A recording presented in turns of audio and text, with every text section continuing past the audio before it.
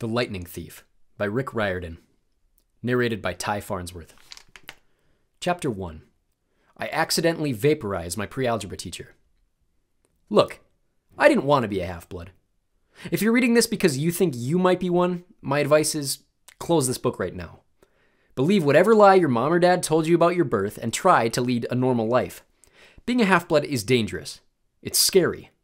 Most of the time, it gets you killed in painful, nasty ways. If you're a normal kid reading this because you think it's fiction, great, read on. I envy you for being able to believe that none of this ever happened.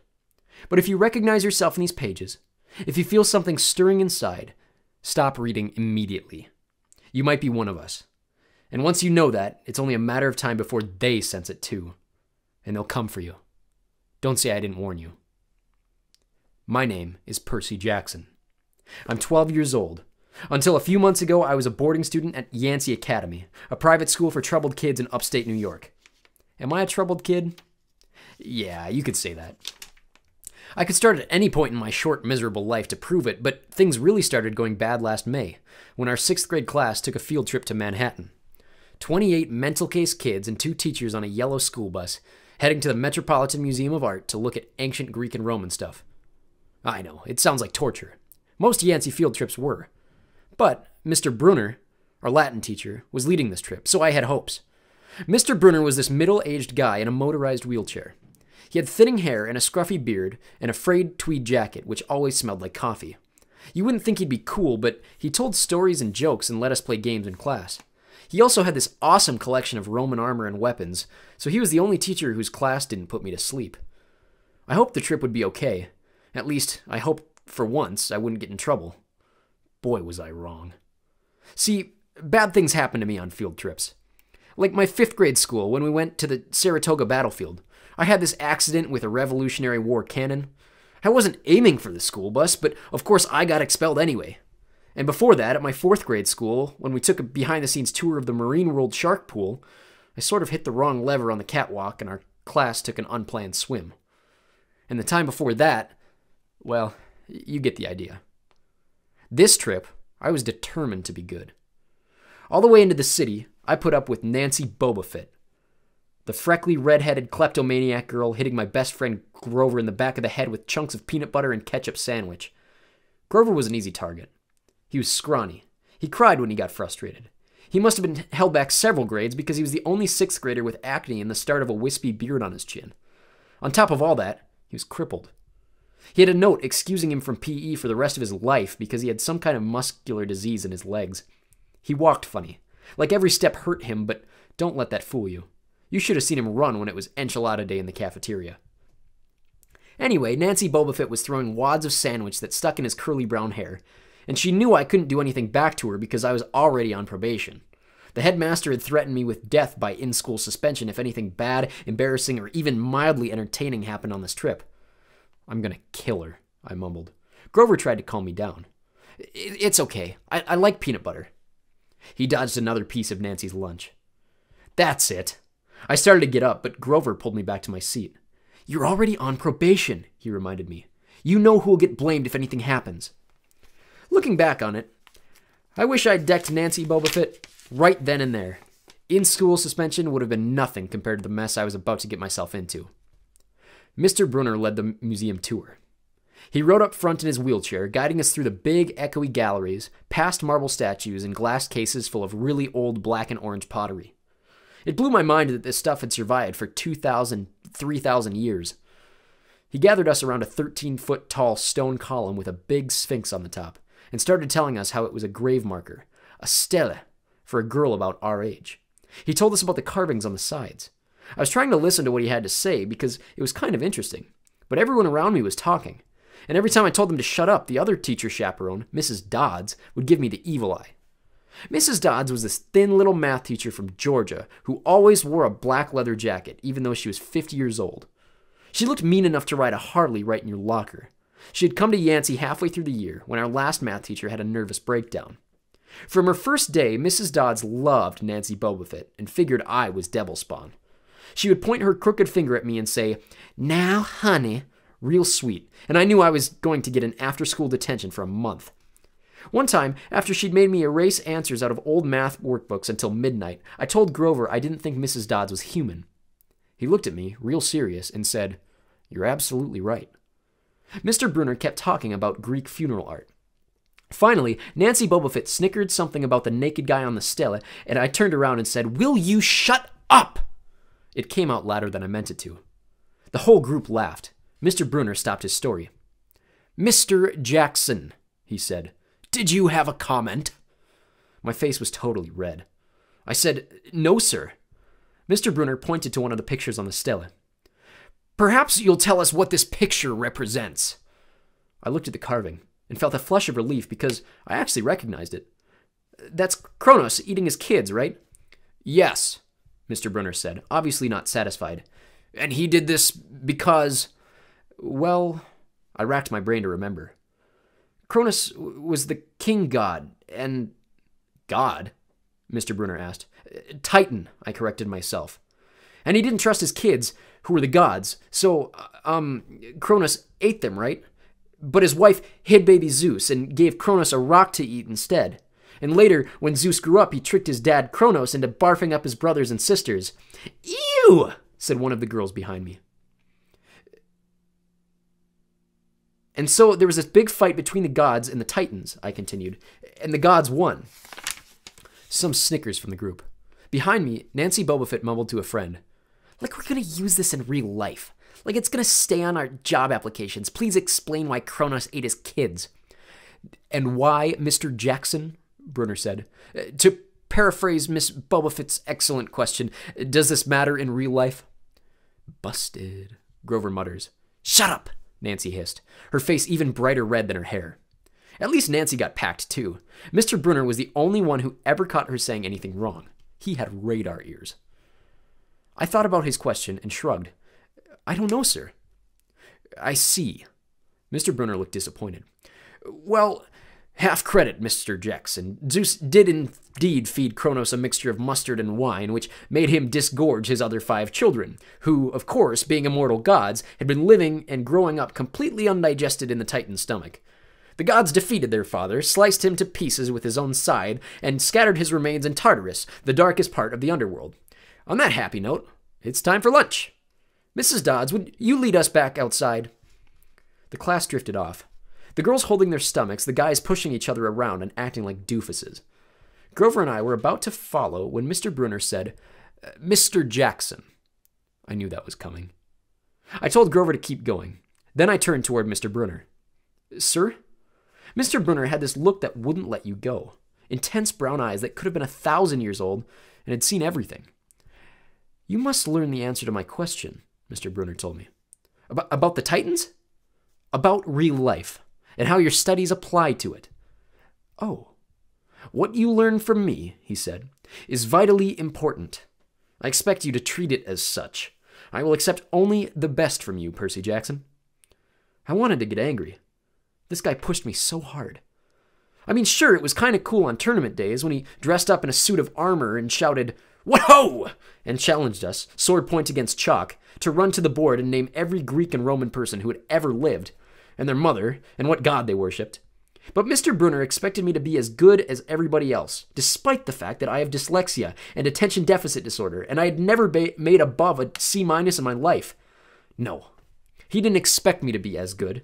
He expected me to be better. And I just couldn't learn all those names and facts, much less spell them correctly. I mumbled something about trying harder. Well, Mr. Brunner took one long, sad look at the Stella, like he'd been at this girl's funeral. He told me to go outside and eat my lunch. The class gathered on the front steps of the museum, where we could watch the foot traffic along Fifth Avenue. Overhead, a huge storm was brewing, with clouds blacker than I'd ever seen over the city. I figured maybe it was global warming or something because the weather all across New York State had been weird since Christmas. We'd have we'd had massive snowstorms, flooding, wildfires from lightning strikes. I wouldn't have been surprised if this was a hurricane blowing in. Nobody else seemed to notice. Some of the guys were pelting pigeons with Lunchables crackers. Nancy Bobofit was trying to pickpocket something from a lady's purse, and of course, Mrs. Dodds didn't see a thing. Grover and I sat on the edge of the fountain, away from the others.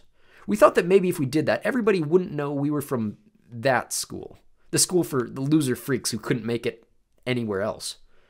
Detention, Grover asked. Nah, I said. Not from Brunner. I just wish he'd lay me off lay off me sometimes. I mean, I'm not a genius. Grover didn't say anything for a while. Then, when I thought he was going to give me some deep philosophical comment to make me feel better, he said, Can I have your apple? I didn't have much of an appetite, so I let him take it. I watched the stream of cabs going down Fifth Avenue and thought about my mom's apartment, only a little ways uptown from where we sat. I hadn't seen her since Christmas. I wanted so bad to jump in a taxi and head home. She'd hug me and I'd be glad and be glad to see me, but she'd be disappointed too. She'd send me right back to Yancey, remind me that I had to try harder, even if this was my sixth school in six years, and I was probably going to be kicked out again.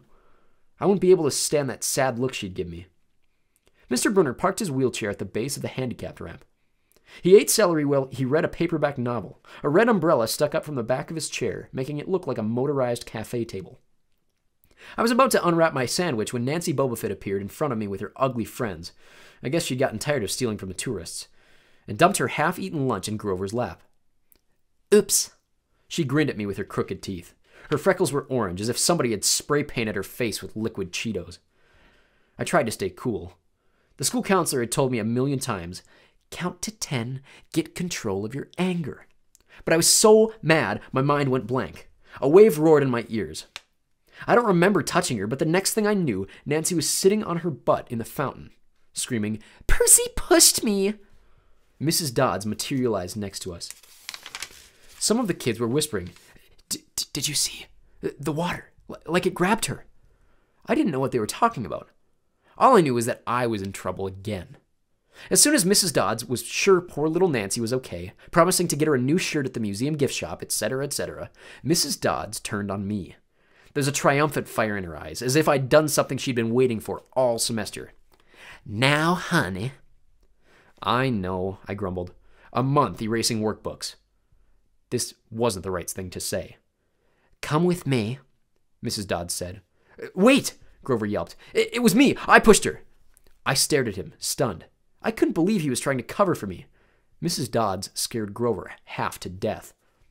She glared at him so hard his whiskery chin trembled.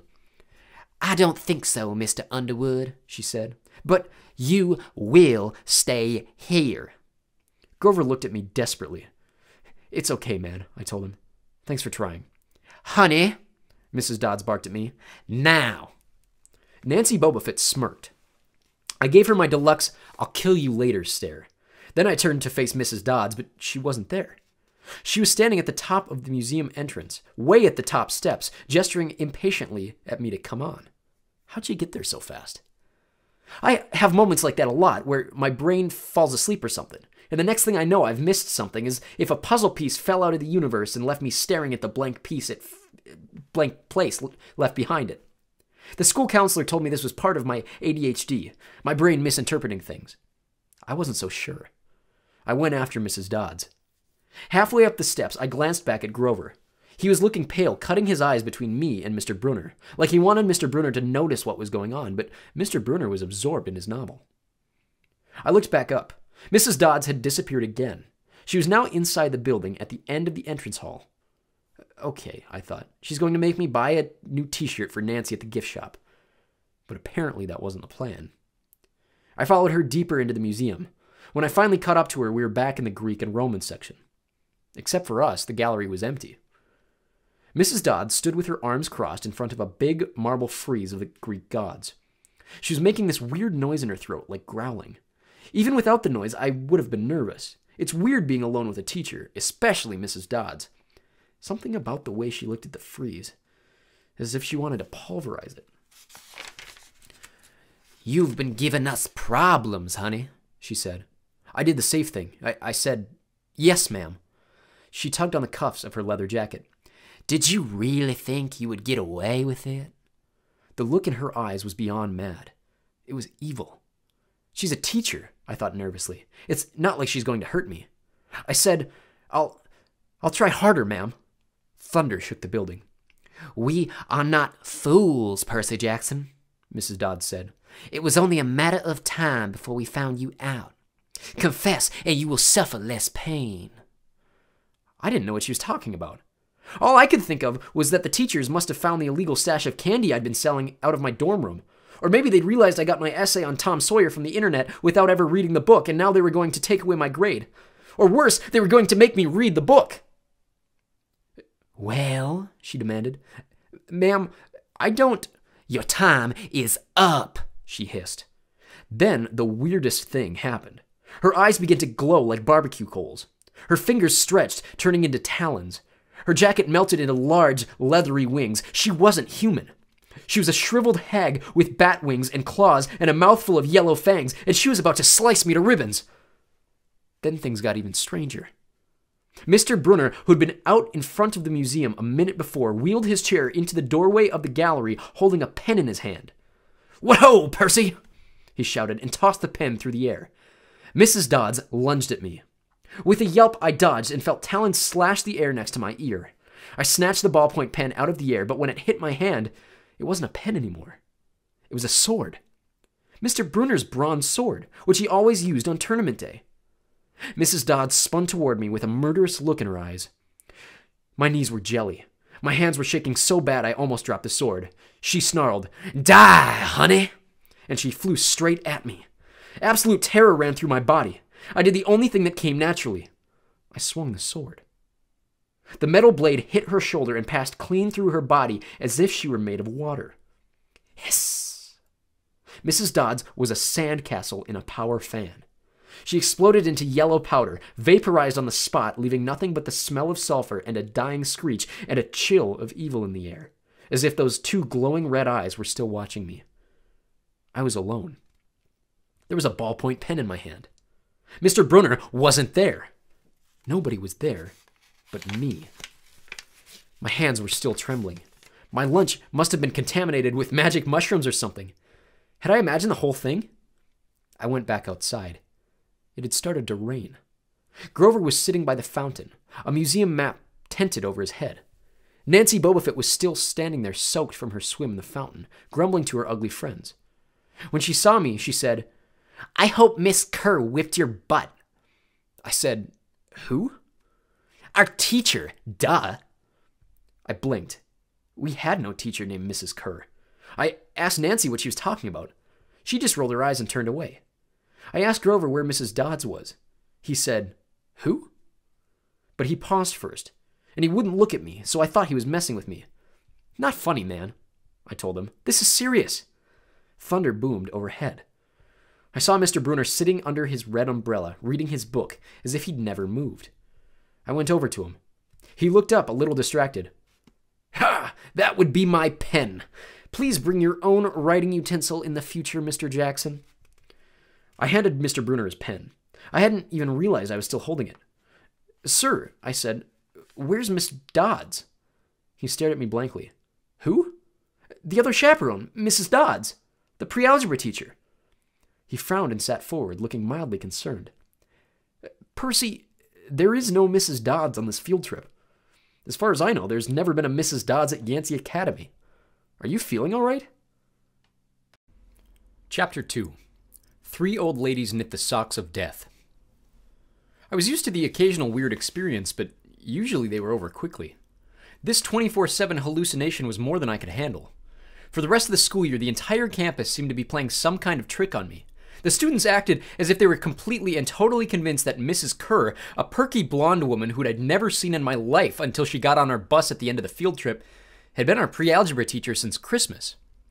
Every so often, I would spring a Mrs. Dodds reference on somebody just to see if I could trip them up, but they would stare at me like I was psycho.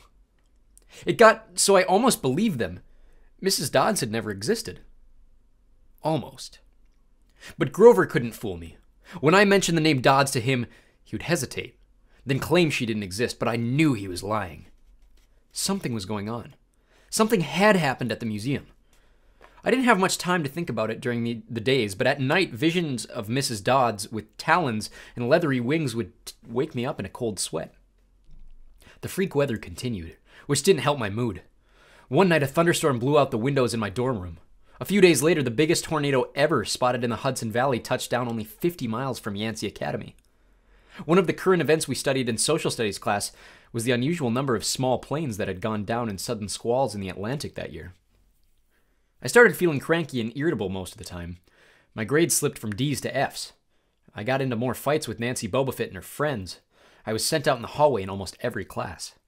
Finally, when our English teacher, Mr. Nicoll, asked me for the millionth time why I was too lazy to study for spelling tests, I snapped.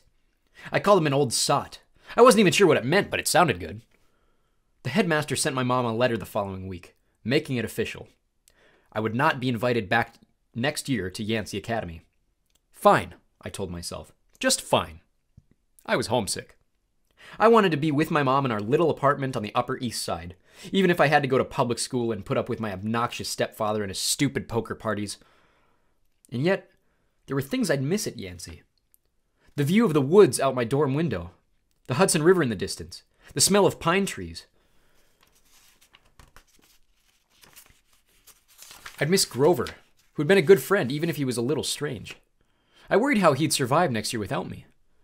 I'd miss Latin class too, Mr. Brunner's crazy tournament days and his faith that I could do well. As exam week got closer, Latin was the only test I studied for. I hadn't forgotten what Mr. Brunner had told me about this subject being life and death for me. I wasn't sure why, but I started to believe him. The evening before my final, I got so frustrated I threw the Cambridge Guide to Greek Mythology across my dorm room. Words had started swimming off the page, circling my head, the letters doing 180s as if they were riding skateboards. There was no way I was going to remember the difference between Chiron and Charon, or Polydictes and Polydeuces, and conjugating those Latin verbs? Forget it. I paced the room, feeling like ants were crawling around the inside of my shirt. I remembered Mr. Brunner's serious expression, his thousand year old eyes. I will accept only the best from you, Percy Jackson. I took a deep breath. I picked up the mythology book. I'd never asked a teacher for help before. But maybe if I talked to Mr. Brunner, he could give me some pointers. At least I could apologize for the big fat F I was about to score on his exam. I didn't want to leave Yancey Academy with, thing, with him thinking I hadn't tried. I walked downstairs to the faculty offices. Most of them were dark and empty, but Mr. Brunner's door was ajar. Light from his window stretching across the hallway floor. I was three steps from the door handle when I heard voices inside the office. Mr. Brunner asked a question, and a voice that was definitely Grover's said, Worried about Percy, sir. I froze. I'm not usually an eavesdropper, but I dare you to try not listening if you hear your best friend talking about you to an adult. I inched closer. Alone this summer, Grover was saying. I mean, a kindly one in the school? Now that we know for sure, and they know too. We would only make matters worse by rushing him, Mr. Brunner said. We need the boy to mature more. But he may not have time. The summer solstice deadline will have to be resolved without him, Grover. Let him enjoy his ignorance while he still can. Sir, he saw her. His imagination, Mr. Brunner insisted. The mist over the students and staff will be enough to convince him of that. Sir, I, I, I can't fail in my duties again. Grover's voice was choked with emotion. You know what that would mean. You haven't failed, Grover, Mr. Brunner said kindly. I should have seen her for what she was. Now, let's just worry about keeping Percy alive until next fall. The mythology book dropped out of my hand and hit the floor with a thud. Mr. Brunner went silent. My heart hammering, I picked up the book and backed down the hall. A shadow slid across the lighted glass of Brunner's office door. The shadow of something much taller than my wheelchair bound teacher, holding something that looked suspiciously like an archer's bow. I opened the nearest door and slipped inside. A few seconds later, I heard a slow clop, clop, clop, like muffled wood blocks, then a sound like an animal snuffling right outside my door. A large, dark shape paused in front of the glass, then moved on. A bead of sweat trickled down my neck. Somewhere in the hallway, Mr. Brunner spoke. Nothing, he murmured. My nerves haven't been right since the winter solstice. Mine neither, Grover said. But I could have sworn. Go back to the dorm, Mr. Brunner told him. You've got a long day of exams tomorrow. Don't remind me. The lights went out in Mr. Brunner's office. I waited in the dark for what seemed like forever. Finally, I slipped out into the hallway and made my way back up to the dorm. Grover was lying on his bed, studying his Latin exam notes like he'd been there all night. Hey, he said, bleary eyed. You going to be ready for this test? I didn't answer. You look awful, he frowned. Is everything okay? Just tired. I turned so he couldn't read my expression and started getting ready for bed. I didn't understand what I'd heard downstairs. I wanted to believe I'd imagined the whole thing. But one thing was clear Grover and Mr. Brunner were talking about me behind my back. They thought I was in some kind of danger. The next afternoon, I was leaving the three hour Latin exam, my eyes swimming with all the Greek and Roman names I'd misspelled. Mr. Brunner called me back inside. For a moment, I was worried he'd found out about my eavesdropping the night before, but that didn't seem to be the problem. Percy, he said, don't be discouraged about leaving Yancey. It's. it's for the best. His tone was kind, but the words still embarrassed me.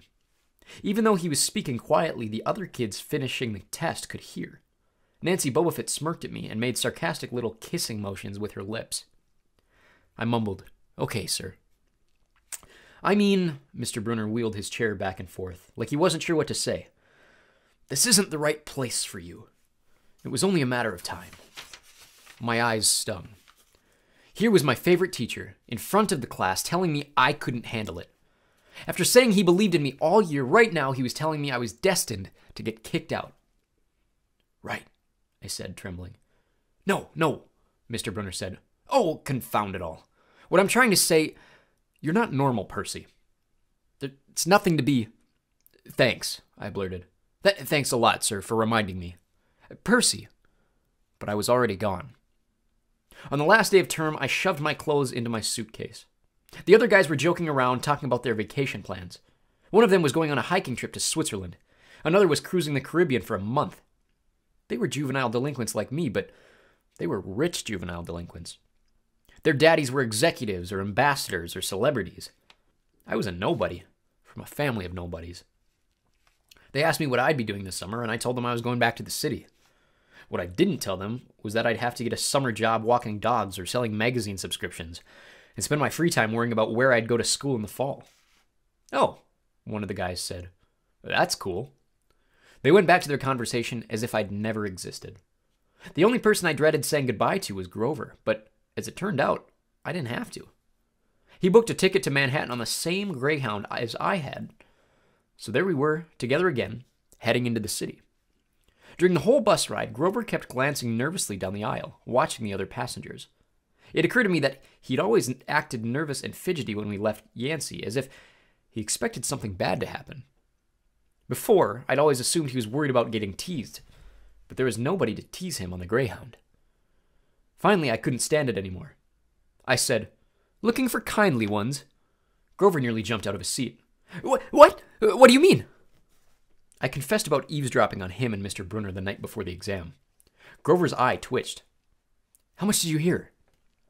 Oh, not much. What's the summer solstice deadline? He winced. Look, uh, Percy, I, I was just worried for you. you. See? I mean, hallucinating about demon math teachers. Grover. And I was telling Mr. Brunner that maybe you were overstressed or something because th- there was no such person as Mrs. Dodds. And Grover, you're a really, really bad liar. His ears turned pink. From his shirt pocket, he fished out a grubby business card. Just take this, okay? In case you need me this summer. The card was in a fancy script, which was murder on my dyslexic eyes, but I finally made something out like Grover Underwood, Keeper, Half Blood Hill, Long Island, New York, 800 009 0009. What's half. Don't say it aloud, he yelped. That's my. Um, my, my summer address. My heart sank. Grover had a summer home. I'd never considered that his family might be as rich as the others at Yancey. Okay, I said glumly. So, like, if I want to come visit your mansion, he nodded. Or, or, or if you need me. Why would I need you? It came out harsher than I meant it to. Grover blushed right down to his Adam's apple. Look, Percy, the, the truth is, I, I kind of have to protect you. I stared at him. All year long, I've gotten in fights, keeping bullies away from him. I'd lost sleep worrying that he'd get beat up next year without me. And here he was acting like he was the one who defended me. Grover, I said, what exactly are you protecting me from? There was a huge grinding noise under our feet. Black smoke poured from the dashboard, and the whole bus filled with a smell like rotten eggs. The driver cursed and limped the Greyhound over to the side of the highway. After a few minutes clanking around in the engine compartment, the driver announced that we'd all have to get off. Grover and I filed outside with everybody else. We were on a stretch of country road. No place you'd notice if you didn't break down there. On our side of the highway was nothing but maple trees and litter from passing cars. On the other side, across four lanes of asphalt shimmering with afternoon heat, was an old fashioned fruit stand. The stuff on sale looked really good heaping boxes of blood red cherries and apples, walnuts and apricots, jugs of cider in a cloth foot tub full of ice. There were no customers. Just three old ladies sitting in rocking chairs in the shade of a maple tree, knitting the biggest pair of socks I'd ever seen. I mean, these socks were the size of sweaters, but they were clearly socks. The lady on the right knitted one of them. The lady on the left knitted the other. The lady in the middle held an enormous basket of electric blue yarn. All three of the women, all three women looked ancient, with pale faces wrinkled like fruit leather, silvery hair tied back in white bandanas, bony arms sticking out of their bleached cotton dresses. The weirdest thing was, they seemed to be looking right at me. I looked over at Grover to say something about this and saw that the blood had drained from his face. His nose was twitching. Grover, I said, hey, man. Tell me they're not looking at you. They are, aren't they? Yeah, weird, huh? You'd think those socks would fit me? Not funny, Percy. Not funny at all. The old lady in the middle took out a, a huge pair of scissors, gold and silver, long bladed like shears. I heard Grover catch his breath. We're getting on the bus, he told me. Come on. What? I said. It's a thousand degrees in there. Come on. He pried open the door and climbed inside, but I stayed back. Across the road, the old ladies were still watching me. The middle one cut the yarn, and I swear I could hear that snip across four lanes of traffic. Her two friends balled up the electric blue socks, leaving me wondering who they could possibly be for Sasquatch or Godzilla. At the rear of the bus, the driver wrenched a big chunk of smoking metal out of the engine compartment. The bus shuddered, and the engine roared back to life. The passengers cheered. Darn right, yelled the driver. He slapped the bus with his hat. Everybody back on board! Once we got going, I started feeling feverish, as if I'd caught the flu. Grover didn't look much better. He was shivering and his teeth were chattering. Grover? Yeah? What are you not telling me? He dabbed his forehead with his shirt sleeve. Percy, wh- what did you see back at the fruit stand? You mean the old ladies? What is it about them, man? They're not like like Mrs. Dodds, are they? His expression was hard to read, but I got the feeling that the fruit stand ladies were something much, much worse than Mrs. Dodds. He said, Just tell me what you saw. The middle one took out her scissors, and she cut the yarn. He closed his eyes and made a gesture with his fingers that might have been crossing himself, but it wasn't. It was something else. Something almost older. He said, So you saw her snip the cord? Yeah, so? But even as I said it, I knew that it was a big deal. This is not happening, Grover mumbled. He started chewing at his thumb. I don't want this to be like the last time. What last time? Always sixth grade. They, they'd never get past sixth. Grover, I said, because he was really starting to scare me. What are you talking about? Let me walk you home from the bus station. Promise me. This seemed like a strange request to me, but I promised he could. Is this like a superstition or something? I asked. No answer. Grover, that snipping of the yarn, does that mean somebody's going to die? He looked at me mournfully, like I, w- I was already picking out the kind of flowers I'd like best on my coffin. Chapter 3 Grover unexpectedly loses his pants. Confession time. I ditched Grover as soon as we got to the bus terminal. I know, I know, it was rude, but Grover was freaking me out, looking at me like I was a dead man, muttering, Why does this always happen? And why does it always have to be in sixth grade? Whenever he got upset, Grover's bladder acted up, so I wasn't surprised when, as soon as we got off the bus, he made me promise to wait for him, then made a beeline for the restroom. Instead of waiting, I got my suitcase, slipped outside, and caught the first taxi uptown. East 104th and 1st, I told the driver. A word about my mother before you meet her. Her name is Sally Jackson, and she's the best person in the world, which just proves my theory that the best people have the rottenest luck. Her own parents died in a plane crash when she was five, and she was raised by an uncle who didn't care much about her. She wanted to be a novelist, so she spent high school working to save enough money for college with a good creative writing program. Then her uncle got cancer, and she had to quit school her senior year to take care of him. After he died, she was left with no money, no family, and no diploma. The only good break she ever got was meeting my dad. I don't have any memories of him, just this sort of warm glow, maybe the barest trace of his smile. My mom doesn't like to talk about him because it makes her sad, and she has no pictures. See, they weren't married. She told me he was rich and important, and their relationship was a secret. Then one day he set sail across the Atlantic on some important journey, and he never came back. Lost at sea, my mom told me. Not dead, just lost at sea. She worked odd jobs, took night classes to get her high school diploma, and raised me on her own. She never complained or got mad, not even once. But I knew I wasn't an easy kid. Finally, she married Gabe Ugliano, who was nice the first 30 seconds we knew him, then showed his true colors as a world class jerk. When I was young, I nicknamed him Smelly Gabe. I'm sorry, but it's the truth. The guy reeked like moldy garlic pizza wrapped in gym shorts. Between the two of us, we made my mom's life pretty hard. The way Smelly Gabe treated her, the way he and I got along, well, when I came home is a good example. I walked into our little apartment hoping my mom would be home from work. Instead, Smelly Gabe was in the living room playing poker with his buddies. The television blared ESPN. Chips and beer cans were strewn all over the carpet. Hardly looking up, he said around his cigar, So you're home. Where's my mom? Working, he said. You got any cash? That was it. No, welcome back. Good to see you. How has your life been the last six months? Gabe had put on weight. He looked like a tuskless walrus in thrift store clothes. He had about three hairs on his head, all combed over his bald scalp as if that made him handsome or something. He managed the electronics megamart in Queens, but he stayed home most of the time. I don't know why he hadn't been fired long before. He just kept on collecting paychecks, spending the money on cigars that made me nauseous, and on beer, of course. Always beer. Whenever I was home, he expected me to provide his gambling funds. He called that our guy secret. Meaning, if I told my mom, he would punch my lights out. I don't have any cash, I told him. He raised a greasy eyebrow. Gabe could sniff out money like a bloodhound, which was surprising since his own smell should have covered up everything else. You took a taxi from the bus station, he said. Probably paid with a 20. Got six, seven bucks in change. Somebody expects to live under this roof. He ought to carry his own weight. Am I right, Eddie? Eddie, the super of the apartment building, looked at me with a twinge of sympathy. Come on, Gabe, he said. The kid just got here. Am I right?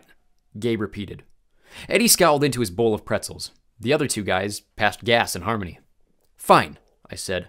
I dug a wad of dollars out of my pocket and threw the money on the table. I hope you lose. Your report card came, brain boy, he shouted after me. I wouldn't act so snooty. I slammed the door to my room, which really wasn't my room. During school months, it was Gabe's study.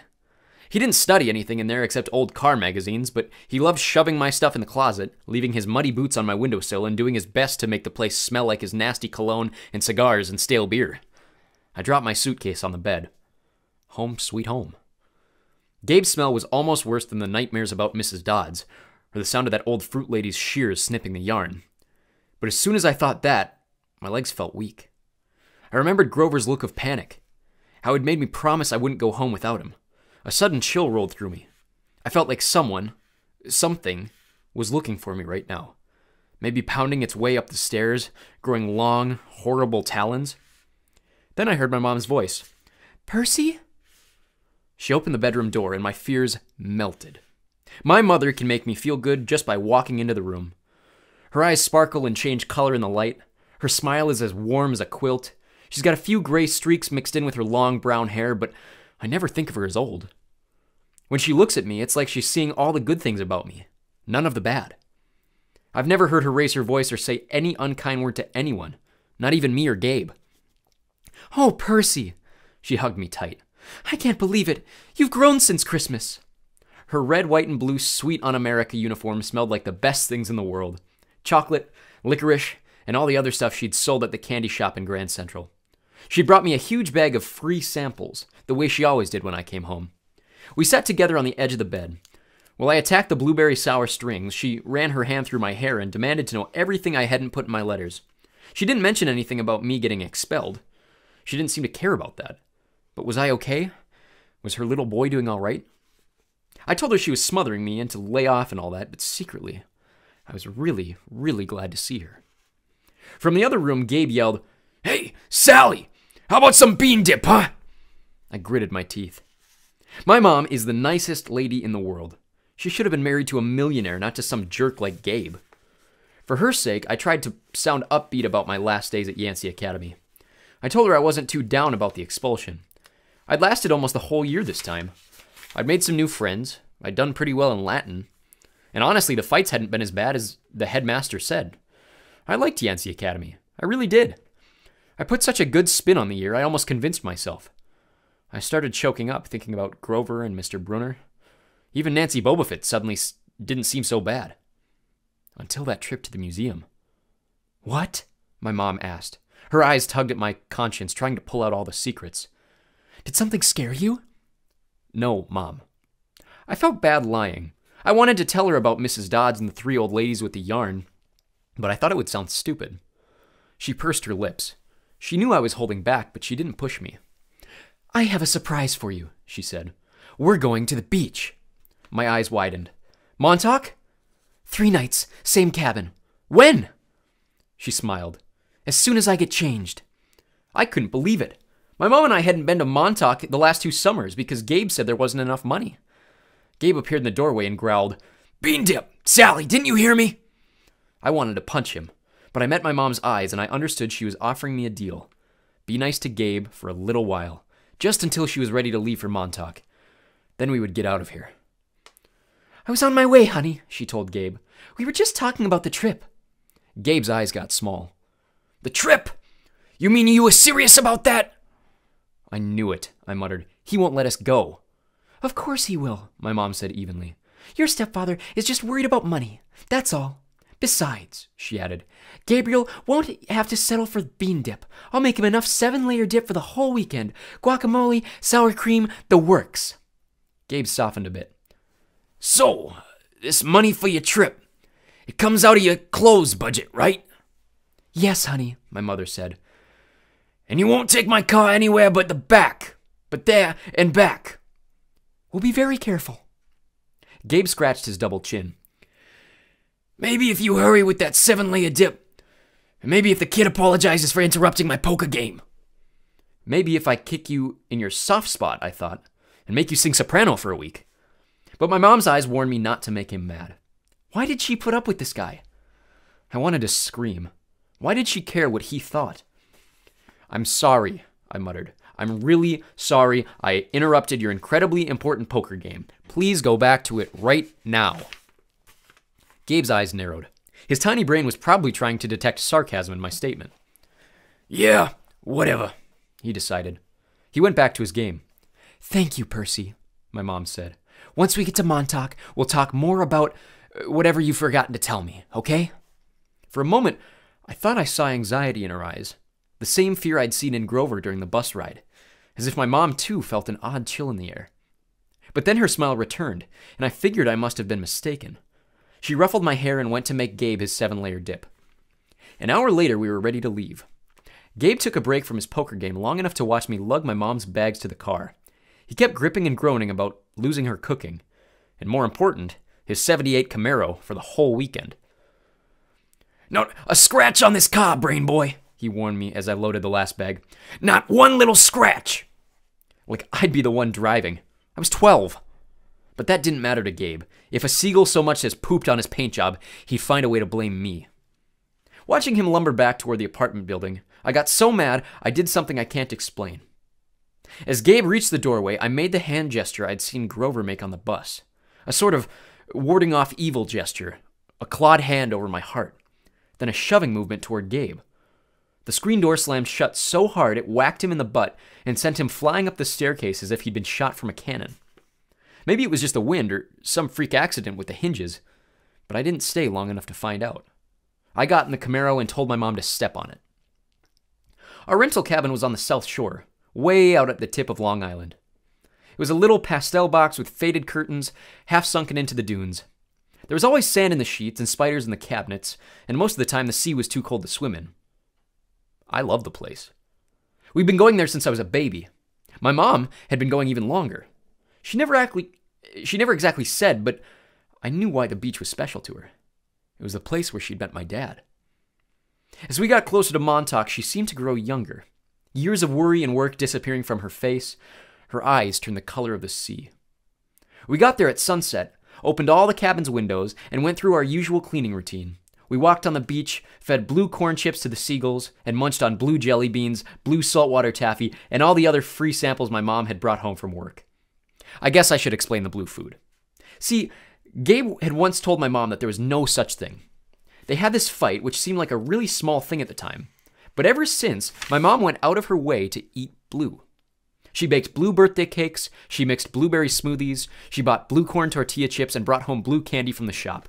This, along with keeping her maiden name, Jackson, rather than calling herself Mrs. Ugliano, was proof that she wasn't totally suckered by Gabe. She did have a rebellious streak, like me. When it got dark, we made a fire. We roasted hot dogs and marshmallows. Mom told me stories about when she was a kid, back before her parents died in the plane crash. She told me about the books she wanted to write someday when she had enough money to quit the candy shop. Eventually, I got up the nerve to ask about what was always on my mind whenever we came to Montauk my father. Mom's eyes went all misty. I figured she wouldn't tell me the same things she always did, but I never got tired of hearing them. He was kind, Percy, she said. Tall, handsome, and powerful. But gentle, too. You have his black hair, you know, and his green eyes. Mom fished a blue jelly bean out of her candy bag. I wish he could see you, Percy. He would be so proud. I wondered how she could say that.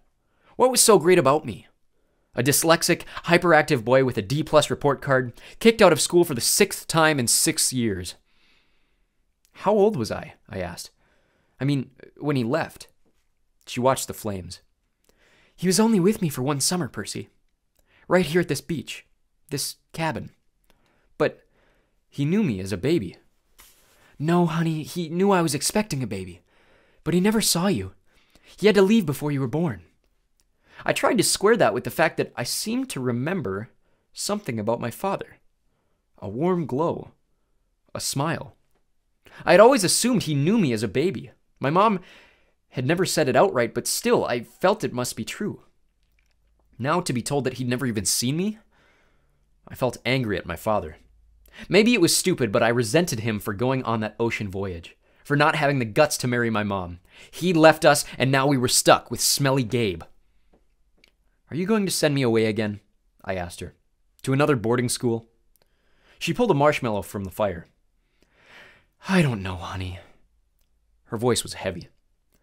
I think. I think we'll have to do something. Because you don't want me around? I regretted the words as soon as they were out. My mom's eyes welled with tears. She took my hand, squeezed it tight. Oh, Percy, no. I I have to, honey. For your own good. I have to send you away. Her words reminded me of what Mr. Brunner had said that it was best for me to leave Yancey.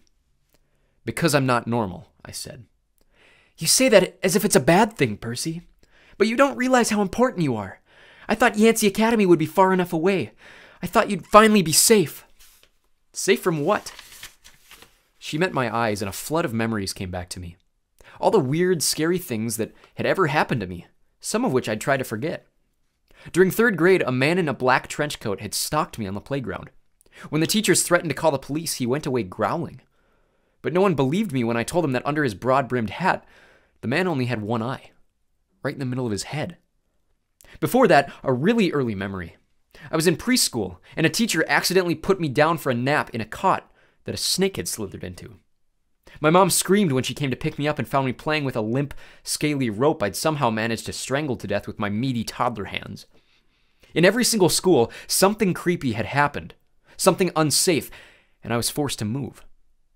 I knew I should tell my mom about the old ladies at the fruit stand and Mrs. Dodds at the art museum, about my weird hallucination that I had sliced my math teacher into dust with a sword. But I couldn't make myself tell her.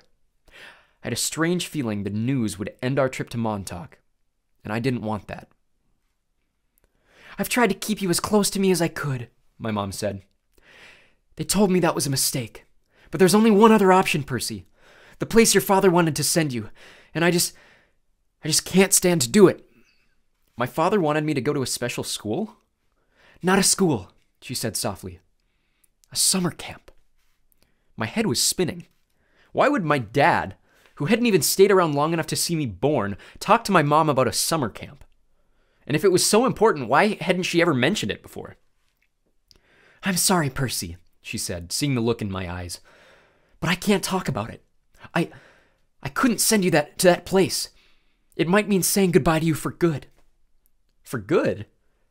But if it's only a summer camp, she turned toward the fire, and I knew from her expression that if I asked her any more questions, she would start to cry.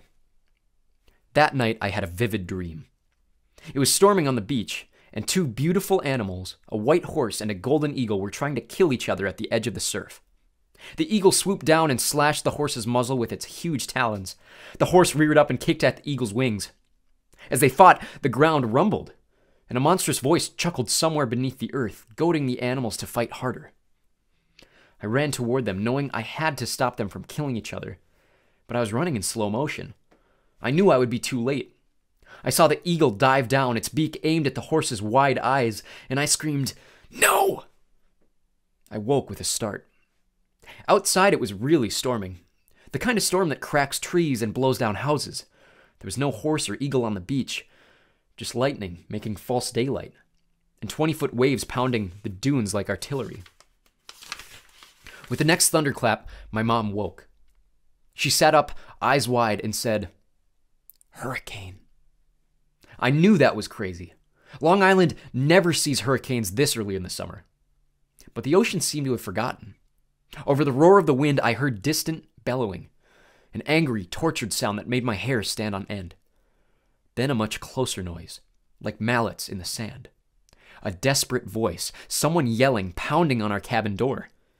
My mother sprang out of bed in her nightgown and threw open the lock. Grover stood framed in the doorway against a backdrop of pouring rain. But he wasn't. He wasn't exactly Grover. Searching all night, he gasped. What were you thinking? My mother looked at me in terror, not scared of Grover, but of why he'd come. Percy, she said, shouting to be heard over the rain, what happened at school? What didn't you tell me? I was frozen, looking at Grover. I couldn't understand what I was seeing. Oh, Zeu kai alloi theoi, he yelled. It's right behind me. Didn't you tell her? I was too shocked to register that he'd just cursed in ancient Greek, and I'd understood him perfectly. I was too shocked to wonder how Grover had gotten here by himself in the middle of the night, because Grover didn't have his pants on. And where his legs should be, where his legs should be. My mom looked at me sternly and talked in a tone she'd never used before. Percy, tell me now! I stammered something about the old ladies at the fruit stand and Mrs. Dodds, and my mom stared at me, her face deathly pale in the flashes of lightning. She grabbed her purse, tossed me my rain jacket, and said, Get to the car, both of you, go! Grover ran for the Camaro. But he wasn't running exactly. He was trotting, shaking his shaggy hindquarters, and suddenly his story about muscular disorder in his legs made sense to me. I understood how he could run so fast and still limp when he walked. Because where his feet should be, there were no feet. There were cloven hooves. Chapter 4 My mother teaches me bullfighting. We tore through the night along dark country roads. Wind slammed against the Camaro. Rain lashed the windshield. I didn't know how my mom could see anything, but she kept her foot on the gas. Every time there was a flash of lightning, I looked at Grover sitting next to me in the back seat and I wondered if I'd gone insane, or if he was wearing some kind of shag carpet pants. But no. The smell was one I remembered from kindergarten field trips to the petting zoo. Lanolin, like from wool. The smell of a wet barnyard animal. And all I could think to say was, So, you and my mom know each other? Grover's eyes flitted to the rearview mirror, though there were no cars behind us.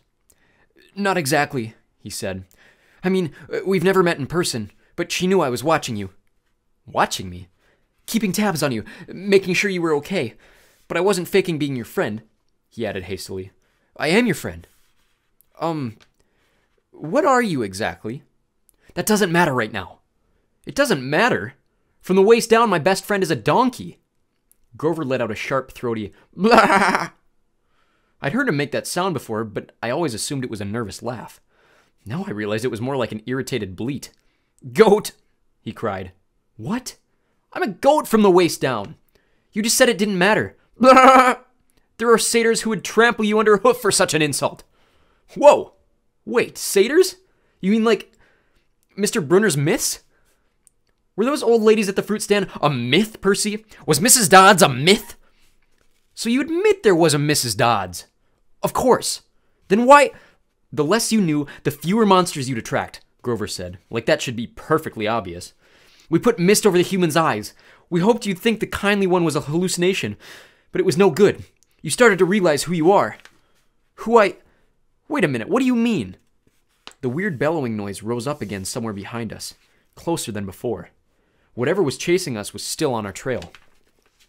Percy, my mom said, there's too much to explain and not enough time. We have to get you to safety. Safety from what? Who's after me? Oh, nobody much, Grover said, still obviously miffed about the donkey comment. Just the Lord of the Dead and a few of his bloodthirstiest minions. Grover! Sorry, Miss Jackson. Could you drive faster, please? I tried to wrap my hand er, I tried to wrap my mind around what was happening, but I couldn't do it. I knew this wasn't a dream. I had no imagination. I, I could never dream up something this weird. My mom made a hard left. We swerved onto a narrower, a narrower road, racing past darkened farmhouses and wooden hills, and pick your own strawberries signs on a white picket fences. Where are we going? I asked. The summer camp I told you about. My mother's voice was tight. She was trying for my sake not to be scared. The place your father wanted to send you. The place you didn't want me to go. Please, dear, my mother begged. This is hard enough. Try to understand. You're in danger. Because some old ladies cut yarn? Those weren't old ladies, Grover said. Those were the fates. Do you know what it means? The fact they appeared in front of you? They only do that when you're about to. when someone's about to die. Whoa! You just said you. N- no, I didn't. I said someone. You meant you, as in me. I meant you, like someone, not you, you. Boys, my mom said. She pulled the wheel hard to the right, and I got a glimpse of a figure she swerved to avoid. A dark, fluttering shape now lost behind us in the storm. What was that? I asked. We're almost there, my mother said, ignoring my question. Another mile. Please, please, please. I didn't know where there was, but I found myself leaning forward in the car, anticipating, wanting us to arrive. Outside, nothing but rain and darkness, the kind of empty countryside you get way out on the tip of Long Island. I thought about Mrs. Dodds in the moment when she changed into the thing with pointed teeth and leathery wings. My limbs went numb from delayed shock. She really hadn't been human. She'd meant to kill me. Then I thought about Mr. Brunner and the sword that he'd thrown me. Before I could ask Grover about that, the hair rose on the back of my neck. There was a blinding flash, a jaw rattling boom and our car exploded. I remember feeling weightless, like I was being crushed, fried, and hosed down all at the same time. I peeled my forehead off the back of the driver's seat and said, Ow! Percy! My mom shouted. I'm okay. I tried to shake off the daze. I wasn't dead. The car hadn't really exploded. We've swerved into a ditch. Our driver's side doors were wedged in the mud. The roof had cracked open like an eggshell and rain was pouring in. Lightning. That was the only explanation. We'd been blasted right off the road. Next to me in the back seat was a big, motionless lump. Grover! He was slumped over, blood trickling from the side of his mouth. I shook his furry hip, thinking, No!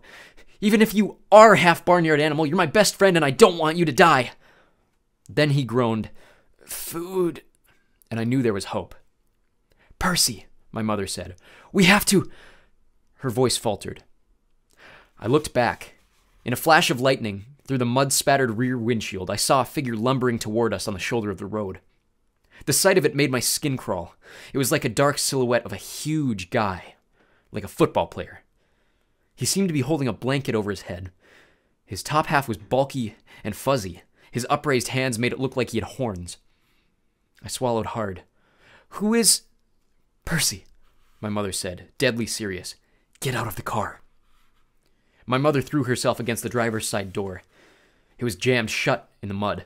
I tried mine. Stuck too. I looked up desperately at the hole in the roof. It might have been an exit, but the edges were sizzling and smoking. Climb out the passenger side, my mother told me. Percy, you have to run. Do you see that big tree? What? Another flash of lightning, and through the smoking hole in the roof I saw the tree she meant. A huge, White House Christmas tree sized pine at the crest of the nearest hill. That's the property line, my mom said. Get over that hill and you'll see a big farmhouse down in the valley. Run and don't look back. Yell for help. Don't stop until you reach the door. Mom, you're coming too. Her face was pale, her eyes as sad as when she looked at the ocean. No! I shouted. You are coming with me. Help me carry Grover. Food, Grover moaned, a little louder. The man with the blanket on his head kept coming toward us, making his grunting, snorting noises. As he got closer, I realized he couldn't be holding a blanket over his head, because his hands, huge, meaty hands, were swinging at his sides. There was no blanket, meaning the bulky, fuzzy mass that was too big to be his head was his head, and the points that looked like horns. He doesn't want us, my mother told me. He wants you. Besides, I can't cross the property line. But we don't have time, Percy. Go, please. I got mad. Then, mad at my mother, at Grover the goat, at the thing with horns that was lumbering toward us slowly and deliberately, like like a bull. I climbed across Grover and pushed the door open into the rain. We're going together. Come on, Mom. I told you, Mom, I'm not leaving you. Help me with Grover. I didn't wait for her answer. I scrambled outside, dragging Grover from the car. He was surprisingly light, but I couldn't have carried him very far if my mom hadn't come to my aid. Together, we draped Grover's arms over our shoulders and started stumbling uphill through wet, waist high grass. Glancing back, I got my first clear look at the monster. He was seven feet tall, easily, his arms and legs like something from the cover of Muscle Man magazine. Bulging biceps and triceps and a bunch of other seps, all stuffed like baseballs under vein webbed skin. He wore no clothes except under. He wore no, no clothes except underwear. I mean, bright white fruit of the looms, which would have looked funny except the top half of his body was so scary. Coarse brown hair started at about his belly button and got thicker as it reached his shoulders. His neck was a mass of muscle and fur leading up to his enormous head, which had a snout as long as my arm. Snotty nostrils with gleaming brass ring cruel black eyes and horns, enormous black and white horns with points you could ju- you just couldn't get from an electric sharpener. I recognized the monster all right. He had been in one of the first stories Mr. Brunner told us, but he couldn't be real. I blinked in the rain out of my eyes. That's Pasiphae's son, my mother said. I wish I'd known how badly they want to kill you. But he's the min. Don't say his name, she warned. Names have power. The pine tree was still way too far, a hundred yards uphill at least. I glanced behind me again. The bullman hunched over our car, looking in the windows. Or not looking exactly, more like sniffling, n- nuzzling. I wasn't sure why he bothered since we were only about 50 feet away. Food? Grover moaned. Shh, I told him. Mom, what's he doing? Doesn't he see us? His sight and hearing are terrible, she said. He goes by smell, but he'll figure out where we are soon enough. As if on cue, the bullman bellowed in rage. He picked up Gabe's Camaro by the torn roof, the chassis creaking and groaning. He raised the car over his head and threw it down the road. It slammed into the wet asphalt and skidded in a, a shower of sparks for about half a mile before coming to a stop. The gas tank exploded. Not a scratch, I remember Gabe saying. Oops. Percy, my mom said. When he sees us, he'll charge. Wait until the last second, then jump out of the way. Directly sideways. He can't change directions very well once he's charging. Do you understand? How do you know all this? I've been worried about an attack for a long time. I should have expected this. I was selfish keeping you near me. Keeping me near you, but. Another bellow of rage, and the bullman started tromping uphill. He'd smelled us. The pine tree was only a few more yards, but the hill was getting steeper and slicker and Grover wasn't getting any lighter. The bullman closed in. Another few seconds and he'd be on top of us. My mother must have been exhausted, but she shouldered Grover. Go, Percy, separate. Remember what I said. I didn't want to split up, but I had the feeling she was right. It was our only chance. I sprinted to the left, turned, and saw the creature bearing down on me. His black eyes glowed with hate. He reeked like rotten meat.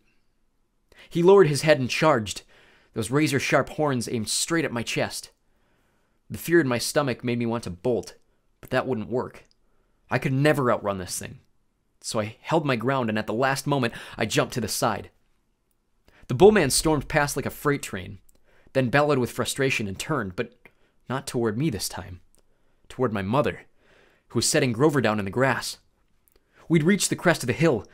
Down the other side, I could see a valley, just as my mother had said, and the lights of a farmhouse glowing yellow throughout the rain. But that was half a mile away. We'd never make it. The bullman grunted, pawing the ground.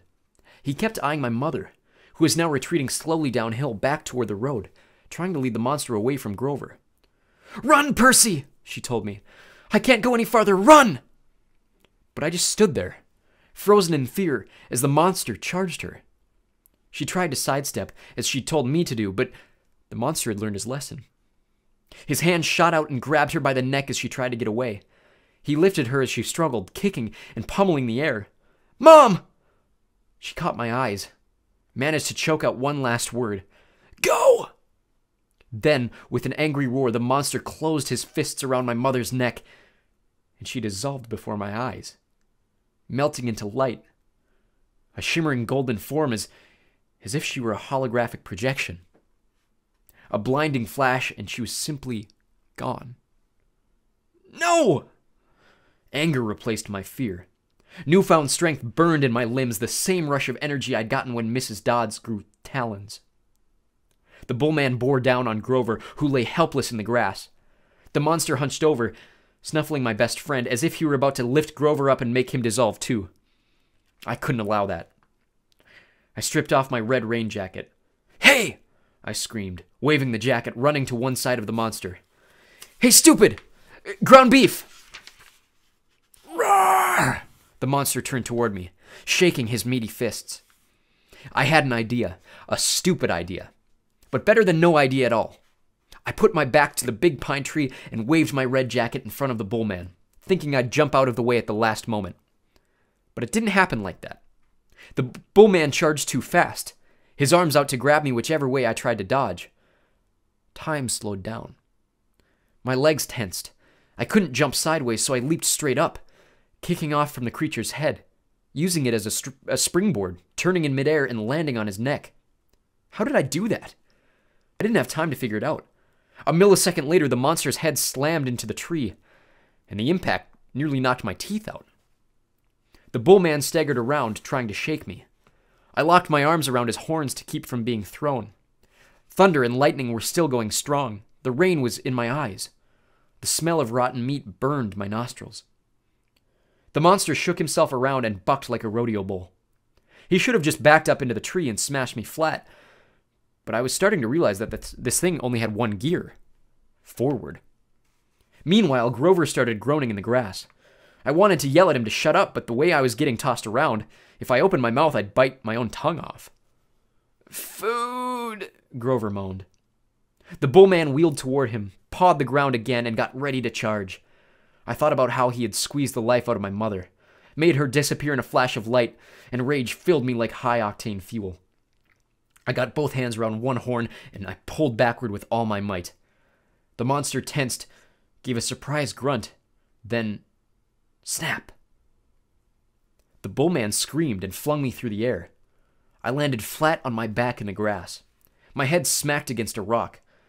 When I sat up, my vision was blurry, but I had a horn in my hands a ragged bone weapon the size of a knife. The monster charged. Without thinking, I rolled onto one side and came up kneeling. As the monster barreled past, I drove the broken horn straight into his side, right up under his furry rib cage. The bullman roared in agony. He flailed, clawing at his chest, then began to disintegrate. Not like my mother, in a flash of golden light, but like crumbling sand, blown away in chunks by the wind the same way Mrs. Dodds had burst apart. The monster was gone. The rain had stopped. The storm still rumbled, but only in the distance. I smelled like livestock and my knees were shaking. My head felt like it was splitting open. I was weak and scared and trembling with grief, I'd just seen my mother vanish. I wanted to lie down and cry, but there was Grover, needing my help. So I managed to haul him up and stagger down into the valley toward the lights of the farmhouse. I was crying, calling for my mother, but I held on to Grover. I wasn't going to let him go. The last thing I remember is collapsing onto a wooden porch, looking up at a ceiling fan circling above me, moths flying around a yellow light, and the stern faces of a familiar looking bearded man and a pretty girl, her blonde hair curled like a princess's. They both looked down on me, and the girl said, He's the one. He must be. Silence, Annabeth, the man said. He's still conscious. Bring him inside. Chapter 5 I Play Pinochle with a Horse. I had weird dreams full of barnyard animals. Most of them wanted to kill me, the rest wanted food. I must have woken up several times, but what I heard and saw made no sense, so I just passed out again. I remember lying in a soft bed, being spoon fed something that tasted like buttered popcorn, only it was pudding. The girl with curly blonde hair hovered over me, smirking as she scraped drips off my chin with the spoon. When she saw my eyes open, she asked, What will happen at the summer solstice? I managed to croak, What? She looked around, as if afraid someone would overhear. What's going on? What was stolen? We've only got a few weeks. I'm sorry, I mumbled. I don't. Somebody knocked on the door, and the girl quickly filled my mouth with pudding. The next time I woke up, the girl was gone. A husky blond dude like a surfer stood in the corner of the bedroom keeping watch over me. He had blue eyes, at least a dozen of them, on his cheeks, his forehead, the backs of his hands. When I finally came around for good, there was nothing weird about my surroundings, except that they were nicer than I was used to. I was sitting in a deck chair on a huge porch, gazing across a meadow at green hills in the distance. The breeze smelled like strawberries. There was a blanket over my legs, a pillow behind my neck. All that was great, but my mouth felt like a scorpion had been using it for a nest. My tongue was dry and nasty, and every one of my teeth hurt.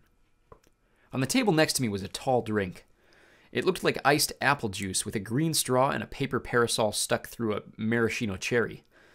My hand was so weak I almost dropped the glass once I got my fingers around it. Careful, a familiar voice said. Grover was leaning against the porch railing, looking like he hadn't slept in a week. Under one arm, he cradled a shoebox.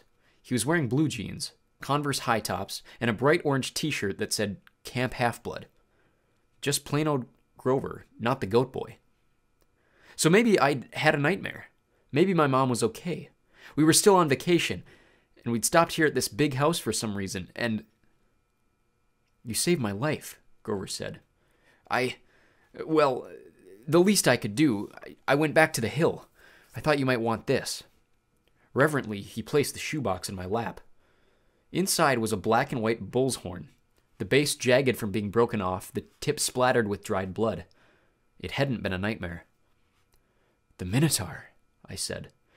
Um, Percy, it isn't a good idea. That's what they call him in the Greek myths, isn't it? I demanded. The Minotaur, half man, half bull. Grover shifted uncomfortably. You've been out for two days. How much do you remember? My mom. Is she really? He looked down. I stared across the meadow. There were groves of trees, a winding stream, acres of strawberries spread out under the blue sky. The valley was surrounded by rolling hills, and the tallest one, directly in front of us, was the one with the huge pine tree on top. Even that looked beautiful in the sunlight. My mother was gone. The whole world should be black and cold. Nothing should look beautiful. I'm sorry, Grover sniffled. I'm a failure. I'm I'm the worst satyr in the world. He moaned, stomping his foot so hard it came off. I mean, the Converse high top came off. The inside was filled with styrofoam, except for a hoof shaped hole. Oh, sticks, he mumbled. Thunder rolled across the clear sky. As he struggled to get his hoof back in the fake foot, I thought, well, that settles it.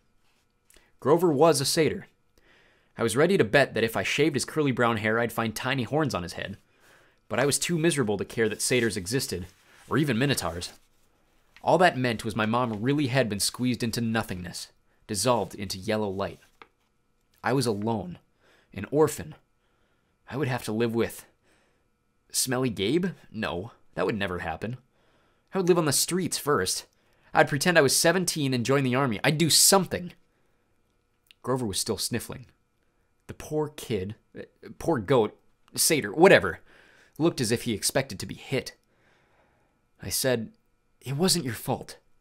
Yes, it was. I was supposed to protect you. Did my mother ask you to protect me? No, but that's my job. I'm a keeper. At least, I was. But why? I suddenly felt dizzy, my vision swimming. Don't strain yourself, Grover said. Here. He helped me hold my glass and put the straw to my lips. I recoiled at the taste because I was expecting apple juice. It wasn't that at all. It was chocolate chip cookies. Liquid cookies. And not just any cookies, my mom's homemade blue chocolate chip cookies, buttery and hot with the chips still melting. Drinking it, my whole body felt warm and good, full of energy. My grief didn't go away, but I felt as if my mom had just brushed her hand against my cheek, given me a cookie the way she used to when I was small, and told me everything was going to be okay. Before I knew it, I drained the glass. I stared into it, sure I'd just had a warm drink, but the ice cubes hadn't even melted. Was it good? Grover asked. I nodded. What did it taste like? He sounded so wistful, I felt guilty. Sorry, I said. I should have let you taste. His eyes got wide. No, that's not what I meant. I just wondered. Chocolate chip cookies, I said. My mom's. Homemade. He sighed. And how do you feel? Like I could throw Nancy Bobofit a hundred yards. That's good, he said. That's good. I don't think you should risk drinking any more of that stuff. What do you mean? He took the empty glass from me gingerly as if it were dynamite and set it back on the table. Come on. Chiron and Mr. D are waiting. The porch wrapped all the way around the farmhouse. My legs felt wobbly trying to walk that far. Grover offered to carry the Minotaur horn, but I held onto it. I'd paid for that souvenir the hard way. I wasn't going to let it go. As we came around the opposite end of the house, I caught my breath. We must have been on the north shore of Long Island, because on this side of the house, the valley marched all the way up to the water, which glittered about a mile in the distance. Between here and there, I simply couldn't process everything I was seeing. The landscape was dotted with building that looks like ancient Greek architecture. An open air pavilion, an amphitheater, a circular arena, except that they all looked brand new their white marble columns sparkling in the sun. In a nearby sandpit, a dozen high school age kids and satyrs played volleyball. Canoes glided across a small lake. Kids in bright orange t shirts like Grover's were chasing each other around a cluster of cabins nestled in the woods. Some shot targets at an archery range. Others rode horses down a wooded trail. And, unless I was hallucinating, some of their horses had wings. Down at the end of the porch, two men sat across from each other at a card table. The blonde haired girl who'd spoon fed me popcorn flavored pudding was leaning on the porch rail next to them. The man facing me was small, but porky. He had a red nose, big watery eyes, and curly hair so black it was almost purple. He looked like those paintings of baby angels. What do you call them? Hubbubs? No, cherubs, that's it. He looked like a cherub who'd turned middle aged in a trailer park. He wore a tiger pattern Hawaiian shirt and he would have fit right in at one of Gabe's poker parties, except I got the feeling this guy could have outgambled even my stepfather. That's Mr. D, Grover murmured to me. He's the camp director. Be polite. The girl, that's Annabeth Chase. She's just a camper, but she's been here longer than about anybody. And you already know Chiron. He pointed at the guy whose back was to me. First, I realized he was sitting in the wheelchair. Then I recognized the tweed jacket, the thinning brown hair, the scraggly beard. Mr. Brunner, I cried. The Latin teacher turned and smiled at me. His eyes had that mischievous glint they sometimes got in class when he pulled a pop quiz and made all the multiple choice answers B. Ah, good, Percy, he said. Now we have four for Pinochle. He offered me a chair to get to the right of Mr. D, who looked at me with bloodshot eyes and heaved a great sigh. Oh, I suppose I must say it. Uh, welcome to Camp Half Blood. There. Now don't expect me to be glad to see you. Uh, thanks.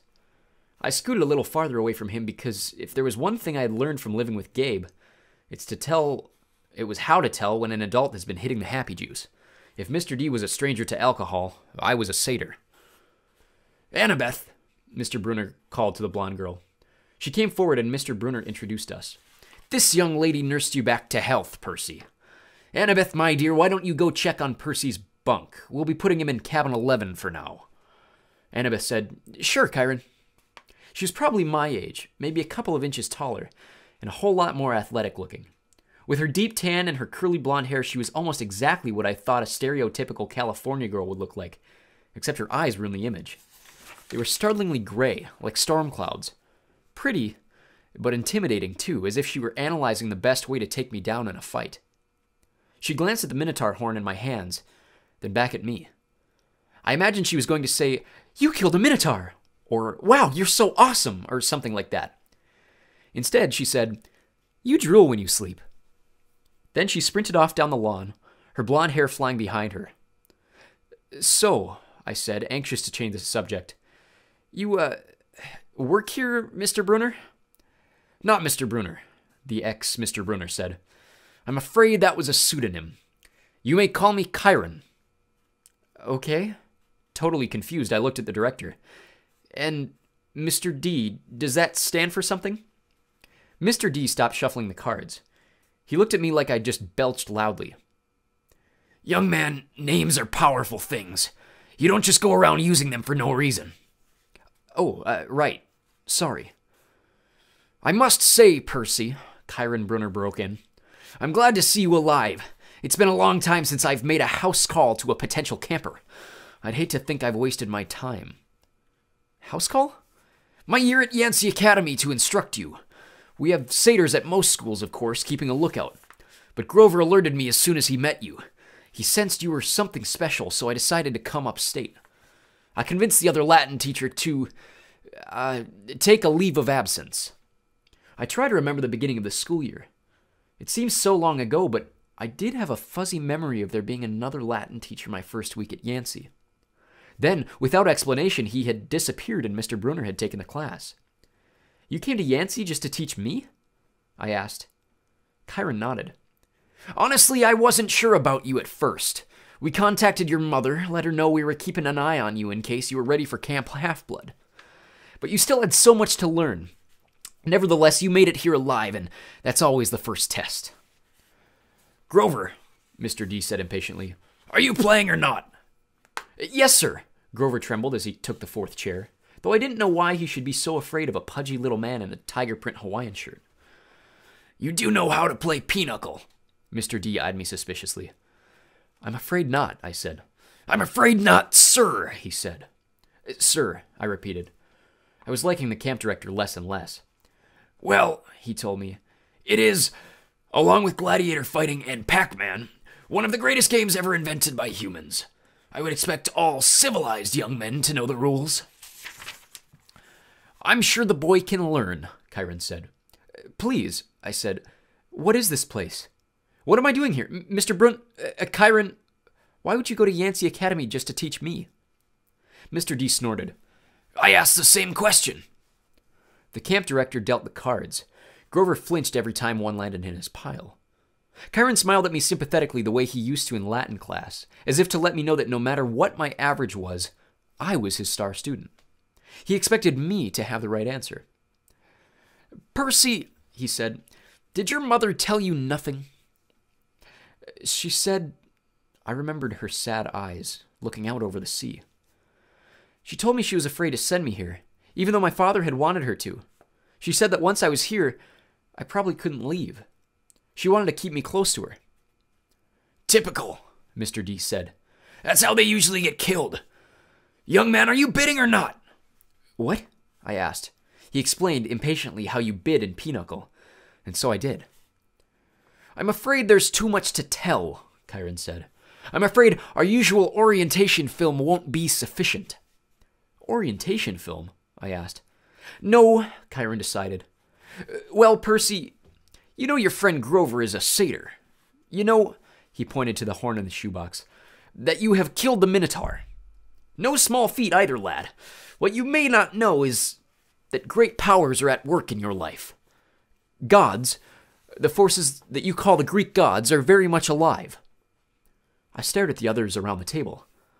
I waited for somebody to yell, Not! But all I got was Mr. D yelling, Oh, a royal marriage! Trick! Trick! He cackled as he tallied up his points. Mr. D, Grover asked timidly, If you're not going to eat it, could I have your Diet Coke can? Oh, all right. Grover bit a huge shard out of the empty aluminum can and chewed it mournfully. Wait, I told Chiron. You're telling me there's such a thing as God? Well, now, Chiron said. God, capital G, God, that's a different matter altogether. We shan't deal with the metaphysical.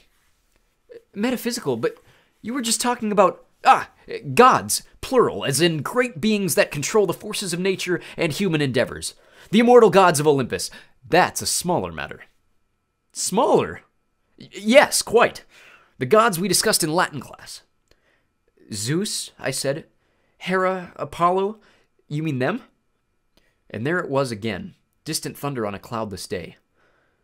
Young man, said Mr. D, I would really be less casual about throwing those names around if I were you.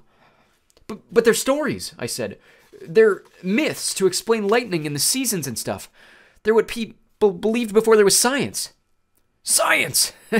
Mr. D scoffed. And tell me, Perseus Jackson. I flinched when he said my real name, which I never told anybody. What will people think of your science 200, 2,000 years from now? Mr. D continued. Hmm? They will call it primitive mumbo jumbo. That's what. Oh, I love mortals. They have absolutely no sense of perspective. They think they've come so far. And have they, Chiron? Look at this boy and tell me. I wasn't liking Mr. D much, but there was something about the way he called me mortal, as if he wasn't. It was enough to put a lump in my throat, to suggest why Grover was dutifully minding his cards, chewing his soda can and keeping his mouth shut. Percy, Chiron said, you may choose to believe or not, but the fact is that immortal means immortal. Can you imagine that for a moment, never dying, never fading, existing just as you are for all time? I was about to answer, off the top of my head, that it sounded like a pretty good deal, but the tone of Chiron's voice made me hesitate. You mean whether people believed in you or not? I said.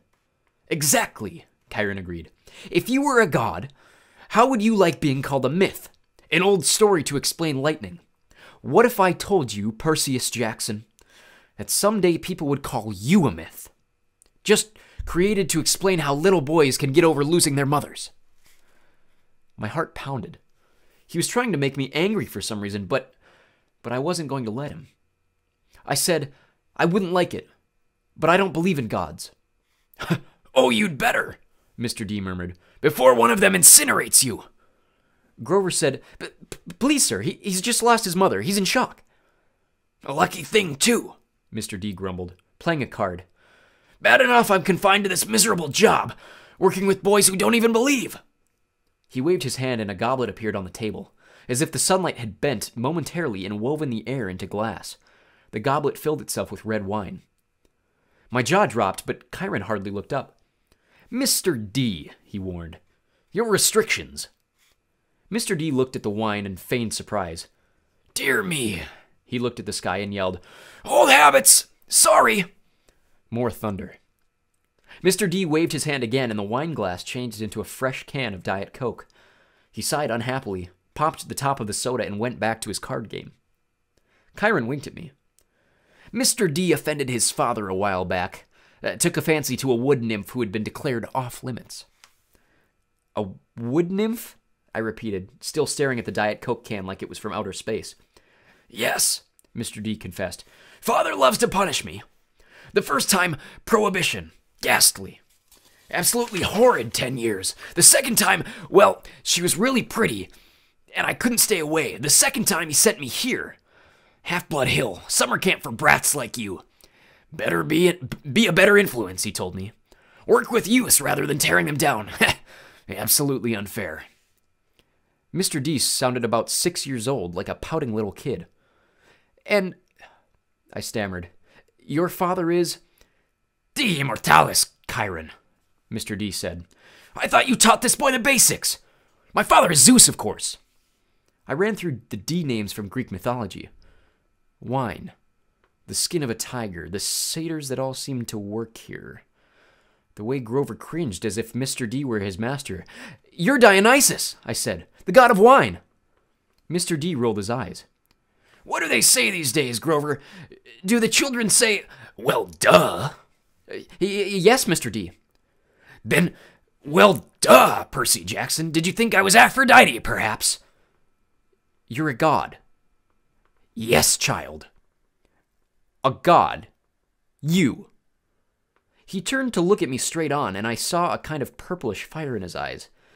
A hint that this whiny, plump little man was only showing me the tiniest bit of his true nature.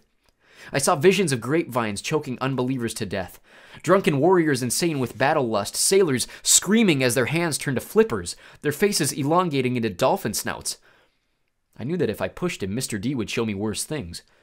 He would plant a disease in my brain that would leave me wearing a straitjacket in a rubber room for the rest of my life. Would you like to test me, child? He said quietly. "Uh, no, no, sir. The fire died a little. He turned back to his card game. I believe I win. Not quite, Mr. D, Chiron said. He set down a straight, tallied the points, and said, The game goes to me. I thought Mr. D was going to vaporize Chiron right out of his wheelchair, but he just sighed through his nose, as if he were used to being beaten by the Latin teacher. He got up, and Grover rose too. I'm tired, Mr. D said. I believe I'll nap before the sing along tonight. But first, Grover, we need to talk. Again. About your less than perfect performance on this assignment. Grover's face beaded with sweat. Y- yes, sir. Mr. D turned to me. Cabin 11, Percy Jackson. And mind your manners. He swept into the farmhouse, Grover following miserably. Will Grover be okay? I asked Chiron. Chiron nodded as though he looked a bit troubled. Old Dionysus isn't really mad, he just hates his job. He's been, uh, grounded, I guess you would say. And he can't stand waiting another century before he's allowed to go back to Olympus. Mount Olympus, I said. You're telling me there really is a palace there? Well, now there's Mount Olympus in Greece, and then there's the home of the gods, the convergence point of their powers, which did indeed used to be on Mount Olympus. It's still called Mount Olympus out of respect to the old ways, but the palace moves, Percy, just as the gods do. You mean the Greek gods are here? Like, in America? Well, certainly. The gods move with the heart of the West. The what? Come now, Percy. What you call Western civilization. Do you think it's just an abstract concept? No, no, it's a living force. A collective consciousness that has burned bright for thousands of years. The gods are part of it. You might even say they are the source of it, or at least they are tied so tightly to it that it, they couldn't possibly fade. Not unless all of Western civilization were obliterated. The fire started in Greece, then, as you well know, or as I hope you know, since you passed my course, the heart of the fire moved to Rome, and so did the gods. Oh, different names perhaps Jupiter for Zeus, Venus for Aphrodite, and so on, but, but the same forces, the same gods. And then they died? Died? No. Did the West die? The gods simply moved to Germany, to France, to Spain for a while. Wherever the flame was brightest, the gods were there. They spent several centuries in England. All you need to do is look at the architecture. People do not forget the gods. Every place they've ruled for the last 3,000 years, you can see them in paintings, in statues, on the most important buildings. And yes, Percy, of course, they are now in your United States. Look at your symbol, the eagle of Zeus. Look at the statue of Prometheus in Rockefeller Center, the Greek facades on your government buildings in Washington. I defy you to find any American city where the Olympians are not prominently displayed in multiple places. Like it or not, and believe me, plenty of people weren't very fond of Rome. Either America is now the heart of the flame, it is the great power of the West, and so Olympus is here. We are all here. It was all too much, especially the fact that I seemed to be included in Chiron's we, as if I were part of some club. Who are you, Chiron? Who. who am I? Chiron smiled. He shifted his weight as if he were going to get up out of his wheelchair, but I knew that was impossible. He was paralyzed from the waist down. Who are you? he mused. Well, that's the question we all want answered, isn't it? But for now, we should get you to a bunk in cabin 11. There will be new friends to meet and plenty of time for lessons tomorrow. Besides, there will be s'mores at the campfire tonight, and I simply adore chocolate. And then he did rise from his wheelchair. But there was something odd about the way he did it. His blanket fell away from his legs, but the legs didn't move. His waist kept getting longer, rising above his belt. At first, I thought he was wearing very long white velvet underwear, but as he kept rising out of the chair, taller than any man, I realized the velvet underwear wasn't underwear. It was the front of an animal muscle and sinew under coarse white fur. And the wheelchair wasn't a chair, it was some kind of container, an enormous box on wheels, and it must have been magic, because there's no way it could have held all of him. A leg came out, long and knobby kneed, with a huge polished hoof. Then another front leg, then hindquarters, and then the box was empty. Nothing but a metal shell with a couple of fake human legs attached. I stared at the horse who had just sprung from the wheelchair, a huge white stallion. But where its neck should be was the upper body of my Latin teacher, smoothly grafted to the horse's trunk. What a relief, the centaur said. I'd been cooped up in there so long my fetlocks had fallen asleep. Now, come, Percy Jackson. Let's meet the other campers. Chapter 6 I become supreme lord of the bathroom. Once I got over the fact that my Latin teacher was a horse, we had a nice tour, though I was careful not to walk behind him. I'd done pooper scooper patrol in the Macy's Thanksgiving Day parade a few times, and I'm sorry. I did not trust Chiron's back end the way I trusted his front. We passed the volleyball pit. Several of the campers nudged each other. One pointed to the Minotaur horn I was carrying. Another said, That's him. Most of the campers were older than me. Their satyr friends were bigger than Grover, all of them trotting around in orange Camp Half Blood t shirts, with nothing else to cover their bare, shaggy hindquarters. I wasn't normally shy, but the way they stared at me made me uncomfortable. I felt like they were expecting me to do a flip or something. I looked back at the farmhouse. It was a lot bigger than I'd realized. Four stories tall, sky blue with white trim, like an upscale seaside resort. I was checking out the brass eagle weather vane on top when something caught my eye a shadow in the uppermost window of the attic gable. Something had moved the curtain just for a second, and I got the distinct impression I was being watched. What's up there? I asked Chiron. He looked where I was pointing, and his smile faded. Just the attic. Somebody lives there? No, he said with finality. Not a single living thing. I got the feeling he was being truthful, but I was also sure something had moved that curtain. Come along, Percy, Chiron said, his light-hearted tone now a little forced. Lots to see. We walked through the strawberry fields where campers were picking bushels of berries while a satyr played a tune on a reed pipe. Chiron told me the camp grew a nice crop for export to New York restaurants in Mount Olympus. It pays our expenses, he explained, and the strawberries take almost no effort. He said Mr. D had this effect on fruit bearing plants. They just went crazy when he was around. It worked best with wine grapes, but Mr. D was restricted from growing those, so they grew strawberries instead.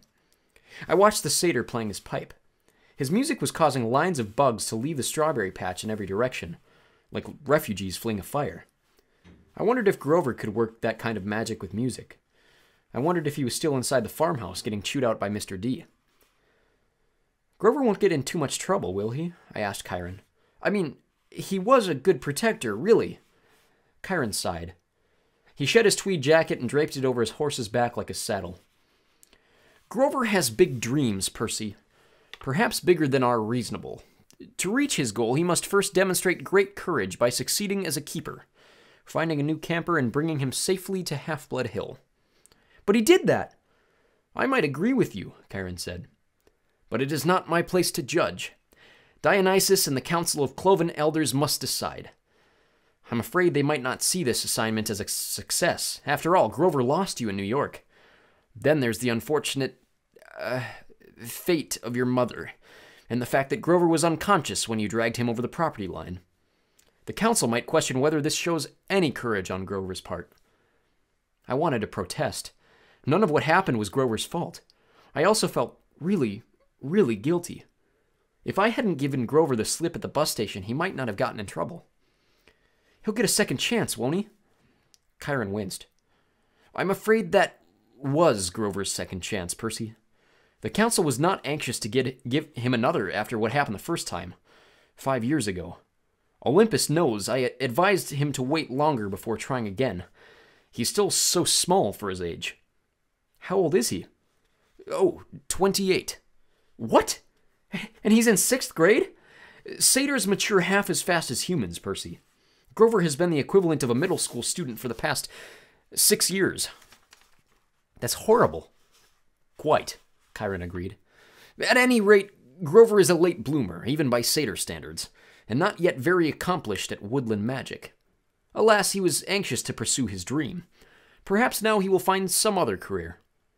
That's not fair, I said. What happened the first time? Was it really so bad? Chiron looked away quickly. Let's move along, shall we? But I wasn't quite ready to let the subject drop. Something had occurred to me when Chiron talked about my mother's fate, as if he were intentionally avoiding the word death. The beginnings of an idea, a tiny, hopeful fire started forming in my mind. Chiron, I said, if all the gods and Olympus and all that are real. Yes, child? Does that mean the underworld is real too? Chiron's expression darkened. Yes, child. He paused as if choosing his words carefully. There is a place where spirits go after death. But for now, until we know more, I would urge you to put that out of your mind. What do you mean, until we know more? Come, Percy, let's see the woods. As we got closer, I realized how huge the forest was. It took up at least a quarter of the valley, with trees so tall and thick you could imagine nobody had been in there since Native Americans. Chiron said, The woods are stocked, if you care to try your luck, but go armed. Stocked with what? I asked. Armed with what? You'll see. Capture the flag is Friday night. Do you have your own sword and shield? My own. No, Chiron said. I don't suppose you do. I think a size 5 will do. I'll visit the armory later. I wanted to ask what kind of summer camp had an armory, but there was too much else to think about, so the tour continued. We saw the archery range, the canoeing lake, and the stables, which Chiron didn't seem to like very much, and the javelin range, the sing along amphitheater, and the arena where Chiron said they held sword and spear fights. Sword and spear fights? I asked. Cabin challenges and all that, he explained. Not lethal, usually. Oh, yes, and there's the mess hall. Chiron pointed to an outdoor pavilion framed in white Grecian columns on a hill overlooking the sea. There were a dozen stone picnic tables. No roof, no walls. What do you do when it rains? I asked. Chiron looked at me as if I'd gone a little weird. We still have to eat, don't we? I decided to drop the subject. Finally, he showed me the cabins. There were 12 of them nestled into the woods by the lake. They were arranged in a U with two at the base and five in a row on either side. And they were without a doubt the most bizarre collection of buildings I'd ever seen. Except for the fact that each had a large brass number above the door, odds on the left side, evens on the right. They looked absolutely nothing alike. Number 9 had smokestacks like a tiny factory. Number 4 had tomato vines on all the walls and a roof made out of real grass. 7 seemed to be made out of solid gold, which gleamed so much in the sunlight it was almost impossible to look at. They all faced a commons area about the size of a soccer field, dotted with Greek statues, fountains, flower beds, and a couple of basketball hoops, which were more my speed. In the center of the field, there was a huge, stone lined fire pit. Even though it was a warm afternoon, the hearth smoldered. A girl about nine years old was tending the flames, poking the coals with a stick. The pair of cabins at the head of the field, numbers one and two, looked like his and hers mausoleums big white marble boxes with heavy columns in front. Cabin one was the biggest and bulkiest of the twelve. Its polished bronze doors shimmered like a hologram, so that from a different angle, from different angles, lightning bolts seemed to streak across them. Cabin two was more graceful somehow, with slimmer columns garlanded with pomegranates and flowers. The walls were carved with images of peacocks. Zeus and Hera? I guessed. Correct, Chiron said. The cabins looked empty. Several of the cabins are, that's true. No one ever stays in one or two. Okay, so each cabin had a different god, like a mascot. Twelve cabins for the twelve Olympians. But why would some be empty? I stopped in front of the first cabin on the left, cabin three. It wasn't high and mighty like cabin one, but long and low and solid. The outer walls were of rough gray stone studded with pieces of seashell and coral, as if the slabs had been hewn straight from the bottom of the seafloor. I peeked inside the open doorway and Chiron said, Oh, I, I wouldn't do that. Before he could pull me back, I caught the salty scent of the interior, like the wind on the shore at Montauk. The interior walls glowed like abalone. There were six empty bunk beds with silk sheets turned down, but there was no sign anyone had ever slept there. The place felt so sad and lonely, I was glad when Chiron put his hand on my shoulder and said, Come along, Percy. Most of the other cabins were crowded with campers. Number five was bright red, a real nasty paint job, as if the color had been splashed on with buckets and fists. The roof was lined with barbed wire. A stuffed wild boar's head hung over the doorway, and its eyes seemed to follow me. Inside, I could see a bunch of mean looking kids, both girls and boys, arm wrestling and arguing with each other while rock music blared. The loudest was a girl maybe 13 or 14. She wore a size XXXL Camp Half Blood t shirt under a camouflage jacket. She zeroed in on me and gave me an evil sneer. She reminded me of Nancy Bobofit, though the camper girl was much bigger and tougher looking, and her hair was long and stringy, and brown instead of red. I kept walking, trying to stay clear of Chiron's hooves. We haven't seen any other centaurs, I observed. No, said Chiron sadly. My kinsmen are wild and barbaric folk, I'm afraid. You might encounter them in the wilderness or at major sporting events, but you won't see any here. You said your name was Chiron. Are you really. He smiled down at me. The Chiron from the stories? Trainer of Hercules and all that? Yes, Percy, I am. Shouldn't you be dead? Chiron paused as if the question intrigued him. I honestly don't know about should be. The truth is, I can't be dead. You see, eons ago, the gods granted my wish. I could continue the work I loved. I could be a teacher of heroes as long as humanity needed me. I gained much from that wish, and I gave up much. But I'm still here, so I can only assume I'm still needed. I thought about being a teacher for 3,000 years. It wouldn't have made my top 10 things to wish for list. Doesn't it ever get boring? No, no, he said. Horribly depressing at times, but never boring. Why depressing? Chiron seemed to turn hard of hearing again. Oh, look, he said. Annabeth is waiting for us. The blonde girl I'd met at the big house was reading a book in front of the last cabin on the left, number 11. When we reached her, she looked me over critically like she was still thinking about how much I drooled. I tried to see what she was reading, but I couldn't make out the title. I thought my dyslexia was acting up. Then I realized the title wasn't even English. The letters looked Greek to me. I mean, literally Greek. There were pictures of temples and statues and different kinds of columns, like those in an architecture book. Annabeth, Chiron said, I have master's archery class at noon. Would you take Percy from here? Yes, sir. Cabin 11, Chiron told me, gesturing toward the doorway. Make yourself at home. Out of all the cabins, 11 looked the most like a regular old summer camp cabin, with the emphasis on old. The threshold was worn down, the brown paint peeling. Over the doorway was one of those doctor symbols, a winged pole with two snakes wrapped around it. What did they call it? A caduceus? Inside, it was packed with people, both boys and girls, way more than the number of bunk beds. Sleeping bags were spread all over the floor. It looked like a gym where the Red Cross had set up an evacuation center. Chiron didn't go in. D- the door was too low for him, but when the campers saw him, they all stood and bowed respectfully. Well then, Chiron said. Good luck, Percy. I'll see you at dinner. He galloped away toward the archery range. I stood in the doorway looking at the kids. They weren't bowing anymore. They were staring at me, sizing me up. I knew this routine. I'd gone through it at enough schools. Well? Annabeth prompted. Go on. So naturally, I tripped coming in the door and made a total fool of myself. There were some snickers from the campers, but none of them said anything. Annabeth announced, Percy Jackson, meet Camp 11. Regular or undetermined, somebody asked. I didn't know what to say, but Annabeth said, Undetermined. Everybody groaned. A guy who was a little older than the rest came forward. Now, now, campers, that's what we're here for. Welcome, Percy. You can have that spot on the floor right over there.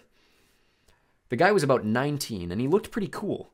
He was tall and muscular, with short cropped sandy hair and a friendly smile. He wore an orange tank top, cut-offs, sandals, and a leather necklace with five different colored clay beads. The only thing unsettling about his appearance was a thick white scar that ran from just beneath his right eye to his jaw, like an old knife slash. This is Luke, Annabeth said, and her voice sounded different somehow. I glanced over and I could have sworn she was blushing. She saw me looking and her expression hardened again. He's your counselor for now. For now, I asked. You're undetermined, Luke explained patiently. They don't know what cabin to put you in, so you're here. Cabin 11 takes all newcomers, all visitors. Naturally, we would. Hermes, our patron, is the god of travelers. I looked at the tiny section of floor they'd given me. I had nothing to put there to mark as my own no luggage, no clothes, no sleeping bag, just the Minotaur's horn. I thought about setting that down, but then I remembered that Hermes was also the god of thieves. I turned around at the campers' faces, some sullen and suspicious, some grinning stupidly, some eyeing me as if they were waiting for a chance to pick my pockets. How long will I be here? I asked. Good question, Luke said. Until you're determined. How long will that take? The campers all laughed. Come on, Annabeth told me. I'll show you the volleyball court. I've already seen it. Come on. She grabbed my wrist and dragged me outside. I could hear the kids of Cabin 11 laughing behind me. When we were a few feet away, Annabeth said, Jackson, you have to be better than that. What? She rolled her eyes and mumbled under her breath. I can't believe I thought you were the one. What's your problem? I was getting angry now. All I know is I kill some bull guy. Don't talk like that, Annabeth told me. You know how many kids at this camp wish they had had your chance? To get killed? To fight the Minotaur? What do you think we train for? I shook my head. Look, if the thing I fought really was the Minotaur, like the same one in the stories, yes. Then there's only one. Yes.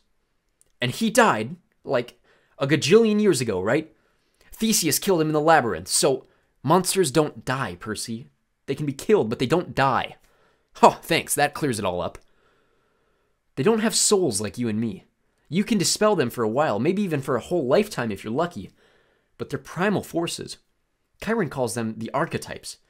Even, eventually, they reform. I thought about Mrs. Dodds. You mean if I killed one, accidentally, with a sword, the fear. I mean, your math teacher, that's right, she's still out there. You just made her very, very mad. How did you know about Mrs. Dodds? You talk in your sleep. You almost called her something. A, a fury. They're Hades' torturers, right? Annabeth glanced nervously at the ground, as if she expected to open up and swallow her. You shouldn't call them by name, even here. We call them the kindly ones if we have to speak of them at all. Look, is there anything we can say without it thundering? I sounded whiny, even to myself, but right then, I didn't care. Why do I have to stay in cabin 11 anyway? Why is everybody so crowded together? There are plenty of empty bunks right over there. I pointed to the first few cabins, and Annabeth turned pale. You don't just choose a cabin, Percy. It depends on who your parents are. Or your parent. She stared at me, waiting for me to get it. My mom is Sally Jackson, I said. She works at the candy store in Grand Central Station. At least, she used to. I'm sorry about your mom, Percy, but that's not what I mean. I'm talking about your other parent. Your dad. He's dead. I never knew him.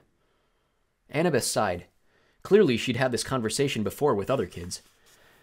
Your father's not dead, Percy. How can you say that? You know him? No, of course not. Then how can you say, because I know you? You wouldn't be here if you weren't one of us. You don't know anything about me. No? She raised an eyebrow. I bet you moved around from school to school. I bet you were kicked out of a lot of them. How? Diagnosed with dyslexia, probably ADHD too. I tried to swallow my embarrassment. What does that have to do with anything? Taken together, it's almost a sure sign. The letters float off the page when you read, right? That's because your mind is hardwired for ancient Greek. And the ADHD, you're impulsive. You can't sit still in the classroom. That's your battlefield reflexes. In a real fight, they'd keep you alive. As for the attention problems, that's probably because you see too much, Percy, not too little. Your senses are better than a regular mortal's. Of course, the teachers want you to be medicated. Most of them are monsters. They don't want you seeing them for what they are.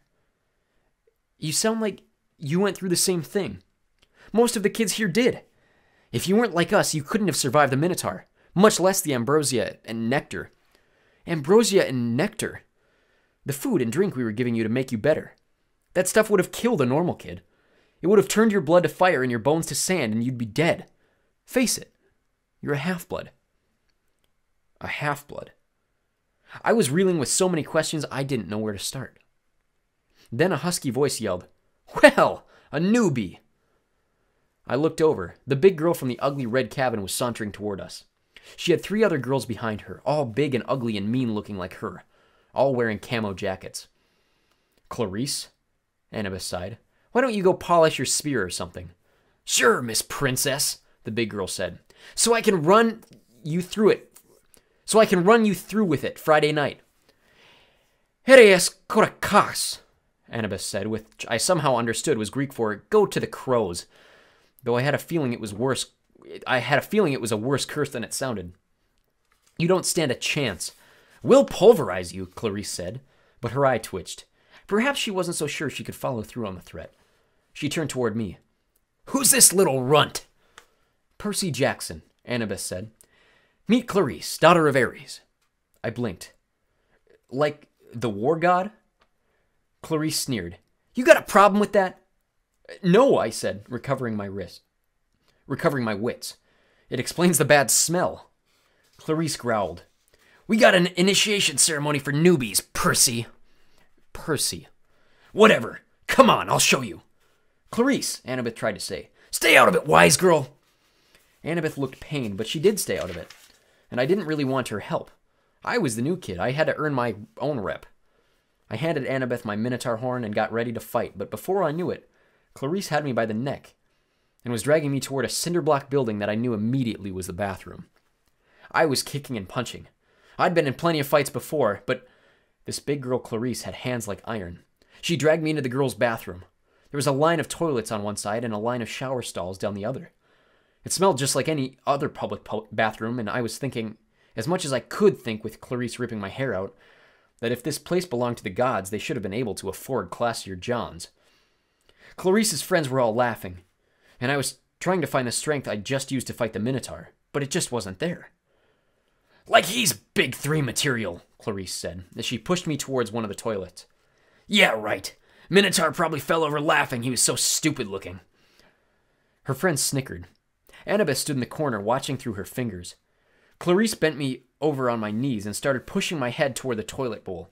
It reeked like rusted pipes and, well, what like what goes into toilets. I strained to keep my head up. I was looking at the scummy water, thinking, I will not go into that. I won't. Then something happened. I felt a tug in the pit of my stomach. I heard the plumbing rumble, the pipes shudder. Clarisse's grip on my hair loosened. Water shot out of the toilet, making an arc straight over my head, and the next thing I knew, I was sprawled on the bathroom tiles with Clarisse screaming behind me. I turned just as water blasted out of the toilet again, hitting Clarisse straight in the face so hard it pushed her down onto her butt. The water stayed on like the spray from a fire hose, pushing her backward into a shower stall. She struggled, gasping, and her friends started coming toward her. But then the other toilets exploded too, and six more streams of toilet water blasted them back. The showers acted up too, and together all the fixtures sprayed them, the camouflage girls, right out of the bathroom, spinning them around like pieces of garbage being washed away. As soon as they were out the door, I felt the tug in my gut lessen, and the water shut off as quickly as it had started. The entire bathroom was flooded. Annabeth hadn't been spared. She was dripping wet, but she hadn't been pushed out the door. She was standing in exactly the same place, staring at me in shock. I looked down and realized I was sitting in the only dry spot in the whole room. There was a circle of dry floor around me. I didn't have one drop of water on my clothes. Nothing. I stood up, my legs shaky. Annabeth said, How did you. I don't know. We, we walked to the door. Outside, Clarisse and her friends were sprawled in the mud, and a bunch of other campers had gathered around to gawk. Clarisse's hair was flattened across her face. Her camouflage jacket was sopping and she smelled like sewage. She gave me a look of absolute hatred. You are dead, new boy. You are totally dead. I probably should have let it go, but I said, You want to gargle with toilet water again, Clarisse? Close your mouth. Her friends had to hold her back. They dragged her toward cabin five, while all other campers made way to avoid her flailing feet. Annabeth stared at me. I couldn't tell whether she was just grossed out or angry at me for dousing her. What? I demanded. What are you thinking? I'm thinking, she said, that I want you on my team for capture the flag. Chapter 7 My dinner goes up in smoke. Word of the bathroom incident spread immediately. Wherever I went, campers pointed at me and murmured something about toilet water. Or maybe they were just staring at Annabeth, who was still pretty much dripping wet. She showed me a few more places. The metal shop where kids were forging their own swords, the arts and crafts room where satyrs were sandblasting a giant marble statue of a goat man, and the climbing wall, which actually consisted of two facing walls that shook violently, dropped boulders, sprayed lava, and clashed together if you didn't get to the top fast enough. Finally, we returned to the canoeing lake, where the trail led back to the cabins. I've got training to do, Annabeth said flatly. Dinner's at 7:30. Just follow your cabin to the mess hall. Annabeth, I'm sorry about the toilets. Whatever. It wasn't my fault. She looked at me skeptically, and I realized it was my fault. I'd made water shoot out of the bathroom fixtures. I didn't understand how, but the toilets had responded to me. I had become one with the plumbing. You need to talk to the Oracle, Annabeth said. Who? Not who. What? The Oracle. I'll ask Chiron. I stared into the lake, wishing somebody would give me a straight answer for once. I wasn't expecting anybody to be looking back at me from the bottom, so my heart skipped a beat when I noticed two teenage girls sitting cross legged at the base of the pier, about 20 feet below. They wore blue jeans and shimmering green t shirts, and their brown hair floated loose around their shoulders as minnows darted in and out. They smiled and waved as if I were a long lost friend. I didn't know what else to do. I waved back. Don't encourage them, Annabeth warned. Naiads are terrible flirts. Naiads, I repeated, feeling completely overwhelmed. That's it, I want to go home now. Annabeth frowned. Don't you get it, Percy? You are home. This is the only safe place on Earth for kids like us. You mean mentally disturbed kids? I mean not human. Not totally human, anyway. Half human. Half human and half what? I think you know. I didn't want to admit it, but I was afraid I did. I felt a tingling in my limbs, a sensation I sometimes felt when my mom talked about my dad. God, I said. Half God. Annabeth nodded. Your father isn't dead, Percy. He's one of the Olympians. That's crazy. Is it? What's the most common things what's the most common thing gods did in the old stories? They ran around falling in love with humans and having kids with them. Do you think they've changed their habits in the last few millennia? But those are just. I almost said myths again. Then I remembered Chiron's warning that in 2,000 years, I might be considered a myth. But if all the kids here are half gods, demigods, Annabeth said. That's the official term, or half bloods. Then who's your dad? Her hands tightened around the pier railing. I got the feeling I'd just trespassed on a sensitive subject. My dad is a professor at West Point, she said. I haven't seen him since I was very small. He teaches American history. He's human? What, you assume it has to be a male god who finds a human female attractive? How sexist is that? Who's your mom then? Cabin 6. Meaning? Annabeth straightened. Athena, goddess of wisdom and battle. Okay, I thought, why not? And my dad? Undetermined, Annabeth said. Like I told you before, nobody knows. Except my mother, she knew. Maybe not, Percy. Gods don't always reveal their identities. My dad would have. He loved her. Annabeth gave me a cautious look. She didn't want to burst my bubble. Maybe you're right. Maybe he'll send a sign. That's the only way to know for sure. Your father has to send you a sign claiming you as his son. Sometimes it happens. You mean sometimes it doesn't? Annabeth ran her palm along the rail. The gods are busy. They have a lot of kids and they don't always.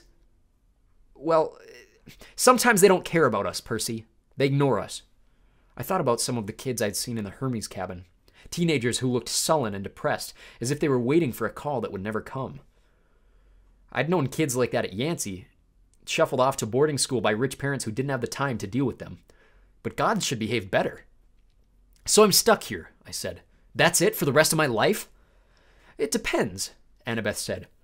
Some campers only stay the summer. If you're not if you're a child of Aphrodite or Demeter, you're probably not a real powerful force. The monsters might ignore you, so you can get by with a few months of summer training and live in the mortal world for the rest of the year. But for some of us, it's too dangerous to leave. We're year rounders. In the mortal world, we attract monsters. They sense us, they come to challenge us. Most of the time, they'll ignore us until we're old enough to cause trouble, about 10 or 11 years old. But after that, most demigods either make their way here or they get killed off. A few manage to survive in the outside world and become famous. Believe me, if I told you the names, you'd know them. Some don't even realize they're demigods, but very, very few are like that. So monsters can't get in here? Annabeth shook her head. Not unless they're intentionally stocked in the woods or specially summoned by someone on the inside. Why would anybody want to summon a monster? Practice fights, practical jokes. Practical jokes! The point is, the borders are sealed to keep mortars, mortals and monsters out. From the outside, mortals look into the valley and see nothing unusual, just a strawberry farm. So, you're a year rounder? Annabeth nodded. From under the collar of her t shirt, she pulled a leather necklace with five clay beads of different colors.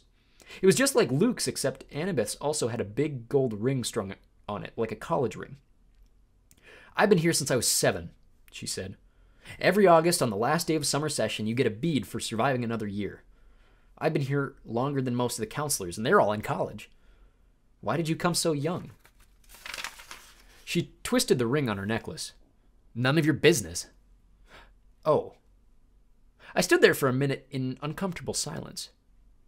So I could just walk out of here right now if I wanted to?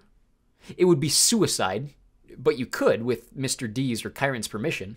But they wouldn't give permission until the end of the summer session unless. Unless? You were granted a quest. But that hardly ever happens. The last time. Her voice trailed off. I could tell from her tone that the last time hadn't gone well. Back in the sick room, I said, when you were feeding me that stuff, ambrosia. Yeah, you asked me something about the summer solstice. Annabeth's shoulders tensed. So you do know something? Well, no. Back at my old school, I overheard Grover and Chiron talking about it. Grover mentioned the summer the summer solstice. He said something like, "We didn't have much time because of the deadline." What did that mean? She clenched her fists. I wish I knew. Chiron and the satyrs, they know, but they won't tell me. Something is wrong in Olympus, something pretty major. Last time I was there, everything seemed so normal. You've been to Olympus? Some of us year rounders, Luke and Clarisse and I, and a few others, we took a field trip during winter solstice. That's when the gods have their big annual council. But but how did you get there? The Long Island Railroad, of course. You get off at Penn Station. Empire State Building, special elevator to the 600th floor. She looked at me like I was sure I must know this already.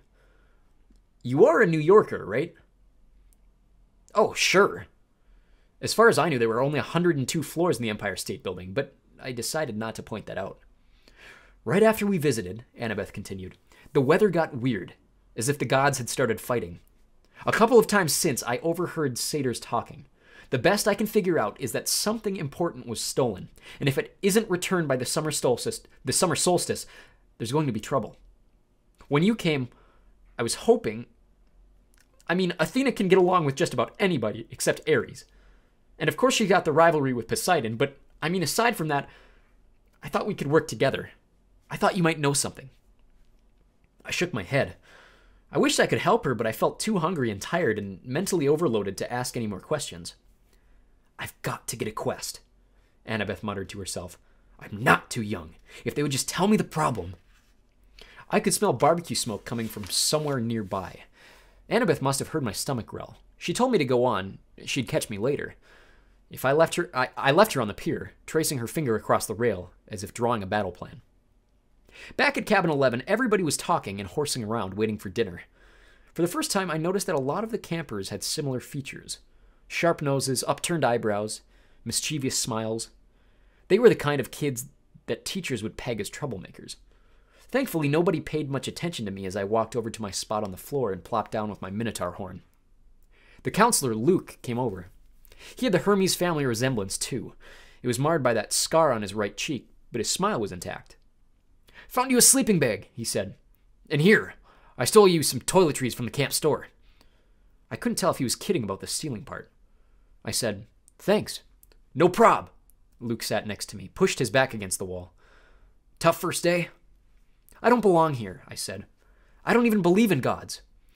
Yeah, he said. That's how we all started. Once you start believing in them, it doesn't get any easier. The bitterness in his voice surprised me because Luke seemed like a pretty easygoing guy. He looked like he could handle just about anything. So your dad is Hermes? I asked. He pulled a switchblade out of his back pocket, and for a second I thought he was going to gut me, but he just scraped the mud off his, the sole of his sandal. Yeah, Hermes. The wing footed messenger guy. That's him. Messengers, medicine, travelers, merchants, thieves, anybody who uses the roads. That's why you're here, enjoying Cabin 11's hospitality. Hermes isn't picky about who he sponsors. I figured Luke didn't mean to call me a nobody, he just had a lot on his mind. You ever meet your dad? I asked. Once. I waited, thinking that if he wanted to tell me, he'd tell me. Apparently, he didn't. I wondered if the story had anything to do with how he got his scar. Luke looked up and managed to smile. Don't worry about it, Percy. The campers here, they're mostly good people. After all, we're extended family, right? We take care of each other. He seemed to understand how lost I felt, and I was grateful for that because an older guy like him, even if he was a counselor, should have steered clear of an uncool middle schooler like me. But Luke had welcomed me into the cabin. He'd even stole me some toiletries, which was the nicest thing anybody had done for me all day. I decided to ask him my last big question, the one that had been bothering me all afternoon. Clarisse, from Ares, was joking about me being big three material. Then Annabeth, twice she said I might be the one. She said I should talk to the Oracle. What was that all about? Luke folded his knife. I hate prophecies. What do you mean? His face twitched around the scar. Let's just say I messed things up for everybody else. The last two years, ever since my trip to the Garden of the Hesperides went sour, Chiron hasn't allowed any more quests. Annabeth's been dying to get out into the world. She pestered Chiron so much he finally told her he already knew her fate. He'd had a prophecy from the Oracle. He wouldn't tell her the whole thing, but he said Annabeth wasn't destined to go on a quest yet. She had to wait until somebody special came to the camp. Somebody special? Don't worry about it, kid, Luke said. Annabeth wants to think every new camper who comes through here is the omen she's been waiting for. Now, come on, it's dinner time. The moment he said it, a horn blew in the distance. Somehow, I knew it was a conch shell, even though I'd never heard one before. Luke yelled, Eleven! Fall in! The whole cabin, about 20 of us, filed into the commons yard. We lined up in order of seniority, so of course I was dead last. Campers came from the other cabins too, except for the three empty cabins at the end, and cabin 8, which had looked normal in the daytime, but was now starting to glow silver as the sun went down. We marched up the hill to the mess pavilion. Satyrs joined us from the meadow, naiads emerged from the canoeing lake. A few other girls came out of the woods, and when I say out of the woods, I mean straight out of the woods. I saw one girl about nine or ten years old melt from the side of a maple tree and come skipping up the hill. In all, there were maybe a hundred campers, a few dozen satyrs, and a dozen assorted wood nymphs and naiads. At the pavilion, torches blazed around the marble columns. A central fire burned in a bronze brazier the size of a bathtub. Each cabin had its own table, covered in white cloth trimmed in purple. Four of the tables were empty, but cabin 11's was way overcrowded. I had to squeeze onto the edge of a bench with half my butt hanging off. I saw Grover sitting at table 12 with Mr. D, a few satyrs, and a couple of plump blonde boys who looked just like Mr. D. Chiron stood to one side, the picnic table being way too small for a centaur. Annabeth sat at table six with a bunch of serious looking athletic kids, all with her gray eyes and honey blonde hair. Clarisse sat behind me at Ares' table. She'd apparently gotten over being hosed down because she was laughing and belching right alongside her friends. Finally, Chiron pounded his hoof against the marble floor of the pavilion, and everybody fell silent. He raised a glass. To the gods! Everybody else raised their glasses. To the gods! Wood nymphs came forward with platters of food grapes, apples, strawberries, cheese, fresh bread, and yes, barbecue. My glass was empty, but Luke said, Speak to it. Whatever you want. Non alcoholic, of course. I said, Cherry Coke. The glass filled with sparkling caramel liquid. Then I had an idea. Blue cherry Coke. The soda turned a violent shade of cobalt. I took a cautious sip. Perfect. I drank a toast to my mother. She's not gone, I told myself. Not permanently, anyway. She's in the underworld. And if that's a real place, then someday. Here you go, Percy, Luke said, handing me a platter of smoked brisket. I loaded my plate and was about to take a big bite when I noticed everybody getting up, carrying their plates toward the fire in the center of the pavilion. I wondered if they were going for dessert or something. Come on, Luke told me. As I got closer, I saw that everyone was taking a portion of their meal and dropping it into the fire. The ripest strawberry, the juiciest slice of beef, the warmest, most buttery roll. Luke murmured in my ear, Burn offerings for the gods. They like the smell. You're kidding. His look warned me not to take this lightly, lightly, but I couldn't help wondering why an immortal, all powerful being would like the smell of burning food.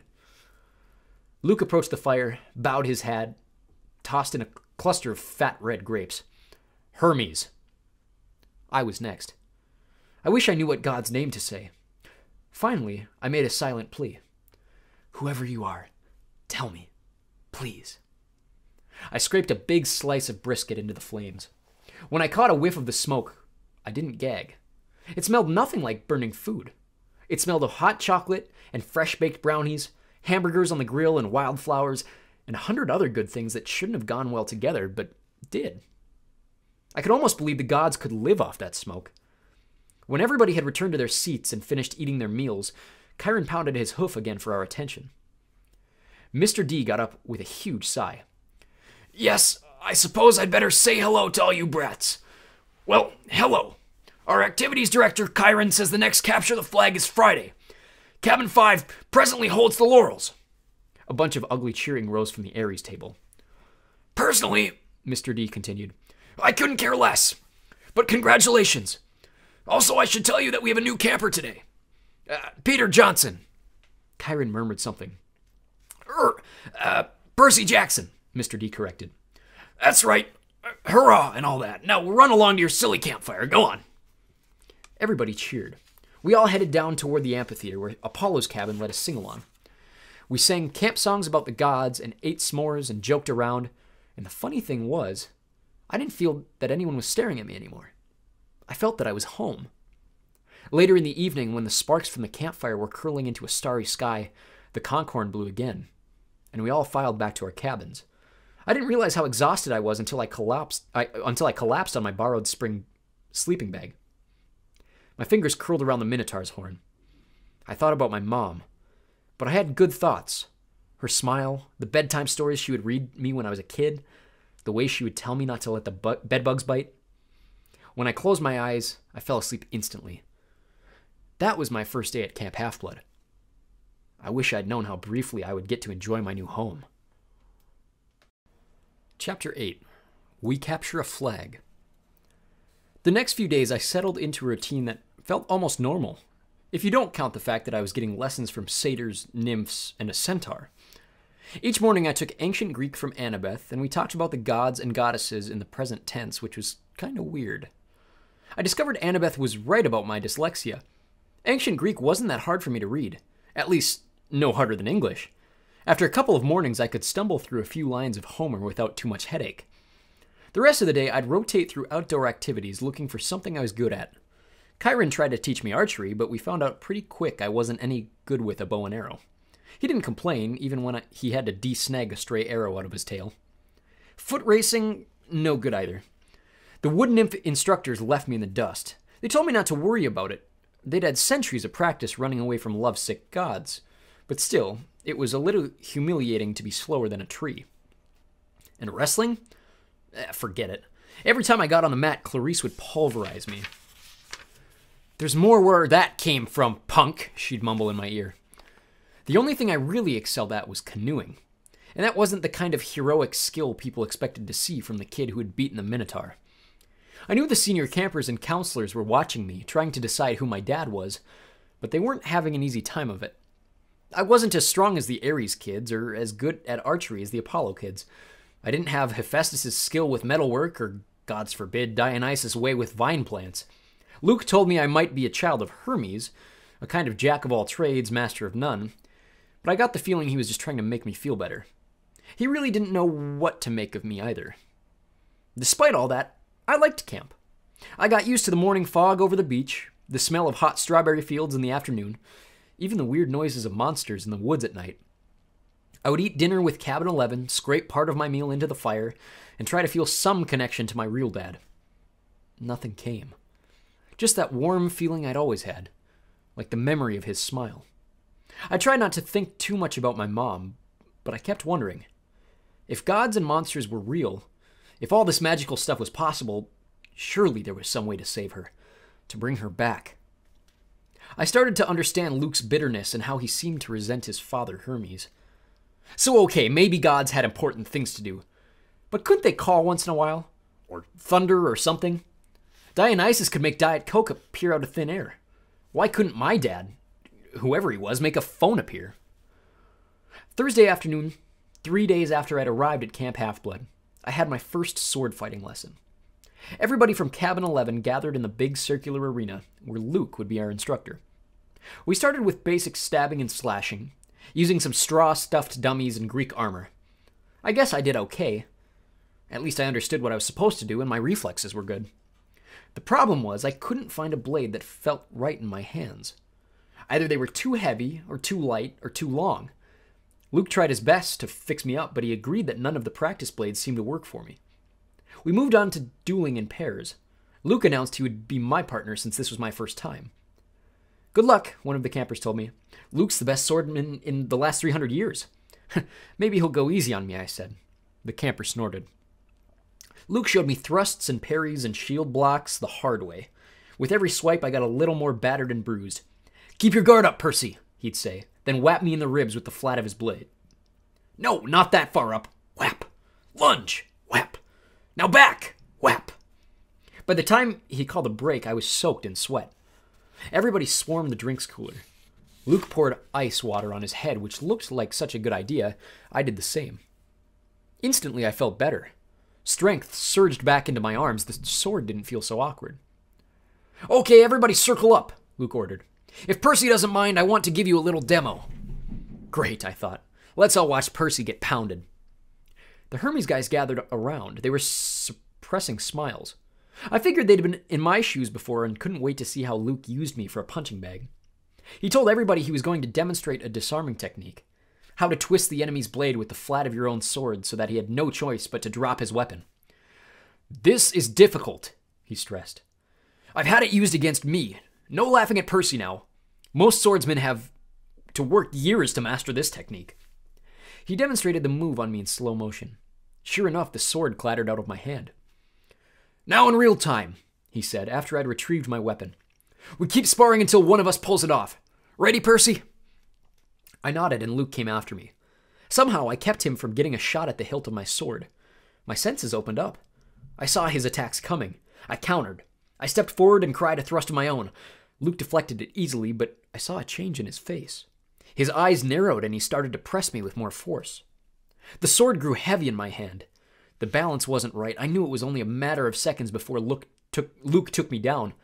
So I figured, eh, what the heck? I tried the disarming maneuver. My blade hit the base of Luke's and I twisted, putting my whole weight into a downward thrust. Clang! Luke's sword rattled against the stones. The tip of my blade was an inch from his undefended chest. The other campers were silent. I lowered my sword. Um, sorry.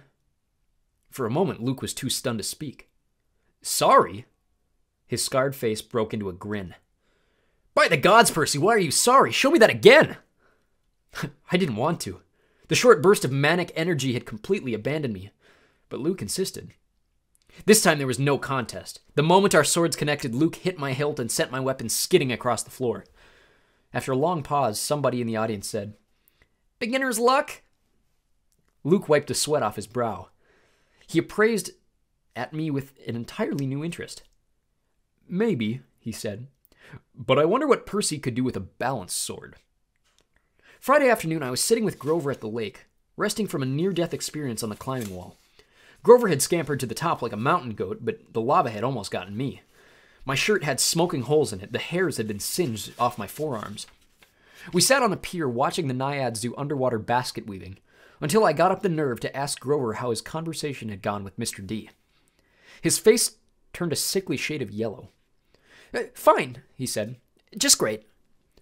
So your career's still on track? He glanced at me nervously.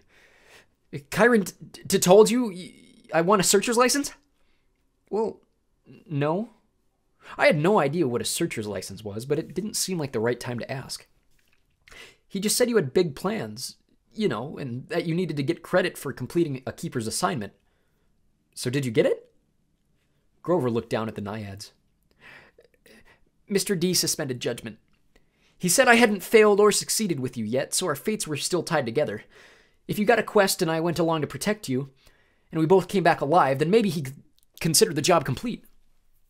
My spirits lifted. Well, that's not so bad, right? Blah! He might as well have transferred me to stable cleaning duty. The chances of you getting a quest. And even if you did, why would you want me along? Of course I'd want you along. Grover stared glumly into the water. Basket weaving.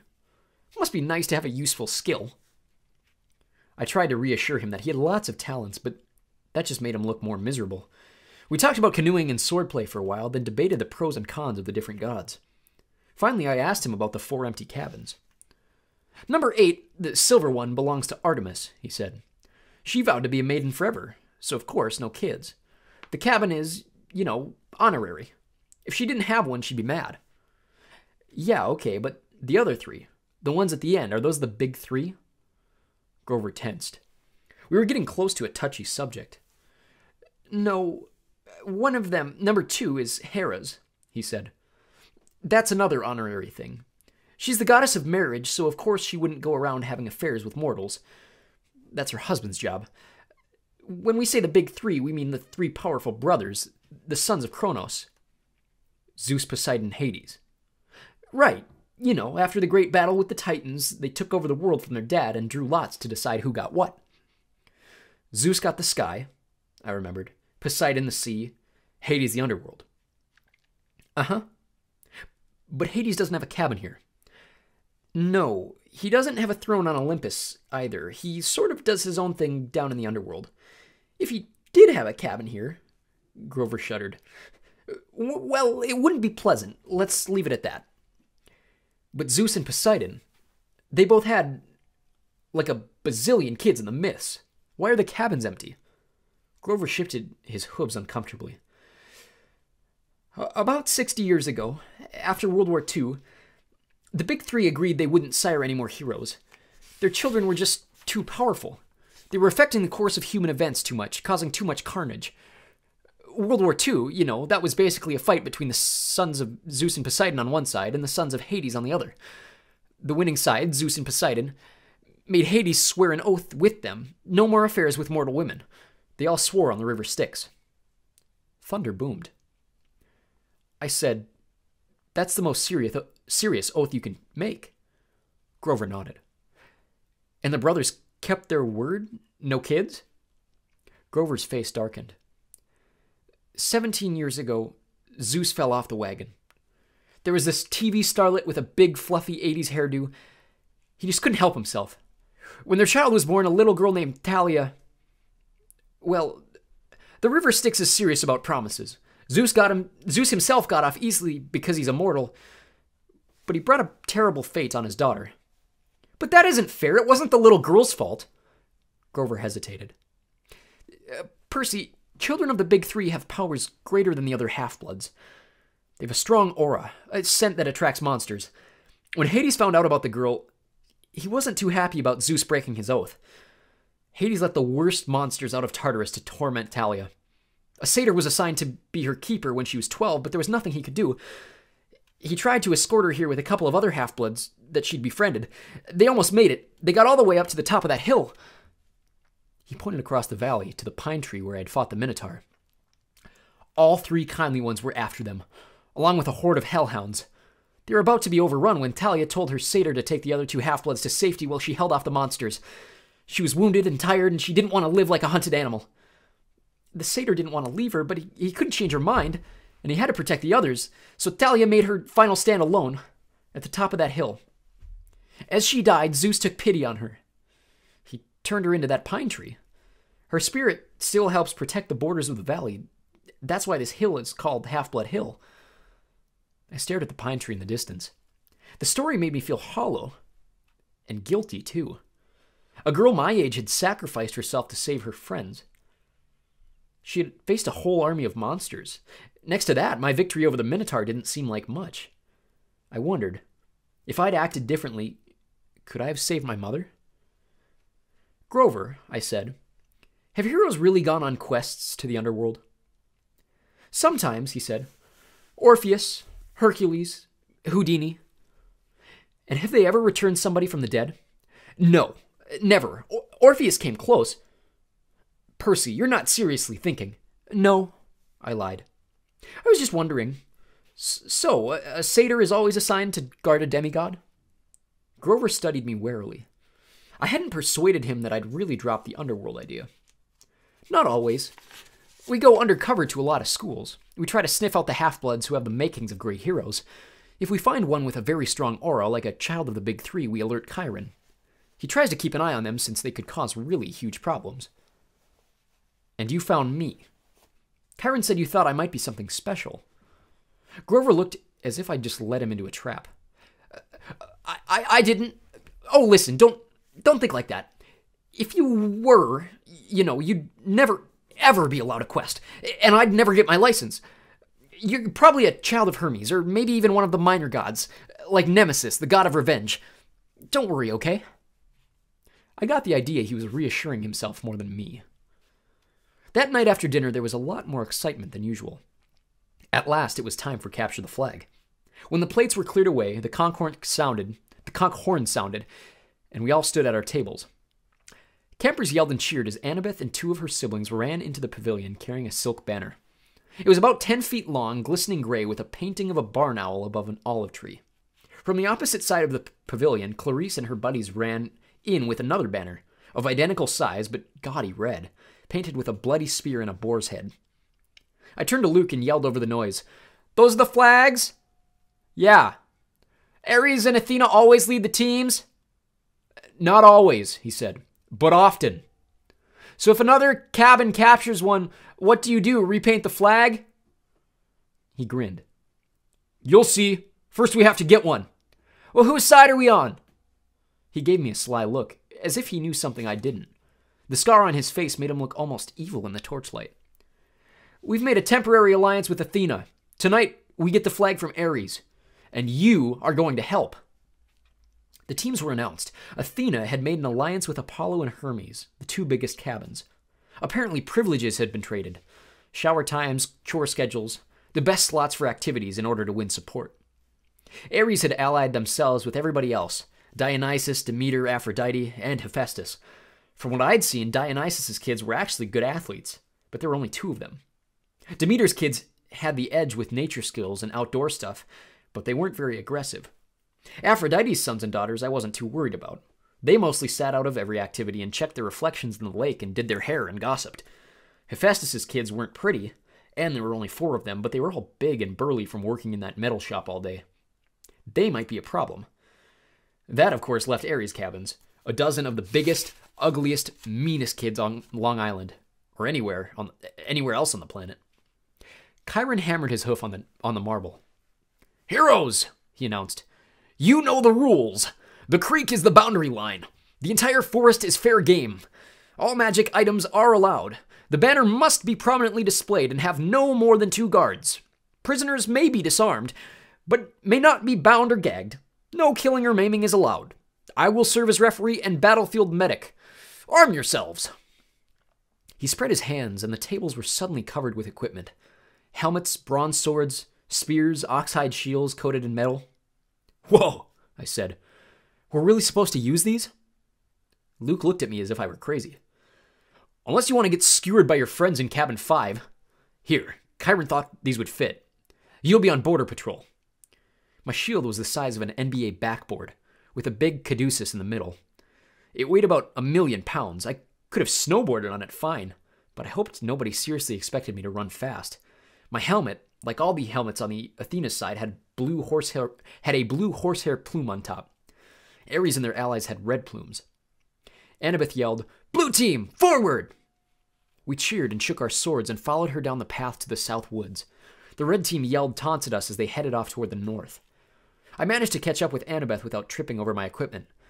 Hey! She kept marching. So what's the plan? I asked. Got any magic items you can loan me? Her hand drifted toward her pocket as if she were afraid I'd just stolen something. Just watch Clarisse's spear, she said. You don't want that thing touching you. Otherwise, don't worry. We'll take the banner from Ares. Has Luke given you your job? Border Patrol, whatever that means. It's easy. Stand by the creek, keep the Reds away. Leave the rest to me. Athena always has a plan. She pushed ahead, leaving me in the dust. Okay, I mumbled. glad you wanted me on your team. It was a warm, sticky night. The woods were dark, with fireflies popping in and out of view. Annabeth stationed me next to a little creek that gurgled over some rocks, then she and the rest of the team scattered into the trees. Standing there alone, with my big blue feathered helmet and my huge shield, I felt like an idiot. The bronze sword, like all the swords I'd tried so far, seemed balanced wrong. The leather grip pulled on my hand like a bowling ball. There was no way anybody would actually attack me, would they? I mean, Olympus had to have liability issues, right? Far away, the conch horn blew. I heard whoops and yells in the woods, the clanking of metal, kids fighting. A blue plumed ally from Apollo raced past me like a deer, leapt through the creek, and disappeared into enemy territory. Great, I thought. I'll miss all the fun, as usual. Then I heard a sound that sent a chill up my spine, and a low canine growl somewhere close by.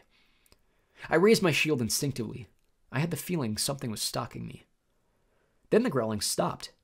I felt the presence retreating. On the other side of the creek, the underbrush exploded.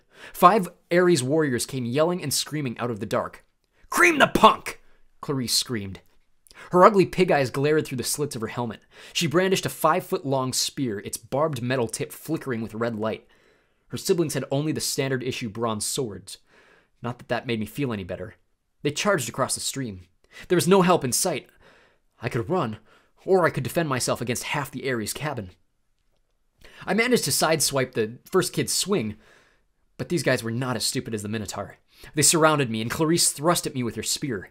My shield deflected the point, but I felt a painful tingling all over my body. My hair stood on end. My shield arm went numb, and the air burned. Electricity. Her stupid spear was electric. I fell back. Another Ares guy slammed me in the chest with the butt of his sword, and I hit the dirt. They could have kicked me into jelly, but they were too busy laughing. Give him a haircut, Clarisse said. Grab his hair. I managed to get to my feet. I raised my sword, but Clarisse slammed it aside with her spear as sparks flew. Now both my arms felt numb. Oh, wow, Clarisse said. I'm scared of this guy. Really scared. The flag is that way, I told her. I wanted to sound angry, but I was afraid it didn't come out that way. Yeah, one of her siblings said. But see, we don't care about the flag. We care about a guy who made our cabin look stupid. You, d- you do that without my help, I told them. It probably wasn't the smartest thing to say. Two of them came at me. I backed up toward the creek, tried to raise my shield, but Clarisse was too fast. Her spear struck me straight in the ribs. If I hadn't been wearing an armored breastplate, I would have been shish kebabbed. As it was, the electric point just about shocked my teeth out of my mouth. One of her cabin mates slashed his sword across my arm, leaving a good sized cut. Seeing my own blood made me dizzy, warm and cold at the same time. No maiming, I managed to say. Oops, the guy said. Guess I lost my dessert privileges. He pushed me into the creek and I landed with a splash. They all laughed. I figured as soon as they were through being amused, I would die. But then something happened. The water seemed to wake up my senses, as if I just had a bag of my mom's double espresso jelly beans. Clarisse and her cabin mates came into the creek to get me, but I stood to meet them. I knew what to do. I swung the flat of my sword against the first guy's head and knocked his helmet clean off. I hit him so hard I could see his eyes vibrating as he crumpled into the water. Ugly number two and ugly number three came at me. I slammed one in the face with my shield and used my sword to shear off the other guy's horsehair plume. Both of them backed up quick. Ugly number four didn't look really anxious to attack, but Clarisse kept coming, the point of her spear crackling with energy. As soon as she thrust, I caught the shaft between the edge of my shield and my sword, and I snapped it like a twig. Ah! she screamed. You idiot! You corpse breathed worm! She probably would have said worse, but I smacked her between the eyes with my sword butt and sent her stumbling backward out of the creek. Then I heard yelling, elated screams, and I saw Luke racing toward the boundary line with the red team's banner lifted high. He was flanked by a couple of Hermes guys covering his retreat, and a few Apollos behind them, fighting off the, the Hephaestus kids. The Ares folks got up and Clarisse muttered a dazed curse. A trick! she shouted. It was a trick! They staggered after Luke, but it was too late. Everybody converged on the creek as Luke ran across into friendly territory. Our side exploded into cheers. The red banner shimmered and turned to silver. The boar and spear were replaced by a huge caduceus, the symbol of Cabin 11. Everybody on the blue team picked up Luke and started carrying around, carrying him around on their shoulders. Chiron cantered out from the woods and blew the conch horn. The game was over. We'd won. I was about to join the celebration when Annabeth's voice, right next to me in the creek, said, Not bad, hero. I looked, but she wasn't there. Where the heck did you learn to fight like that? she asked. The air shimmered and she materialized, holding a Yankees baseball cap as if she'd just taken it off her head. I felt myself getting angry.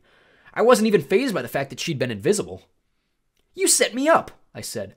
You put me here because you knew Clarisse would come after me, while you sent Luke around the flank. You had it all figured out. Annabeth shrugged.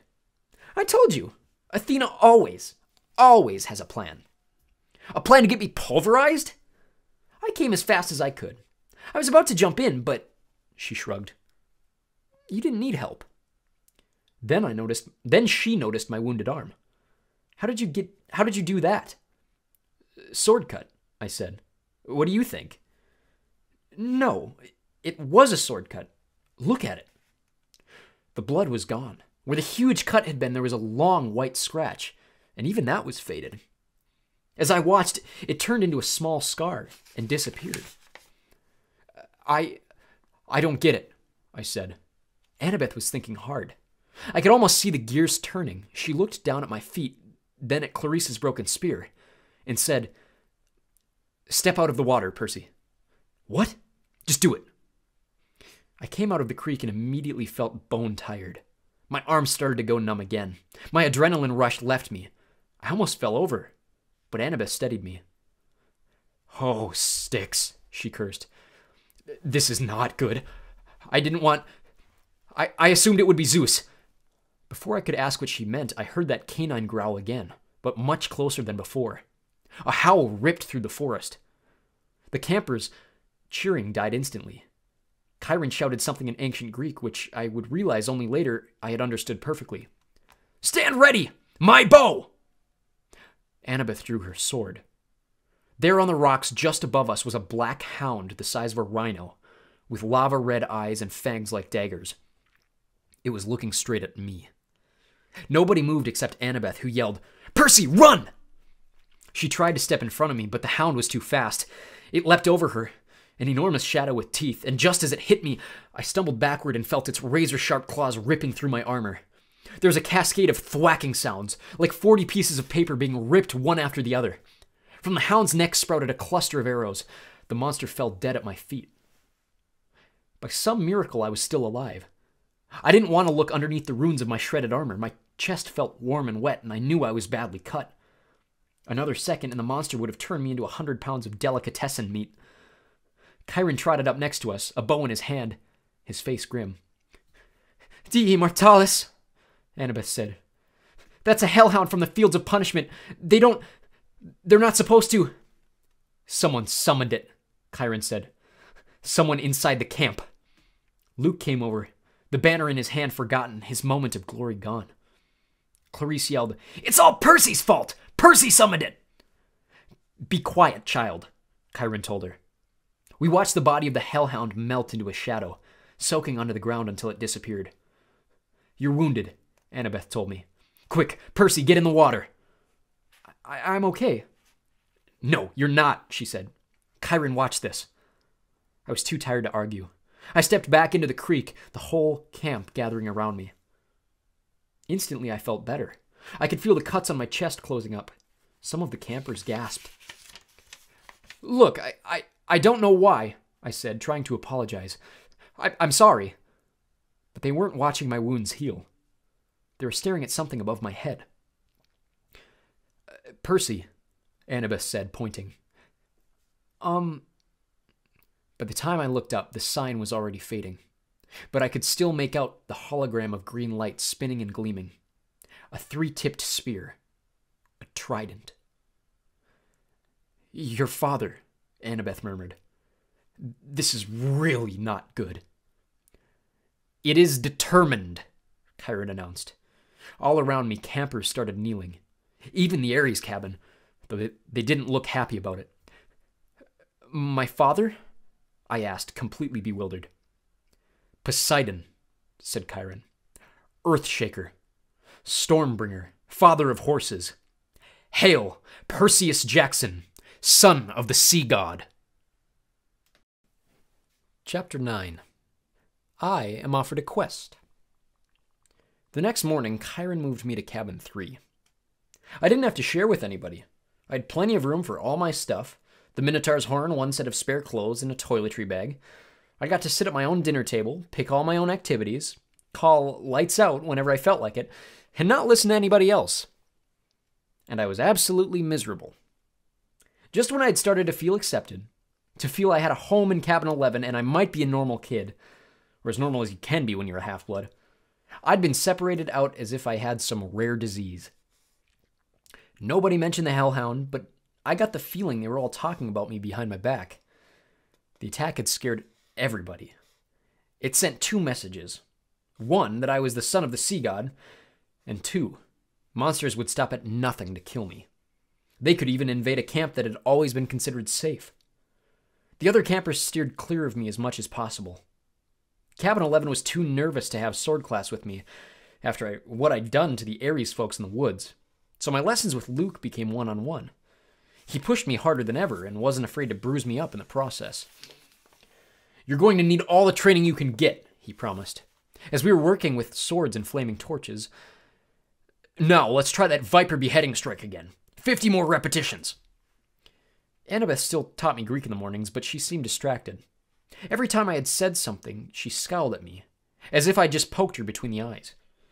After lessons, she would walk away muttering to herself Quest, Poseidon, dirty, rotten, got to make a plan. Even Clarisse kept her distance though her venomous looks made it clear she wanted to kill me for breaking her magic spear.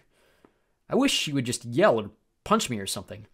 I'd rather get into fights every day than be ignored. I knew somebody at camp resented me because one night I came into my cabin and found a mortal newspaper dropped inside the doorway. A copy of the New York Daily News open to the Metro page. The article took me almost an hour to read because the angrier I got, the more words floated around the page.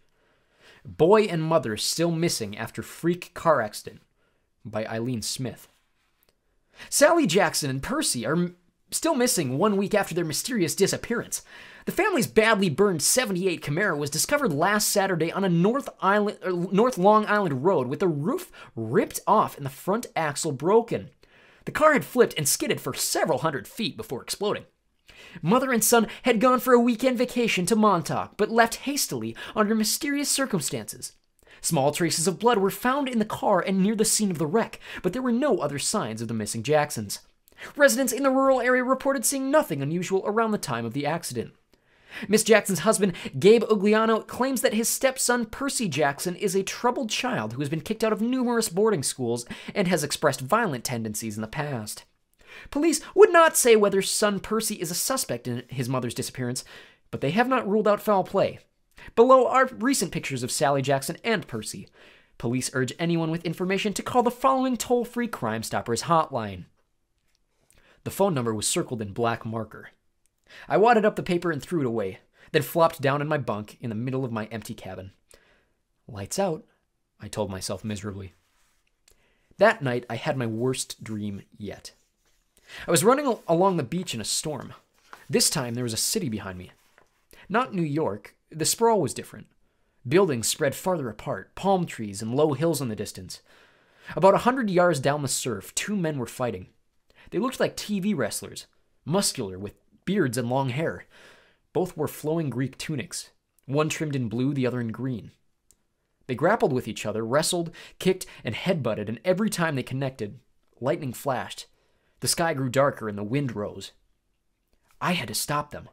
I didn't know why, but the harder I ran, the more the wind blew me back, and I was running in place, my heels digging uselessly in the sand. Over the roar of the storm, I could hear the blue robed one yelling at the green robed one, Give it back! Give it back! like a kindergartner fighting over a toy. The waves got bigger, crashing into the beach, spraying me with salt. I yelled, Stop it! Stop fighting! The ground shook. Laughter came from somewhere under the earth, and a voice so deep and evil it turned my blood to ice. Come down, little hero, the voice crooned. Come down. The sand split beneath me, opening up a crevice straight down to the center of the earth. My feet slipped, and darkness swallowed me. I woke up, sure I was falling. I was still in bed in cabin three. My body told me it was morning, but it was dark outside, and thunder rolled across the hills. A storm was, drew, a, was a storm was brewing. I hadn't dreamt that. I heard a clopping sound at the door, a hoof knocking on the threshold. Come in? Drover, Grover trotted inside, looking worried. Mr. D wants to see you. Why? He wants to kill. I mean, I'd better let him tell you. Nervously, I got dressed and followed, sure that I was in huge trouble. For days, I'd been half expecting a summons to the big house. Now that I was declared a son of Poseidon, one of three one of the big three gods who weren't supposed to have kids, I figured it was a crime for me to just be alive. The other gods had probably been debating the best way to punish me for existing, and now Mr. D was ready to deliver their verdict. Over Long Island Sound, the sky looked like ink soup coming to a boil. A hazy curtain of rain was coming in our direction. I asked Grover if we needed an umbrella. No, he said. It never rains here unless we want it to. I pointed at the storm. What the heck is that then? He glanced uneasily at the sky. It'll pass around us. Bad weather always does. I realized he was right. In the week I'd been here, it had never been overcast. The few rain clouds I'd seen had skirted right around the edges of the valley. But this storm, this one was huge. At the volleyball pit, the kids from Apollo's cabin were playing a morning game against the satyrs. Dionysus's twins were walking around the strawberry fields, making the plants grow. Everybody was going about their normal business, but they looked tense. They kept their eyes on the storm. Grover and I walked up to the front porch of the big house. Dionysus sat at the pinochle table in his tiger striped Hawaiian shirt with his Diet Coke, just as he had on my first day. Chiron sat across the table in his fake wheelchair. They were playing against invisible opponents, two sets of cards hovering in the air. Well, well, Mr. D said without looking up. Our little celebrity. I waited. Come closer, Mr. D said. And don't expect me to to cow to you, mortal, just because old Barnacle Beard is your father. A net of lightning flashed across the clouds. Thunder shook the windows of the house. Blah, blah, blah, Dionysus said. Chiron feigned interest in his pinochle cards. Grover cowered by the railing, his hooves clopping back and forth. If I had my way, Dionysus said, I would cause your molecules to erupt in flames. We'd sweep up the ashes and be done with a lot of trouble. Chiron seems to feel this would be against my mission at this cursed camp to keep you little brats safe from harm. Spontaneous combustion is a form of harm, Mr. D, Chiron put in. Nonsense, Dionysus said. Boy wouldn't feel a thing. Nevertheless, I've agreed to restrain myself. I'm thinking of turning you into a dolphin instead, sending you back to your father. Mr. D, Chiron warned. Oh, all right, Dionysus relented. There's one more option, but it's deadly foolishness. Dionysus rose, and the, and the invisible player's cards dropped to the table. I'm off to Olympus for the emergency meeting. If the boy is still here when I get back, I'll turn him into an Atlantic bottlenose. Do you understand? And Perseus Jackson, if you're at all smart, you'll see that it's much more a sensible choice than what Chiron feels you must do. Dionysus picked up a playing card, twisted it, and it became a plastic rectangle. A credit card? No, a security pass. He snapped his fingers. The air seemed to fold and bend around him. He became a hologram, then a wind, then he was gone, leaving only the smell of fresh pressed grapes lingering behind. Chiron smiled at me, but he looked tired and strained. Sit, Percy, please. And Grover. We did. Chiron laid his cards on the table, a winning hand he hadn't gotten to use. Tell me, Percy, he said, what did you make of the Hellhound? Just hearing the name made me shudder. Chiron probably wanted me to say, Heck, it was nothing. I eat hellhounds for breakfast. But I didn't feel like lying. It scared me, I said. If you hadn't shot it, I'd be dead. You'll meet worse, Percy. Far worse. Before you're done. Done with what? Your quest, of course. Will you accept it? I glanced at Grover, who was crossing his fingers. Um, sir, I said, you haven't told me what it is yet. Chiron grimaced. Well, that's the hard part, the details. Thunder rumbled across the valley. The storm clouds had now reached the edge of the beach.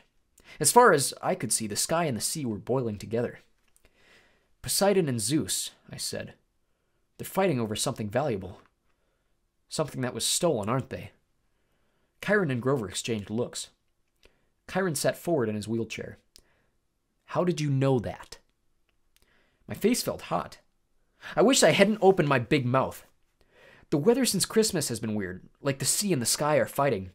Then I talked to Annabeth and she'd overheard something about a theft. And I've also been having these dreams.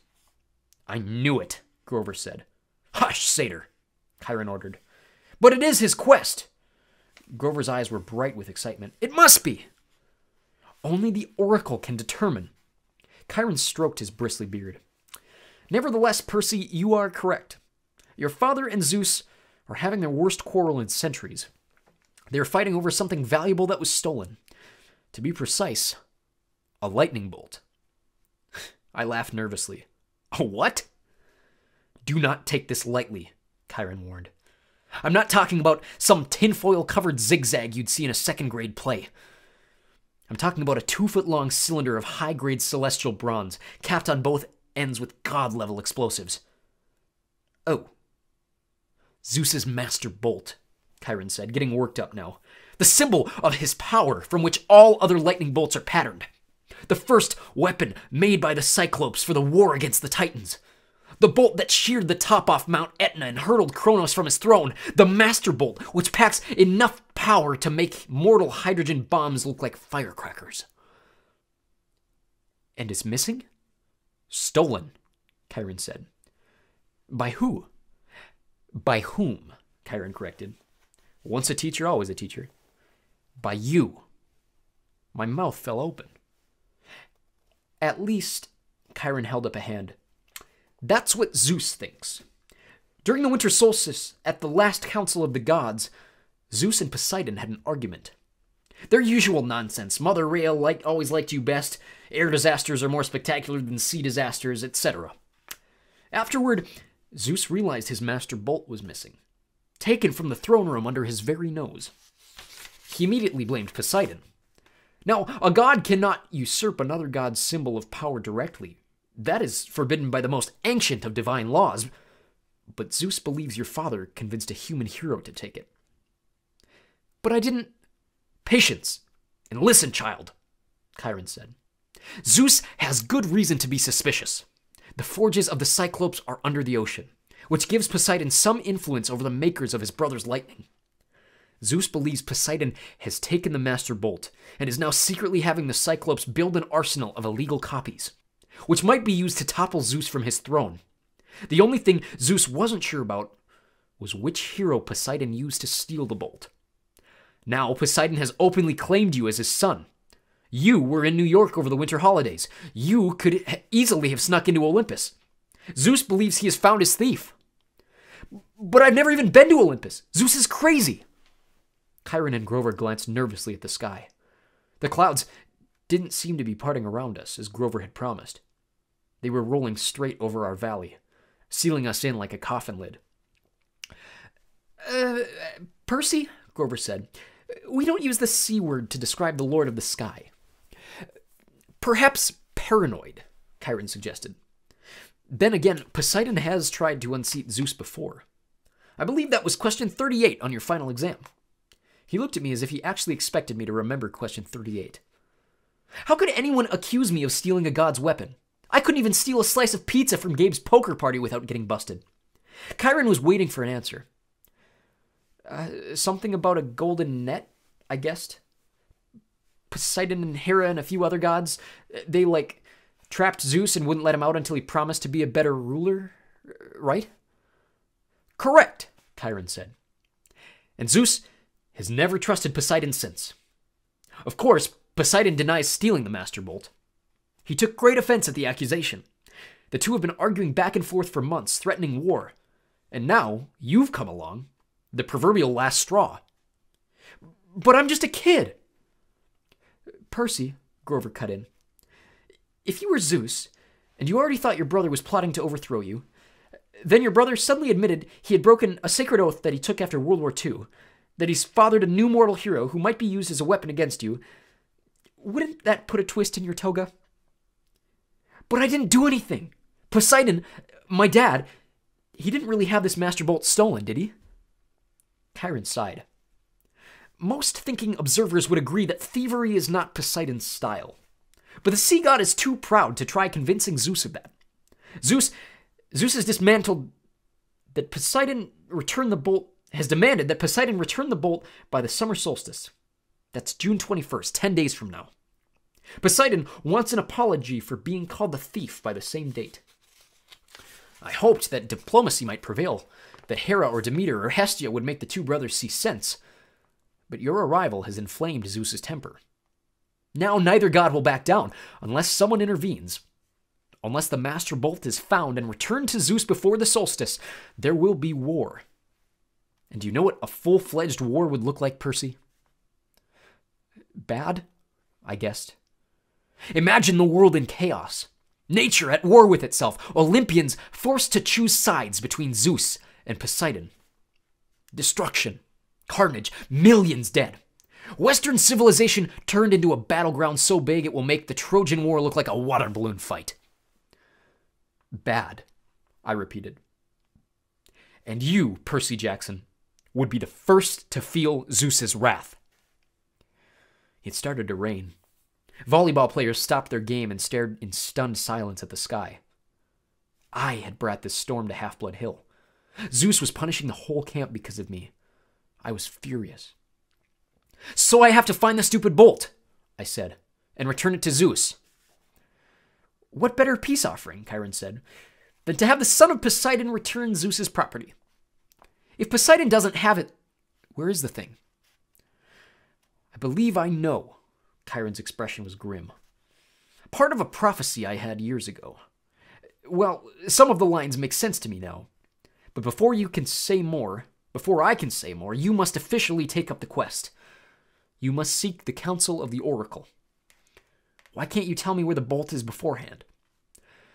Because if I did, you would be too afraid to accept the challenge. I swallowed.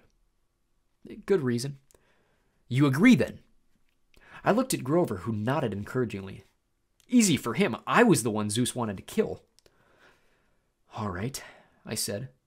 It's better than being turned into a dolphin. Then it's time you consulted the oracle, Chiron said. Go upstairs, Percy Jackson. To the attic. When you come back down, assuming you're assuming you're still sane, we will talk more. Four flights up, the stairs ended under a green trap door. I pulled the cord. The door swung down and a wooden ladder clattered into place. The warm air from above smelled like mildew and rotten wood and, and something else. a smell I remembered from biology class. Reptiles. The smell of snakes. I held my breath and climbed. The attic was filled with Greek hero junk. Armor stands covered in cobwebs, once bright shields pitted with rust, old leather steamer trunks plastered with stickers saying, Ithaca, Circe's Island, Circe's Isle, the land of the Amazons. One long table was stacked with glass jars filled with pickled things, severed hairy claws, huge yellow eyes, various other parts of monsters. A dusty mounted trophy on the wall looked like a giant snake's head, but with horns and a full set of shark's teeth. The plaque read, Hydra Head Number One, Woodstock, New York, 1969. By the window, sitting on a wooden tripod stool, was the most gruesome memento of all a mummy. Not the wrapped in cloth kind, but a human female body shriveled to a husk. She wore a tie dyed sundress, lots of beaded necklaces, and a headband over long black hair. The skin of her face was thin and leathery over her skull, and her eyes were glassy white split white slits, as if the real eyes had been replaced by marbles. She'd been dead a long, long time. Looking at her sent chills up my back, and that was before she sat up on her stool and opened her mouth. A green mist poured from the mummy's mouth, coiling over the floor in thick tendrils, hissing like 20,000 snakes. I stumbled over myself trying to get to the trap door, but it slammed shut. Inside my head, I heard a voice slithering into one ear and coiling around my brain. I am the spirit of Delphi, speaker of the prophecies of Phoebus Apollo, slayer of the mighty Python. Approach, seeker, and ask.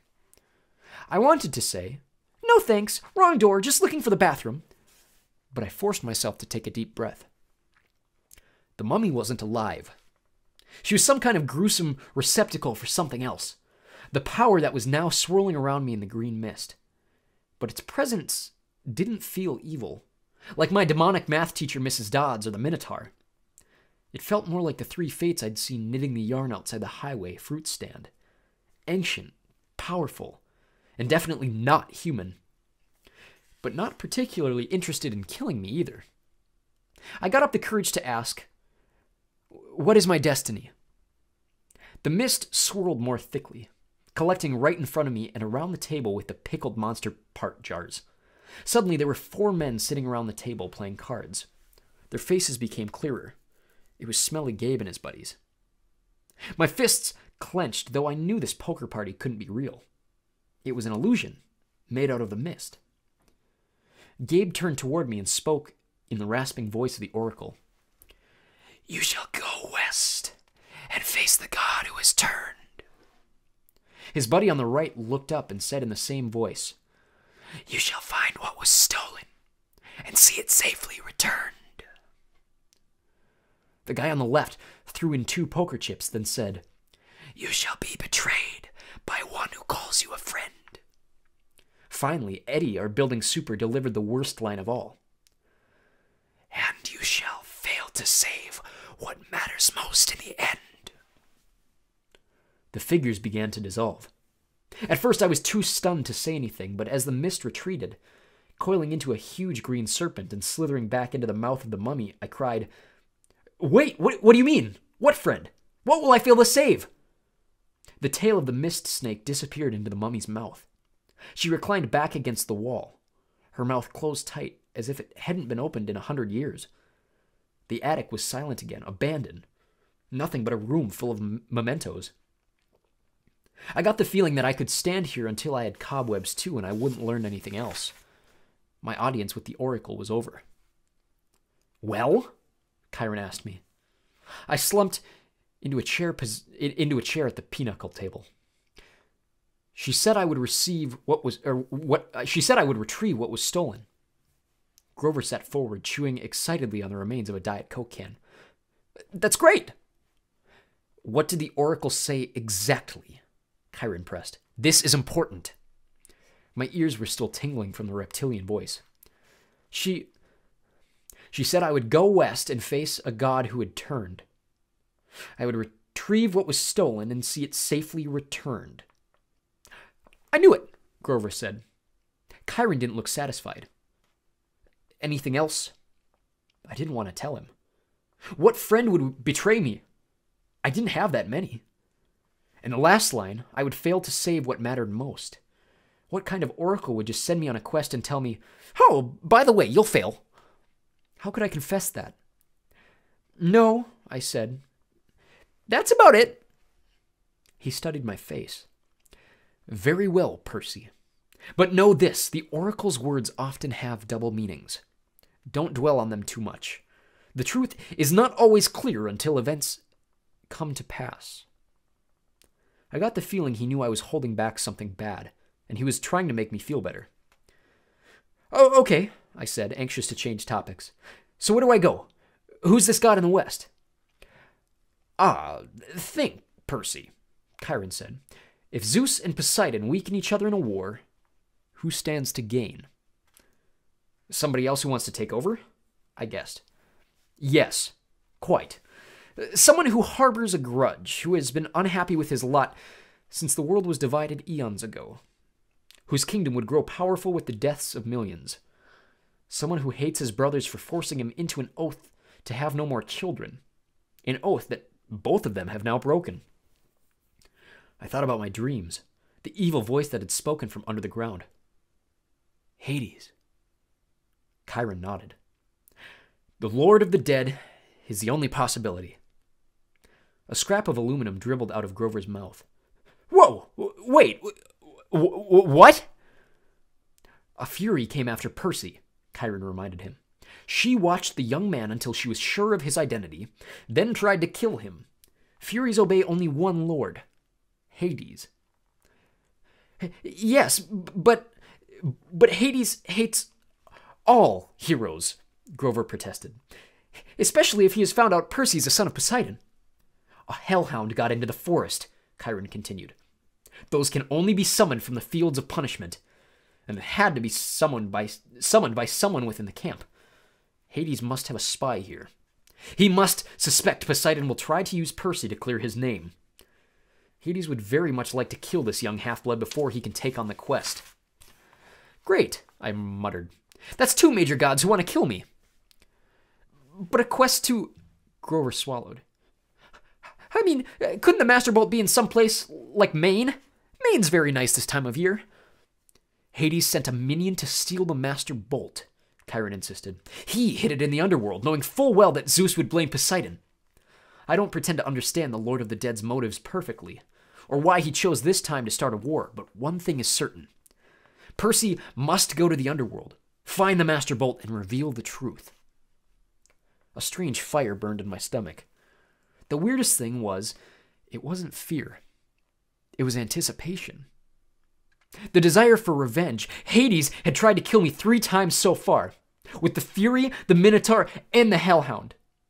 It was his fault my mother had disappeared in a flash of light, and now he was trying to frame me and my dad for a theft we hadn't committed. I was ready to take him on. Besides, if my mother was in the underworld. Whoa, boy, said the small part of my brain that was still sane. You're a kid. Hades is a god. Grover was trembling. He'd started eating pinochle cards like potato chips. The poor guy needed to complete a quest with me so he could get his searcher's license. Whatever that was, but how could I ask him to do this quest? Especially when the Oracle said I was destined to fail. This was suicide. Look, if we know it's Hades, I told Chiron, why can't we just tell the other gods? Zeus or, or Poseidon could go down to the underworld and bust some heads. Suspecting and knowing are not the same, Chiron said. Besides, even if the other gods suspect Hades, and I imagine Poseidon does, they couldn't retrieve the bolt themselves. Gods cannot cross each other's territories except by invitation. That is another ancient rule. Heroes, on the other hand, have certain privileges. They can go anywhere, challenge anyone, as long as they're bold enough and strong enough to do it. No god can be held responsible for a hero's actions. Why do you think the gods always operate through humans? You're saying I'm being used. I'm saying it's no accident Poseidon has claimed you now. It's a very risky gamble, but he's in a desperate situation. He needs you. My dad needs me. Emotions rolled around inside me like bits of glass in a kaleidoscope. I didn't know whether to feel resentful or grateful or happy or angry. Poseidon had ignored me for 12 years. Now suddenly he needed me. I looked at Chiron. You've known I was Poseidon's son all along, haven't you? I had my suspicions. As I said, I've spoken to the Oracle, too. I got the feeling there was a lot he wasn't telling me about his prophecy, but I decided I couldn't worry about that right now. After all, I was holding back information, too. So let me get this straight, I said. I'm supposed to go to the underworld and confront the Lord of the Dead? Check, Chiron said. Find the most powerful weapon in the universe? Check. And get back to Olympus before the summer solstice in 10 days? That's about right. I looked at Grover, who gulped down the ace of hearts. Did I mention that Maine is very nice this time of year? He asked weakly. You don't have to go, I told him. I can't ask that of you. Oh. He shifted his hooves. Uh, no, it's just that satyrs and underground places. Well. He took a deep breath, then stood, brushing the shredded cards and aluminum bits off his t shirt. You saved my life, Percy. If. if you're serious about wanting me along, I, I won't let you down. I felt so relieved I wanted to cry, though I didn't think that would be very heroic. Grover was the only friend I'd ever had for longer than a few months. I wasn't sure what a good what good a satyr could do against the forces of the dead, but I felt better knowing he'd be with me. All the way, G-man. I turned to Chiron. So where do we go? The oracle just said to go west. The entrance to the underworld is always in the west. It moves from age to age, just like Olympus. Right now, of course, it's in America. Where? Chiron looked surprised. I thought that would be obvious enough. The entrance to the underworld is in Los Angeles. Oh, I said. Naturally. So we just get on a plane? No! Grover shrieked. Percy, what are you thinking? Have you ever been on a plane in your life? I shook my head, feeling embarrassed. My mom had never taken me anywhere by plane. She'd always said we didn't have the money.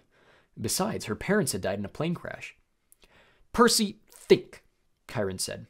You are the son of the sea god. Your father's bitterest rival is Zeus, lord of the sky. Your mother knew better than to trust you in an airplane. You would be in Zeus's domain. You would never come down again alive. Overhead, lightning crackled. Thunder boomed. Okay, I said, determined not to look at the storm. So, I'll travel over land. That's right, Chiron said. Two companions may accompany you. Grover is one. The other has already volunteered, if you will accept her help. Gee, I said, feigning surprise. Who else would be stupid enough to volunteer for a quest like this? The air shimmered behind Chiron. Annabeth became visible, stuffing her Yankees cap into her back pocket. I've been waiting a long time for a quest, Seaweed Brain, she said.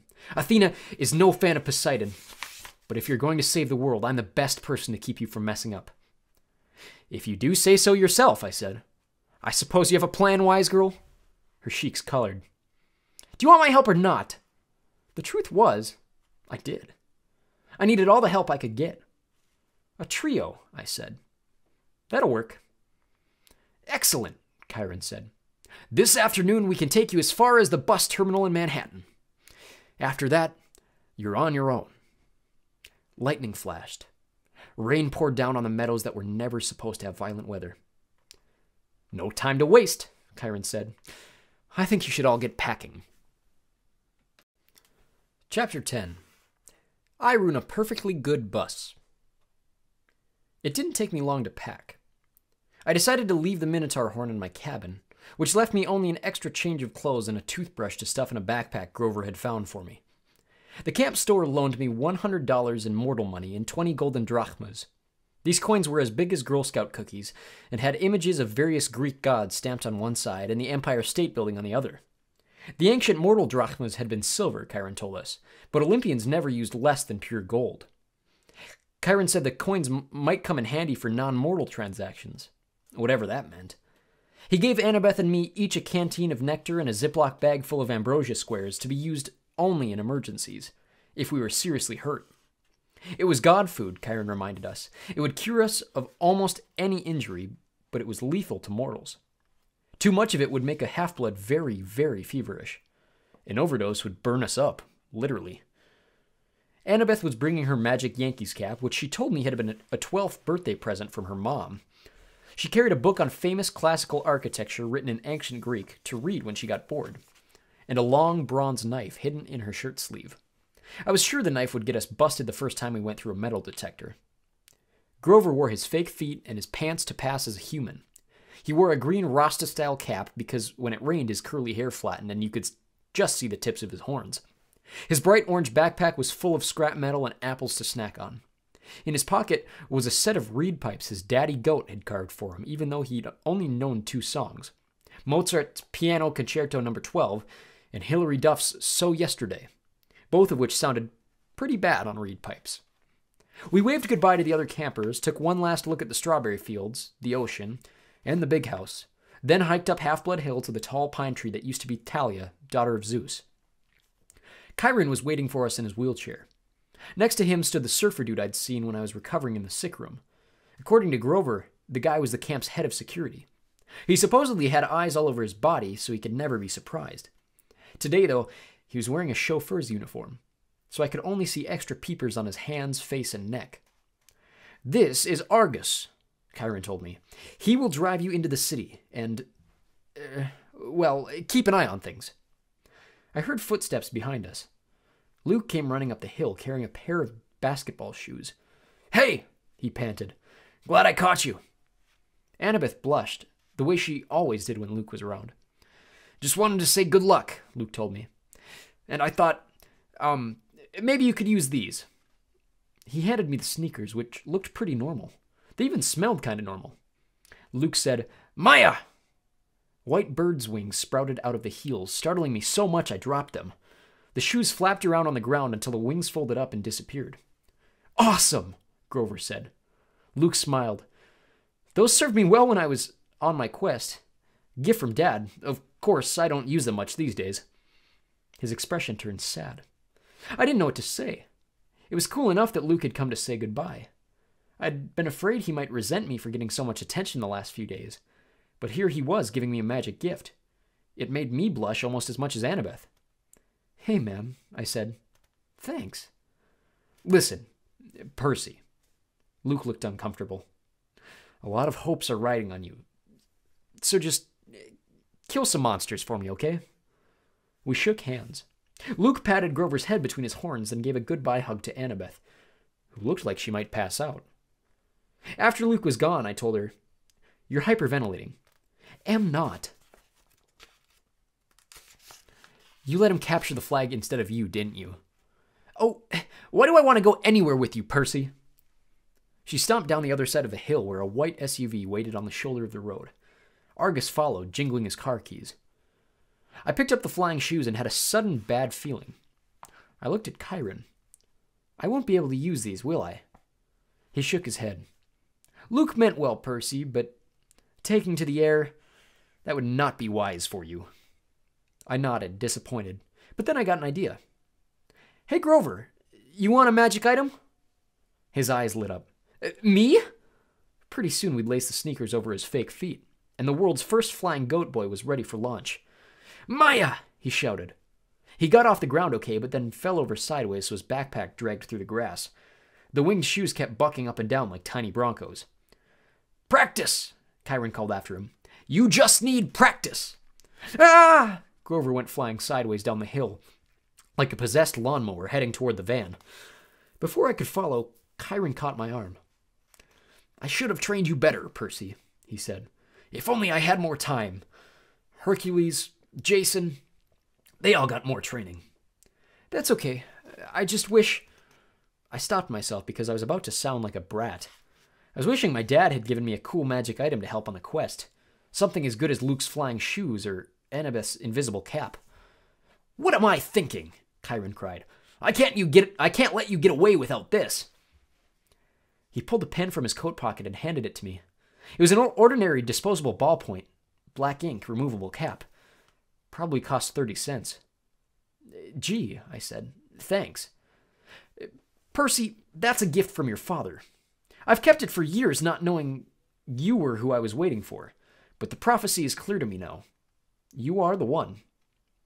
I remembered the field trip to the Metropolitan Museum of Art when I'd vaporized Miss Dodds. Chiron had thrown me a pen that turned into a sword. Could this be? I took off the cap and the pen grew longer and heavier in my hand. In a half a second, I held a shimmering bronze sword with a double edged blade, a leather wrapped grip, and a flat hilt riveted with gold studs. It was the first weapon that actually felt balanced in my hand. The sword ha- has a long and tragic history that we need not go into, Chiron told me. Its name is Anaklusmos. Riptide, I translated, surprised the ancient Greek came so easily. Use it only for emergencies, Chiron said, and only against monsters. No hero should harm mortals unless absolutely necessary, of course, but the sword wouldn't harm them in any case. I looked at the wickedly sharp blade. What do you mean it wouldn't harm mortals?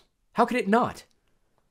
The sword is celestial bronze, forged by the Cyclopes, tempered in the heart of Mount Etna, cooled in the river Lethe. It's deadly to monsters, to any creature from the underworld, provided they don't kill you first. But the blade will pass through mortals like an illusion. They simply are not important enough for the blade to kill. And I should warn you, as a demigod, you can be killed by either celestial or normal weapons. You are twice as vulnerable. Good to know. Now recap the pen. I touched the pen cap to the sword tip and instantly Riptide shrank into a ballpoint pen again. I tucked it in my pocket, a little nervous because I was famous for losing pens at school. You can't, Chiron said. Can't what? Lose the pen, he said. It is enchanted. It will always reappear in your pocket. Try it. I was wary, but I threw the pen as far as I could down the hill and watched it disappear in the grass. It may take a few moments, Chiron told me. Now, check your pocket. Sure enough, the pen was there. Okay, that's extremely cool, I admitted. But what if a mortal sees me pulling out a sword? Chiron smiled. Mist is a powerful thing, Percy. Mist? Yes. Read the Iliad. It's full of references to this stuff. Whenever divine or monstrous elements mix with the mortal world, they generate mist, which obscures the vision of humans. You will see things just as they are, being a half blood, but humans will interpret things quite differently. Remarkable, really, the lengths to which humans will go to fit things into their own version of reality. I put Riptide back in my pocket. For the first time, the quest felt real. I was actually leaving Half Blood Hill. I was heading west with no adult supervision, no backup plan, not even a cell phone. Chiron said cell phones were traceable by monsters. If we used one, it would be worse than sending up a flare. I had no weapon stronger than a sword to fight off monsters and reach the land of the dead. Chiron, I said, when you say the gods are immortal, I mean, there was a time before them, right? Four ages before them, actually. The time of the Titans was the fourth age, sometimes called the Golden Age, which is definitely a misnomer. This, the time of Western civilization and the rule of Zeus, is the fifth age. So, what was it like before the gods? Chiron pursed his lips. Even I am not old enough to remember that, child. But I know it was a time of darkness and savagery for mortals. Kronos, the lord of the Titans, called his reign the Golden Age because men lived innocent and free of all knowledge. But that was mere propaganda. The Titan King cared nothing for your kind except as appetizers or source of cheap entertainment. It was only in the early reign of Lord Zeus, when Prometheus the good Titan brought fire to mankind, that your species began to progress. And even then, Prometheus was branded a radical thinker. Zeus punished him severely, as you may call. Of course, eventually the gods warmed to humans and Western civilization was born. But the gods can't die now, right? I mean, as long as Western civilization is alive, they're alive. So, even if I failed, nothing could happen so bad it would mess up everything, right? Chiron gave me a melancholy smile. No one knows how long the age of the West will last, Percy. The gods are immortal, yes, but then so are the Titans. They still exist, locked away in their various prisons, forced to endure endless pain and punishment, reduced in power, but still very much alive. May the fates forbid that the gods should ever suffer such a doom, or that we should ever return to the darkness and chaos of the past. All we can do, child, is follow our destiny.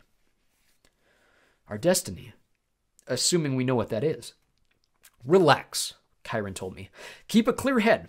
And remember, you may be about to prevent the biggest war in human history. relax, I said. I'm very relaxed. When I got to the bottom of the hill, I looked back. Under the pine tree that used to be Thalia, daughter of Zeus, Chiron was now standing in full horseman form, holding his bow high in salute. Just your typical summer camp send off by your typical centaur. Argus drove us out of the countryside and into a western Long Island. It felt weird to be on a highway again. Annabeth and Grover sitting next to me as if we were normal carpoolers. After two weeks at Half Blood Hill, the real world seemed like a fantasy. I found myself staring at every McDonald's, every kid on the block of er, in the back of his parents' car, every billboard and shopping mall. So far, so good, I told Annabeth. Ten miles and not a single monster. She gave me an irritated look. It's bad luck to talk that way, seaweed brain. Remind me again, why do you hate me so much? I don't hate you. It could have fooled me. She folded her cap of invisibility. Look, we're just not supposed to get along, okay? Our, our parents are rivals. Why? She sighed. How many reasons do you want? One time, my mom caught Poseidon with his girlfriend in Athena's temple, which is hugely disrespectful. Another time, Athena and Poseidon competed to be the patron god for the city of Athens. Your dad created some stupid saltwater spring for his gift. My mom created the olive tree. The people saw her gift was better and they named the city after her. They must really like olives. Oh, forget it. Now, if she'd invented pizza, now that I could understand. I said, forget it! In the front seat, Argus smiled. He didn't say anything, but one blue eye on the back of his neck winked at me. Traffic slowed us down in Queens. By the time we got into Manhattan, it was sunset and starting to rain. Argus dropped us at the Greyhound station on the Upper East Side, not far from my mom and Gabe's apartment. Taped to a mailbox was a soggy flyer with my picture on it. Have you seen this boy? I ripped it down before Annabeth and Grover could notice. Argus unloaded our bags, made sure we got our bus tickets, and then drove away, the eye on the back of his hand opening to watch us as he pulled out of the parking lot. I thought about how close I was to my old apartment. On a normal day, my mom would be home from the candy store by now. Smelly Gabe was probably up there right now playing poker, not even missing her. Grover shouldered his backpack. He gazed down the street in the direction I was looking. You want to know why she married him, Percy? I stared at him. Were you reading my mind or something? Just your emotions, he shrugged. Guess I forgot to tell you satyrs can do that. You were thinking about your mom and stepdad, right? I nodded, wondering what else Grover might have forgotten to tell me. Your mom married Gabe for you, Grover told me. You call him smelly, but you've got no idea. The guy has this aura. Yuck, I, I can smell him from here. I can smell traces of him on you, and you haven't been near him for a week. Thanks, I said. Uh, where's the nearest shower? You should be grateful, Percy. Your stepfather smells so repulsively human he could mask the presence of any demigod. As soon as I took a whiff inside his Camaro, I knew. Gabe has been covering your scent for years. If you hadn't lived with him every summer, you probably would have been found by monsters a long time ago. Your mom stayed with him to protect you. She was a smart lady. She must have loved you a lot to put up with that guy, if that makes you feel any better. It didn't, but I forced myself not to show it. I'll see her again, I thought. She isn't gone. I wondered if Grover could still read my emotions, mixed up as they were. I was glad he and Annabeth were with me, but I felt guilty that I hadn't been straight with them. I hadn't told them the real reason I'd said yes to this crazy quest. The truth was, I didn't care about retrieving Zeus's lightning bolt, or saving the world, or even helping my father out of trouble. The more I thought about it, I resented Poseidon for never visiting me never helping my mom, never even sending a lousy child support check. He'd only claimed me because he needed a job done. All I cared about was my mom. Hades had taken her unfairly, and Hades was going to give her back. You will be betrayed by one who calls you a friend, the oracle whispered in my mind. You will fail to save what matters most in the end. Shut up, I told it. The rain kept coming down. We got restless waiting for the bus, and I decided to play some hacky sack with one of Grover's apples. Annabeth was unbelievable. She could bounce the apple off her knee, her elbow, her shoulder, whatever. And I wasn't too bad myself. The game ended when I tossed the apple toward Grover, and it got too close to his mouth. In one mega, goat bite, our hacky sack disappeared, core, stem, and all. Grover blushed. He tried to apologize, but Annabeth and I were too busy cracking up. Finally, the bus came. As we stood in line to board, Grover started looking around, sniffing the air like he had smelled his favorite school cafeteria delicacy enchiladas. What is it? I asked. I don't know, he said tensely. Maybe it's nothing. But I could tell it wasn't nothing. I started looking over my shoulder, too. I was relieved when we finally got on board and found seats together in the back of the bus. We stowed our backpacks. Annabeth kept slapping her Yankees cap nervously against her thigh. As the last passengers got on, Annabeth clamped her hand onto my knee. Percy. An old lady had just boarded the bus. She wore a crumpled velvet dress, lace gloves, and a shapeless orange knit hat that shadowed her face, and she carried a big paisley purse. When she tilted her head up, her black eyes glittered, and my heart skipped a beat. It was Mrs. Dodds. Older, more withered, but definitely the same evil face. Behind her came two more old ladies, one in a green hat, one in a purple hat. Otherwise, they looked exactly like Mrs. Dodds, Same gnarled hands, paisley handbags, wrinkled velvet dresses, triplet demon grandmothers. They sat in the front row right behind the driver. The two on the aisle crossed their legs over the walkway, making an X. It was casual enough, but it sent a clear message. Nobody leaves. The bus pulled out of the station and we headed through the slick streets of Manhattan. She didn't stay dead long, I said, trying to keep my voice from quivering. I thought you said they could be dispelled for a lifetime. I said if you're lucky, Annabeth said. You're obviously not. All three of them, Grover whimpered. Di immortales. It's okay, Annabeth said, obviously thinking hard. The Furies, the three worst monsters from the underworld. No problem, no problem. We'll just slip out the windows. They don't open, Grover moaned. A back exit? She suggested. There wasn't one. Even if there had been, it wouldn't have helped. By the time we were on Ninth Avenue, heading. By that time, we were on Ninth Avenue, heading for the Lincoln Tunnel. They won't attack us with witnesses around, I said. Will they? Mortals don't have good eyes, Annabeth reminded me. Their brains can only process what they see through the mist. They'll see three old ladies killing us, won't they? She thought about it. Hard to say. But we can't count on mortals for help. Maybe an emergency exit in the roof. We hit the Lincoln Tunnel and the bus went dark except for the running lights down the aisle. It was eerily quiet without the sound of the rain. Mrs. Dodds got up. In a flat voice, as if she'd rehearsed it, she announced to the whole bus I need to use the restroom. So do I, said the second sister. So do I, said the third sister. They all started coming down the aisle. I've got it, Annabeth said. Percy, take my hat. What? You're the one they want. Turn invisible and go up the aisle. Let them pass you. Maybe you can get to the front and get away. But you guys, there's an outside chance they might not notice us, Annabeth said. You're a son of one of the big three. Your smell might be overpowering. I can't just leave you. Don't worry about us, Grover said. Go! My hands trembled. I felt like a coward, but I took the Yankees cap and put it on. When I looked down, my body wasn't there anymore. I started creeping up the aisle. I managed to get up 10 rows, then duck into an empty seat just as the Furies walked past. Mrs. Dodds stopped, sniffing, and looked straight at me. My heart was pounding. Apparently, she didn't see anything. She and her sisters kept going. I was free. I made it to the front of the bus. We were almost through the Lincoln Tunnel now. I was about to press the emergency stop button when I heard a hideous wailing from the back row. The old ladies were not old ladies anymore. Their faces were still the same. I guess those couldn't get any uglier. But their bodies had shriveled into leathery brown hag bodies with bats' wings and hands and feet like gargoyle claws. Their, hands their handbags had turned into fiery whips. The Furies surrounded Grover and Annabeth, lashing their whips, hissing, Where is it? Where?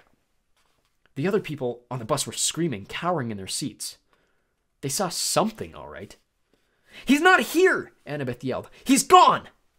The Furies raised their wisp, whips. Annabeth drew her bronze knife. Grover grabbed a tin can from his snack bag and prepared to throw it. What I did next was so impulsive and dangerous, I should have been named ADHD Poster Child of the Year. The bus, dra- the bus driver was distracted, trying to see what was going on in his rearview mirror. Still invisible, I grabbed the wheel from him and jerked it to the left. Everybody howled as they were thrown to the right, and I heard what I hoped was the sound of three Furies smashing against the windows. Hey! The driver yelled. Hey! Whoa! whoa! He wrestled for the wheel. The bus slammed against the side of the tunnel, grinding metal, throwing sparks a mile behind us. We careened out of the Lincoln Tunnel and back onto the, into the rainstorm. People and monsters tossed around the bus. Cars plowed, plowed aside like bowling pins. Somehow the driver found an exit. We shot off the highway through half a dozen traffic lights and ended up barreling down one of those New Jersey rural roads where you can't believe there's so much nothing right across the river from New York. There were woods to our left, the Hudson River to our right, and the driver seemed to be veering towards the river. Another great idea. I hit the emergency brake. The bus wailed, spun a full circle on the wet asphalt, and crashed into the trees. The emergency lights came on, the door flew open. The bus driver was the first one out, the passengers yelling as they stampeded after him. I stepped into the driver's seat and let them pass. The Furies regained their balance. They lashed their whips at Annabeth while she waved her knife and yelled in ancient Greek, telling them to back off. Grover threw tin cans. I looked at the open doorway. I was free to go, but but I couldn't leave my friends. I took off the invisible cap. Hey! The Furies turned, baring their yellow fangs at me, and the exit suddenly seemed like an excellent idea. Mrs. Dodds stalked up the aisle just as she used to do in class, about to deliver my F minus math test. Every time she flicked her whip, red flames danced along the barbed leather. Her two ugly sisters hopped on top of the seats on either side of her and crawled toward me like huge, nasty lizards. Perseus Jackson, Mrs. Dodds said in an accent that was definitely from somewhere farther south than Georgia. You have offended the gods. You shall die. I liked you better as a math teacher, I told her. She growled. Annabeth and Grover moved up behind the Furies cautiously, looking for an opening. I took the ballpoint pen out of my pocket and uncapped it. Riptide elongated into a shimmering double edged sword. The Furies hesitated. Mrs. Dodds had felt Riptide's blade before. She obviously didn't like seeing it again. Submit now, she hissed, and you will not suffer eternal torment. nice try, I told her. Percy, look out! Annabeth cried. Mrs. Dodds lashed her whip around my sword hand while the Furies on either side lunged at me. My, hel- my hand felt like it was wrapped in molten lead, but I managed not to drop Riptide. I stuck the Fury on the left with its hilt, sending her toppling backward into a seat. I turned and sliced the Fury on the right. As soon as the blade connected with her neck, she screamed and exploded into dust. Annabeth got Mrs. Dodds into a wrestler's hold and yanked her backward while Grover ripped the whip out of her hands. Ow! he yelled. Ow! Hot! Hot! The fury I'd hilt slammed came at me again. Talons ready, but I swung Riptide and she broke open like a pinata. Mrs. Dodds was trying to get Annabeth off her back. She kicked, clawed, hissed, and bit, but Annabeth held on while Grover got Mrs. Dodds' legs tied up in her own whip. Finally, they both showed her backward and they both shoved her backward into the aisle. Mrs. Dodds tried to get up, but she didn't have room to flap her bat wings, so she kept falling down. Zeus will destroy you, she promised. Hades will have your soul. Braccas meas vescimini, I yelled. I wasn't sure where the Latin came from, but I think it meant eat my pants. Thunder shook the bus. The hair rose on the back of my neck. Get out! Annabeth yelled at me. Now! I didn't need any encouragement. We rushed outside and found the other passengers wandering around in, in a daze, arguing with the driver or running around in circles yelling, We're going to die! A Hawaiian shirted tourist with a camera snapped my photograph before I could recap my sword. Our bags! Grover realized. We left our. Boom! The windows of the bus exploded as the passengers ran for cover. Lightning shredded a huge crater in the roof but an angry wail from inside told me Mrs. Dodds was not yet dead. Run! Annabeth said. She's calling for reinforcements. We have to get out of here. We plunged into the woods as the rain poured down. The bus in flames behind us and nothing but darkness ahead. Chapter 11 We Visit the Garden Gnome Emporium. In a way, it's nice to know there are Greek gods out there, because you have somebody to blame when things go wrong. For instance, when you're walking away from a bus that's just been attacked by monster hags and blown up by lightning, and it's raining on top of everything else, most people might think that's just really bad luck. When you're a half blood, you understand that some divine force really is trying to mess up your day.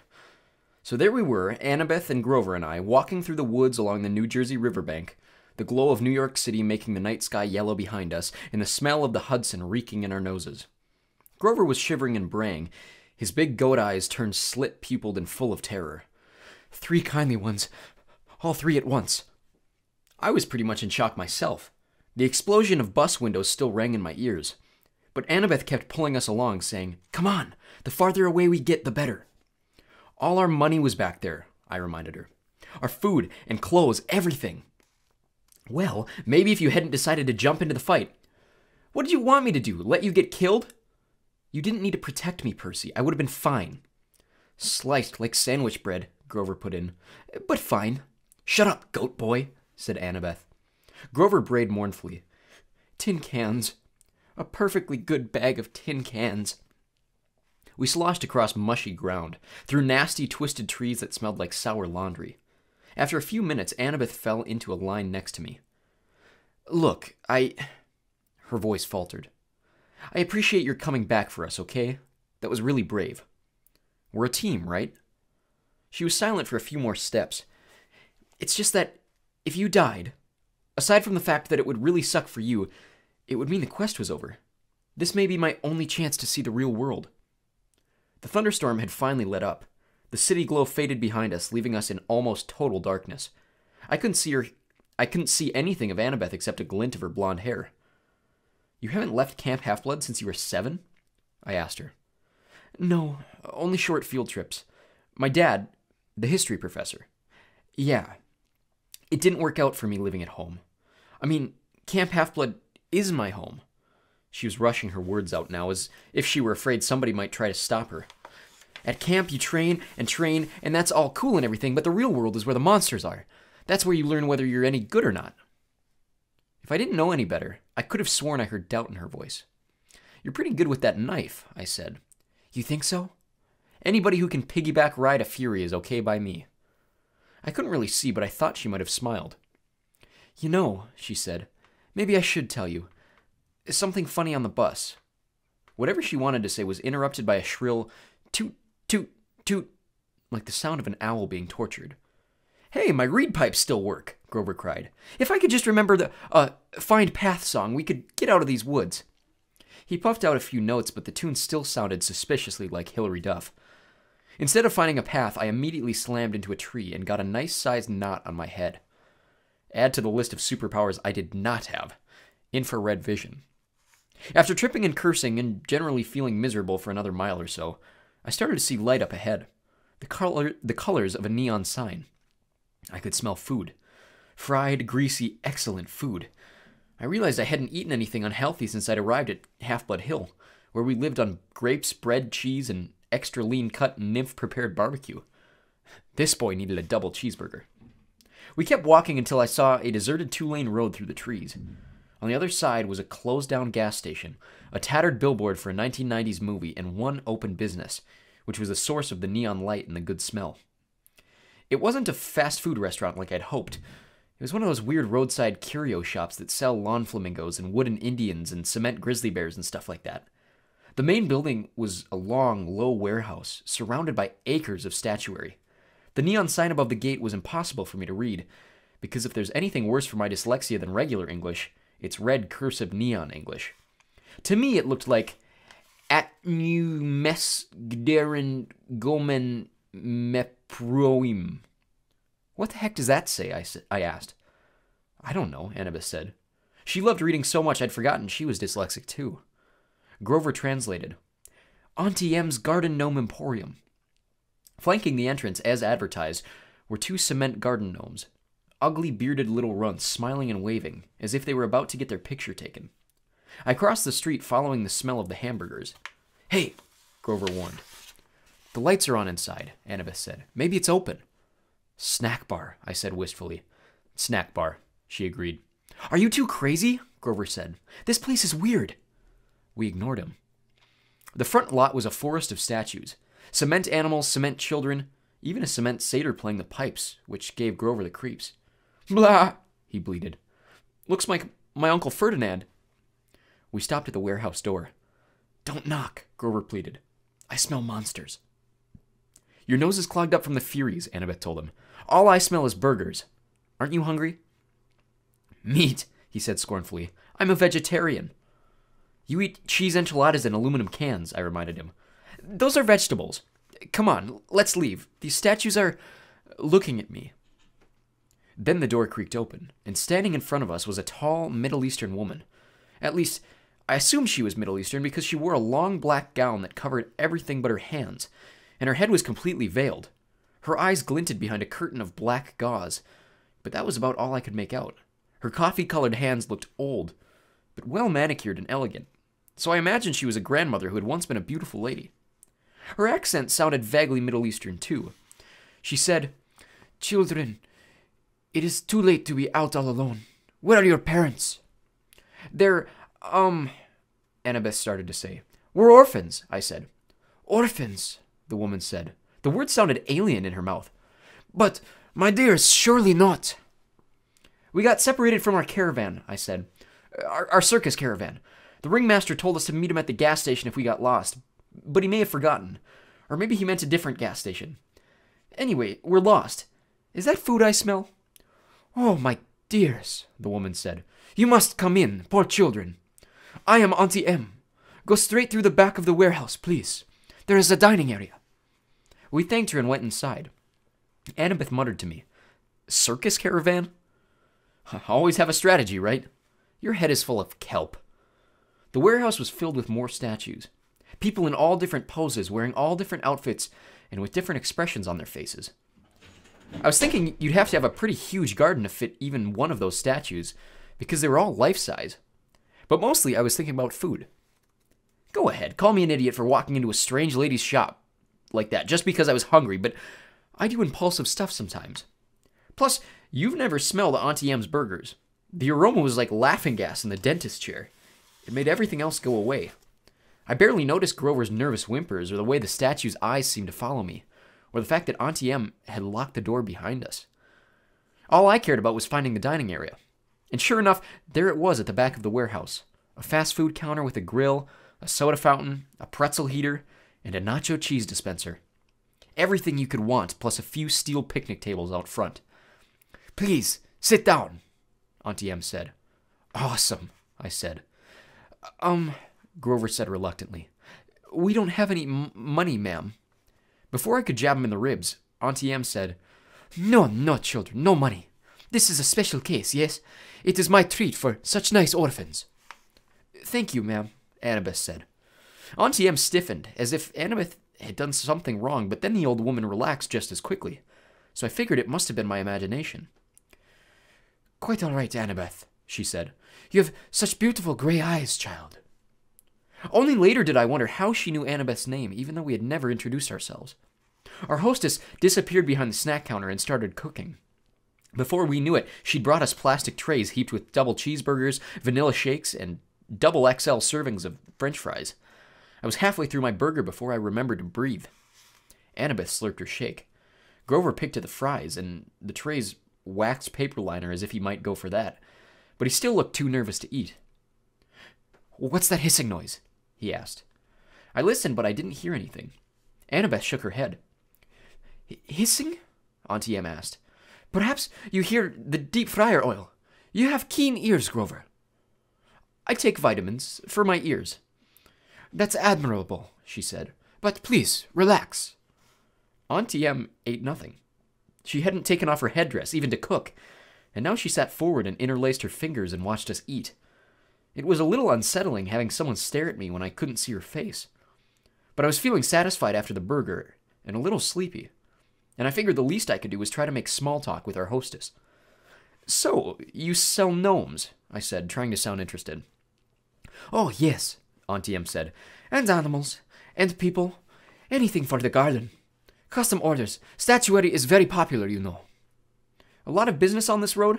Uh, not so much, no. Since the highway was built, most cars, they do not go this way now. I must cherish every customer I get. My neck tingled as if somebody else was looking at me. I turned, but it was just a statue of a young girl holding an Easter basket. The detail was incredible, much better than you see in most garden statues. But something was wrong with her face. It looked as if she were startled or even terrified. Ah, Auntie M said sadly, you notice some of my creations do not turn out well.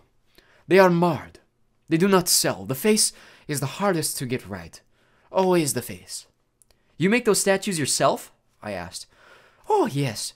Once upon a time, I had two sisters to help me in the business, but they have passed on, and Auntie M is alone. I have only my statues. This is why I make them, you see. They are my company. The sadness in her voice sounded so deep and so real that I couldn't help feeling sorry for her. Annabeth had stopped eating. She sat forward and said, Two sisters? It's a terrible story, Auntie M said. Not one for children, really. You, you see, Annabeth, a bad woman was jealous of me long ago, when I was young. I had a, a boyfriend, you know, and this bad woman was determined to break us apart. She caused a terrible accident. My sisters stayed by me. They shared my bad fortune as long as they could. But eventually they passed on. They faded away. I alone have survived, but at a price. Such a price. I wasn't sure what she meant, but I felt bad for her. My eyelids kept getting heavier, my full stomach making me sleepy. Poor old lady. Who would want to hurt somebody so nice? Percy? Annabeth was shaking me to get my attention. Uh, maybe we should go. I mean, the ringmaster will be waiting. She sounded tense. I wasn't sure why. Grover was eating the waxed paper off the tray now, but if Auntie Em found that strange, she didn't say anything. Such beautiful gray eyes, Auntie Em told Annabeth again. My, yes, it, it has been a long time since I've seen gray eyes like those. She reached out as if to stroke Annabeth's cheek, but Annabeth stood up abruptly. We should really go. Yes! Grover swallowed his wax paper and stood up. The ringmaster is waiting. Uh, right. I didn't want to leave. I felt full and content. Auntie Em was so nice. I wanted to stay with her a while. Please, dears, Auntie Em pleaded. I so rarely get to be with children. Before you go, won't you at least sit for a pose? A pose? Annabeth asked wearily. A photograph. I will use it to model a new statue set. Children are so popular, you see. Everyone loves children. Annabeth shifted her weight from foot to foot. I don't think we can, ma'am. Come on, Percy. Sure we can, I said. I was irritated with Annabeth for being so bossy, so rude to an old lady who just fed us for free. It's just a photo, Annabeth. What's the harm? Yes, Annabeth, the woman purred. No harm. I could tell Annabeth didn't like it, but she allowed Auntie Em to lead us back out the front door into the garden of statues. Auntie Em now directed us to a park bench next to the stone satyr. Now, she said, I'll just position you correctly. The young girl in the middle, I think, and the two young gentlemen on either side. Not much light for a photo, I remarked. Oh, enough, Auntie M said. Enough for us to see each other, yes? Where's your camera? Grover asked. Auntie M stepped back as if to admire the shot. Now, the face is the most difficult. Can you smile for me, please? Everyone, a large smile. Grover glanced at the cement satyr next to him and mumbled, That sure does look like Uncle Ferdinand. Grover, Auntie Em chastised. Look this way, dear. She still had no camera in her hands. Percy, Annabeth said. Some instinct warned me to listen to Annabeth, but I was fighting the sleepy feeling, the comfortable lull that came from the food and the old lady's voice. It will just be a moment, Auntie Em said. You know, I can't see you very well in this cursed veil. Percy, something's wrong, Annabeth insisted. Wrong? Auntie M said, reaching up to undo the wrap around her head. Not at all, dear. I have such noble company tonight. What could be wrong? That is Uncle Ferdinand, Grover gasped. Look away from her, Annabeth shouted. She whipped her Yankee's cap onto her head and vanished. Her invisible hands pushed Grover and me both off the bench. I was on the ground, looking at Auntie M's sandaled feet. I could hear Grover scrambling off in one direction, Annabeth in another, but I was too dazed to move. Then I heard a strange, rasping sound above me. My eyes rose to Auntie Em's hands, which had turned gnarls and, gnarled and warty, with sharp bronze talons for fingernails. I almost looked higher, but somewhere off to my left, Annabeth screamed, No! Don't! More rasping. The sound of tiny snakes. Right above me from from where Auntie Em's head would be. Run! Grover bleated. I heard him racing across the gravel, yelling, Maia! To kickstart his flying sneakers. I couldn't move. I stared at Auntie M's gnarled claws and tried to fight the groggy trance the old woman had put me in. Such a pity to destroy a handsome young face, she told me soothingly. Stay with me, Percy. All you have to do is look up. I fought the urge to obey. Instead, I looked to one side and saw one of those glass spheres people put in gardens a gazing ball. I could see Auntie M's dark reflection in the orange glass. Her headdress was gone, revealing her face as a shimmering pale circle. Her hair was moving, writhing like serpents. Auntie M. Auntie M. How could I have been so stupid? Think, I told myself. How did Medusa die in the myth? But I couldn't think. Something told me that in the myth, Medusa had been asleep when she was attacked by my namesake, Perseus. She wasn't anywhere near asleep now. If she wanted, she could take those talons right now and rake open my face. The gray eyed one did this to me, Percy, Medusa said, and she didn't sound anything like a monster. Her voice invited me to look up to sympathize with a poor old grandmother.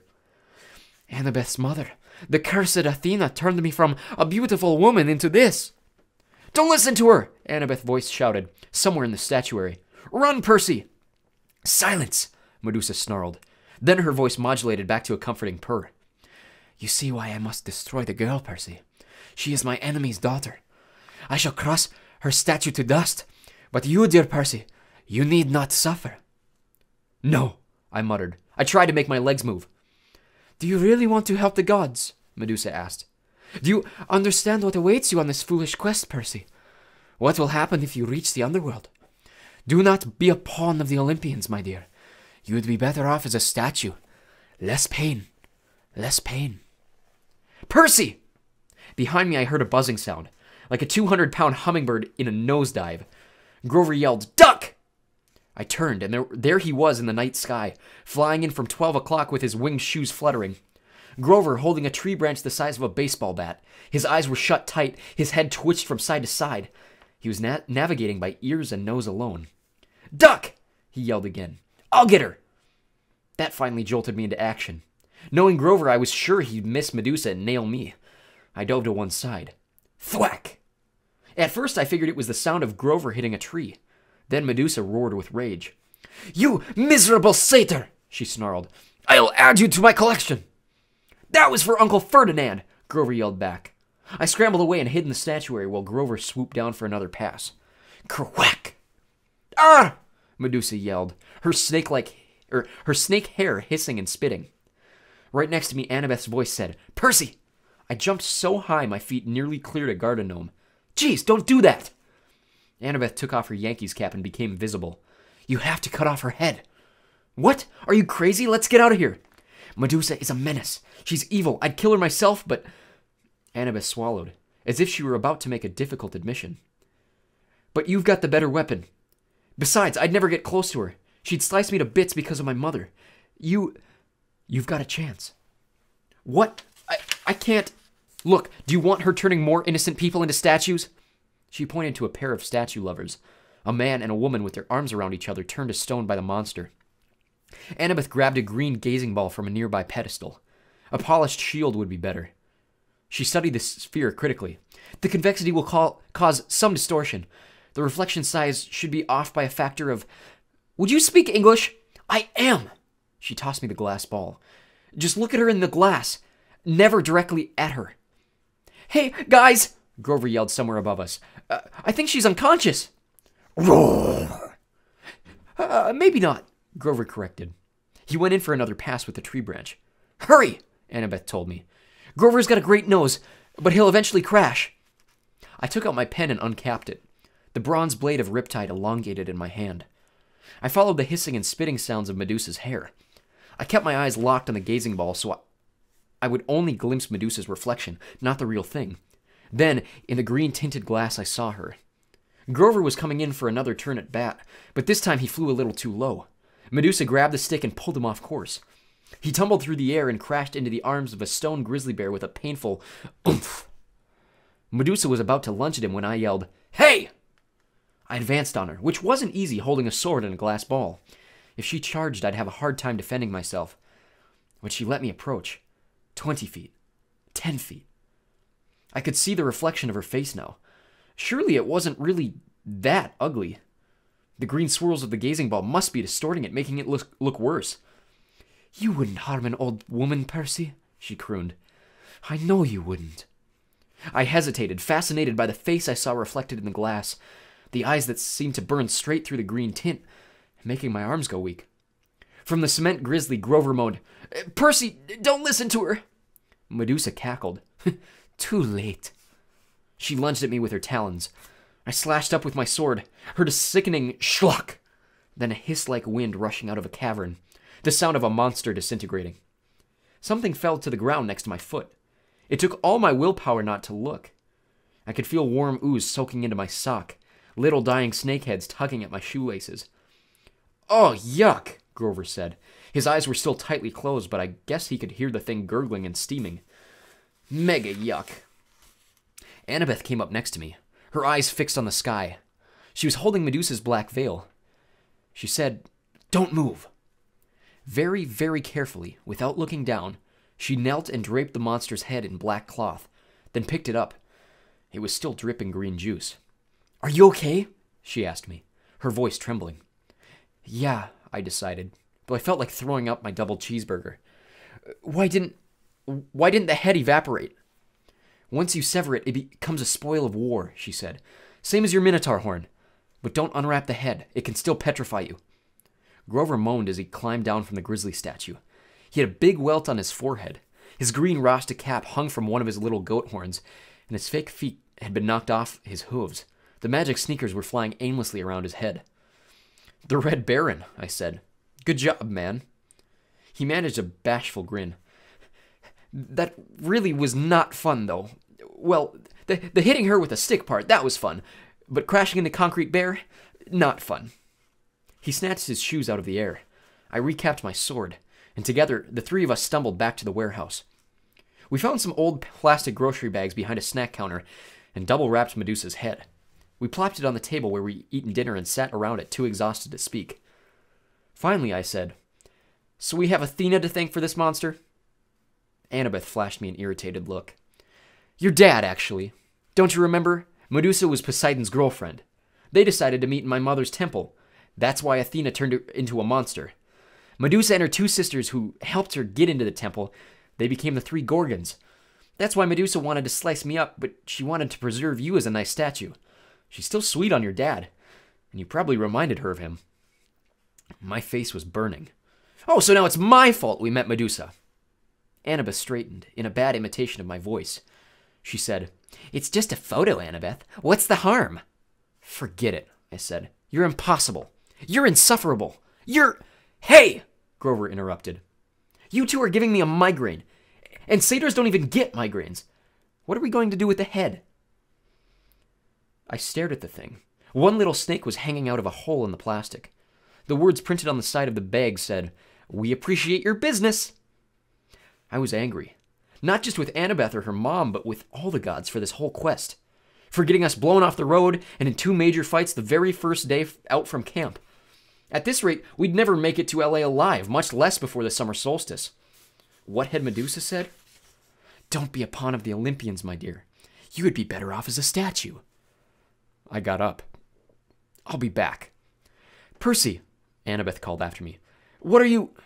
I searched the back of the warehouse until I found Medusa's office. Her account book showed her six most recent sales, all shipments to the underworld to decorate Hades and Persephone's garden. According to one freight bill, the underworld's billing address was DOA Recording Studios, West Hollywood, California. I folded up the bill and stuffed it into my pocket. In the cash, re- cash register, I found $20, a few golden drachmas, and some packing slips for Hermes Overnight Express, each with a little leather bag attached for coins.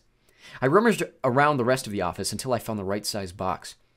I went back to the picnic table, packed up Medusa's head, and filled out a delivery slip. The Gods, Mount Olympus, 600th floor, Empire State Building, New York, New York. Best wishes, Percy Jackson. They're not going to like that, Grover warned. They'll think you're impertinent.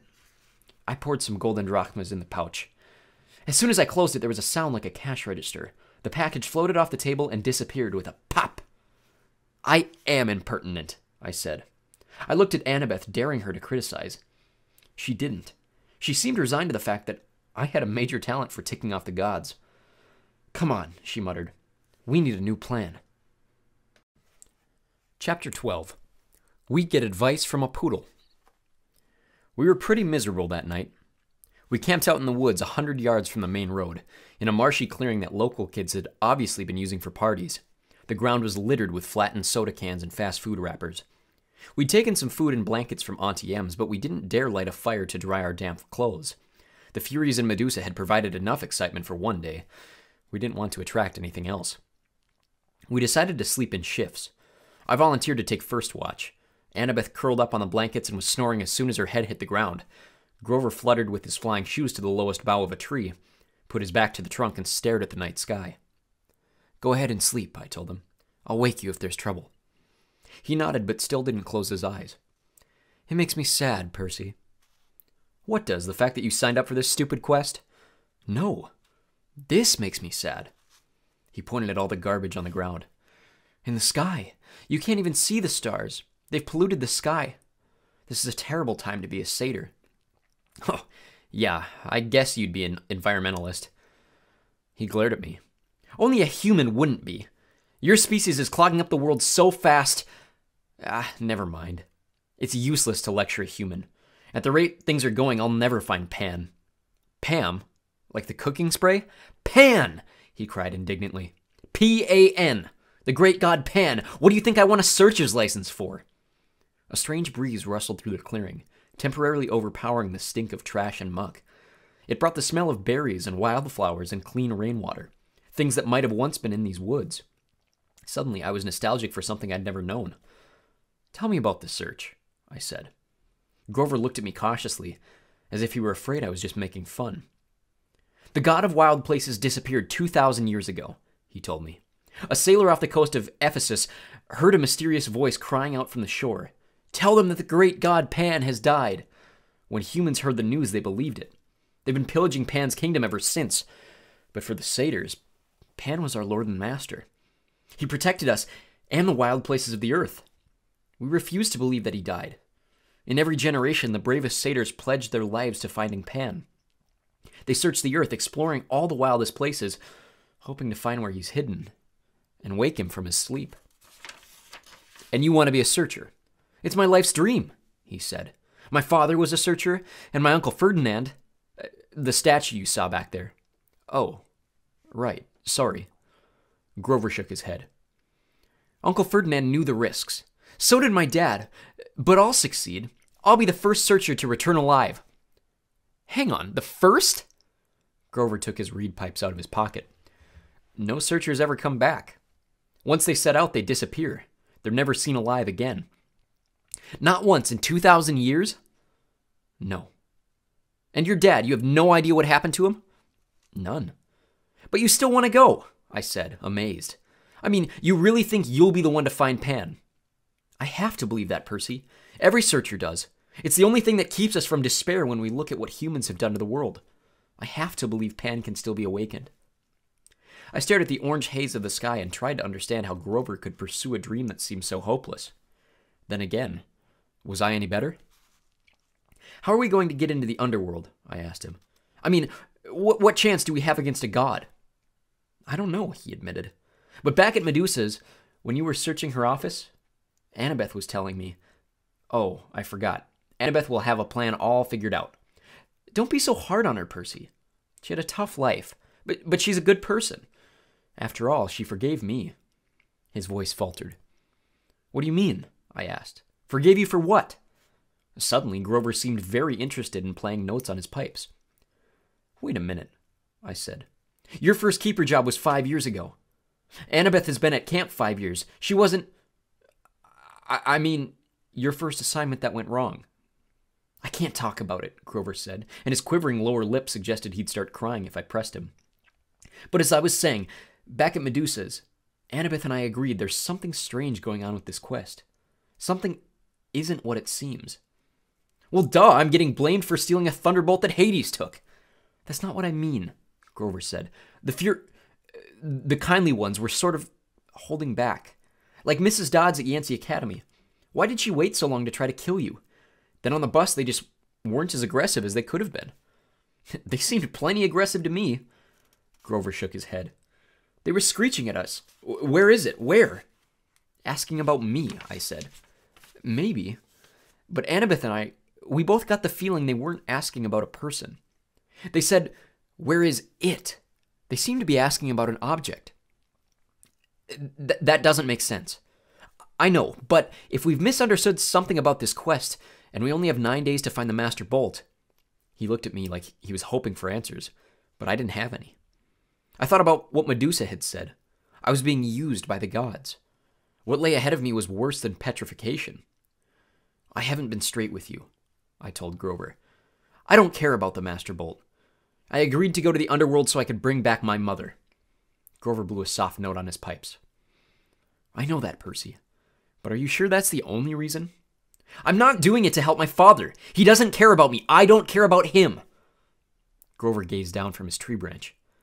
Look, Percy, I- am not as smart as Annabeth. I'm not as brave as you. But I'm pretty good at reading emotions. You're glad your dad is alive. You feel good that he's claimed you. And part of you wants to make him proud. That's why you mailed Medusa's head to Olympus. You wanted him to notice what you'd done. Yeah, w- well, maybe satyr emotions work differently than human emotions. Because you're wrong. I don't care what he thinks. Grover pulled his feet up on the branch. Oh, okay, Percy, whatever. Besides, I haven't done anything worth bragging about. We barely got out of New York and we're stuck here with no money and no way west. Grover looked at the night sky like he was thinking about that problem. How about I take first watch, huh? You get some sleep. I wanted to protest, but he started to play Mozart, soft and sweet, and I turned away, my eyes stinging. After a few bars of Piano Concerto number 12, I was asleep. In my dreams, I stood in a dark cavern before a gaping pit. Gray mist creatures turned, churned all around me, whispering rags of smoke that I somehow knew were the spirits of the dead. They tugged at my clothes, trying to pull me back, but I felt compelled to walk forward to the very edge of the chasm. Looking down made me dizzy. The pit yawned so wide and was so completely black, I knew it must be bottomless. Yet I had a feeling that something was trying to raise from the abyss. Something huge and evil. The little hero, an amused voice echoed far down in the darkness. too weak, too young, but perhaps you'll do. The voice felt ancient, cold, and heavy. It wrapped around me like sheets of lead. They have misled you, boy, it said. Barter with me. I will give you what you want. A shimmering image hovered over the void. My mother, frozen at the moment she dissolved in a shower of gold. Her face was distorted with pain as if the Minotaur were still squeezing her neck. Her eyes looked directly at me, pleading, Go! I tried to cry out, but my voice wouldn't work. Cold laughter echoed from the chasm. An invisible force pulled me forward. It would drag me into the pit unless I stood firm. Help me rise, boy. The voice became hungrier. Bring me the bolt. Strike a blow against the treacherous gods. The spirits of the dead whispered around me. No! Wake! The image of my mother began to fade. The thing in the pit tightened its unseen grip around me, and I realized it wasn't interested in pulling me in. It was using me to pull itself out. Good, it murmured. Good. Wake, the dead whispered. Wake. Someone was shaking me. My eyes opened and it was daylight. Well, Annabeth said, the zombie lives. I was trembling from the dream. I could still feel the grip of the chasm monster around my chest. How long was I asleep? Long enough for me to cook breakfast. Annabeth tossed me a bag of nacho flavored corn chips from Auntie M's snack bar. And Grover went exploring. Look, he found a friend. My eyes had trouble focusing. Grover was sitting cross legged on a blanket with something fuzzy in his lap a dirty, unnaturally pink stuffed animal. No, it, it wasn't a stuffed animal, it was a pink poodle. The poodle yapped at me suspiciously. Grover said, No, he's not. I blinked. Are you talking to that thing? The poodle growled. This thing, Grover warned, is our ticket west. Be nice to him. You can talk to animals? Grover ignored the question. Percy, meet Gladiola. Gladiola, Percy. I stared at Annabeth, figuring she'd crack up at this practical joke they were playing on me. But she looked deadly serious. I'm not saying hello to a pink poodle, I said. Forget it. Percy, Annabeth said. I said hello to the poodle. You say hello to the poodle. The poodle growled. I said hello to the poodle. Grover explained that he'd come across Gladiola in the woods and they'd struck up a conversation. The poodle had run away from a rich local family who'd posted a $200 reward for his return. Gladiola didn't really want to go back to his family, but he was willing to if it meant helping Grover. How does Gladiola know about the reward? I asked. He read the signs, Grover said. Duh. Of course, I said. Silly me. So we turn in Gladiola, Annabeth explained in her best strategy voice. We get money, and we buy tickets to Los Angeles. Simple. I thought about my dream the whispering voices of the dead, the thing in the chasm, and my mother's face, shimmering as it dissolved into gold. All that might be waiting for me in the West. Not another bus, I said warily. No, Annabeth agreed. She pointed downhill toward the train tracks I hadn't been able to see last night in the dark. There's an Amtrak station half a mile that way. According to Gladiola, the westbound train leaves at noon. Chapter 13 I Plunge to My Death. We spent two days on the Amtrak train, heading west through hills, over rivers, past amber waves of grain. We weren't attacked once, but I didn't relax. I felt that we were traveling around in a display case, being watched from above and maybe from below. that something was waiting for the right opportunity. I tried to keep a low profile because my name and picture were splattered over the front pages of several East Coast newspapers. The Trenton Register News showed a photo taken by a tourist as I got off the Greyhound bus. I had a wild look in my eyes. My sword was a metallic blur in my hands. It might have been a baseball bat or a lacrosse stick. The picture's caption read 12 year old Percy Jackson, wanted for questioning in the Long Island disappearance of his mother two weeks ago, is shown here fleeing from the bus where he accosted several elderly female passengers. The bus exploded on East New Jersey roadside shortly after Jackson fled the scene. Based on eyewitness accounts, police believe the boy may be traveling with two teenage accomplices. His stepfather, Gabe Ugliano, has offered a cash reward for information leading to his capture. Don't worry, Annabeth told me. Mortal police could never find us but she didn't sound so sure. The rest of the day I spent alternately pacing the length of the train, because I had a really hard time sitting still, or looking out the windows. Once I spotted a family of centaurs galloping across a wheat field, bows at the ready as they hunted lunch. The little boy centaur, who was the size of a second grader on a pony, caught my eye and waved. I looked around at the passenger car, but nobody else had noticed. The adult riders all had their faces buried in laptop computers or magazines. Another time, Toward evening, I saw something huge moving through the woods. I could have sworn it was a lion, except that lions don't live wild in America. And this thing was the size of a Hummer. Its fur glinted gold in the evening light. Then it leapt through the trees and was gone. Our reward money for returning Gladiola the poodle had only been enough to purchase tickets as far as Denver. We couldn't get berths in the sleeper car, so we dozed in our seats. My neck got stiff. I tried not to drool in my sleep, since Annabeth was sitting right next to me. Grover kept snoring and bleeding and waking me up. Once he shuffled around his fake he shuffled around and his fake foot fell off. Annabeth and I had to stick it back on before any of the other passengers noticed. So, Annabeth asked me once we gotten Grover's sneaker readjusted, who wants your help? What do you mean? When you were asleep just now, you mumbled, I won't help you. Who are you dreaming about? I was reluctant to say anything. It was the second time I'd dreamed about the evil voice from the pit but it bothered me so much I finally told her.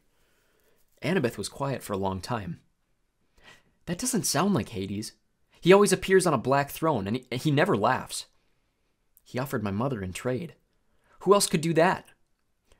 I guess, if he meant help me rise from the underworld, if he wants war with the Olympians, but why ask you to bring him the Master Bolt if he already has it? I shook my head, wishing I knew the answer. I thought about what Grover had told me that the, that the Furies on the bus seem to have been looking for something. Where is it? Where? Maybe Grover sensed my emotions. He snorted in his sleep, muttered something about vegetables, and turned his head. Annabeth readjusted his cap so it covered his horns. Percy, you can't barter with Hades. You, you know that, right? He's deceitful, heartless, and greedy. I don't care if his kindly ones weren't as aggressive this time. This time? I asked. You mean you've run into them before? Her hand crept up to her necklace. She fingered a glazed white bead painted with the image of a pine tree, one of her clay end of summer tokens. Let's just say I've got no love for the Lord of the Dead. You can't be tempted to make a deal for your mom. What would you do if it was your dad? That's easy, she said. I'd leave him to rot. You're not serious. Annabeth's gray eyes fixed on me. She wore the same expression she'd worn in the woods at camp, the moment she drew her sword against the hellhound. My dad's resented me since the day I was born, Percy, she said. He never wanted a baby. When he got me, he asked Athena to take me back and raise me on Olympus because he was too busy with his work. She wasn't happy about that. She told him heroes had to be raised by their mortal parent. But how. I mean, I guess you weren't born in a hospital. I appeared on my father's doorstep, in a golden cradle, carried down from Olympus by Zephyr the West Wind. You'd think my dad would remember that as a miracle, right? Like maybe he'd take some digital photos or something. But he always talked about my arrival as if it were the most inconvenient thing that had ever happened to him. When I was five, he got married and totally forgot about Athena. He got a regular mortal wife and had two regular mortal kids and tried to pretend I didn't exist. I stared out the train window. The lights of sleeping town were drifting by. I wanted to make Annabeth feel better, but I didn't know how. My mom married a really awful guy, I told her. Grover said she did it to protect me, to hide me in the scent of a human family. Maybe that's what your dad was thinking. Annabeth kept worrying at her necklace. She was pinching the gold college ring that hung with the beads. It occurred to me that the ring must be her father's. I wondered why she wore it if she hated him so much. He doesn't care about me, she said. His wife, my stepmom, treated me like a freak. She wouldn't let me play with her children. My dad went along with her. Whenever something dangerous happened, you know, something with monsters, they would both look at me resentfully. Like, how dare you put my family at risk? How dare you put our family at risk? Finally, I took the hint. I wasn't wanted. I ran away. How old were you? Same age as when I started camp. Seven. But you couldn't have gotten all the way to Half Blood Hill by yourself. Not alone, no. Athena watched over me, guided me toward help. I made a couple of unexpected friends who took care of me, for, for a short time anyway. I wanted to ask what happened, but Annabeth seemed lost in sad memories. So I listened to the sound of Grover snoring and gazed out the train windows as the dark fields of Ohio raced by. Toward the end of our second day on the train, June 13th, eight days before the summer solstice, we passed through some golden hills and over the Mississippi River into St. Louis. Annabeth craned her neck to see the Gateway Arch, which looked to me like a huge shopping bag handle stuck on the city. I want to do that, she sighed. What? I asked. Build something like that. You ever see the Parthenon, Percy? Only in pictures. Someday, I'm going to see it in person. I'm going to build the greatest monument to the gods ever. Something that'll last a thousand years. I laughed. you? An architect? I don't know why, but it I found it funny. Just the idea of Annabeth trying to sit quietly and draw all day. Her cheeks flushed. Yes, an architect. Athena expects her children to create things, not just tear them down, like a certain god of earthquakes I can mention. I watched the churning brown water of the Mississippi below. Sorry, Annabeth said. That was mean. Can we work together a little? I pleaded. I mean, didn't Athena and Poseidon ever cooperate? Annabeth had to think about it. I guess the chariot, she said tentatively.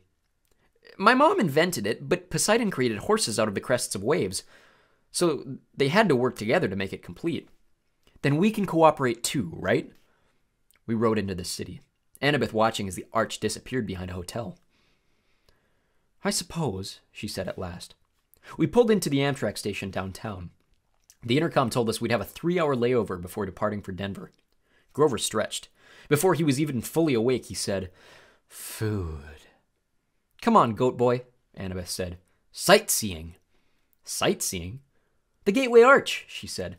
This may be my only chance to ride to the top. Are you coming or not? Grover and I exchanged looks. I wanted to say no, but I figured that if Annabeth was going, we couldn't very well let her go alone. Grover shrugged. As long as there's a snack bar without monsters. The arch was about a mile from the train station. Late in the day, the lines got, or the lines to get in weren't that long. We threaded our way through the underground museum, looking at covered wagons and other junk from the, the 1800s. It wasn't all that thrilling, but Annabeth kept telling us interesting facts about how the arch was built, and Grover kept passing me jelly beans, so I was okay. I kept looking around, though, at the other people in line. You smell anything? I murmured to Grover.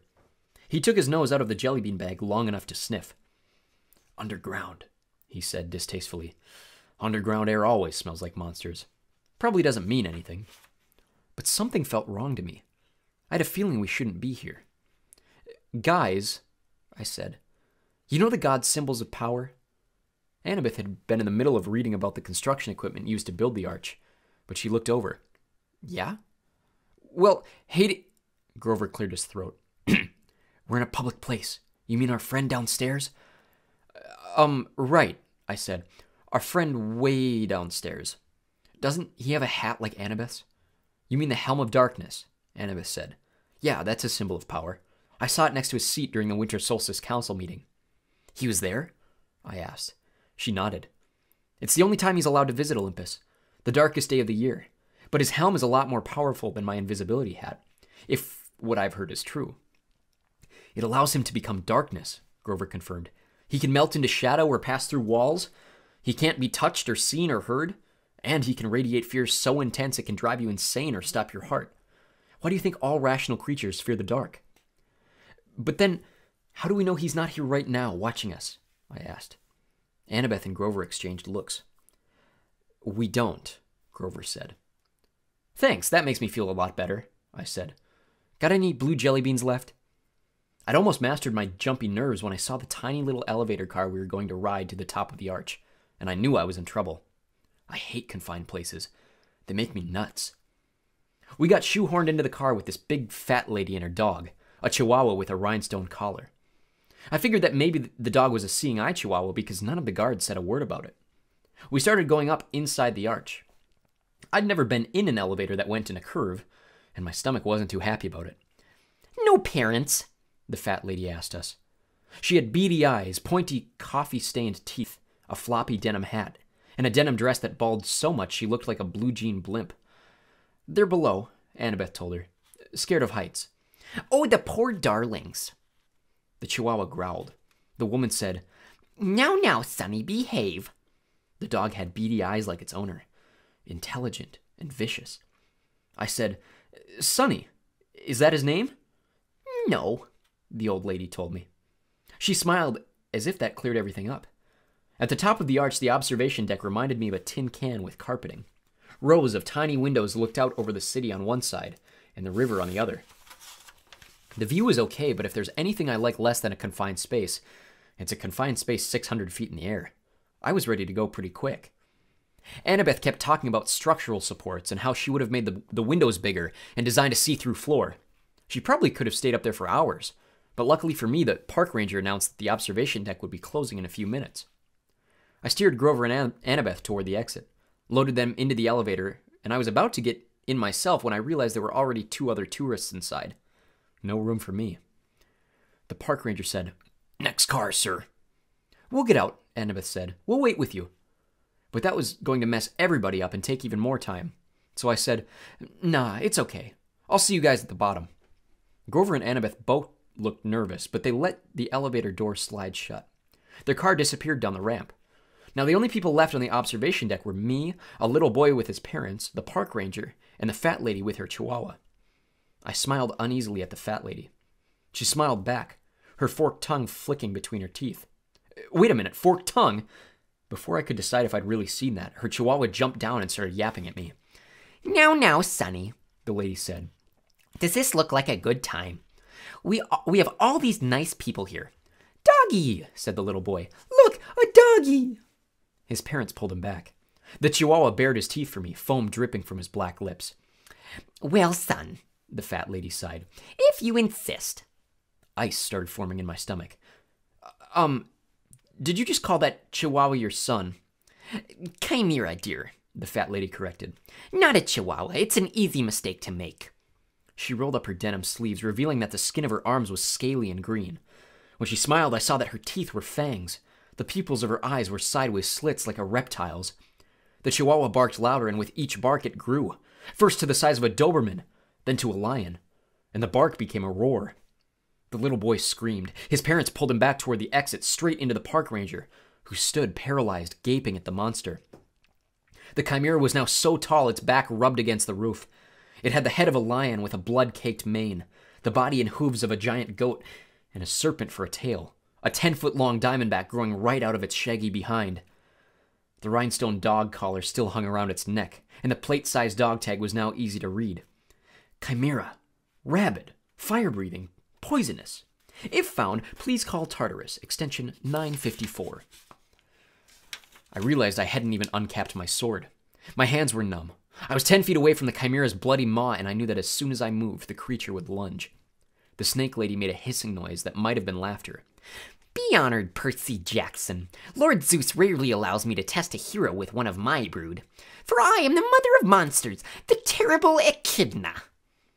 I stared at her, and all I could think to say was, Isn't that a kind of anteater? She howled, her reptilian face turning brown and green with rage. I hate it when people say that. I hate Australia, naming that ridiculous animal after me.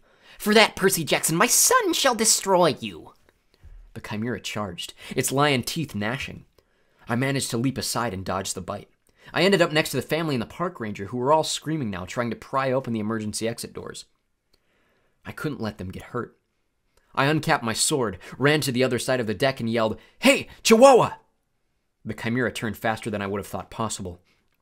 Before I could swing my sword, it opened its mouth, emitting a stench like the world's largest barbecue pit, and shot a column of flame straight at me. I dove through the explosion. The carpet burst into flames. The heat was so intense it nearly seared off my eyebrows. Where I had been standing a moment before was a ragged hole in the side of the arch, with melted metal steaming around the edges. Great, I thought. We just blowtorched a national monument. Riptide was now a shining bronze blade in my hands, and as the chimera turned, I slashed at its neck. That was my fatal mistake. The blade sparked harmlessly off the dog collar. I tried to regain my balance, but I was so worried about defending myself against the fiery lion's mouth, I completely forgot about the serpent tail until it whipped around and sank its fangs into my calf. My whole leg was on fire. I tried to jab Riptide into the chimera's mouth, but the serpent tail wrapped around my ankles and pulled me off balance, and my blade flew out of my hand, spinning out of the hole in the arch and down toward the Mississippi River. I managed to get to my feet, but I knew I had lost. I was weaponless. I could feel deadly poison racking up to my chest.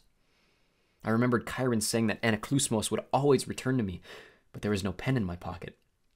Maybe it had fallen too far away. Maybe it only returned when it was in pen form. I didn't know, and I wasn't going to live long enough to find out.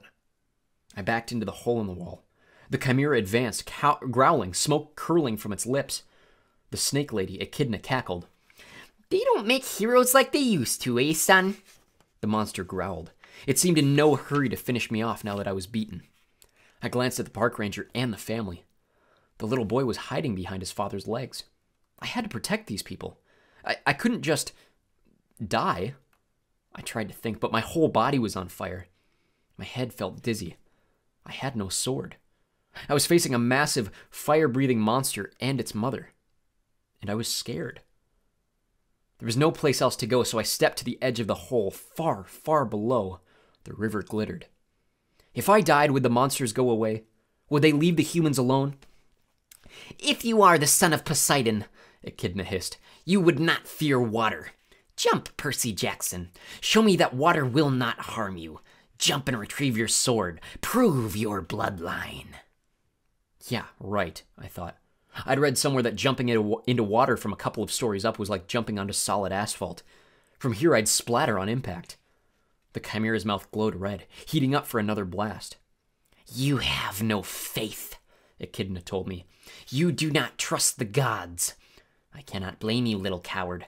Better you die now. The gods are faithless. The poison is in your heart. She was right. I was dying. I could feel my breath slowing down. Nobody could save me, not even the gods. I backed up and looked down at the water. I remember the warm glow of my father's smile when I was a baby. He must have seen me. He must have visited me when I was in my cradle. I remembered the swirling green trident that had appeared above my head the night of Capture the Flag, when Poseidon had claimed me as his son. But this wasn't the sea. This was the Mississippi, dead in the center of the USA. There was no sea god here. Die, faithless one, Echidna rasped, and the chimera sent a column of flame toward my face. Father, help me, I prayed. I turned and jumped, my clothes on fire, poison coursing through my veins. I plummeted toward the river. Chapter 14 I Become a Known Fugitive. I'd love to tell you I had some deep revelation on my way down, that I came to terms with my own mortality, laughed in the face of death, etc. The only truth? My only thought was, ah! The river raced toward me at the speed of a truck. Wind ripped the breath from my lungs. Steeples and skyscrapers and bridges tumbled in and out of my vision. And then, fla boom! A whiteout of bubbles. I sank through the murk, sure that I was about to end up embedded in a hundred feet of mud and lost forever. But my impact with the water hadn't hurt. I was falling slowly now, bubbles trickling up through my fingers. I settled on the river bottom soundlessly. A catfish the size of my stepfather lurched away in the gloom. Clouds of silt and disgusting garbage, beer bottles, old shoes, plastic bags, swirled up all around me. At that point, I realized a few things.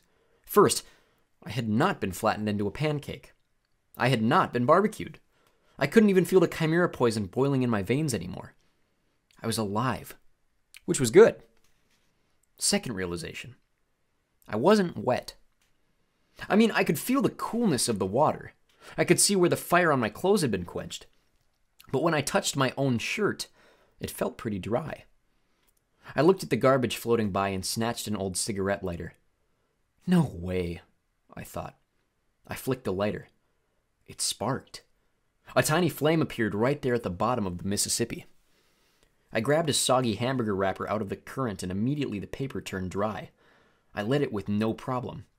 As soon as I let it go, the flame sputtered out. The wrapper turned back into a slimy rag. Weird.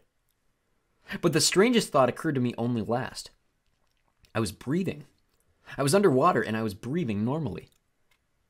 I stood up, thigh deep in mud. My legs felt shaky. My hands trembled. I should have been dead. The fact that I wasn't seemed like, well, a miracle. I imagined a woman's voice, a voice that sounded a bit like my mother. Percy, what do you say? Um, thanks. Underwater, I sounded like I did on recordings, like a much older kid. Thank you, father. No response. Just the dark drift of garbage downriver. The enormous catfish gliding by, the flash of sunset on the water's surface far above, turning everything the, cutter, the color of butterscotch. Why had Poseidon saved me? The more I thought about it, the more ashamed I felt. So I'd gotten lucky a few times before. Against a thing like the Chimera, I'd never stood a chance. Those poor people in the arch were probably toast. I couldn't protect them. I was no hero.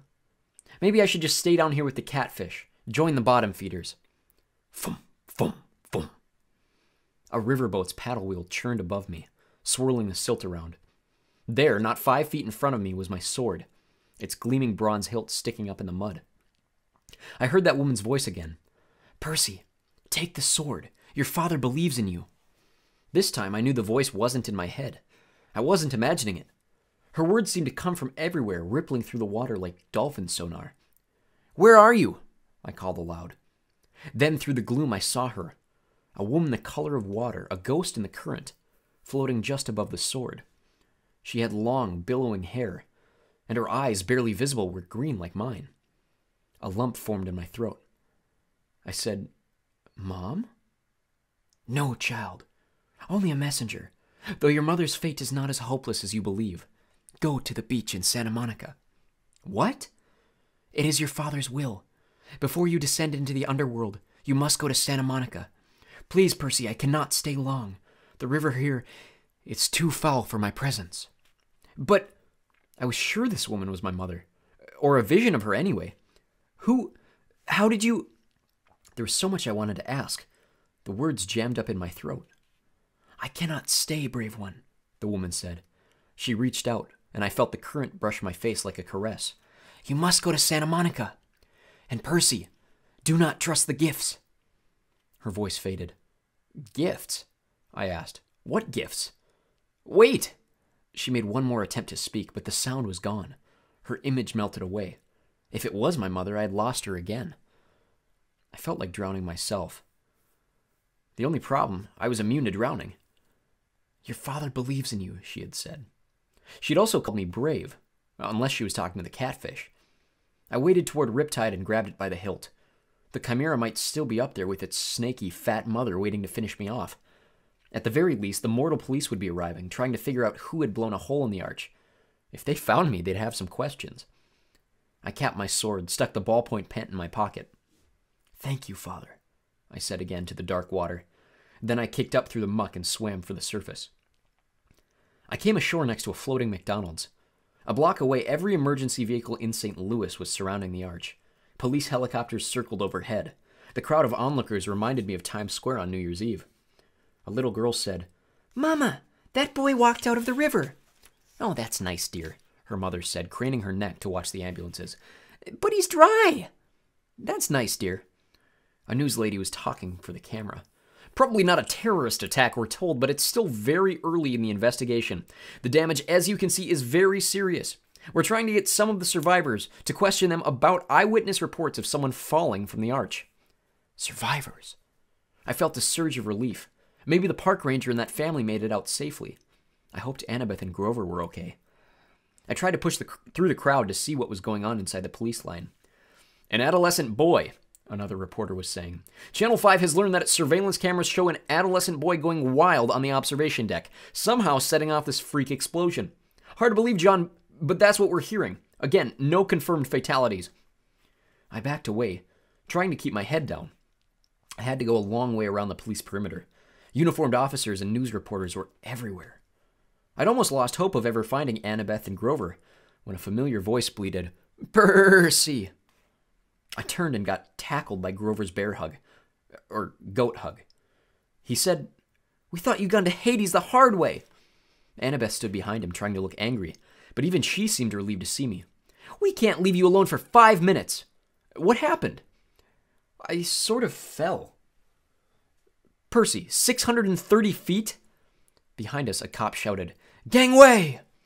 And the crowd parted, and a couple of paramedics hustled out, rolling a woman on a stretcher. I recognized her immediately as the mother of the little boy who'd been on the observation deck. She was saying, and, and then this huge dog, this huge uh, fire breathing chihuahua. Okay, ma'am, the paramedic said. Just calm down. Your family is fine. The medication is starting to kick in. I'm not crazy. This boy jumped out of the hole and the monster disappeared. Then she saw me. There he is! That's the boy! I turned quickly and pulled Annabeth and Grover after me. We disappeared into the crowd. What's going on? Annabeth demanded. Was she talking about the chihuahua on the elevator? I told them the whole story of the chimera, echidna, my high dive act, and the underwater lady's message. Whoa, said Grover. We've got to get you to Santa Monica. You can't ignore a summons from your dad. Before Annabeth could respond, we passed another reporter doing a news break, and I almost froze in my tracks when he said, Percy Jackson, that's right, Dan. Channel 12 has learned that the boy who may have caused this explosion fits the description of a young man wanted by authorities for a serious New, New Jersey bus accident three days ago. And the boy is believed to be traveling west. For our viewers at home, here is a photo of Percy Jackson. We ducked around the news van and slipped into an alley. First things first, I told Grover. We've got to get out of town.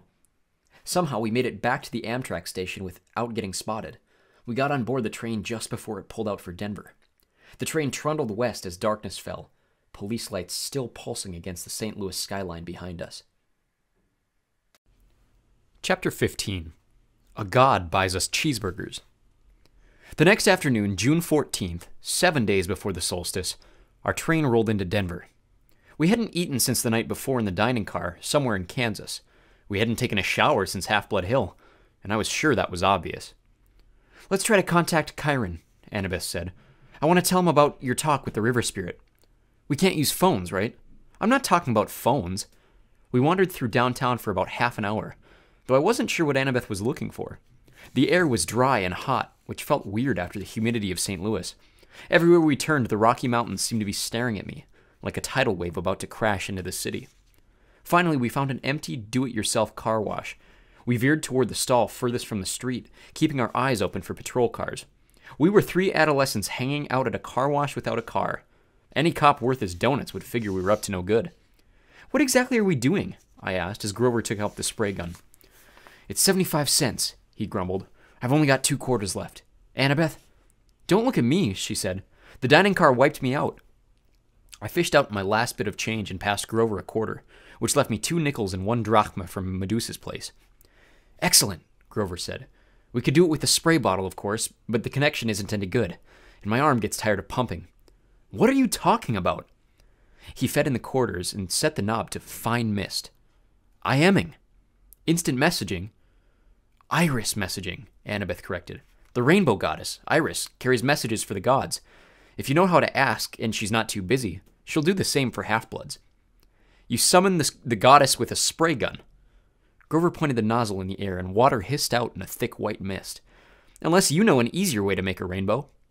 Sure enough, late afternoon light filtered through the vapor and broke into colors. Annabeth held her palm out to me.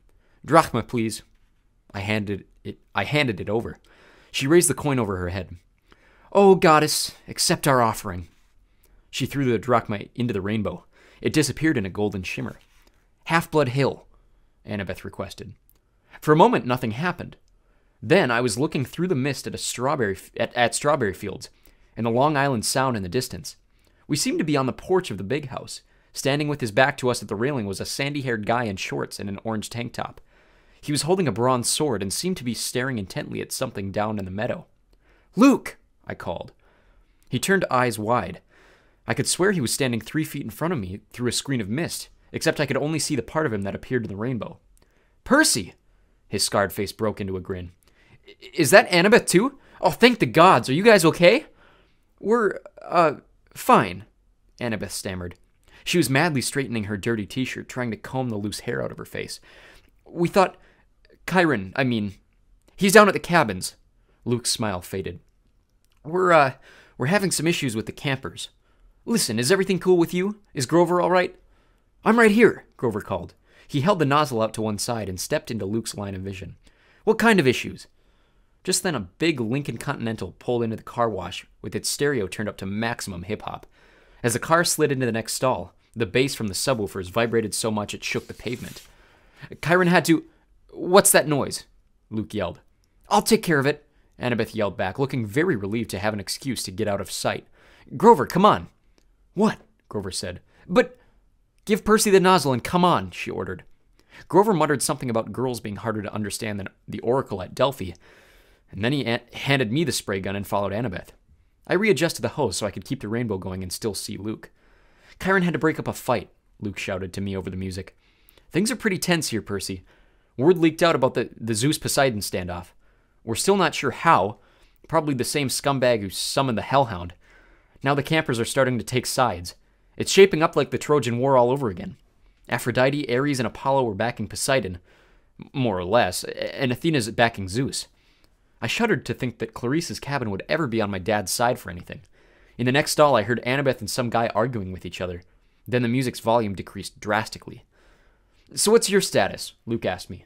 Chiron will be sorry he missed you. I told him pretty much everything, including my dreams.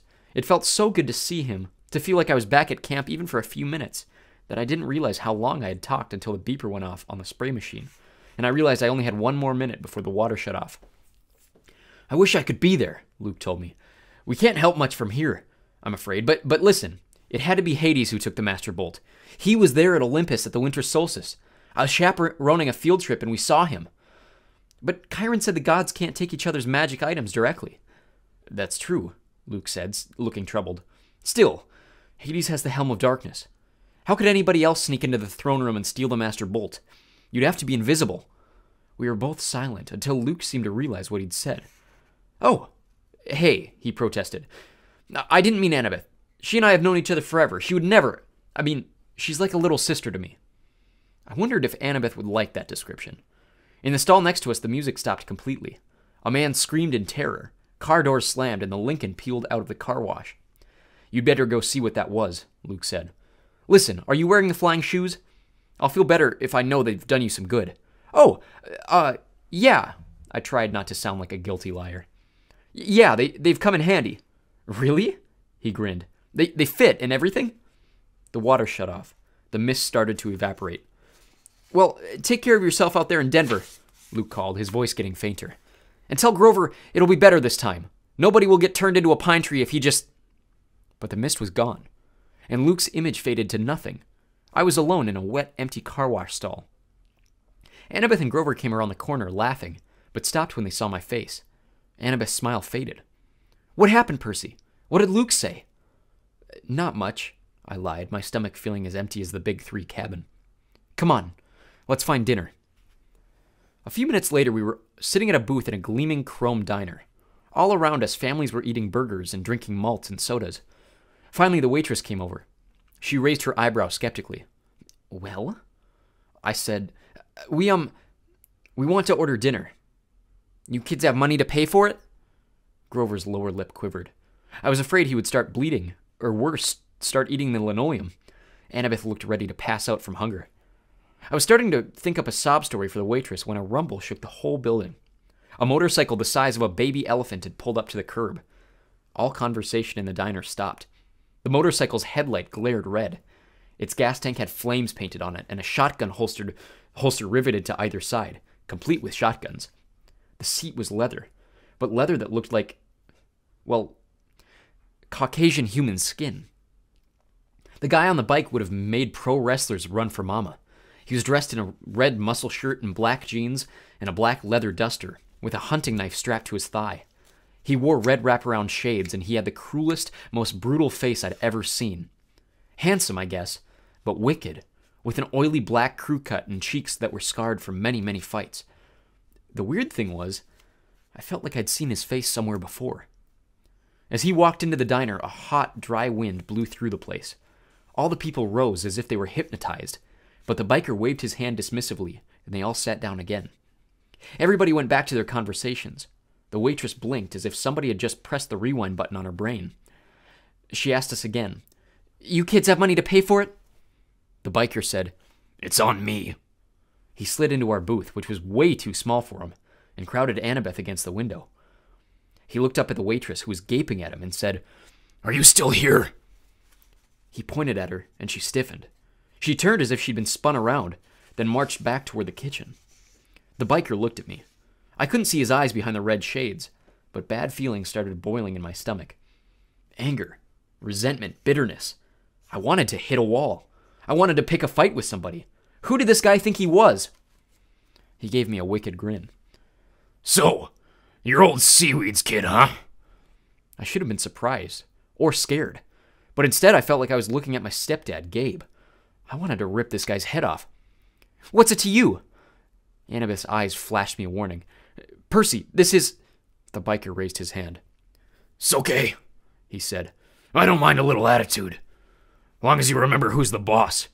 You know who I am, little cousin? Then it struck me why this guy looked so familiar. He had the same vicious sneer as some of the kids at Camp Half Blood, the ones from Cabin 5. You're Clarisse's dad, I said. Ares, god of war. Ares grinned and took off his shades. Where his eyes should have been, there was only fire. Empty sockets glowing with miniature nuclear explosions. That's right, punk. I heard you broke I heard you broke Clarisse's spear. She was asking for it. Probably. That's cool. I don't fight my kids' fights, you know. What I'm here for. I heard you were in town. I got a little proposition for you. The waitress came back with heaping trays of food cheeseburgers, fries, onion rings, and chocolate shakes. Ares handed her a few gold drachmas. She looked nervously at the coins. But these aren't. Uh, she looked nervously at the coins. Uh, but these aren't. Ares pulled out his huge knife and started cleaning his fingernails. Problem, sweetheart. The waitress swallowed, then left with the gold. You can't do that, I told Ares. You can't just threaten people with a knife. Ares laughed. Are you kidding? I love this country. Best place in Sparta. Don't you carry a weapon, punk? You should. Dangerous world out there. Which brings me to my proposition. I need you to do me a favor. What favor could I do for a god? Something a god doesn't have time to do himself. It's nothing much. I left my shield at an abandoned water park here in town. I was going on a little date with my girlfriend. We were interrupted. I left my shield behind. I want you to fetch it for me. Why don't you go back and get it yourself? The fire in his eye sockets glowed a little hotter. Why don't I turn you into a prairie dog and run you over with my Harley? Because I don't feel like it. A god has given you an opportunity to prove yourself, Percy Jackson. Will you prove yourself a coward? He leaned forward. Or maybe, maybe you can only fight when there's a river to dive into so your daddy can protect you. I wanted to punch this guy, but somehow I knew he was waiting for that. Ares' power was causing my anger. He'd love if I attacked. I didn't want to give him the satisfaction. We're not interested, I said. We've already got a quest. Ares' fiery eyes made me see things I didn't want to see blood and smoke and corpses on the battlefield. I know all about your quest, punk. When that item was first stolen, Zeus sent his best out look Zeus sent his best out looking for it. Apollo, Athena, Artemis, and me, naturally. If I couldn't sniff out that a weapon that powerful, he licked his lips, as if they were the as if the very thought of the master bolt made him angry. Well, I couldn't find it. You've got no hope. Nevertheless, I'm trying to give you the benefit of the doubt. Your dad and I go way back. After all, I'm the one who told him my suspicions about old corpse breath. You told him Hades stole the bolt? Sure. Framing someone to, to start a war? Oldest trick in the book. I recognized it immediately. In a way, you got me to thank for your little quest. Thanks, I grumbled. Hey, I'm a generous guy. Just do my little job and help you on your way. I'll arrange a ride west for you and your friends. We're doing fine on our own. Yeah, right. No money, no wheels, no clue what you're up against. Help me out and maybe I'll tell you something you need to know. Something about your mom. My mom? He grinned. That got your attention. The water park is a mile west on Delancey.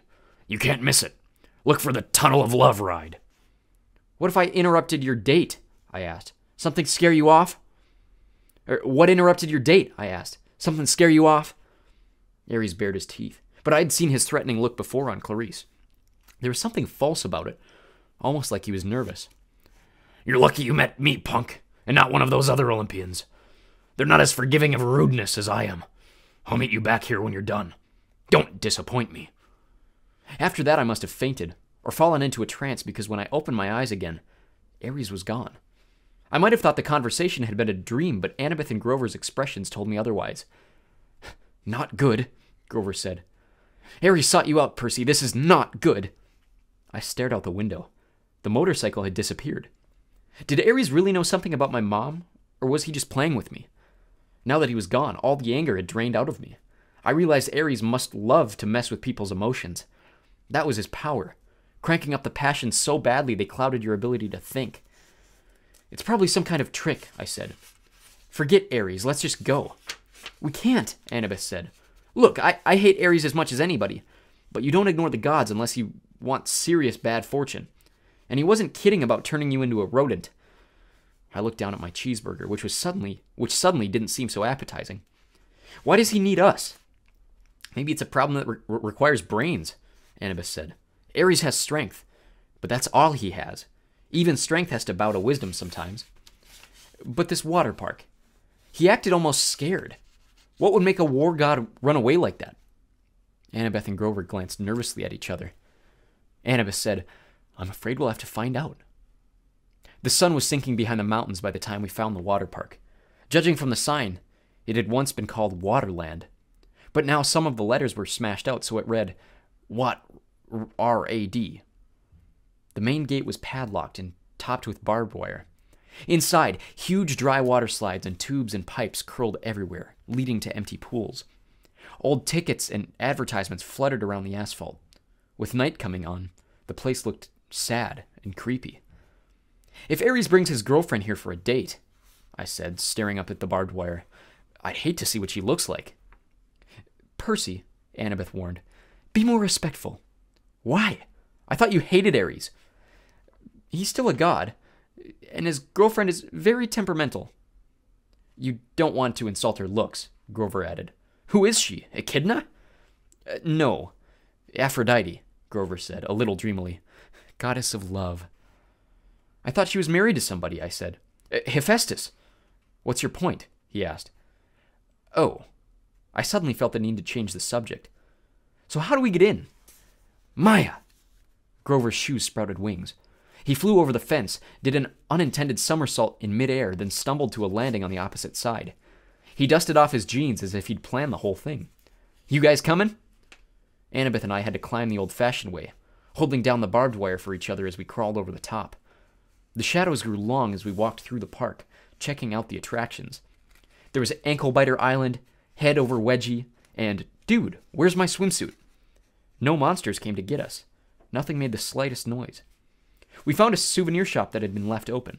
Merchandise still lined the shelves snow globes, pencils, postcards, and racks of clothes, Annabeth said. Fresh clothes. Yeah, I said, but you can't just watch me. She snatched an entire row of stuff off the racks and disappeared into the changing room. A few minutes later, she came out in Waterland flower print shorts, a big red Waterland t shirt, and commemorative Waterland surf shoes. A Waterland backpack was slung over her shoulder, obviously stuffed with more goodies. Oh, what the heck, Grover shrugged. Soon all three of us were decked out like walking advertisements for the defunct theme park. We continued searching for the Tunnel of Love. I got the feeling the whole park was holding its breath. So, Ares and Aphrodite, I said to keep my mind off the growing dark. They have a thing going? That's old gossip, Percy, Annabeth told me. Three thousand year old gossip. What about Aphrodite's husband? Well, you know, she said. Hephaestus, the blacksmith. He was crippled when he was a baby, thrown off Mount Olympus by Zeus. So He isn't exactly handsome, clever with his hands and all, but Aphrodite isn't into brains and talent, you know. She likes bikers. Whatever. Hephaestus knows? Oh, sure, Annabeth said. He caught them together once. I mean, literally caught them in a golden net and invited all the gods to come and laugh at them. Hephaestus is always trying to embarrass them. That's why they meet in out of the way places. Like. She stopped, looking straight ahead. Uh, like that. In front of us was an empty pool that would have been awesome for skateboarding. It was at least 50 yards across and shaped like a bowl. Around the rim, a dozen bronze statues of Cupid stood guard with wings spread and bows ready to fire. On the opposite side from us, a tunnel opened up, probably where the water flowed into when the pool was full. The sign above it read, Thrill Ride, O love, this is not your parents' tunnel of love. Grover crept toward the edge. Guys, look! Marooned at the bottom of the pool was a pink and white two seater boat with a canopy over the top and little hearts painted all over it. In the left seat, glinting the fading light, was Ares' shield, a polished circle of bronze. This is too easy, I said. So we just walk down there and get it? Annabeth ran her fingers along the base of the nearest Cupid statue. There's a, re- a Greek letter carved here, she said. Eta. I wonder. Grover, I said, you smell any monsters? He sniffed the wind. Nothing. Nothing. Like, in the arch and you didn't smell echidna nothing, or really nothing? Grover looked hurt. I told you, that was underground. Okay, I'm sorry. I took a deep breath. I'm going down there. I'll go with you. Grover didn't sound too enthusiastic, but I got the feeling he was trying to make up for what had happened in St. Louis. No, I told him. I want you to stay up top with the flying shoes. You're the Red Baron, a flying ace, remember? I'll be counting on you for backup, in case something goes wrong. Grover puffed up his chest a little.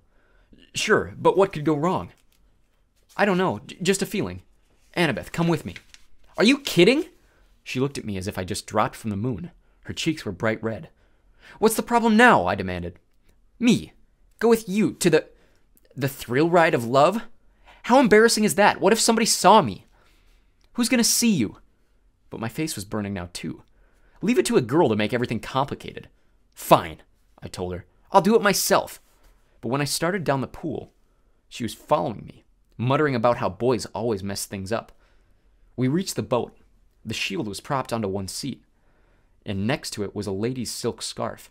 I tried to imagine Ares and Aphrodite here, a couple of gods meeting in a junked out amusement park ride. Why? Then I noticed something I hadn't seen from up top mirrors all the way around the rim of the pool, facing this spot. We could see ourselves no matter which direction we looked. That must be it. While Ares and Aphrodite were smooching with each other, they could look at their favorite people themselves. I picked up the scarf. It shimmered pink, and the perfume was indescribable rose or mountain laurel, something good. I smiled, a little dreamy, and was about to rub the scarf against my cheek when Annabeth ripped it out of my hand and stuffed it in her pocket. Oh, no, you don't. Stay away from that love magic. What? Just get this shield, seaweed brain, and let's get out of here. The moment I touched the shield, I knew we were in trouble. My hand broke through something that had been connecting it to the dashboard. A cobweb, I thought. But then I looked at a strand of it on my own palm and saw that it was some kind of metal filament, so fine it was almost invisible.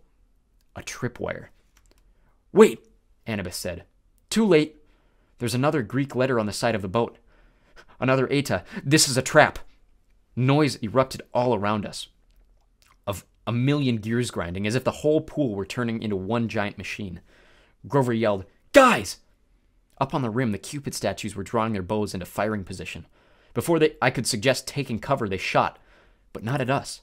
They fired at each other across the rim of the pool. Silky cables trailed from their arrows, arcing over the pool and anchoring where they landed to form a huge golden asterisk. Then smaller metallic threads started weaving together magically between the main strands, making a net. We have to get out, I said. Duh, Annabeth said. I grabbed the shield and we ran, but going up the slope of the pool was not as easy as going down. Come on, Grover shouted.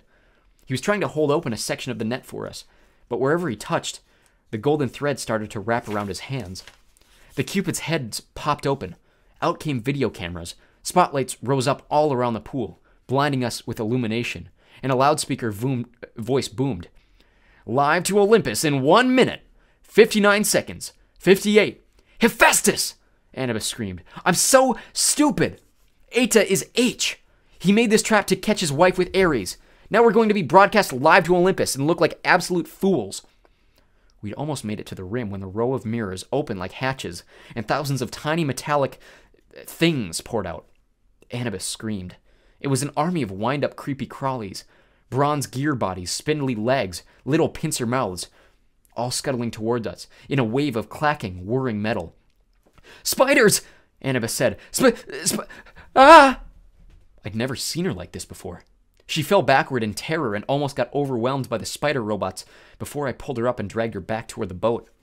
The things were coming out from all around the rim now, millions of them, flooding toward the center of the pool, completely surrounding us. I told myself they probably weren't programmed to kill, just corral us and bite us and make us look stupid.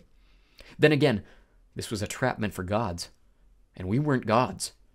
Annabeth and I climbed into the boat. I started kicking away the spiders as they swarmed aboard. I yelled at Annabeth to help me, but she was too paralyzed to do much more than scream. Thirty! Twenty-nine! called the loudspeaker. The spiders started spitting out strands of metal thread, tie- trying to tie us down. The strands were easy enough to break at first, but there were so many of them. And the spiders just kept coming. I kicked one away from Annabeth's leg, and its pincers took a chunk out of my new surf shoe. Grover hovered above the pool in his flying sneakers, trying to pull the net loose, but it wouldn't budge. Think, I told myself. Think! The tunnel of love entrance was under the net. We could use it as an exit, except that it was blocked by a million robot spiders. Fifteen! Fourteen! The loudspeaker called. Water, I thought. Where, where does the ride's water come from? Then I saw them.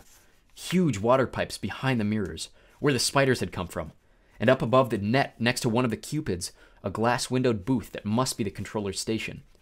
Grover! I, I yelled. Get into that booth. Find the on switch. But do it! It was crazy hope, but it was our only chance. The spiders were all over the prow of the boat now. Annabeth was screaming her head off. I had to get us out of there. Grover was in the controller's booth now, slamming away at the buttons. Five! Four! Grover looked at me hopelessly, raising his hands. He was letting me know that he'd pushed every button, but still nothing was happening. I closed my eyes and thought about waves, rushing water, the Mississippi River. I felt a familiar tug in my gut. I tried to imagine that I was dragging the ocean all the way to Denver. Two, one, zero! Water exploded out of the pipes. It roared into the pool, sweeping away the spiders.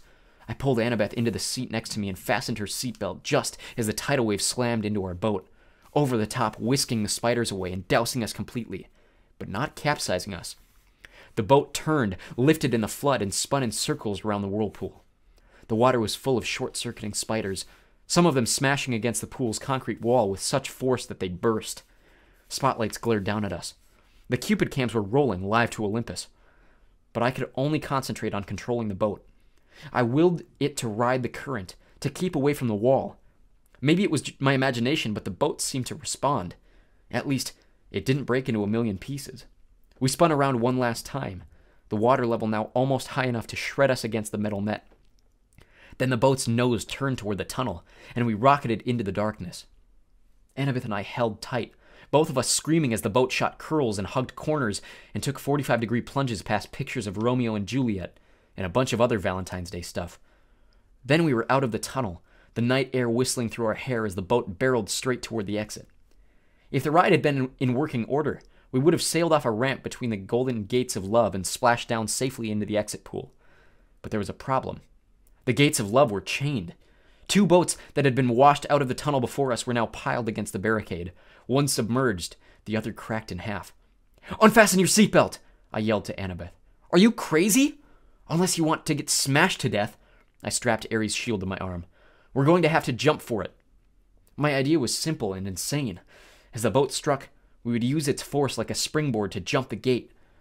I'd heard of people surviving car crashes that way, getting thrown 30 or 40 feet away from an accident. With luck, we would land in the pool. Annabeth seemed to understand. She gripped my hand as the gates got closer. On my mark, I said. No, on my mark. What? Simple physics, she yelled. Force times the trajectory angle. Fine, I shouted. On your mark. She hesitated, hesitated, and then yelled, Now! Crack! Annabeth was right. If we jumped when I thought we should have, we would have crashed into the gates. She got us maximum lift. Unfortunately, that was little more than we needed. Our boat smashed into the pileup and we were thrown into the air, straight over the gates, over the pool, and down towards solid asphalt. Something grabbed me from behind. Annabeth yelled, Ouch! Grover! In midair, he had grabbed me by the shirt and Annabeth by the arm and was trying to pull us out of a crash landing. But Annabeth and I had all the momentum. You're too heavy, Grover said. We're going down. We spiraled toward the ground, Grover doing his best to slow the fall. We smashed into the photo board, Grover's head going straight into the hole where the tourists would put their faces, pretending to be Nunu the friendly whale. Annabeth and I tumbled to the ground, banged up but alive. Ares' shield was still on my arm. Once we caught our breath, Annabeth and I got Grover out of the photo board and thanked him for saving our lives. I looked back at the thrill ride of love. The water was subsiding. Our boat had been smashed to pieces against the gates. A hundred yards away at the entrance pool, all the cupids were still filming. The statues had swiveled so that their cameras were trained uh, straight on us, the spotlights in our faces. Show's over! I yelled. Thank you. Good night. The cupids turned back to their original positions. The lights shut off. The park went quiet and dark again, except for the gentle trickle of water into the thrill ride of love's exit pool. I wondered if Olympus had gone to commercial break or if our ratings hadn't been any good. I hated being teased. I hated being tricked. And I had plenty of experience handling bullies who liked to do that stuff to me. I hefted the shield on my arm and turned to my friends. We need to have a little talk with Ares. Chapter 16 We take a zebra to Vegas. The war god was waiting for us in the diner parking lot. Well, well, He said, you didn't get yourself killed. You knew it was a trap, I said. Ares gave me a wicked grin. Bet that crippled blacksmith was surprised when he netted a couple of stupid kids. You looked good on TV. I shoved his shield at him. You're a jerk. Annabeth and Grover caught their breath. Ares grabbed the shield and spun it in the air like a pe- like pizza dough. It changed form, melting into a bulletproof vest. He slung it across his back. See that truck over there? He pointed to an 18 wheeler parked across the street from the diner. That's your ride. Take you straight to LA, with one stop in Vegas. The 18 wheeler had a sign on the back, which I could read only because it was reverse printed white on black, a good combination for dyslexia. Kindness International, Humane Zoo Transport, Warning, Live Animals. I said, You're kidding. Ares snapped his fingers. The back door of the truck unlatched. Free ride west, punk. Stop complaining. And here's a little something for doing the job. He slung a blue nylon backpack off his handlebars and tossed it to me. Inside were fresh clothes for all of us 20 bucks in cash, a pouch full of golden drachmas, and a bag full of double stuffed Oreos. I said, I don't want your lousy. Thank you, Lord Ares, Grover interrupted, giving me his best red alert warning look. "Uh, Thanks a lot. I gritted my teeth. It was probably a deadly insult to refuse something from a god, but I didn't want anything that Ares had touched. Reluctantly, I slung the backpack over my shoulder. I knew my anger was being caused by the war god's presence, but I was still itching to punch him in the nose. He reminded me of every bully I'd ever faced Nancy Bobofit, Clarisse, Smelly Gabe, sarcastic teachers, every jerk who'd call me stupid in school or laughed at me when I'd gotten expelled. I looked back at the diner, which had only a couple of customers now. The waitress who'd served us dinner was now watching nervously out the window, like she was afraid Ares might hurt us. She dragged the fry cook out from the kitchen to see. She said something to him. He nodded, held up a little disposable camera, and snapped a picture of us. Great, I thought. We'll make the papers again tomorrow. I imagined the headline 12 year old outlaw beats up defenseless biker. You owe me one more thing, I told Ares, trying to keep my voice level. You promised me information about my mother. So, you sure you can handle the news? He kick-started his motorcycle. She's not dead. The ground seemed to spin beneath me. What do you mean? I mean, she was taken away from the Minotaur before she could die. She was turned into a shower of gold, right? That's metamorphosis, not death. She's being kept. Kept? Why? You need to study war, punk. Hostages. You take somebody to control somebody else. Nobody's controlling me. he laughed. Oh, yeah. See you around, kid. I balled up my fists. You're pretty smug, Lord Ares, for a guy who runs from Cupid statues. Behind his sunglasses, fire glowed. I felt a hot wind in my hair. We'll meet again, Percy Jackson. Next time you're in a fight, Watch your back. He revved his Harley, then roared off down Delancey Street. Annabeth said, That was not smart, Percy. I don't care. You don't want a god as your enemy, especially not that god. Hey, guys, Grover said, I hate to interrupt, but. He pointed at the diner. At the register, the last two customers were paying their check. Two men in identical black overalls with a white logo on their backs that matched the one on the Kindness International truck. If we're taking the Zoo Express, Grover said, we need to hurry. I didn't like it, but we had no better option. Besides, I'd seen enough of Denver. We ran across the street and climbed in the back of a big rig, closing the doors behind us. The first thing that hit me was the smell. It was like the world's biggest pan of kitty litter. The trailer was dark inside until I uncapped Anaklusmos. The blade cast a faint bronze light over every sad scene. Sitting in a, row of filthy metal cages were three of the most pathetic zoo animals I'd ever beheld a zebra, a male albino lion, and some weird antelope thing I didn't know the name for. Someone had thrown the lion a sack of turnips, which he obviously didn't want to eat. The zebra and antelope had each gotten a styrofoam tray of hamburger meat. The zebra's mane was matted with chewing gum, like somebody had been spitting on it in their spare time. The antelope had a stupid silver birthday balloon tied to one of its horns that read, Over the hill! Apparently, nobody had wanted to get close enough to the lion to mess with him, but the poor thing was pacing around on soiled blankets, in a space way too small for him, panting from the stuffy heat of the trailer. He had flies buzzing around his pink eyes, and his ribs showed through his white fur. This is kindness? Grover yelled. Humane zoo transport? He probably would have gone right back outside to beat up the truckers with his reed pipes, and I would have helped him. But just then the truck's engine roared to life. The trailer started shaking, and we were forced to sit down or fall down. We huddled in the corner on some mildeweed feed sacks, trying to ignore the smell and the heat and the flies. Grover talked to the animals in a series of goat bleats, but they just stared at him sadly. Annabeth was in favor of breaking the cages and freeing them on the spot, but I pointed out it wouldn't do much good until the truck stopped moving. Besides, I had a feeling we might look better to the lion than those turnips. I found a water jug and refilled their bowls, then used Anaklusmos to drag the mismatched food out of their cages. I gave the meat to the lion and the turnips to the zebra and the antelope. Grover called the an- antelope down, while Annabeth used her knife to cut the balloon off his horn. She wanted to cut out the gum of the zebra's mane, too, but we decided that would be too risky with the trunk bumping around. We told Grover to promise the animals we'd help them more in the morning. Then we settled in for night. Grover curled up on a turnip sack. Annabeth opened our bag of double stuffed Oreos and nibbled on one half heartedly. I tried to cheer myself up by concentrating on the fact we were halfway to Los Angeles, halfway to our destination. And it was only July or it was only June 14th. The solstice wasn't until the 21st. We could make it in plenty of time. On the other hand, I had no idea what to expect next. The gods kept toying with me. At least Hephaestus had the decency to be honest about it. He'd put up cameras and advertise me as entertainment. But even when the cameras weren't rolling, I had a feeling my quest was being watched. I was a source of amusement for the gods. Hey, Annabeth said. I'm sorry for freaking out back at the water park, Percy. That's okay. It's just. She shuddered. Spiders. Because of the Arachne story, I guessed. She got turned into a spider for challenging your mom to a weaving contest, right? Annabeth nodded. Arachne's children have been taking revenge on the children of Athena ever since. If there's a spider within a mile me, of me, it'll find me. I hate the creepy little things. Anyway, I owe you. We're a team, remember? I said. Besides, Grover did the fancy flying. I thought he was asleep, but he mumbled from the corner.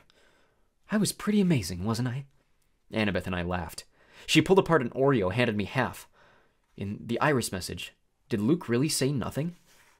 I munched my cookie and thought about how to answer. The conversation via Rainbow had bothered me all evening. Luke said you and he go way back. He also said Grover wouldn't fail this time. Nobody would turn into a pine tree. In the dim bronze light of the sword blade, it was hard to read their expressions. Grover let out a mournful bray. I should have told you the truth from the beginning. His voice trembled. I, I thought if you knew what a failure I was, you wouldn't want me along. You were the satyr who tried to rescue Thalia, the daughter of Zeus. He nodded glumly. And the other two half-bloods, Thalia befriended? The ones who got safely to camp? I looked at Annabeth. That was you and Luke, wasn't it? She put down her Oreo uneaten. Like you said, Percy, a seven year old half blood wouldn't have made it very far alone. Athena guided me toward help. Thalia was 12, Luke was 14. They'd both run away from home, like me. They were happy to take me with them. They were amazing monster fighters, even without training. We traveled north from Virginia without any real plans, fending off monsters for about two weeks before Grover found us. I was supposed to escort Thalia to camp, he said, sniffling. Only Thalia. I had strict orders from Chiron. Don't do anything that would slow down the rescue. We knew Hades was after her, see, but I just I couldn't just leave Luke and Annabeth by themselves. I thought I thought I could lead all three of them to safety. It was my fault the kindly ones caught up with them. I froze. I got scared on the way back to camp and took some wrong turns. If I'd just been a little quicker. Stop it, Annabeth said. No one blames you. Thalia didn't blame you either. She sacrificed herself to save us, he said miserably. Her death was my fault. The Council of Cloven Elders said so. Because you wouldn't leave two other half bloods behind? I said. That's not fair. Percy's right, Annabeth said. I wouldn't be here today if it weren't for you, Grover. Neither would Luke. We don't care what the Council says. Grover kept sniffling in the dark. It's just my luck. I'm the lamest satyr ever, and I find the two most powerful the cent- of the century, Thalia and Percy. You're not lame, Annabeth insisted. You've got more courage than any satyr I've ever met. Name one other who would dare go to the underworld. I bet Percy is really glad you're here right now. She kicked me in the shin. Yeah, I said, which I would have done even without the kick. It's not luck that you found Thalia in me, Grover. You've got the biggest heart of any satyr ever. You're a natural searcher. That's why you'll be the one who finds Pan. I heard a deep, satisfied sigh. I waited for Grover to say something, but his breathing only got heavier. When the sound turned to snoring, I realized he'd fallen asleep. How does he do that? I marveled. I don't know, Annabeth said, but that was really a nice thing you told him. I meant it. We rode in silence for a few miles, bumping around on the feed sacks. The zebra munched a turnip. The lion licked the last of the hamburger meat off his lips and looked at me hopefully. Annabeth rubbed her necklace like she was thinking deep, strategic thoughts. Th- that pine tree bead, I said. Is that from your first year? She looked. She hadn't realized what she was doing. Yeah, she said. Every August, the counselors pick the most important event of the summer, and they painted on that year's beads. I've got Thalia's pine tree, a Greek trireme on fire, a centaur in a prom dress. now that was a weird summer. And the college ring is your father's? That's none of your. She stopped herself. Yeah. Yeah, it is. You don't have to tell me. No, it's okay. She took a shaky breath. My dad sent it to me folded up in a letter two summers ago. The ring was, like, his main keepsake from Athena. He wouldn't have gotten through his doctoral program at Harvard without her. That's a long story. Anyway, he said he wanted me to have it. He apologized for being a jerk. He said he loved me and missed me. He wanted me to come home and live with him. That doesn't sound so bad. Yeah, well, the problem was I believed him. I tried to go home for that school year, but my stepmom was the same as ever. She didn't want her kids put in danger by living with a freak. Monsters attacked. We argued. Monsters attacked. We argued. I didn't even make it through winter break. I called Chiron and came back right back to Camp Half Blood. You think you'll ever try living with your dad again? She wouldn't meet my eyes. Please, I'm not into self inflicted pain. You shouldn't give up, I told her. You should write him a letter or something. Thanks for the advice, she said coldly, but my father's made his choice about who he wants to live with. We passed another few miles of silence. So if the gods fight, I said, will things line up the way they did with the Trojan War? Will it be Athena versus Poseidon? She put her hand against the backpack Ares had given us and closed her eyes. I don't know what my mom will do. I just know. I just know I'll fight next to you. Why? Because you're my friend, Seaweed Brain. Any more stupid questions? I couldn't think of an answer for that. Fortunately, I didn't have to. Annabeth was as- asleep. I had trouble following her example, with Grover snoring and an albino lion staring hungrily at me. But eventually I closed my eyes. My nightmare started out as something I dreamed a million times before. I was being forced to take a standardized test while wearing a straitjacket. All the other kids were going out to recess, and the teacher kept saying, Come on, Percy. You're not stupid, are you? Pick up your pencil. Then the dream strayed from the usual. I looked over at the next desk and saw a girl sitting there, also wearing a straitjacket. She was my age, with unruly black, punk style hair, dark eyeliner around her stormy green eyes, and freckles across her nose. Somehow I knew who she was. She was Thalia, daughter of Zeus. She struggled against the straitjacket, glared at me in frustration and snapped, Well, Seaweed Brain, one of us has to get out of here.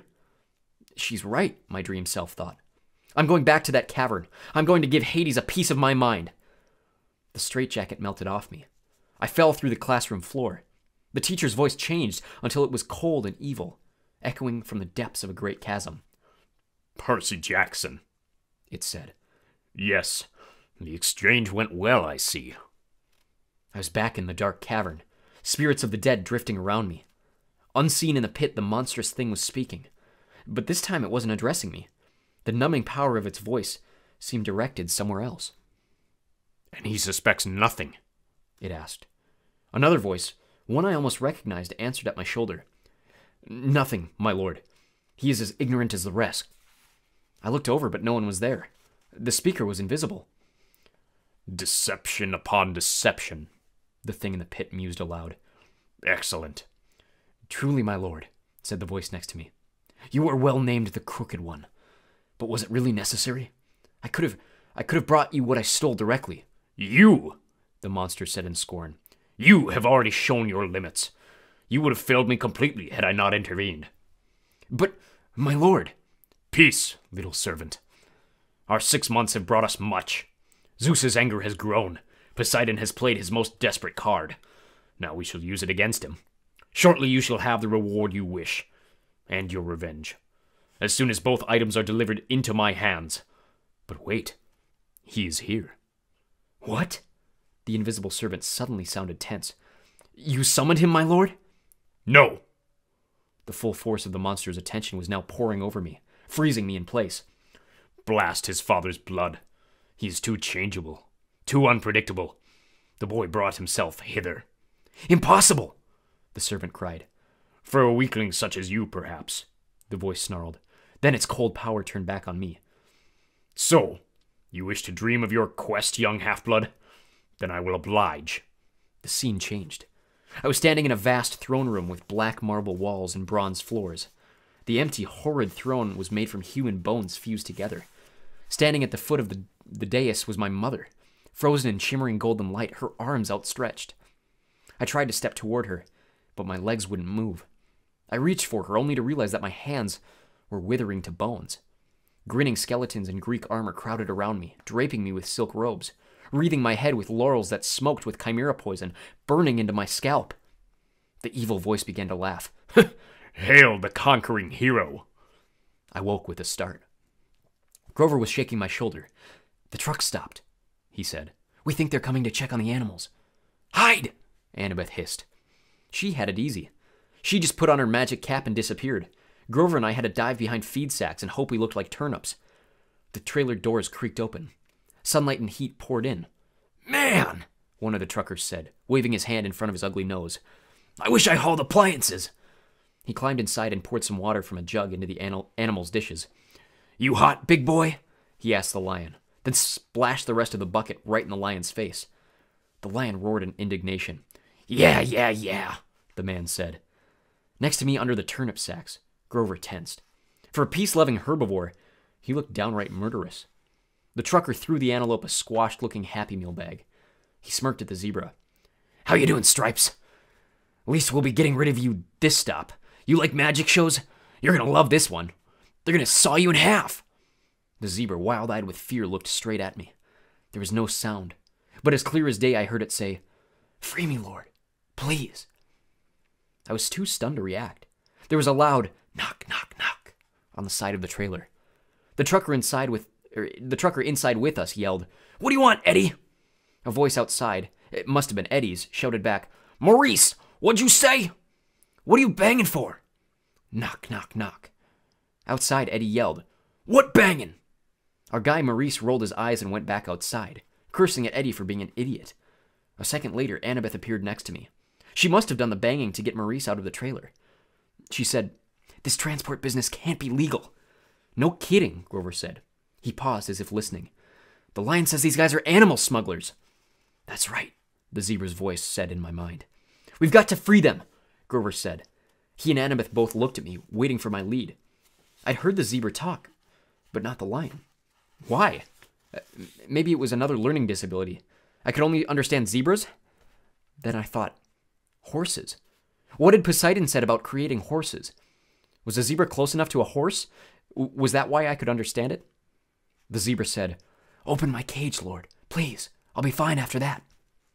Outside, Eddie and Maurice were still yelling at each other, but I knew they'd be coming inside to torment the animals again any minute. I grabbed Riptide and slashed the lock off the zebra's cage. The zebra burst out. It turned to me and bowed. Thank you, Lord. Grover held up his hands and said something to the zebra in goat talk, like a blessing.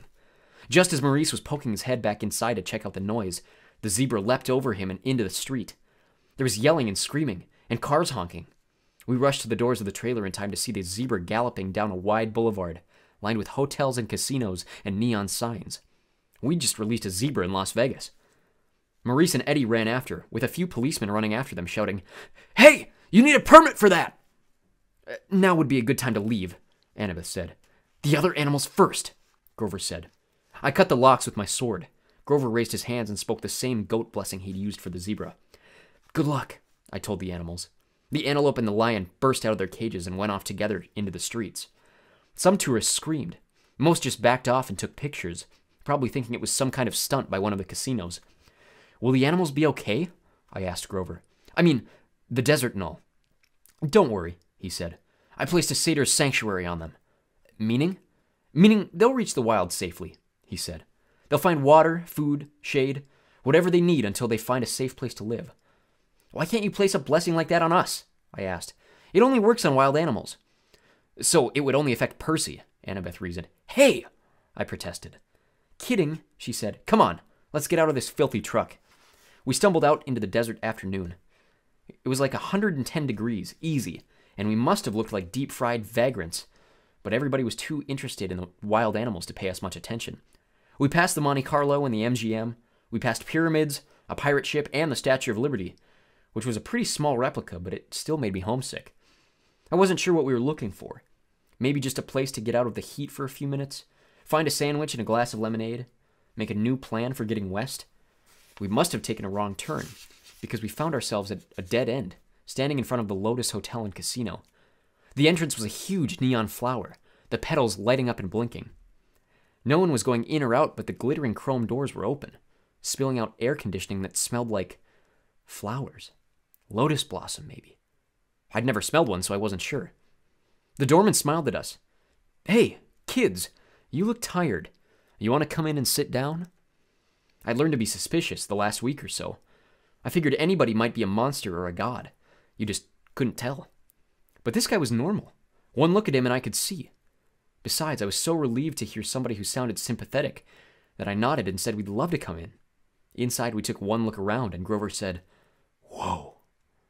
The whole lobby was a giant game room. And I'm not talking about cheesy old Pac Man games or slot machines. There's an indoor water slide snaking around the glass elevator, which went straight up at least 40 floors.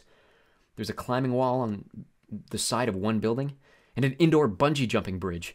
There were virtual reality suits with working laser guns, and hundreds of video games, each one the size of a widescreen TV.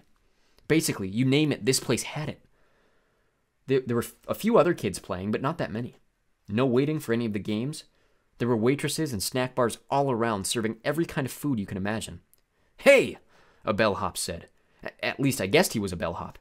He wore a white and yellow Hawaiian shirt with lotus designs, shorts, and flip flops.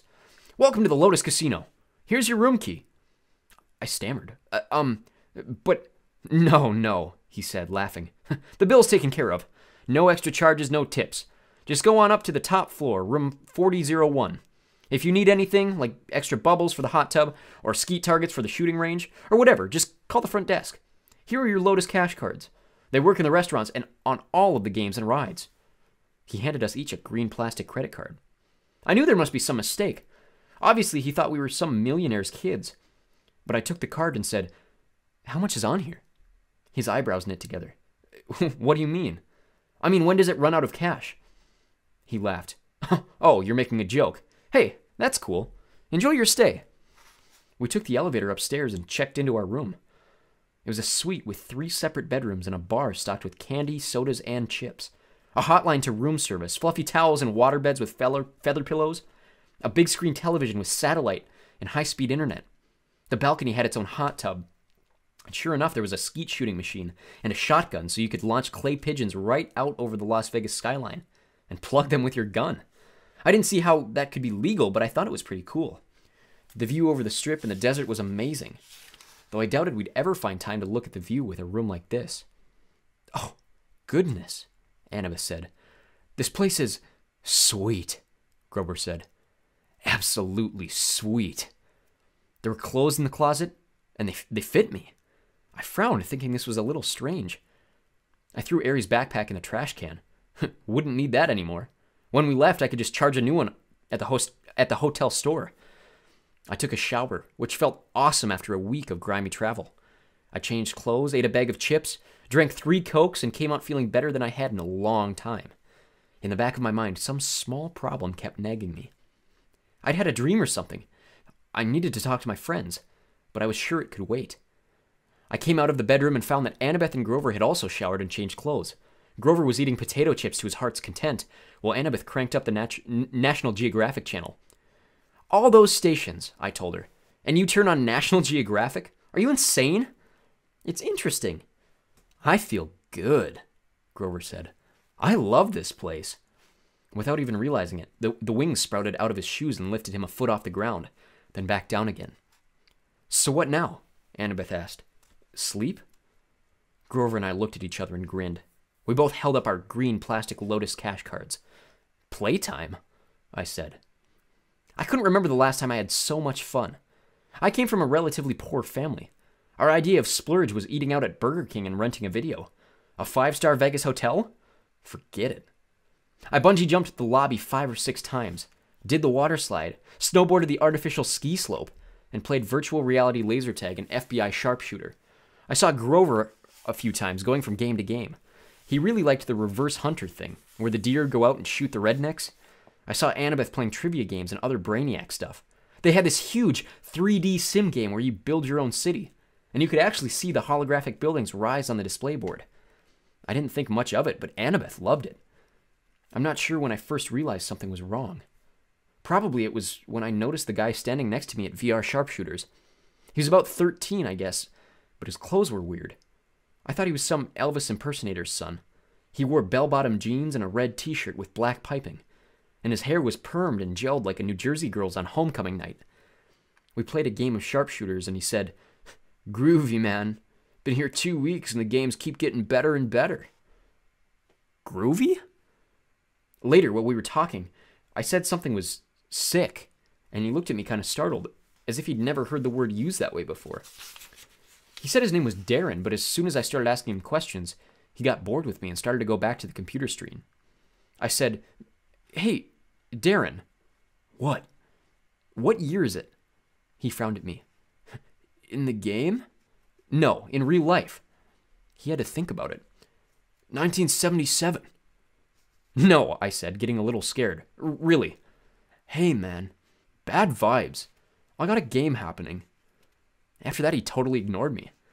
I started talking to people and I found out it wasn't easy. They were glued to the TV screen or the video game or their food or whatever. I, I found a guy who told me it was 1985.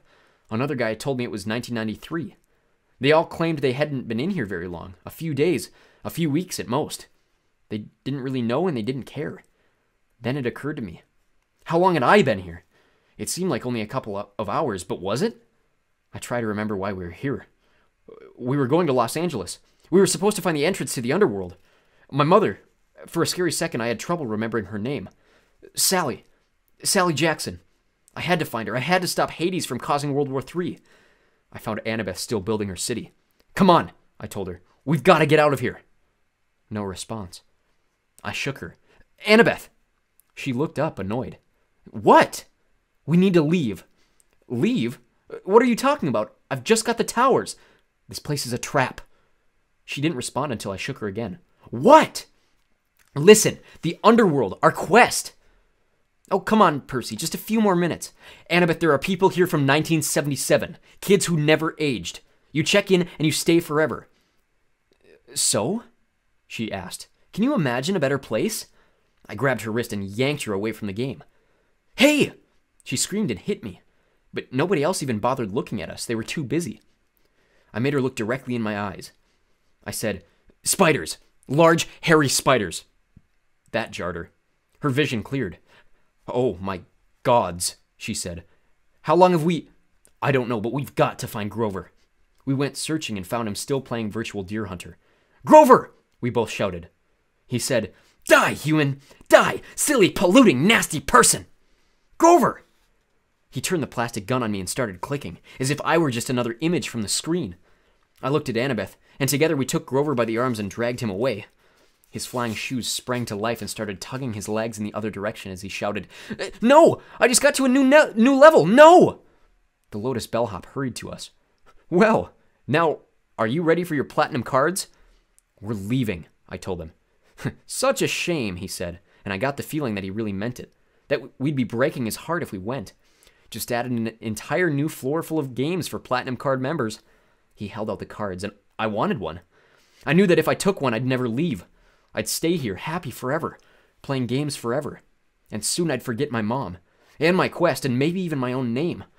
I'd be playing Virtual Rifleman with Groovy Disco Darren forever. Grover reached for the card, but Annabeth yanked back his arm and said, No, thanks. We walked toward the door, and as we did, the smell of the food and the sounds of the game seemed to get more and more inviting. I thought about our room upstairs. We could just stay the night, sleep in a real bed for once. Then we burst through the doors of the Lotus Casino and ran down the sidewalk. It felt like afternoon, about the same time of day we'd gone into the casino. But something was wrong. The weather had completely changed. It was stormy, with heat lightning flashing out in the desert. Ares' backpack was slung over my shoulder, which was odd because I was sure I'd thrown it in the trash can in room 4001, but at the moment I had other problems to worry about. I ran to the nearest newspaper stand and read the year first. Thank the gods it was the same year it had been when we went in. Then I noticed the date June 20th. We'd been in the Lotus Casino for five days. We had only one day left until the summer solstice. One day to complete our quest. Chapter 17 We Shop for Waterbeds. It was Annabeth's idea. She loaded us into the back of a Vegas taxi as if we actually had money and told the driver, Los Angeles, please. The cabbie chewed his cigar and sized us up. That's 300 miles. For that, you gotta pay up front. You accept casino debit cards? Annabeth asked. He shrugged. Some of them. Same as credit cards. I gotta swipe them through first. Annabeth handed him her green Lotus cash card. He looked at it skeptically. Swipe it, Annabeth invited. He did. His meter machine started rattling. The lights flashed. Finally, an infinity symbol came up next to the dollar sign. The cigar fell out of the driver's mouth. He looked back at us, his eyes wide. Where to in Los Angeles? Uh, Your Highness? The Santa Monica Pier. Annabeth sat up a little straighter. I could tell she liked the Your Highness thing. Get us there fast and you can keep the change. Maybe she shouldn't have told him that. The cab speedometer never dipped below 95 the whole way through the Mojave Desert. On the road, we had plenty of time to talk. I told Annabeth and Grover about my latest dream, but the details got sketchier the more I tried to remember them. The Lotus Casino seemed to have short circuited my memory. I couldn't recall what the invisible servant's voice had sounded like, though I was sure it was somebody I knew. The servant had called the monster in the pit something other than my lord. Some special name or title. The Silent One? Annabeth suggested. The Rich One? Both of those are nicknames for Hades. Maybe, I said, though neither of those sounded quite right. That throne room sounds like Hades, Grover said. That's the way it's usually described. I shook my head. Something's wrong. The throne room wasn't the main part of the dream. And that voice from the pit, I don't know, it just didn't feel like a god's voice. Annabeth's eyes widened. What? I asked. Oh, nothing. It was just. No, it has to be Hades. Maybe he sent this thief, this invisible person, to get the Master Bolt, and something went wrong. Like what? I don't know, she said. But if he stole Zeus's symbol of power from Olympus, and the gods were hunting him, I mean, a lot of things could go wrong. So this thief had to hide the bolt, or he lost it somehow. Anyway, he failed to bring it to Hades. That's what the voice said in your dream, right? The guy failed. That would explain what the Furies were searching for when they came after us on the bus. Maybe they thought we had retrieved the bolt. I wasn't sure what was wrong with her. She looked pale. But if I already retrieved the bolt, I said, why would I be traveling to the underworld? To threaten Hades, Grover suggested. To bribe or blackmail him into getting your mom back. I whistled. you have evil thoughts for a goat. Why, thank you. But the thing in the pit said it was waiting for two items, I said. If the Master Bolt is one, what's the other? Grover shook his head, clearly mystified. Annabeth was looking at me as if she knew my next question, and was silently willing me not to ask it. You have an idea what might be in that pit, don't you? I asked her. I mean, if it isn't Hades. Percy, let's not talk about it, because it isn't Hades. If it isn't Hades, no, it has to be Hades. Wasteland rolled by. We passed a sign that said, California State Line, 12 miles. I got the feeling I was missing one simple, critical piece of information. It was like when I started at, com- at a common word I should know, but I couldn't make sense of it because one or two letters were floating around. The more I thought about my quest, the more I was sure that confronting Hades wasn't the real answer. There was something else going on, something even more dangerous. The problem was we were hurtling toward the underworld at 95 miles an hour, betting that Hades had the Master Bolt. If we got there and found out we were wrong, we wouldn't have time to correct ourselves. The solstice deadline would pass, and war would begin. The answer's in the underworld, Annabeth assured me. You saw Spirits of the Dead, Percy. There's only one place that could be. We're doing the right thing. She tried to boost our morale by suggesting clever strategies for getting into the land of the dead, but my heart wasn't in it. There were just too many unknown factors. It was like cramming for a test without knowing the subject. And believe me, I'd done that enough times. The cab sped west. Every gust of wind through Death Valley sounded like a spirit of the dead. Every time the brakes hissed on an 18 wheeler, it reminded me of a kidness reptilian voice. At sunset, the taxi dropped us at the beach at Santa Monica. It looked exactly the way LA beaches do in the movies, only it smelled worse. There were carnival rides lining up the pier, palm trees lining the sidewalks, homeless guys sleeping in the sand dunes, and surfer dudes waiting for the perfect wave. Grover, Annabeth, and I walked down to the edge of the surf. What now? Annabeth asked. The Pacific was turning gold in the setting sun. I thought about how long it had been since I stood on the beach at Montauk, on the opposite side of the country, looking out at a different sea. How could there be a god who could control all that? What did my science teacher used to say? Two thirds of the Earth's surface were covered in water? How could I be the son of someone that powerful? I stepped into the surf. Percy, Annabeth said, what are you doing? I kept walking, up to my waist, then my chest. She called after me. You know how polluted that water is? There's all kinds of toxic. That's when my head went underwater. I held my breath at first. It's difficult to intentionally inhale water. Finally, I couldn't stand it anymore. I gasped, and sure enough, I could breathe normally. I walked down into the shoals. I couldn't have been able to see through the murk, but somehow I could tell where everything was. I could sense the rolling texture of the bottom. I could make out sand dollar colonies dotting the sandbars. I could even see the currents, warm and cold streams swirling together. I felt something rub against my leg. I looked down and almost shot out of the water like a ballistic missile. Sliding along beside me was a five foot long mako shark. But the thing wasn't attacking. It was nuzzling me, heeling like a dog. Tentatively, I touched its dorsal fin. It bucked a little as if inviting me to hold tighter. I grabbed the fin with both hands. It took off, pulling me along. The shark carried me down into the darkness. It deposited me at the edge of the ocean proper, where the sandbank dropped off into a huge chasm. It was like standing on the rim of the Grand Canyon at midnight, not being able to see much, but knowing the void was right there. The surface shimmered maybe a 150 feet above. I knew I should have been crushed by the pressure. Then again, I shouldn't have been able to breathe. I wondered if there was a limit to how deep I could go, if I could sink straight to the bottom of the Pacific. Then I saw something glimmering in the darkness, below, growing bigger and brighter as it rose toward me. A woman's voice, like my mother's, called, Percy Jackson. As she got closer, her shape became clearer. She had flowing black hair, a dress made from green silk. Light flickered around her, and her eyes were so distractingly beautiful I hardly noticed the stallion sized seahorse she was riding. She dismounted. The seahorse and the mako shark whisked off and started playing something that looked like tag. The underwater lady smiled at me. You've come far, Percy Jackson. Well done. I wasn't sure what to do, so I bowed. You're the woman who spoke to me in the Mississippi River. Yes, child. I am a Nereid, spirit of the sea. It was not easy to appear so far upriver, but the Naiads, my freshwater cousins, helped su- sustain my life force. They honor Lord Poseidon, though they do not serve in his court. And you serve in Poseidon's court? She nodded. It has been many years since a child of the sea god has been born. We've watched you with great interest. Suddenly, I remembered faces in the waves off Montauk Beach when I was a little boy reflections of smiling women. Like so many of the weird things in my life, I'd never given it much thought before. If my father is so interested in me, I said, why isn't he here? Why doesn't he speak to me? A cold current rose out of the depths. Do not judge the Lord of the Sea too harshly, the Nereid told me. He stands at the brink of an unwanted war. He has much to occupy his time. Besides, he is forbidden to help you directly. The gods may not show much favoritism. Even to their own children? Especially to them. The gods can work by indirect influence only. That is why I give you a warning and a gift. She held out her hand. Three white pearls flashed in her palm. I know you journey to Hades' realm, she said. Few mortals have ever done this and survived.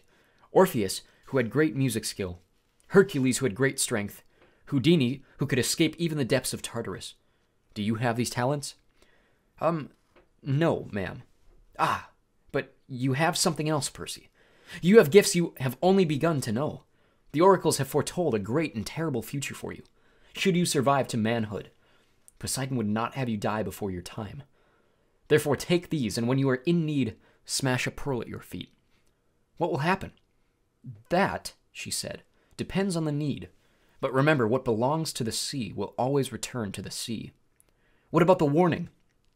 Her eyes flickered with green light. Go with what your heart tells you, or you will lose all. Hades feeds on doubt and hopelessness. He will trick you if you can. You mistrust your own judgment. Once you are in his realm, he will never willingly let you leave. Keep faith. Good luck, Percy Jackson. She summoned her seahorse and rode toward the void. Wait! I called. At the river, you said not to trust the gifts. What gifts? Goodbye, young hero, she called back, her voice fading into the depths. You must listen to your heart. She became a speck of glowing green, and then she was gone. I wanted to follow her down into the darkness. I wanted to see the court of Poseidon, but I looked up at the sunset darkening on the surface. My friends were waiting. We had so little time. I kicked upward toward the shore. When I reached the beach, my clothes dried instantly. I told Grover and Annabeth what had happened and showed them the pearls. Annabeth grimaced. No gift comes without a price. They were free. No, she shook her head. There's no such thing as a free lunch. That's an ancient Greek saying that translated pretty well into American. There will be a price. You wait. On that happy thought, we turned our backs on the sea. With some spare change from Ares' backpack, we took the bus into West Hollywood. I showed the driver the underworld address slip taken from Auntie M's garden gnome emporium, but he'd never heard of DOA recording studios. You remind me of somebody I saw on TV, he told me. You a child actor or something? Uh, I'm a stunt double for a lot of child actors. Oh, that explains it. We thanked him and got off quickly at the next stop. We wandered for miles on foot looking for DOA. Nobody seemed to know where it was. It didn't appear in the phone book. Twice we ducked into alleys to avoid cop cars. I froze in front of an appliance store window because a television was playing an interview with somebody who looked very familiar. My stepdad, Smelly Gabe. He was talking to Barbara Walters. I mean, as, as if he were some kind of huge celebrity. She was interviewing him in our apartment, in the middle of a poker game, and there was this young blonde lady sitting next to him, patting his hand. A fake tear glistened on his cheek. He was saying, Honest, Miss Walters, if it wasn't for Sugar here, my grief counselor, I'd be a wreck. My stepson took everything I cared about. My wife, my Camaro. I. I'm sorry. I have trouble talking about it. There you have it, America. Barbara Walters turned to the camera. A man torn apart. An adolescent boy with serious issues. Let me show you again the last known photo of this troubled young fugitive, taken a week ago in Denver. The screen cut to a grainy shot of me, Annabeth, and Grover standing outside the Colorado diner, talking to Ares. Who are the other children in this photo? Barbara Walters asked dramatically. Who is the man with them? Is Percy Jackson a delinquent, a terrorist, or perhaps the brainwashed victim of a frightening new cult? When we come back, we chat with a leading child psychologist. Stay tuned, America. Come on, Grover told me. He hauled me away before I could punch a hole in the appliance store window. It got dark and hungry looking characters started coming out on the streets to play. Now, don't get me wrong, I'm a New Yorker. I don't scare easily. But LA had a totally different feel from New York. Back home, everything seemed close. It didn't matter how big the city was, you could get anywhere without getting lost. The street pattern and the subway made sense. There was a system to how things worked. A kid could be safe as long as he wasn't stupid. LA wasn't like that. It was spread out, chaotic, hard to move around. It reminded me of Ares. I wasn't enough for LA to be big. It had to prove it was big by being loud and strange and difficult to navigate, too. I didn't know how we were ever going to find the entrance to the underworld by tomorrow, the summer solstice. We walked past gangbangers, bums, and street hawkers, who looked at us like they were trying to figure out if we were worth the trouble of mugging. As we hurried past the entrance of an alley, a voice from the darkness said, Hey, you! Like an idiot, I stopped. Before I knew it, we were surrounded. A gang of kids had circled us. Six of them, in all, white kids with expensive clothes and mean faces, like the kids at Yancy Academy. Rich brats playing at being bad boys. Instinctively, I uncapped Riptide. When the sword appeared out of nowhere, the kids backed off. But their leader was either really stupid or really brave, because he kept coming at me with a switchblade. I made the mistake of, of swinging. The kid yelped, but he must have been 100% mortal because the blade passed harmlessly right through his chest. He looked down. What the? I figured I had about three seconds before shock turned to anger. Run! I screamed at Annabeth and Grover. We pushed two kids out of the way and raced down the street, not knowing where we were going. We turned a sharp corner. There! Annabeth shouted. Only one store on the block looked open, its windows glaring with neon. The sign above the door said something like, Krustui's Watrubeda Al Pas. Crusty's Waterbed Palace, Grover translated. It didn't sound like a place I'd ever go except in an emergency, but this definitely qualified. We burst through the doors, ran behind a waterbed, and ducked. A split second later, the gangs, the gang kids ran past outside. I think we lost him, Grover panted. A voice behind us boomed. Lost who? We all jumped. Standing behind us was a guy who looked like a raptor in a leisure suit. He was at least seven feet tall with absolutely no hair. He had gray, leathery skin, thick lidded eyes, and a cold, reptilian smile. He moved toward us slowly, but I got the feeling he could move fast if he needed to. His suit might have come from the Lotus Casino. It belonged back in the 70s, big time. The shirt was silk paisley, unbuttoned halfway down his hairless chest. The lapels on his velvet jacket were as wide as landing strips. The silver chains around his neck, I couldn't even count them. I'm Crusty, he said with a tartar yellow smile. I resisted the urge to say, Yes, you are. Sorry to barge in, I told him. We were just, um, browsing. You mean hiding from those no good kids, he grumbled. They hang around every night. I get a lot of people in here thanks to them. Say, you want to look at a waterbed? I was about to say, no thanks, when he put a huge paw on my shoulder and steered me deeper into the showroom. There was every kind of waterbed you could imagine different kinds of wood, different patterns of sheets, queen size, king size, emperor of the universe size. This is my most popular model. Crusty spread his hands proudly over a bed covered with black satin sheets, with built in lava lamps on the headboard. The mattress vibrated so it looked like oil flavored jello. Million hand massage, Crusty told us. Go on, try it out. Shoot, take a nap, I don't care. No business today, anyway. Um, I said, I don't think. Million hand massage, Grover cried and dove in. Oh, you guys, this is cool. Hmm, Crusty said, stroking his leathery chin. Almost. Almost. Almost what? I asked. He looked at Annabeth. Do me a favor and try this one over here, honey. Might fit. Annabeth said, But what? He patted her reassuringly on the shoulder and led her over to the Safari Deluxe model with teakwood lions carved into the frame and a leopard pattern comforter. When Annabeth didn't want to lie down, Crusty pushed her. Hey! She protested. Crusty snapped his fingers. There go! Rope sprang from the side of the bed, lashing around Annabeth, holding her to the mattress. Grover tried to get up, but Rope sprang from his black satin bed too and lashed him down. Not cool, he said, his voice vibrating from the million hand massage.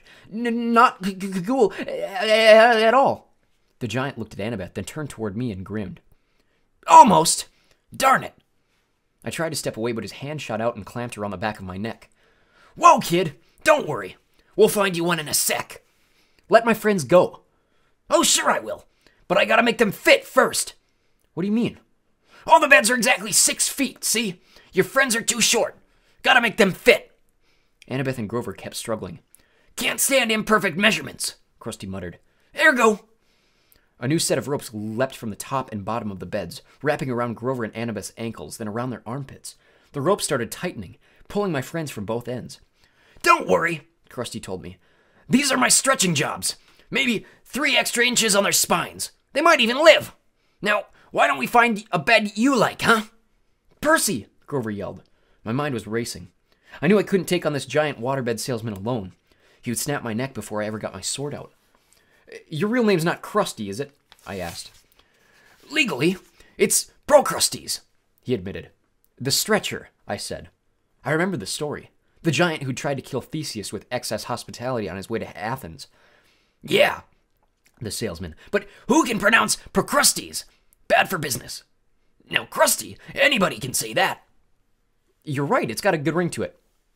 His eyes lit up. You think so? Oh, absolutely, I said. And the workmanship on these beds? Fabulous. He grinned hugely, but his fingers didn't loosen on my neck. I tell my customers that. Every time. Nobody bothers to look at the workmanship. How many built in lava lamp headboards have you seen? Uh, not too many. That's right. Percy, Annabeth yelled, what are you doing? Don't mind her, I told Procrustes. She's impossible. The giant laughed. All my customers are. Never six feet exactly. So inconsiderate. And then they complain about the fitting. What do you do if they're longer than six feet? Oh, that happens all the time. It's a simple fix. He let go of my neck, but before I could react, he reached behind a nearby sales desk and brought out a huge double bladed brass axe. He said, I just center the subject best I can and lop off whatever hangs off on either end. Ah, I said, swallowing hard. Sensible. I'm so glad to come across an intelligent customer. The ropes were really stretching my friends now. Annabeth was turning pale. Grover made gurgling sounds like a strangled goose. Uh, so, Crusty, I said, trying to keep my voice light.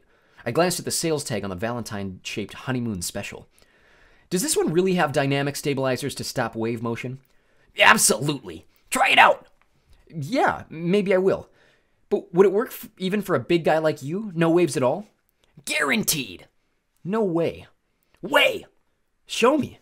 He sat down eagerly on the bed, patted the mattress. No waves. See? I snapped my fingers. Ergo.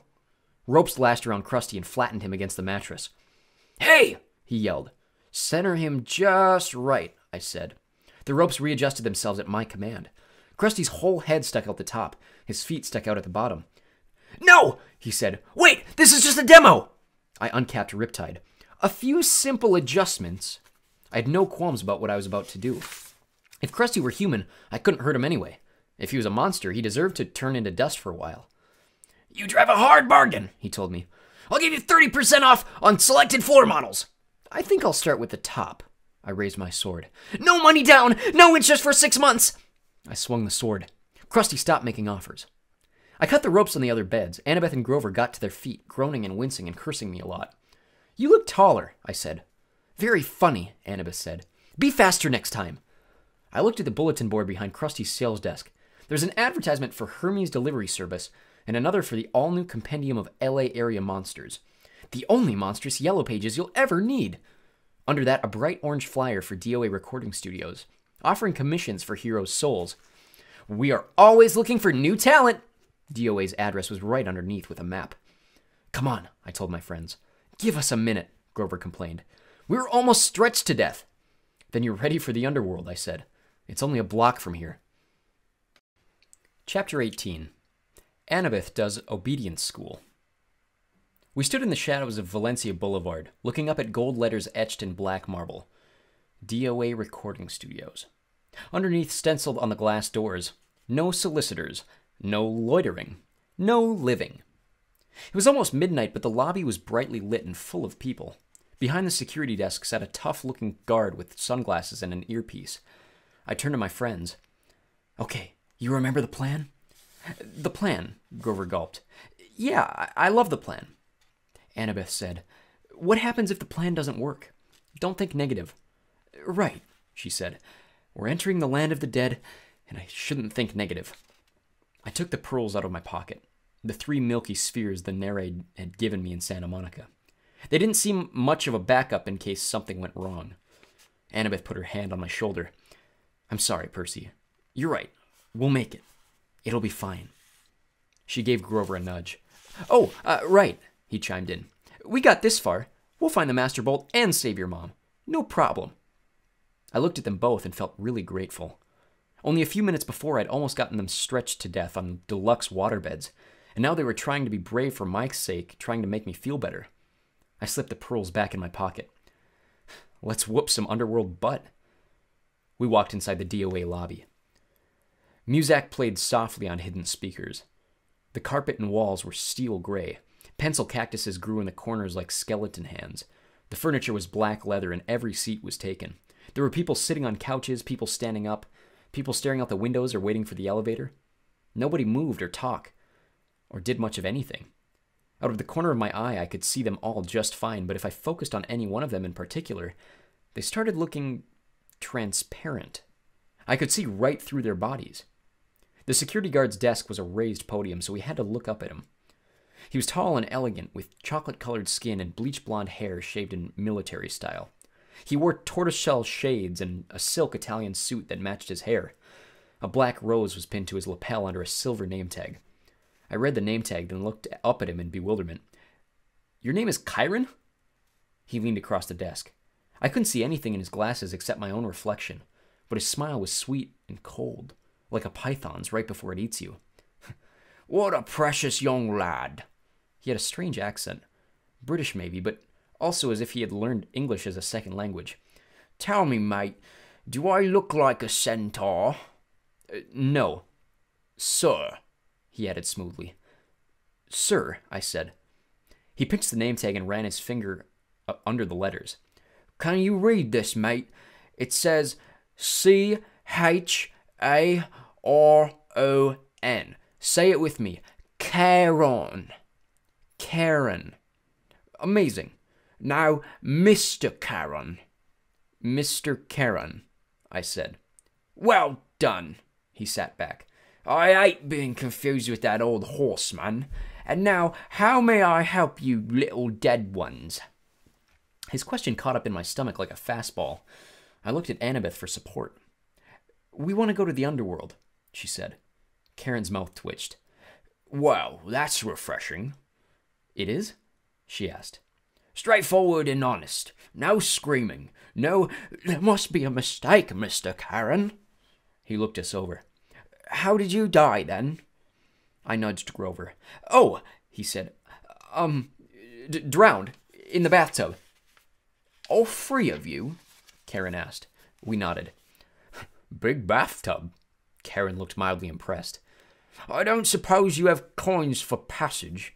Normally, with adults, you see, I could charge your American Express and add the ferry price to your last cable bill. But with children, alas, you never die prepared. Suppose you'll have to take a seat for a few centuries. Oh, uh, but we have coins. I set gold, or I, I set three golden drachmas on the counter, part of the stash I'd found in Crusty's office desk. well, now, Charon moistened his lips. Real drachmas. Real golden drachmas. I haven't seen these in. Uh... His fingers hovered greedily over the coins. We were so close. Then Charon looked at me. That cold stare behind his glasses seemed to bore a hole through my chest. Here now, he said. You couldn't read my name correctly. Are you dyslexic, lad? Uh, no, I said. I'm dead. Charon leaned forward and took a sniff. You're not dead. I should have known. You're a godling. We have to get to the underworld, I insisted. Charon made a growling sound deep in his throat. Immediately, all the people in the waiting room got up and started pacing, agitated, lighting cigarettes, running hands through their hair, or checking their wristwatches. Leave while you can, Charon told us. I'll just take these and forget I saw you. He started to go for the coins, but I snatched them back. No service, no tip. I tried to sound braver than I felt. Charon growled again, a, deep, blood chilling sound. The spirits of the dead started pounding on the elevator doors. It's a shame, too, I said. We had more to offer. I held up the entire bag from Crusty's stash. I took out a fistful of drachmas and let the coins spill through my fingers. Charon's growl changed into something more like a lion's purr. Mm, do you think I can be bought, Godling? Eh, just out of curiosity, how much do you got there? A lot, I said. I bet Hades doesn't pay you well enough for such hard work. Oh, you don't know the half of it. How would you like to babysit these spirits all day? Anyways, always please don't let me be dead, or please let me across for free. I haven't had a pay raise in 3,000 years. Do you imagine suits like these come cheap? You deserve better, I agreed. A little appreciation, respect, good pay. With each word, I stacked another gold coin on the counter. Charon glanced down at his silk Indi- Italian jacket, as if imagining himself in something even better. I must say, lad, you're making some sense now. Just a little. I stacked another few coins. I could mention a pay raise while I'm talking to Hades. He sighed. Uh, the boat's almost full anyway. I might as well add you three and be off. He stood, scooped up our money, and said, Come along. We pushed through the crowd of waiting spirits who started grabbing at our clothes like the wind, their voices whispering things I couldn't make out. Charon shoved them, shoved them out of the way, grumbling, Freeloaders. He escorted us into the elevator, which was already crowded with souls of the dead, each one holding a green boarding pass. Charon grabbed two spirits who were trying to get on with us and pushed them back into the lobby. Right, now no one get any ideas while I'm gone, he announced to the waiting room. And if anyone moves the dial off my easy listening station again, I'll make sure you're here for another thousand years. Understand? He shut the doors. He put a keycard into a slot in the elevator panel and we started to descend. What happens to the spirits waiting in the lobby? Annabeth asked. Nothing, Charon said. For how long? Forever. Or unless I'm feeling generous. Oh, she said. That's fair. Charon raised an eyebrow. Whoever said death was fair, young miss? Wait until it's your turn. You'll die soon enough where you're going. We'll get out alive, I said. I got a sudden dizzy feeling. We weren't going down anymore, but forward. The air turned misty. Spirits around me started changing shape. Their modern clothes flickered, turning into gray, hooded robes. The floor of the elevator began swaying. I blinked hard. When I opened my eyes, Charon's creamy Italian suit had been replaced by a long black robe. His tortoiseshell glasses were gone. Where his eyes should have been were empty sockets, like Ares, except Charon's were totally dark, full of night and death and despair. He saw me looking and said, Well? N- nothing, I managed. I thought he was grinning, but that wasn't it. The flesh of his face was becoming transparent, letting me see straight through to his skull. The floor kept swaying. Grover said, I, think I'm getting seasick. When I blinked, the elevator wasn't an elevator anymore. We were standing on a wooden barge. Charon was pulling us across a dark, oily river, swirling with bones, dead fish, and other stranger things plastic dolls, crushed carnations, soggy diplomas with gilt edges. The river Styx, Annabeth murmured. It's so polluted, Charon said. For thousands of years, you humans have been throwing in everything as you come across hopes, dreams, wishes that never came true. Irresponsible waste management, if you ask me. Mist curled off the filthy water. Above us, almost lost in the gloom, was a ceiling of stalact- was a ceiling of stalactites. Ahead, the far shore glimmered with greenish light, the color of poison. Panic closed up my throat. What was I doing here? These people around me, they were dead. Annabeth grabbed hold of my hand. Under normal circumstances, this would have embarrassed me, but I understood how she felt. She wanted reassurance that somebody else was alive on this boat. I found myself muttering a prayer, though I wasn't sure who I was praying to. Down here, only one god mattered, and he was the one I had come to confront. The shoreline of the underworld came into view. Craggy rocks and black volcanic sand stretched inland about a hundred yards to the base of a high stone wall, which marched off in either direction as far as we could see. A sound came from somewhere nearby in the green gloom, echoing off the stones, the howl of a large animal. Old Three Faces hungry, Charon said. His smile turned skeletal in the greenish light. Bad luck for you, godlings. The bottom of our boat slid onto the black sand. The dead began to disembark. A woman holding a little girl's hand, an old man and an old woman hobbling along arm in arm. A boy no older than I was, shuffling silently along in his gray robe. Charon said, I'd wish you luck, mate, but there isn't any down here. Mind you, don't forget to mention my pay raise. He counted our golden coins into his pouch, then took up his pole. He warbled something that sounded like a Barry Manilow song as he ferried the empty barge back across the river. We followed the spirits up a well worn path. I'm not sure what I was expecting pearly gates or a big black portcullis or something, but the entrance to the underworld looked like a cross between airport security and the Jersey Turnpike. There were three separate entrances under one huge black archway that said, You are now entering Erebus. Each entrance had a pass through metal detector with security cameras mounted on top. Beyond this were toll booths manned by black robed ghouls like Charon. The howling of the hungry animal was really loud now, but I couldn't see where it was coming from. The three headed dog, Cerberus, who was supposed to guard Hades' door, was nowhere to be seen. The dead queued up in three lines two marked attendant on duty and one marked easy death. The easy death line was moving right along. The other two were crawling. What do you figure? I asked Annabeth. The fast line must go straight to the asphodel fields, she said. No contest. They don't want to risk judgment from the court because it might go against them. There's a court for dead people? Yeah, three judges. They switch around who sits on the bench. King Minos, Thomas Jefferson, Shakespeare, people like that. Sometimes they look at a life and decide that person needs a special reward, the fields of Elysium. Sometimes they decide on punishment. But most people, well, they just lived. Nothing special, good or bad, so they go to the asphodel fields. And do what? Grover said, Imagine standing in a wheat field in Kansas. Forever. Harsh, I said. Not as harsh as that, Grover muttered. Look. A couple of black robed ghouls had pulled aside one spirit and were frisking him at the security desk. The face of the dead man looked vaguely familiar. He's the preacher who made the news, remember? Grover asked. Oh, yeah. I did remember now. We'd seen him on TV a couple of times at the Yancy Academy dorm. He was this annoying televangelist from upstate New York who'd raised millions of dollars for orphanages and then got caught spending the money on stuff for his mansion, like gold plated toilet seats and an indoor putt putt golf course. He died in a police chase when his Lamborghini for the Lord went off a cliff. I said, What are they doing to him? Special punishment from Hades, Grover guessed. The really bad people get his personal attention as soon as they arrive. The fear. The kindly ones will set up an eternal torture for him. The thought of the Furies made me shudder. I realized I was in their home territory now. Old Mrs. Dodds would be licking her lips with anticipation.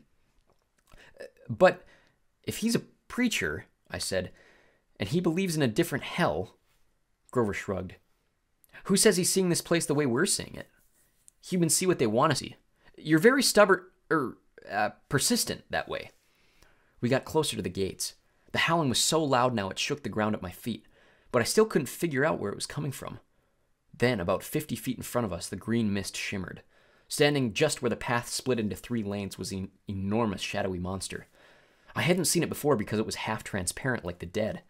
Until it moved, it blended with whatever it was behind. Until it moved, it blended with whatever was behind it. Only its eyes and teeth looked solid, and it was staring straight at me. My jaw hung open. All I could think to say was, he, he's a Rottweiler.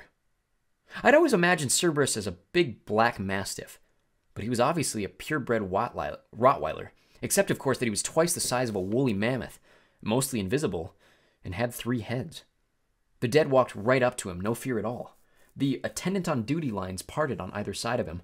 The easy death spirits walked right between his front paws and under his belly, which they could do without even crouching. I'm starting to see him better, I muttered. Why is that? I, I think, Annabeth moistened her lips. I'm afraid it's because we're getting closer to being dead. The dog's middle head craned toward us. It sniffed the air and growled. It can smell the living, I said. But that's okay, Grover said, trembling next to me, because we have a plan. Right, Annabeth said. I'd never heard her voice sound quite so small. A plan. We moved toward the monster. The middle head snarled at us, then barked so loudly my eyeballs rattled. Can you understand it? I asked Grover. Oh, yeah, he said. I can understand it. What's it saying? I don't think humans have a four letter word that translates exactly. I took the big stick out of my backpack, a bedpost I'd broken off Crusty's Safari Deluxe floor model. I held it up and tried to channel happy dog thoughts towards Cerberus. Alpo commercials, cute little puppies, fire hydrants. I tried to smile like I almost wasn't about to die. Hey, big fella, I called up. I, I bet they don't play with you much. Growl. G- good boy, I said weakly. I waved the stick. The dog's middle head followed the movement. The other two heads trained their eyes on me, completely ignoring the spirits. I had Cerberus's undivided attention. I wasn't sure that was a good thing. Fetch! I threw the stick into the gloom. A good, solid throw. I heard it go kersploosh in the river Styx. Cerberus glared at me unimpressed. His eyes were baleful and cold. So much for the plan. Cerberus was now making a new kind of growl, deeper down in his three throats. Um, Grover said. Percy? Yeah? I- I just thought you want to know. Yeah? Cerberus, he's saying we've got 10 seconds to pray to uh, the god of our choice. After that, well, he- he's hungry. Wait, Annabeth said. She started rifling through her pack. Uh oh, I thought. Five seconds, Grover said. Do we run now? Annabeth produced a red rubber ball the size of a grapefruit. It was labeled Waterland, Denver, Colorado. Before I could stop her, she raised the ball and marched straight up to Cerberus. She shouted, See the ball? You want the ball, Cerberus? Sit!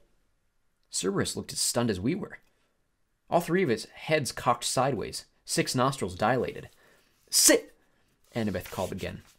I was sure that any moment she would become the world's largest milk-bone dog biscuit. But instead, Cerberus licked his three sets of lips, shifted on his haunches, and sat, immediately crushing a dozen spirits who'd been passing underneath him in the easy death line. The spirits made muffled hisses as they dissipated, like the air let out of tires. Annabeth said, Good boy! She threw Cerberus the ball. He caught it in his middle mouth. It was barely big enough for him to chew, and the other head started snapping at the middle, trying to get the new toy. Drop it! Annabeth ordered. Cerberus's head stopped fighting and looked at her.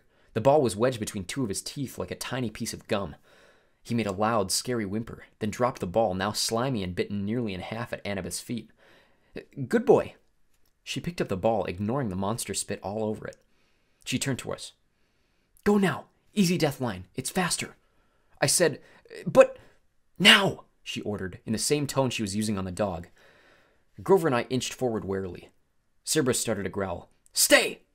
Annabeth ordered the monster. If you want the ball, stay! Cerberus whimpered, but he stayed where he was. What about you? I asked Annabeth as we passed her. I know what I'm doing, Percy, she muttered. At least, I'm pretty sure. Grover and I walked between the monster's legs. Please, Annabeth, I prayed. Don't tell him to sit again. We made it through. Cerberus wasn't any less scary looking from the back. Annabeth said, Good dog. She held up the tattered red ball and probably came to the same conclusion I did.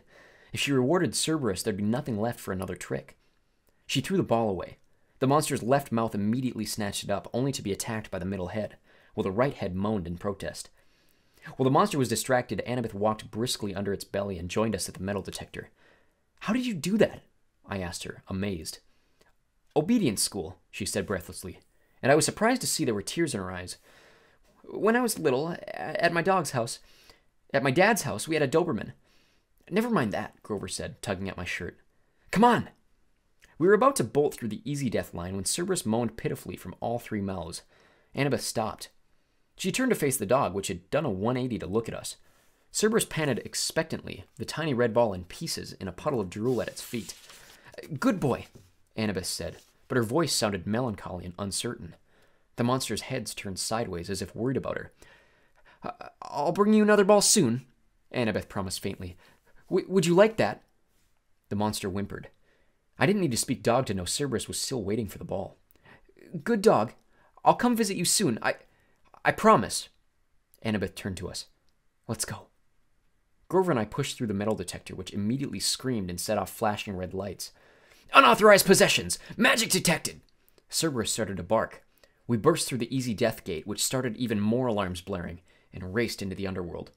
A few minutes later, we were hiding, out of breath in the rotten trunk of an immense black tree as security ghouls scuttled past, yelling for backup from the Furies. Grover murmured, Well, Percy, what have we learned today? That three headed dogs prefer red rubber balls over sticks? No, Grover told me. We've learned that your plans really, really bite. I wasn't sure about that. I thought maybe Annabeth and I both had the right idea. Even here in the underworld, everybody, even monsters, needed a little attention once in a while. I thought about that as we waited for the ghouls to pass. I pretended not to see Annabeth wipe a tear from her cheek as she listened to the mournful keening of Cerberus in the distance, longing for a new friend. Chapter 19 We find out the truth. Sort of. Imagine the largest concert crowd you've ever seen a football field packed with a million fans.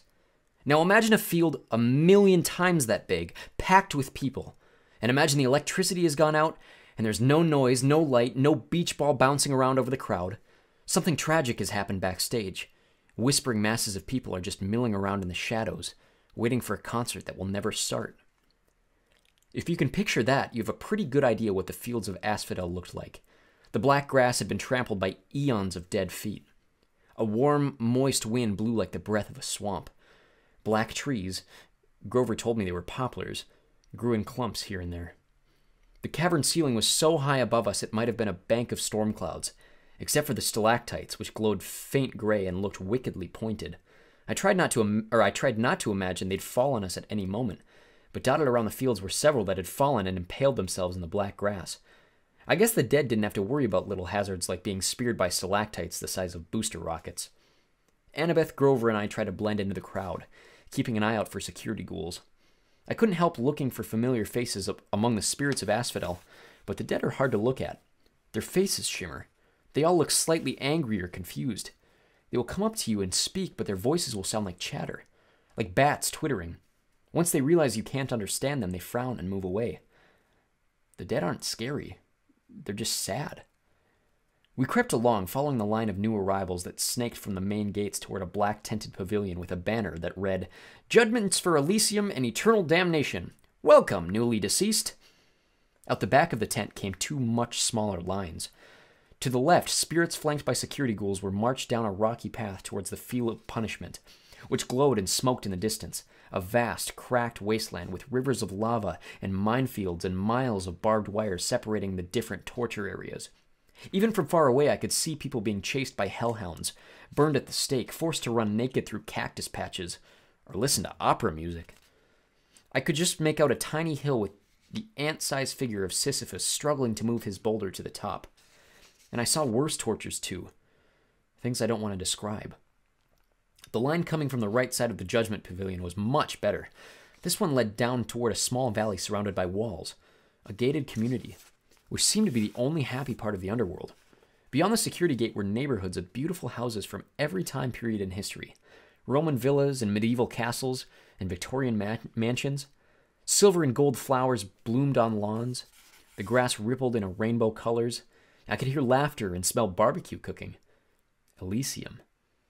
In the middle of the valley was a glittering blue lake with three small islands like a vacation resort in the Bahamas. The Isles of the Blessed, for people who had chosen to be reborn three times, and three times achieved Elysium. Immediately I knew that's where I wanted to go when I died. That's what it's all about, Annabeth said, like she was reading my thoughts. That's the place for heroes. But I thought of how few people there were in Elysium, how tiny it was compared to the fields of Asphodel or even the fields of punishment. So few people did good in their lives. It was depressing. We left the Judgment Pavilion and moved deeper into the asphodel fields. It got darker.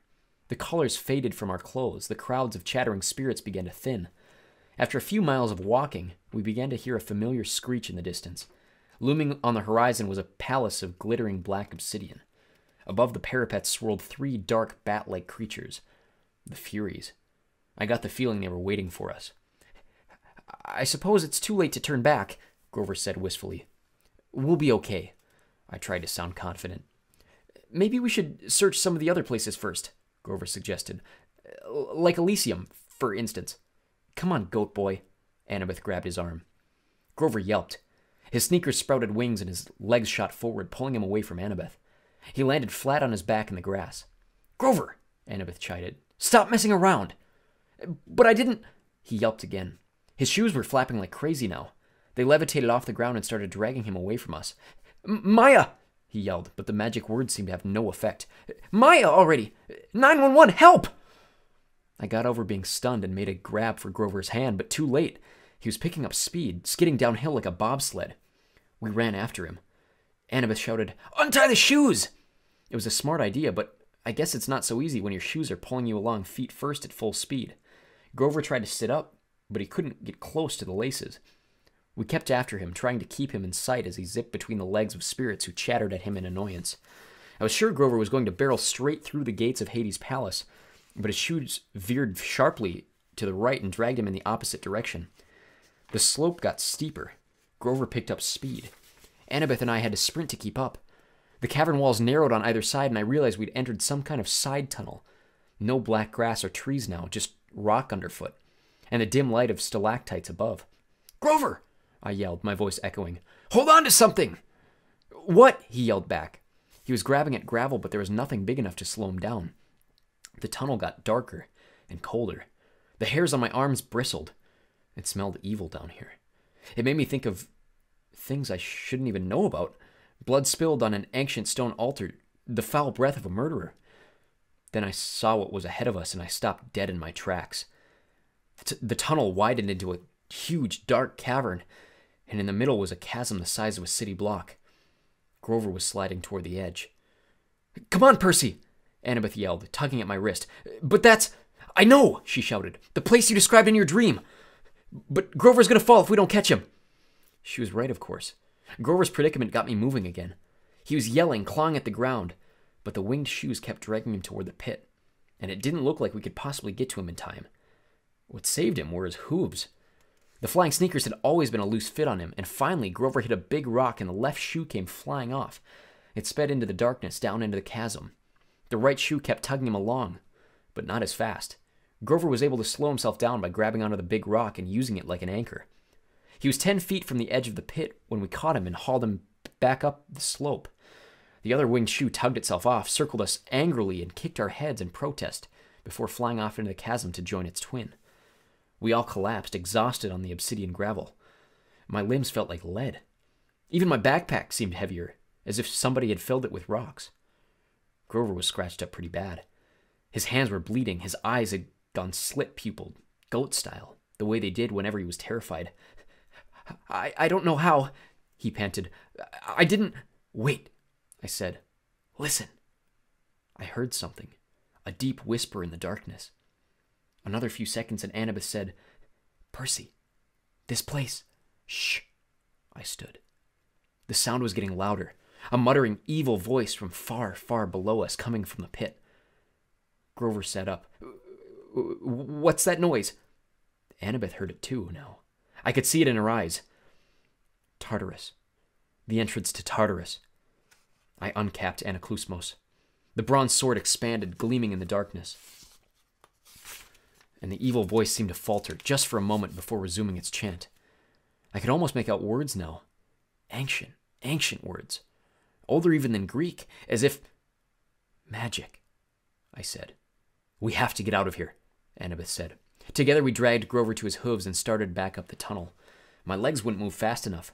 My backpack weighed me down. The voice got louder and angrier behind us, and we broke into a run. Not a moment too soon. A cold blast of wind pulled at our backs as if the entire pit were inhaling. For a terrifying moment, I lost ground, my feet slipping in the gravel. If we'd been any closer to the edge, we would have been sucked in. We kept struggling forward and finally reached the top of the tunnel, where the cavern widened out into the fields of asphodel. The wind died. A wail of outrage echoed from deep in the tunnel. Something was not happy we'd gotten away. What was that? Grover panted when we'd collapsed in the relative safety of a black poplar grove. One of Hades' pets? Annabeth and I looked at each other. I could tell she was nursing an idea, probably the same one she'd gotten during the taxi ride to LA, but she was too scared to share it. That was enough to terrify me. I capped my sword, put the pen back in my pocket. Let's keep going. I looked at Grover. Can you walk?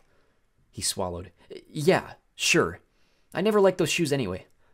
He tried to sound brave about it, but he was trembling as badly as Annabeth and I were. Whatever was in that pit was nobody's pet. It was unspeakably old and powerful. Even Echidna hadn't given me that feeling. I was almost relieved to turn my back on that tunnel and head toward the Palace of Hades. Almost. The Furies circled the parapets high in the gloom. The outer walls of the fortress glittered black, and the two story tall bronze gates stood wide open. Up close, I saw that the engravings on the gates were scenes of death. Some were from modern times an atomic bomb exploding over a city, a trench filled with a gas mask, a line of African famine victims waiting with empty bowls. But all of them looked as if they'd been etched into the bronze thousands of years ago. I wondered if I was looking at prophecies that had come true. Inside the courtyard was the strangest garden I'd ever seen. Multicolored mushrooms, poisonous shrubs, and weird luminous plants grew without sunlight. Precious jewels made up for the lack of flowers. Piles of rubies as big as my fist, clumps of raw diamonds. Standing here and there like frozen party guests were Medusa's garden statues. Petrified children, satyrs, and centaurs, all smiling grotesquely. In the center of the garden was an orchard of pomegranate trees, their orange blooms neon bright in the dark. The Garden of Persephone, Annabeth said. Keep walking. I understood why she wanted to move on.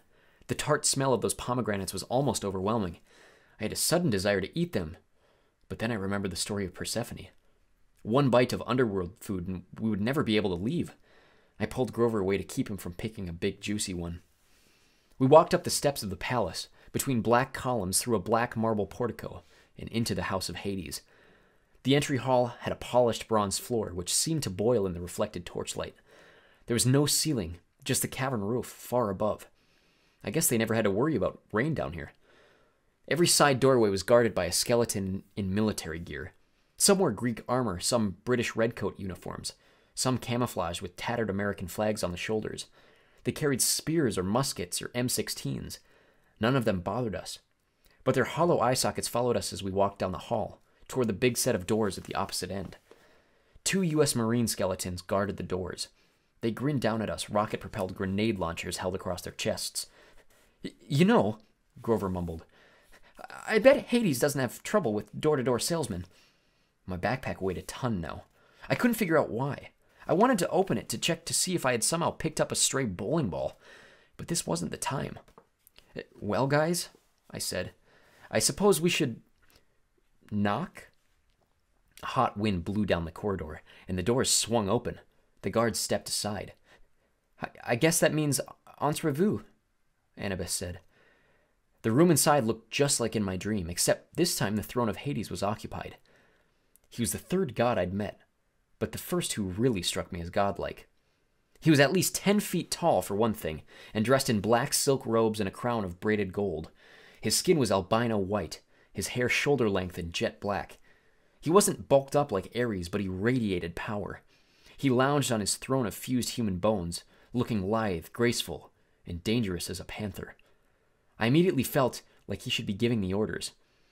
He knew more than I did. He, he should be my master. Then I told myself to snap out of it. Hades' aura was affecting me just as Ares had. The Lord of the Dead resembled pictures I'd seen of Adolf Hitler or Napoleon, or the terrorist leaders who direct suicide bombers. Hades had the same intense eyes, the same kind of mesmerizing, evil charisma. You are brave to come here, son of Poseidon, he said in an oily voice. After what you have done to me, very brave indeed. Or perhaps you are simply very foolish. Numbness crept into my joints, tempting me to lie down and just take a little nap at Hades' feet, curl up here and sleep forever. I fought the feeling and stepped forward. I knew what I had to say. Lord and uncle, I come with two requests. Hades raised an eyebrow. When he sat forward in his throne, shadowy faces appeared in the folds of his black robes faces of torment as if the garments were stitched of trapped souls from the fields of punishment, trying to get out. The ADHD part of me wondered, off task, whether the rest of his clothes were made the same way. What horrible things would you have to do in your life to get woven into Hades' underwear? Only two requests, Hades said. Arrogant, child. As if you have not already taken enough. Speak then. It amuses me not to strike you dead yet. I swallowed. This was going about as well as I'd feared. I glanced at the empty, smaller throne next to Hades. It was shaped like a black flower, gilded with gold. I wished Queen Persephone were here. I recalled something in the mists about how she could calm her husband's moods. But it was summer. Of course, Persephone would be above in the world of light with her mother, the goddess of agriculture, Demeter. Her visits, not the tilt of the planet, create the seasons. Annabeth cleared her throat. Her finger prodded me in the back. Lord Hades, I said, look, Sir, th- there can't be a war among the gods. It would be bad. R- really bad, Grover added helpfully. Return Zeus's master bolt to me, I said. Please, sir, let me carry it to Olympus. Hades' eyes grew dangerously bright. You dare to keep up this pretense after what you have done? I glanced back at my friends. They looked as confused as I was. Um, Uncle, I said, you keep saying after what you've done. What exactly have I done? The throne room shook with tremors so strong they probably felt it upstairs in Los Angeles. Debris fell from the cavern ceiling. Doors burst open all along the walls, and skeletal warriors marched in, hundreds of them, from every time period and nation in Western civilization. They lined the perimeter of the room, blocking the exits. Hades bellowed, Do you think I want war, Godling? I wanted to say, Well, these guys don't look like peace activists, but I thought that might be a dangerous answer. You are the Lord of the Dead, I said carefully. A war would expand your kingdom, right? A typical thing for my brothers to say. Do you think I need more subjects? Do you not see the sprawl of the Asphodel fields? Well, have you any idea how much my kingdom has swollen in this past century alone? How many subdivisions I've had to open? I opened my mouth to respond, but Hades was on a roll now. More security ghouls, he moaned. Traffic problems at the Judgment Pavilion. Double overtime for the staff. I used to be a rich god, Percy Jackson. I controlled the precious metals under the earth, but my expenses.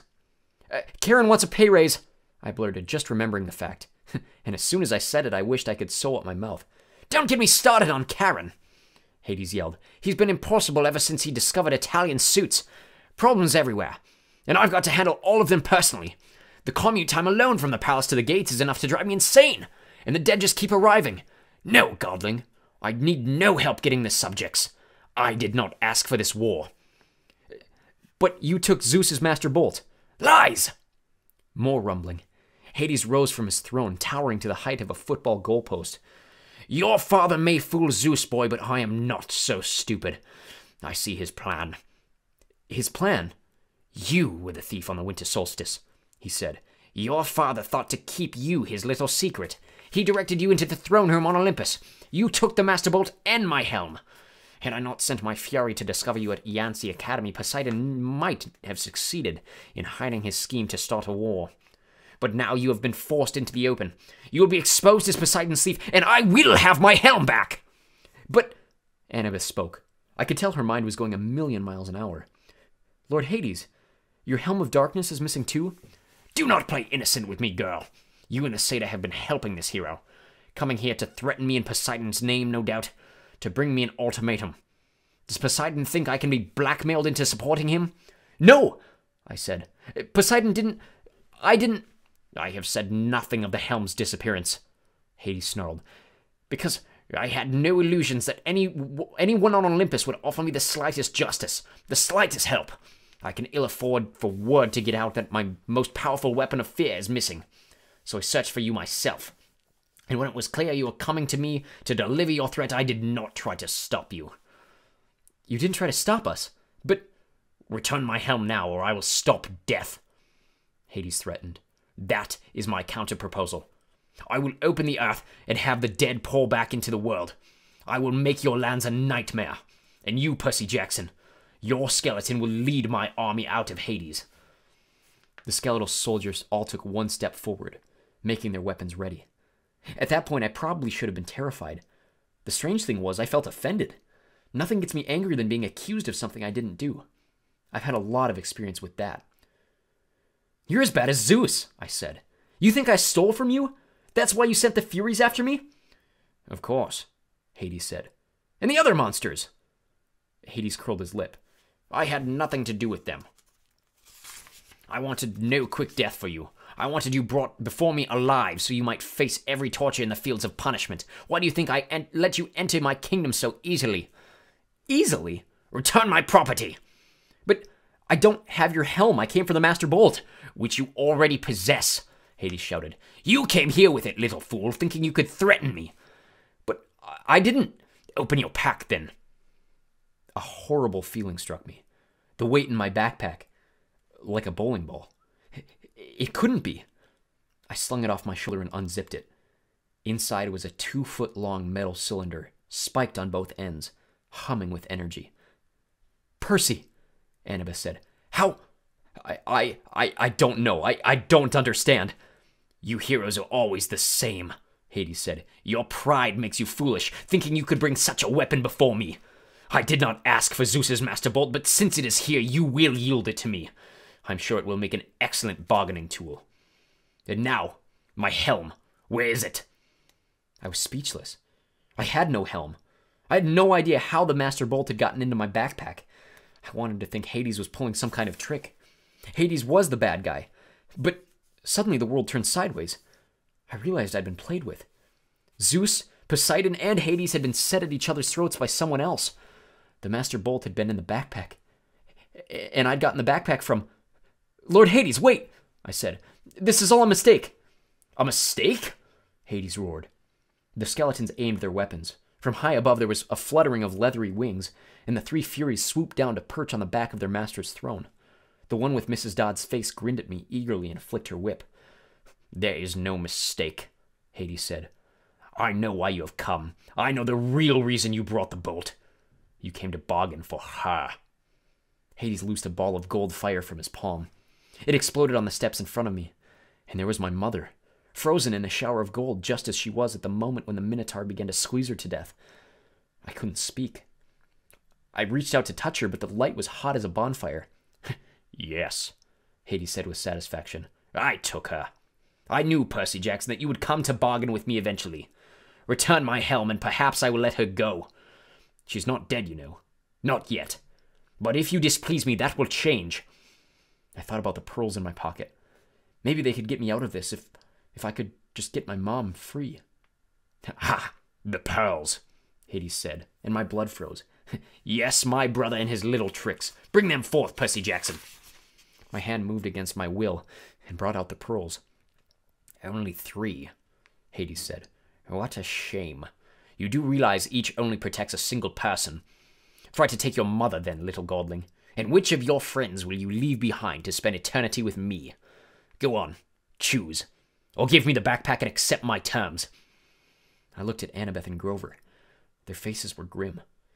We were tricked, I said. Set up. Yes, but why? Annabeth asked. And the voice in the pit. I, I don't know yet, I said, but I intend to ask. Decide, boy, Hades yelled. Percy, Grover put his hand on my shoulder. You can't give him the bolt. I know that. Leave me here, he said. Use the third pearl on your mom. No! I'm a satyr, Grover said. We don't have souls like humans do. He can torture me until I die, but he won't get me forever. I'll just be reincarnated as a flower or something. It's the best way. No! Annabeth drew her bronze knife. You two go on. Grover, you have to protect Percy. You have to get your searcher's license and start your quest for Pan. Get his mom out of here. I'll cover you. I plan to go down fighting. No way, Grover said. I'm staying behind. Think again, goat boy, Annabeth said. Stop it! Both of you! I felt like my heart was being ripped in two. They'd both been with me through so much. I remembered Grover dive bombing Medusa in the statue garden, and Annabeth saving us from Cerberus. We'd survived Hephaestus's Waterland ride, the St. Louis Arch, the Lotus Casino. I'd spent thousands of miles worried that I'd be betrayed by a friend. But these friends would never do that. They had done nothing but save me over and over. And now they wanted to sacrifice their lives for my mom. I know what to do, I said. Take these. I handed them each a pearl. Annabeth said, But Percy! I turned and faced my mother. I desperately wanted to sacrifice myself and use the last pearl on her, but I knew what she would say. She would never allow it. I had to get the bolt back to Olympus and tell Zeus the truth. I had to stop the war. She would never forgive me if I saved her instead. I thought about the prophecy made at Half Blood Hill, what seemed like a million years ago. You will fail to save what matters most in the end. I'm sorry, I told her. I'll be back. I'll find a way. The smug look on Hades' face faded. He said, Godling. I'll find your helm, uncle, I told him. I'll return it. Remember about Charon's pay raise. Do not defy me. And it wouldn't hurt to play with Cerberus once in a while. He likes red rubber balls. Percy Jackson, you will not! I shouted. Now, guys! We shouted, we smashed the pearls at our feet. For a scary moment, nothing happened. Hades yelled, Destroy them! The army of skeletons rushed forward, swords out, guns clicking to full automatic. The Furies lunged, their whips bursting into flame. Just as the skeletons opened fire, the pearl fragments at my feet exploded with a burst of green light and a gust of fresh sea wind. I was encased in a milky white sphere, which was starting to float off the ground. Annabeth and Grover were right behind me. Spears and bullets sparked harmlessly off the pearl bubbles as we floated up. Hades yelled with such rage the entire fortress shook, and I knew it was not going to be a peaceful night in L.A. Look up! Grover yelled. We're going to crash! Sure enough, we were racing right toward the stalactites, which I figured would pop our bubbles and skewer us. How do you control these things? Annabeth shouted. I don't think you do! I shouted back. We screamed as the bubbles slammed into the ceiling. And darkness. Were we dead? No. I could still feel the racing sensation. We were going up right through solid rock as easily as an air bubble in water. That was the power of the pearls, I realized. What belongs to the sea will always return to the sea. For a few moments, I couldn't see anything outside the smooth walls of my sphere. Then my pearl broke through the ocean floor. The other two milky spheres, Annabeth and Grover, kept pace with me as we soared upward through the water. And then, kerblam! We exploded on the surface, in the middle of the Santa Monica Bay, knocking a surfer off his board with an indignant, Dude! I grabbed Grover and hauled him over to a life buoy. I caught Annabeth and dragged her over too. A curious shark was circling us, a great white about 11 feet long. I said, Beat it! The shark turned and raced away. The surfer screamed something about bad mushrooms and paddled away from us as fast as he could. Somehow I knew what time it was. Early morning, June 21st, the day of the summer solstice. In the distance, Los Angeles was on fire, plumes of smoke rising from the neighborhoods all over the city. There had been an earthquake, all right, and it was Hades' fault. He was probably sending an army of the dead right after me now. But at that moment, the underworld wasn't my biggest problem. I had to get to shore. I had to get Zeus's thunderbolt back to Olympus. And most of all, I had to have a serious conversation with the god who'd tricked me. Chapter 20 I battle my jerk relative. A Coast Guard boat picked us up, but they were too busy to keep us for long, or to wonder how three kids in street clothes had gotten out into the middle of the bay. There was a disaster to mop up. Their radios were jammed with distress calls. They dropped us off at the Santa Monica Pier with towels around our shoulders and water bottles that said, I'm a junior Coast Guard, and sped off to save more people. Our clothes were sopping wet, even mine. When the Coast Guard boat had appeared, I'd suddenly prayed they wouldn't pick me up out of the water and find me perfectly dry, which might have raised some eyebrows. So I'd willed myself to get soaked, and sure enough, my usual waterproof magic had abandoned me. I was also barefoot because I'd given my shoes to Grover. Better the Coast Guard wonder why one of us was barefoot than wonder why one of us had hooves. After reaching dry land, we stumbled down the beach, watching the city burn against a beautiful sunrise. I felt as if I'd just come back from the dead, which I had. My backpack was heavy with Zeus's master bolt.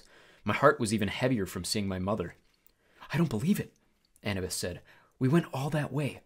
It was a trick, I said. A strategy worthy of Athena. Hey, she warned. You get it, don't you? She dropped her eyes, her anger fading. Yeah, I get it. Well, I don't, Grover complained. Would somebody. Percy, Annabeth said. I, I'm sorry about your mother. I, I'm so sorry. I pretended not to hear her. If I talked about my mother, I was going to start crying like a little kid. The prophecy was right, I said. You shall go west and face the god who has turned. But it wasn't Hades. Hades didn't want war among the big three. Someone else pulled, pulled off the Thet. Someone stole Zeus's master bolt and Hades' helm and framed me because I'm Poseidon's kid. Poseidon will get blamed by both sides. And by sundown today, there will be a three way war, and I'll have caused it. Grover shook his head, mystified. But who would be that sneaky? Who would want war that bad? I stopped in my tracks, looking down the beach. Gee, let me think. There he was, waiting for us, in his black leather duster and his sunglasses, an aluminum baseball bat propped on his shoulder. His motorcycle rumbled beside him, its headlight turning the sand red. Hey, kid, Ares said, seeming genuinely pleased to see me. You were supposed to die. You tricked me, I said. You stole the helm and the Master Bolt. Ares grinned. Well, now, I didn't steal them personally. Gods taking each other's symbols of power. That's a big no no. But you're not the only hero in the world who can run errands. Who did you use? Clarisse? She was there at the winter solstice. The idea seemed to amuse him. Doesn't matter. The point is, kid, you're impeding the war effort. See, you've got to die in the underworld. Then old Seaweed Brain will be mad at Hades for killing you. Corpse Breath will have Zeus's Master Bolt, so Zeus will be mad at him. And Hades is still looking for this. From his pocket, he took out a ski cap, the kind bank robbers wear, and placed it between the handlebars of his bike. Immediately, the cap transformed into an elaborate bronze war helmet. The Helm of Darkness! Grover gasped. Exactly, Ares said. Now, where was I? Oh, yeah. Hades will be mad at both Zeus and Poseidon because he doesn't know who took this. Pretty soon, we got a nice little three way slugfest going. But they're your family, Annabeth protested. Ares shrugged. Best kind of war. Always the bloodiest. Nothing like watching your relatives fight, I always say. You gave me the backpack in Denver, I said. The Master Bolt was in there the whole time. Yes, and no, Ares said. It's probably too complicated for your little mortal brain to follow, but the backpack is the Master Bolt's sheath, just morphed a bit. The bolt is connected to it. Sort of like that sword you got, kid. It always returns to your pocket, right? I wasn't sure how Ares knew about that, but I guess a god of war had to make it his business to know about weapons. Anyway, Ares continued, I tinkered with the magic a bit, so the bolt would only return to the sheath once you reach the underworld. You get close to Hades, bingo, you got mail. If you died along the way, no loss. I still had the weapon. But why not just keep the Master Bolt for yourself? I said. Why send it to Hades? Ares got a twitch in his jaw. For a moment, it was almost like you were listening to another voice deep inside his head. Why didn't I? Yeah, with that kind of firepower. He held the trance for one second, two seconds. I exchanged nervous looks with Annabeth. Ares' face cleared. I didn't want the trouble. Better to have caught.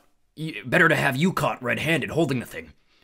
You're lying, I said. Setting the bolt to the underworld wasn't your idea, was it? Of course it was!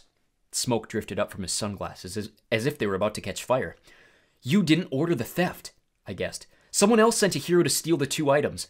Then, when Zeus sent you to hunt him down, you caught the thief. But you didn't turn him over to Zeus. Something convinced you to let him go. You kept the items until another hero could come along and complete the delivery. That thing in the pit is ordering you around.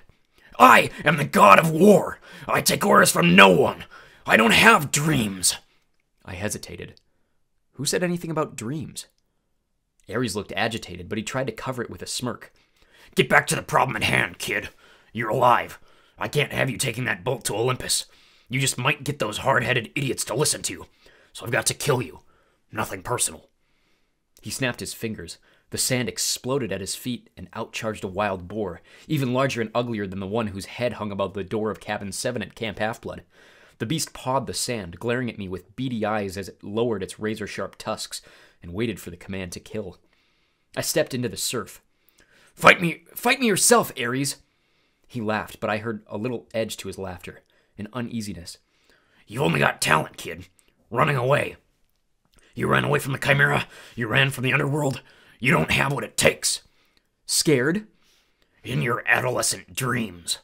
But his sunglasses were starting to melt from the heat of his eyes. No direct involvement. Sorry, kid. You're not at my level. Annabeth said, Percy, run! The giant boar charged. But I was done running from monsters. Or Hades. Or Ares. Or anybody. As the boar rushed me, I uncapped my pen and sidestepped. Riptide appeared in my hands. I slashed upward. The boar's severed right tusk fell at my feet, while the disoriented animal charged into the sea. I shouted, Wave! Immediately, a wave surged up from nowhere and engulfed the boar, wrapping around it like a blanket. The beast squealed once in terror, then it was gone, swallowed by the sea. I turned back to Ares. Are you going to fight me now? I asked. Or are you going to hide behind another pet pig? Ares' face was purple with rage. Watch it, kid.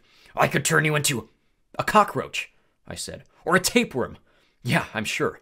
That'd save you from getting your godly hide whipped, wouldn't it? Flames danced along the top of his glasses. Oh man, you really are asking to be smashed into a grease spot. If I lose, turn me into anything you want. Take the bolt. If I win, the helm and the bolt are mine, and you have to go away. Ares sneered.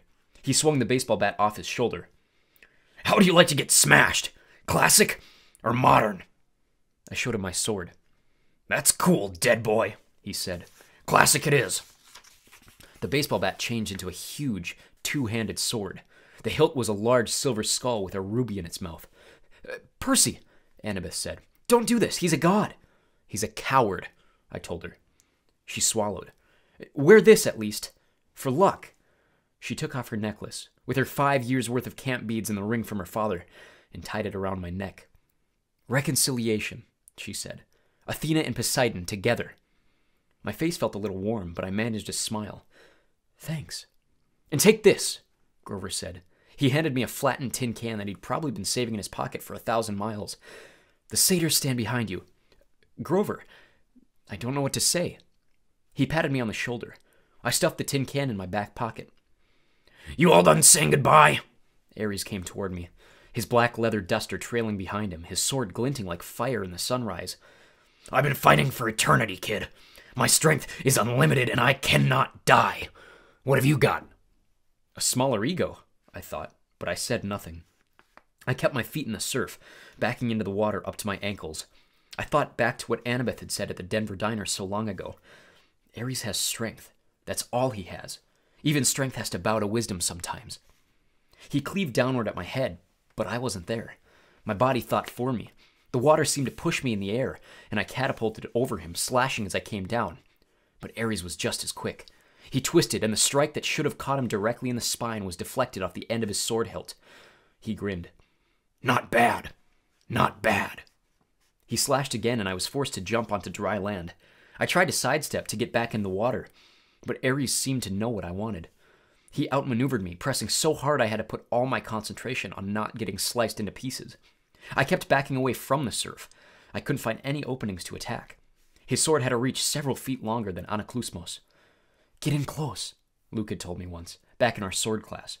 When you've got the shorter blade, get in close.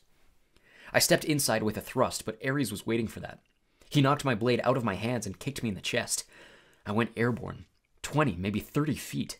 I would have broken my back if I hadn't crashed into the soft sand of a dune. Percy! Annabeth yelled. Cops! I was seeing double. My chest felt like it had just been hit with a battering ram, but I managed to get to my feet. I couldn't look away from Ares for fear he'd slice me in half, but out of the corner of my eye I saw red lights flashing on the shoreline boulevard. Car doors were slamming. There, officer! Somebody yelled. See?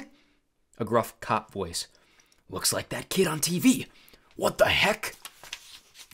That guy's armed, another cop said. Call for backup.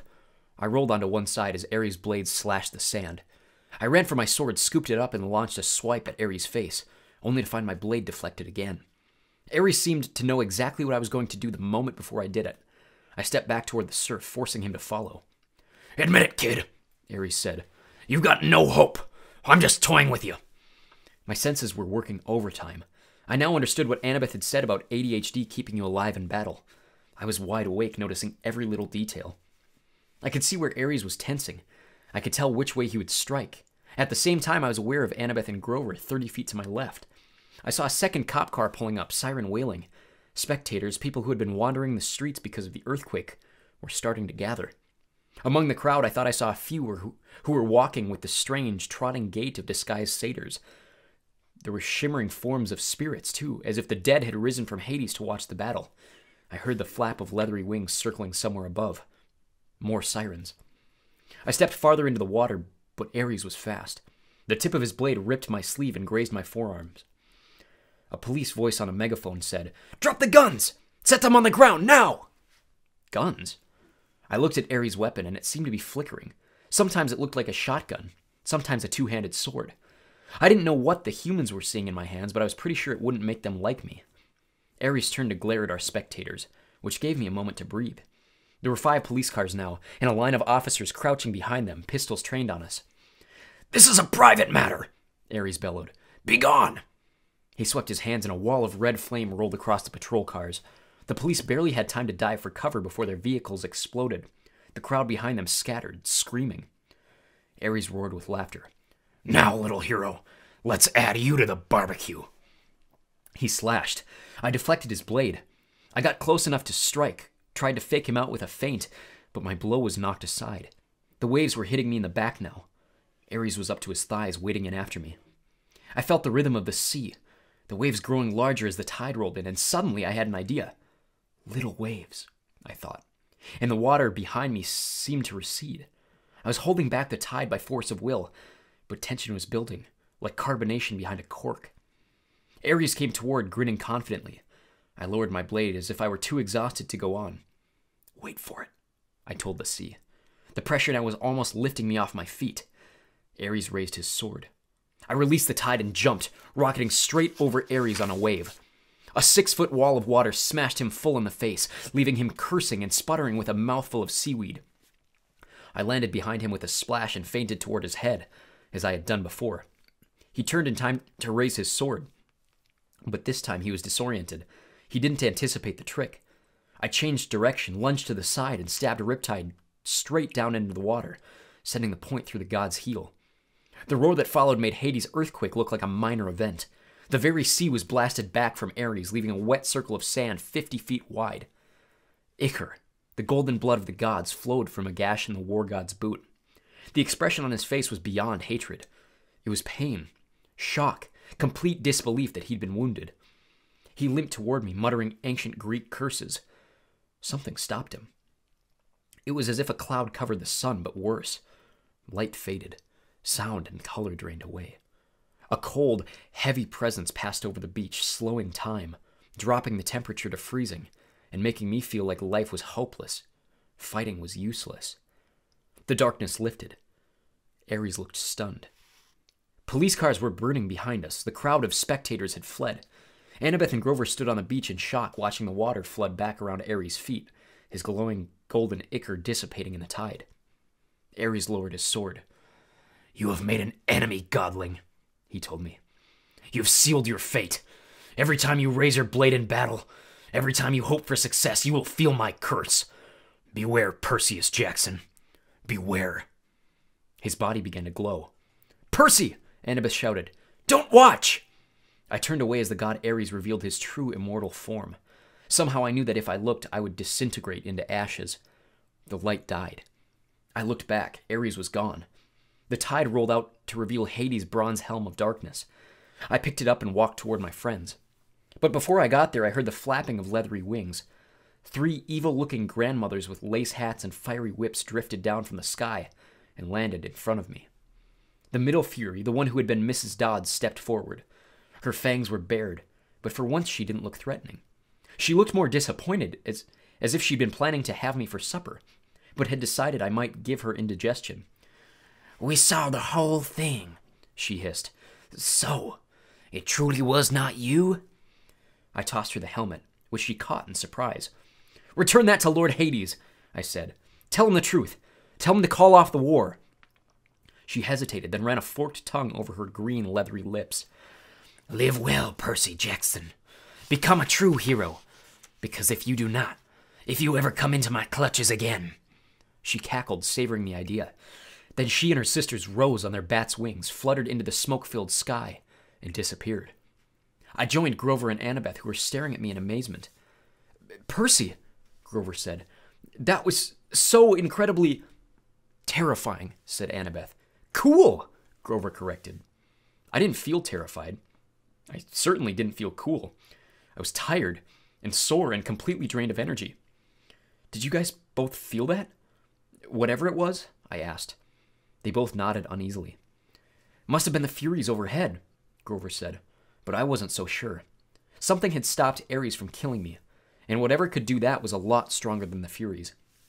I looked at Annabeth, and an understanding passed between us. I knew that I knew now what was in that pit, what had spoken from the entrance of Tartarus. I reclaimed my backpack from Grover and looked inside. The master bolt was still there.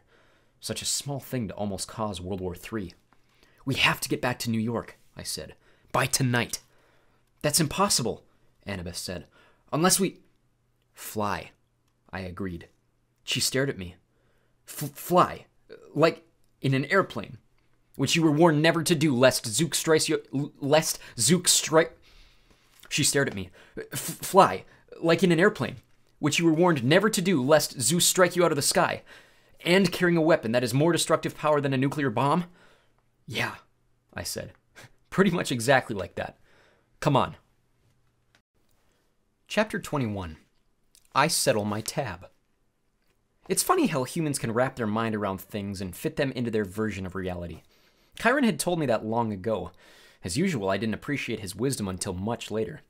According to the LA News, the explosion at the Santa Monica beach had been caused when a crazy kidnapper fired a shotgun at a police car. He accidentally hit a gas main that had ruptured during the earthquake. This crazy kidnapper, aka Ares, was the same man who had abducted me and two other adolescents in New York and brought us across country on a 10 day odyssey of terror. Poor little Percy Jackson wasn't an international criminal after all. He'd caused a commotion on that Greyhound bus in New Jersey trying to get away from his captor. And afterward, witnesses would even swear they had seen the leather clad man on the bus. Why didn't I remember him before?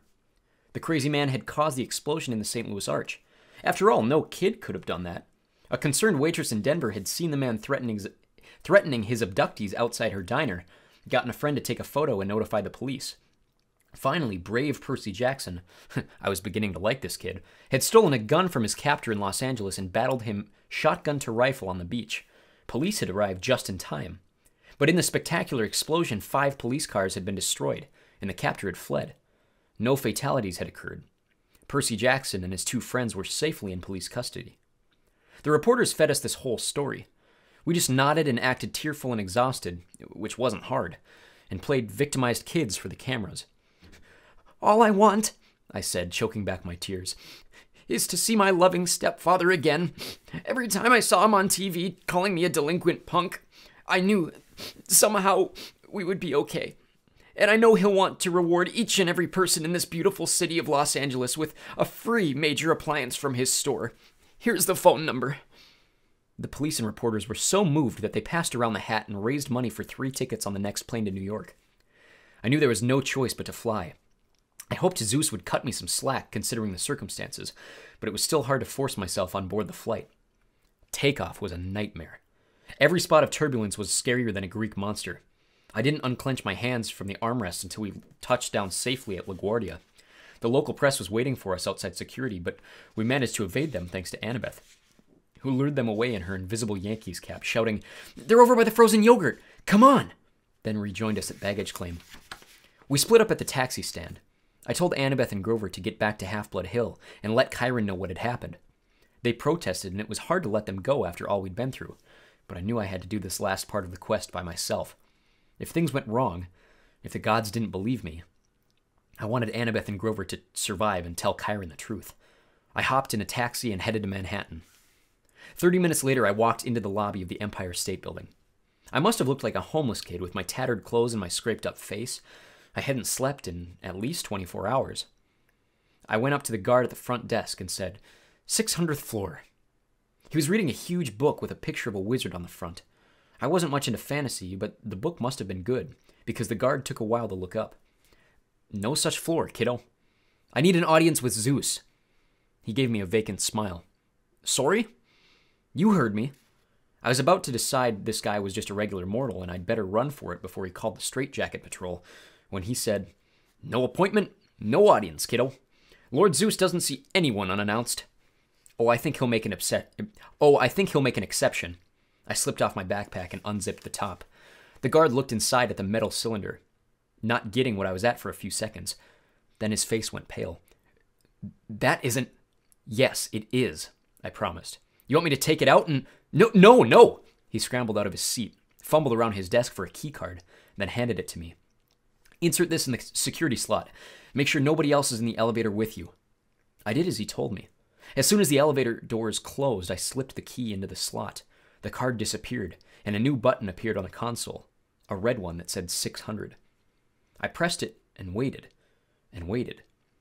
Music played. Raindrops keep falling on my head. Finally, ding! The door slid open. I stepped out and almost had a heart attack. I was standing on a narrow stone walkway in the middle of the air. Below me was Manhattan, from the height of an airplane. In front of me, white marble steps wound up the spine of a cloud into the sky. My eyes followed the stairway to its end, where my brain just could not accept what I saw. Look again, my brain said. We're looking, my eyes insisted. It's really there. From the top of the clouds rose the decapitated peak of a mountain, its summit covered with snow, Clinging to the mountainside were dozens of multi leveled palaces, a city of mansions, all with white columned porticos, gilded terraces, and bronze braziers glowing with a thousand fires. Roads wound crazily up to the peak, where the largest palace gleamed against the snow. Precariously perched gardens bloomed with olive trees and rose bushes. I could make out an open air market filled with colorful tents, a stone amphitheater built on one side of the mountain, a hippodrome and a coliseum on the other. It was an ancient Greek city, except it wasn't in ruins. It was new and clean and colorful the way Athens must have looked 2,500 years ago. This place can't be here, I told myself. The tip of a mountain hanging over New York City like a billion ton asteroid? How could something like that be anchored above the Empire State Building, in plain sight of millions of people, and not get noticed? But here it was. And here I was. My trip through Olympus was a daze. I passed some giggling wood nymphs who threw olives at me from their garden. Hawkers in the market offered to sell me ambrosia on a stick and a new shield, and a genuine glitter weave replica of the Golden Fleece, as seen on Hephaestus TV. The nine muses were tuning their instruments for a concert in the park, while a small crowd gathered satyrs and naiads and a bunch of good looking teenagers who might have been minor gods and goddesses. Nobody seemed worried about an impending civil war. In fact, everybody seemed in a festive mood. Several of them turned to watch me pass and whispered to themselves. I climbed the main road toward the big palace at the peak. It was a reverse copy of the palace in the underworld. There, everything had been black and bronze. Here, everything glittered white and silver. I realized Hades must have built his palace to resemble this one. He wasn't welcomed in Olympus except on the winter solstice, so he'd built his own Olympus underground. Despite my bad experience with him, I felt a little sorry for the guy. To be banished from this place seemed really unfair. It would make anybody bitter. Steps led up to a central courtyard. Past that, the throne room. Room really isn't the right word. The place made Grand Central Station look like a broom closet. Massive columns rose to a domed ceiling, which was gilded with moving constellations. Twelve thrones built for beings the size of Hades were arranged in an inverted U, just like the cabins at Camp Half Blood. An enormous fire crackled in the central hearth pit. The thrones were empty except for two at the end the head throne on the right, and the one to its immediate left. I didn't have to be told who the two gods were that were sitting there, waiting for me to approach. I came toward them, my, my legs trembling. The gods were in giant human form as Hades had been, but I could barely look at them without feeling a tingle, as if my body were starting to burn. Zeus, the lord of the gods, wore a dark blue pinstriped suit. He sat on a simple throne of solid platinum. He had a well trimmed beard, marbled gray and black like a storm cloud. His face was proud and handsome and grim, his eyes a rainy gray. As I got nearer to him, the air crackled and smelled like ozone. The god sitting next to him was his brother, without a doubt, but he was dressed very differently. He reminded me of a beachcomber from Key West. He wore leather sandals, khaki Bermuda shorts, and a Tommy Bahama shirt with coconuts and parrots all over it. His skin was deeply tanned, his hands scarred like an old time fisherman's. His hair was black, like mine. His face had that same brooding look that had always gotten me branded a rebel.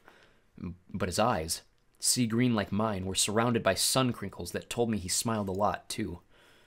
His throne was a deep sea fisherman's chair. It was the simple swiveling kind, with a black leather seat and a built in holster for a fishing pole. Instead of a pole, the holster held a bronze trident, flickering with green light around the tips. The gods weren't moving or speaking, but there was tension in the air, as if they'd just finished an argument. I approached the fisherman's throne and knelt at his feet.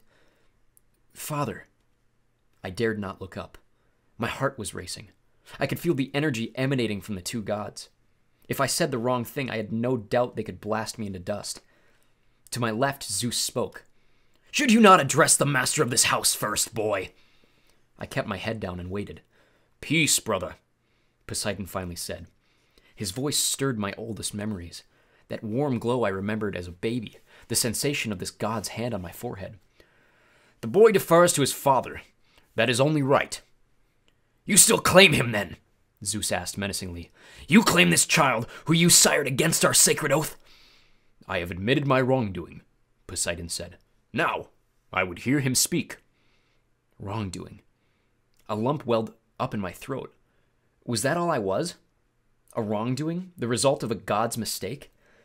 I have spared him once already, Zeus grumbled. Daring to fly through my domain. Pah! I should have blasted him out of the sky for his impudence. And risked destroying your own master bolt? Zeus asked, or Poseidon asked calmly. Let us hear him out, brother. Zeus grumbled some more. I shall listen, he decided. Then I shall make up my mind whether or not to cast this boy down from Olympus. Perseus, Poseidon said, look at me. I did, and I, I wasn't sure what I saw in his face. There was no clear sign of love or approval, nothing to encourage me. It was like looking at the ocean. Some days you could tell what mood it was in. Most days, though, it was unreadable, mysterious. I got the feeling Poseidon really didn't know what to think of me. He didn't know whether he was happy to have me as a son or not. In a strange way, I was glad that Poseidon was so distant. If he'd tried to apologize, or told me he loved me, or even smiled, it would have felt fake like a human dad making some lame excuse for not being around. I could live with that. After all, I wasn't sure about him yet, either. Address Lord Zeus, boy, Poseidon told me. Tell him your story. So I told Zeus everything, just as it had happened. I took out the metal cylinder, which began sparking in the sky god's present presence, and laid it at his feet. There was a long silence, broken only by the crackle of the hearth fire. Zeus opened his palm. The lightning bolt flew into it. As he closed his fist, the metallic points flared with electricity, until he was holding what looked more like the classic thunderbolt, a 20 foot javelin of arcing, hissing energy that made the hairs on my scalp rise. I sense the boy tells the truth, Zeus muttered. But that Ares would do such a thing. It is most unlike him. He is proud and impulsive, Poseidon said. It runs in the family. Lord, I asked. They both said, Yes. Ares didn't act alone. Someone else, something else, came up with the idea. I described my dreams and the feeling I'd had on the beach, that momentary breath of evil that had seemed to stop the world and made Ares back off from killing me. In the dreams, I said, the voice told me to bring the bolt to the underworld. Ares hinted that he'd been having dreams too. I think he was being used, just as I was, to start a war. You're accusing Hades after all? Zeus asked. No, I said. I, I mean, Lord Zeus, I've been in the presence of Hades. This feeling on the beach was different. It was the same thing I felt when I got close to that pit. That was the entrance to Tartarus, wasn't it? Something powerful and evil is stirring down there. Something even older than the gods. Poseidon and Zeus looked at each other. They had a quick, intense discussion in ancient Greek. I only caught one word Father. Poseidon made some kind of suggestion, but Zeus cut him off. Poseidon tried to argue. Zeus held up his hand angrily. We will speak of this no more, Zeus said. I must go personally to purify this thunderbolt in the waters of Lemnos, to remove the human taint from its metal. He rose and looked at me. His expression softened just a fraction of a degree. You've done me a service, boy. Few heroes could have accomplished as much. I had help, sir, I said. Grover Underwood and Annabeth Chase. To show you thanks, I shall spare your life. I do not trust you, Perseus Jackson. I do not like what your arrival means for the future of Olympus. But for sake of peace in the family, I shall let you live. Um, thank you, sir. Do not presume to fly again. Do not let me find you here when I return. Otherwise, you shall taste this bolt, and it shall be your last sensation. Thunder shook the palace. With a blinding flash of lightning, Zeus was gone. I was alone in the throne room with my father. Your uncle, Poseidon sighed, has always had a flair for dramatic exits. I think he would have done well as the god of theater. An uncomfortable silence. Sir, I said, what was in that pit? Poseidon regarded me. Have you not guessed? Kronos, I said, the king of the Titans. Even in the throne room of Olympus, far away from Tartarus, the name Kronos darkened the room, made the hearth fire seem not quite so warm on my back. Poseidon gripped his trident. In the first war, Percy, Zeus cut our father Kronos into a thousand pieces, just as Kronos had done to his own father, Ouranos. Zeus cast Kronos' remains into the darkest pit of Tartarus.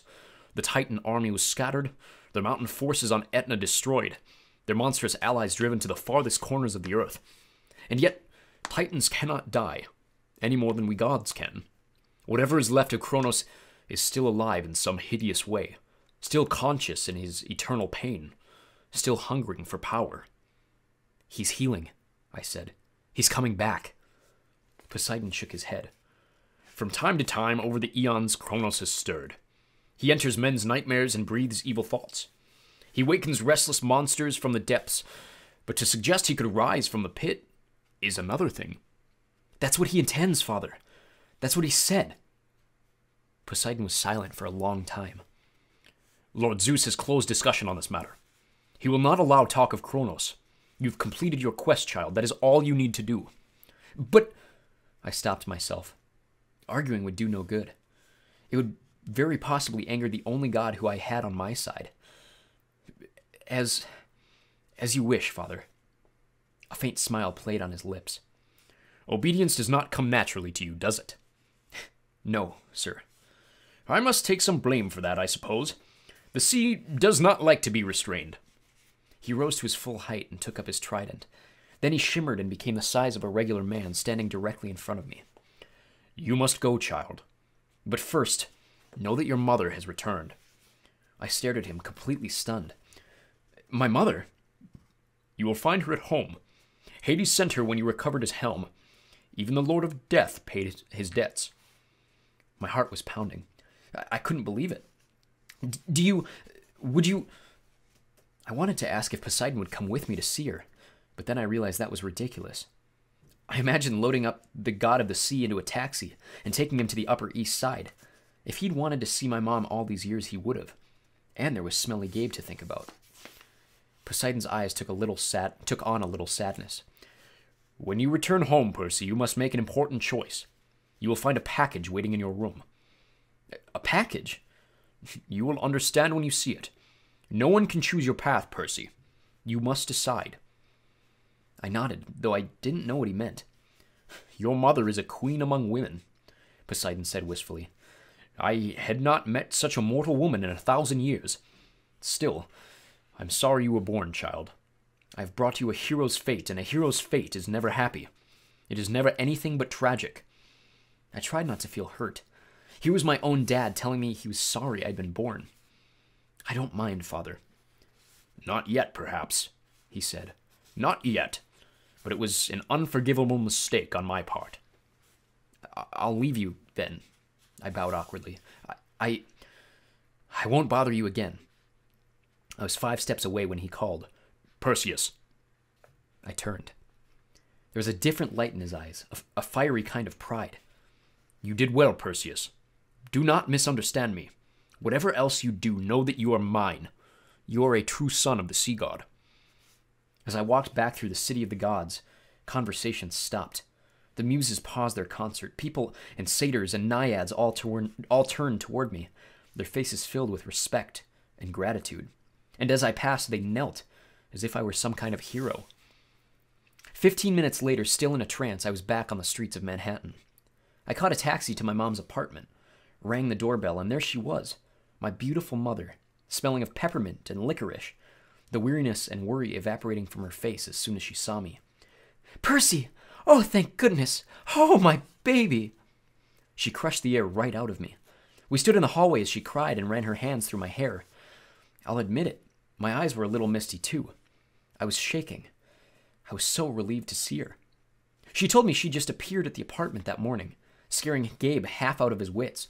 She didn't remember anything since the Minotaur, and couldn't believe it when Gabe told her I was a wanted criminal, traveling across the country blowing up national monuments. She'd been going out of her mind with worry all day because she hadn't heard the news. Gabe had forced her to go into work, saying she had a month's salary to make up, and she better get started. I swallowed back my anger and told her my own story. I tried to make it sound less scary than it had been, but that wasn't easy. I was just getting to the fight with Ares when Gabe's voice interrupted from the living room. Hey, Sally! That meatloaf done yet or what? She closed her eyes. He isn't going to be happy to see you, Percy. The store got half a million phone calls today from Los Angeles. Something about free appliances. Oh, uh, yeah, uh, about that. She managed a weak smile. Just don't make him angrier, all right? Come on. In the month I'd been gone, the apartment had turned into Gabe land. Garbage was ankle deep on the carpet. The sofa had been reupholstered in beer cans. Dirty socks and underwear hung off the lampshades. Gabe and three of his big, goony friends were playing poker at a table. When Gabe saw me, his cigar dropped out of his mouth. His face got redder than lava. You got nerve coming here, you little punk. I thought the police. He's not a fugitive after all, my mom interjected. Isn't that wonderful, Gabe? Gabe looked back and forth between us. He didn't seem to think my homecoming was so wonderful. Bad enough I had to give back your life insurance money, Sally, he growled. Get me the phone. I'll call the cops. Gabe, no! He raised his eyebrows. Did you just say no? You think I'm gonna put up with this punk again? I can still press charges for him again against him for ruining my Camaro. But he raised his hands, and my mother flinched. For the first time, I'd realized something. Gabe had hit my mother. I didn't know when or how much, but I was sure he'd done it. Maybe it had been going on for years when I wasn't around. A balloon of anger started expanding in my chest. I came toward Gabe, instinctively taking my pen out of my pocket. He just laughed. What, punk? You gonna write on me? You touch me and you are going to jail forever, you understand? Hey, Gabe, his friend Eddie interrupted. He's just a kid. Gabe looked at him resentfully and mimicked in a falsetto voice. Just a kid. His other friends laughed like idiots. I'll be nice to you, punk. Gabe showed me his tobacco stained teeth. I'll give you five minutes to get your stuff and clear out. After that, I call the police. Gabe, my mother pleaded. He ran away, Gabe told her. Let him stay gone. I was itching to uncap Riptide, but even if I did, the blade wouldn't hurt humans. And Gabe, by the loosest definition, was human. My mother took my arm. Please, Percy, come on. We'll go to your room. I let her pull me away, my hands still trembling with rage. My room had been completely filled with Gabe's junk. There were stacks of used car batteries, a rotting bouquet of sympathy, sympathy flowers with a card from somebody who'd seen his Barbara Walters and from somebody who'd seen his Barbara Walters interview. Gabe is just upset, honey, my mother told me. I'll talk to him later. I'm sure it will work out. Mom, it'll never work out. Not as long as Gabe's here. She wrung her hands nervously. I, I can. I'll take you to work with me for the rest of the summer. In the fall, maybe there's another boarding school. Mom. She lowered her eyes. I, I'm trying, Percy. I just. I need some time. A package appeared on my bed. At last, I. At least, I, I couldn't have sworn it had been there the moment before. It was a battered cardboard box about the right size to fit a basketball. The address on the mailing slip was in my own handwriting. The gods, Mount Olympus, 600th floor, Empire State Building, New York, New York. With best wishes, Percy Jackson. Over the top, in a black marker, in a man's clear, bold print, was the address of our apartment and the words, Return to Sender. Suddenly, I understood what Poseidon had told me on Olympus a package, a decision. Whatever else you do, know that you are mine. You are a true son of the sea god. I looked at my mother. Mom, do you want Gabe gone? Percy, it isn't that simple. I. Mom, just tell me. That jerk has been hitting you. Do you want him gone or not? She hesitated, then nodded almost imperceptibly. Yes, Percy, I do. And I'm trying to get up my courage to tell him. But you can't do this for me. You can't solve my problems. I looked at the box. I could solve her problem. I wanted to slice that package open, plop it on the poker table, and take out what was inside. I could start my very own statue garden right there in the living room. That's what a Greek hero would do in the stories, I thought. That's what Gabe deserves. But a hero's story always ended in tragedy. Poseidon had told me that. I remembered the underworld. I thought about Gabe's spirit drifting forever in the fields of asphodel, or condemned to some hideous torture behind the barbed wire of the fields of punishment, an eternal poker game sitting up to his waist in boiling oil, listening to opera music. Did I have the right to send someone there? Even Gabe? A month ago, I wouldn't have hesitated. Now, I can do it, I told my mom. One look inside this box and he'll never bother you again. She glanced at the package and seemed to understand immediately. No, Percy, she said, stepping away. You can't. Poseidon called you a queen, I told her. He said he hadn't met a woman like you in a thousand years. Her cheeks flushed. Percy, you deserve better than this, Mom. You should go to college, get your degree. You can write your novel. Meet a nice guy, maybe. Live in a nice house. You don't need to protect me anymore by staying with Gabe. Let me get rid of him. She wiped a tear off her cheek. You sound so much like your father, she said. He offered to stop the tide for me once. He offered to build me a palace at the bottom of the sea.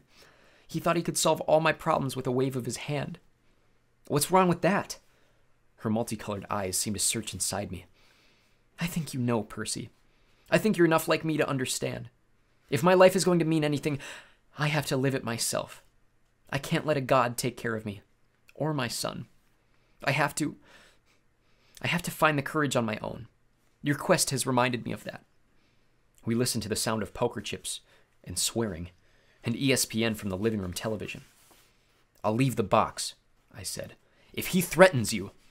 She looked pale, but she nodded. Where will you go, Percy? Half Blood Hill. For the summer?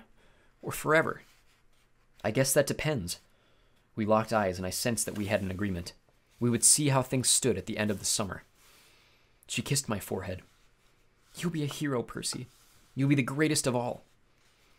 I took one last look around my bedroom. I had a feeling I'd never see it again. Then I walked with my mother to the front door. Leaving so soon, punk! Gabe called after me. Good riddance. I had one last twinge of doubt. How could I turn down the perfect chance to take revenge on him? I was leaving here without saving my mother. Hey, Sally! he yelled. What about that meatloaf, huh? A steely look of anger flared in my mother's eyes, and I thought, just maybe, I was leaving her in good hands after all. Her own. The meatloaf is coming right up, dear, she told Gabe. Meatloaf surprise. She looked at me and winked.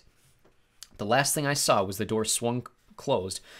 The last thing I saw as the door swung closed was my mother staring at Gabe, as if she were contemplating how he would look as a garden statue. Chapter 22 The Prophecy Comes True. We were the first heroes to return alive to Half Blood Hill since Luke, so of course everybody treated us as if we'd won some reality TV contest. According to camp tradition, we wore laurel wreaths to a big feast prepared in our honor, then led a procession down to the bonfire, where we got to burn the burial shrouds our cabins had made for us in our absence. Annabeth's shroud was so beautiful, gray silk with embroidered owls.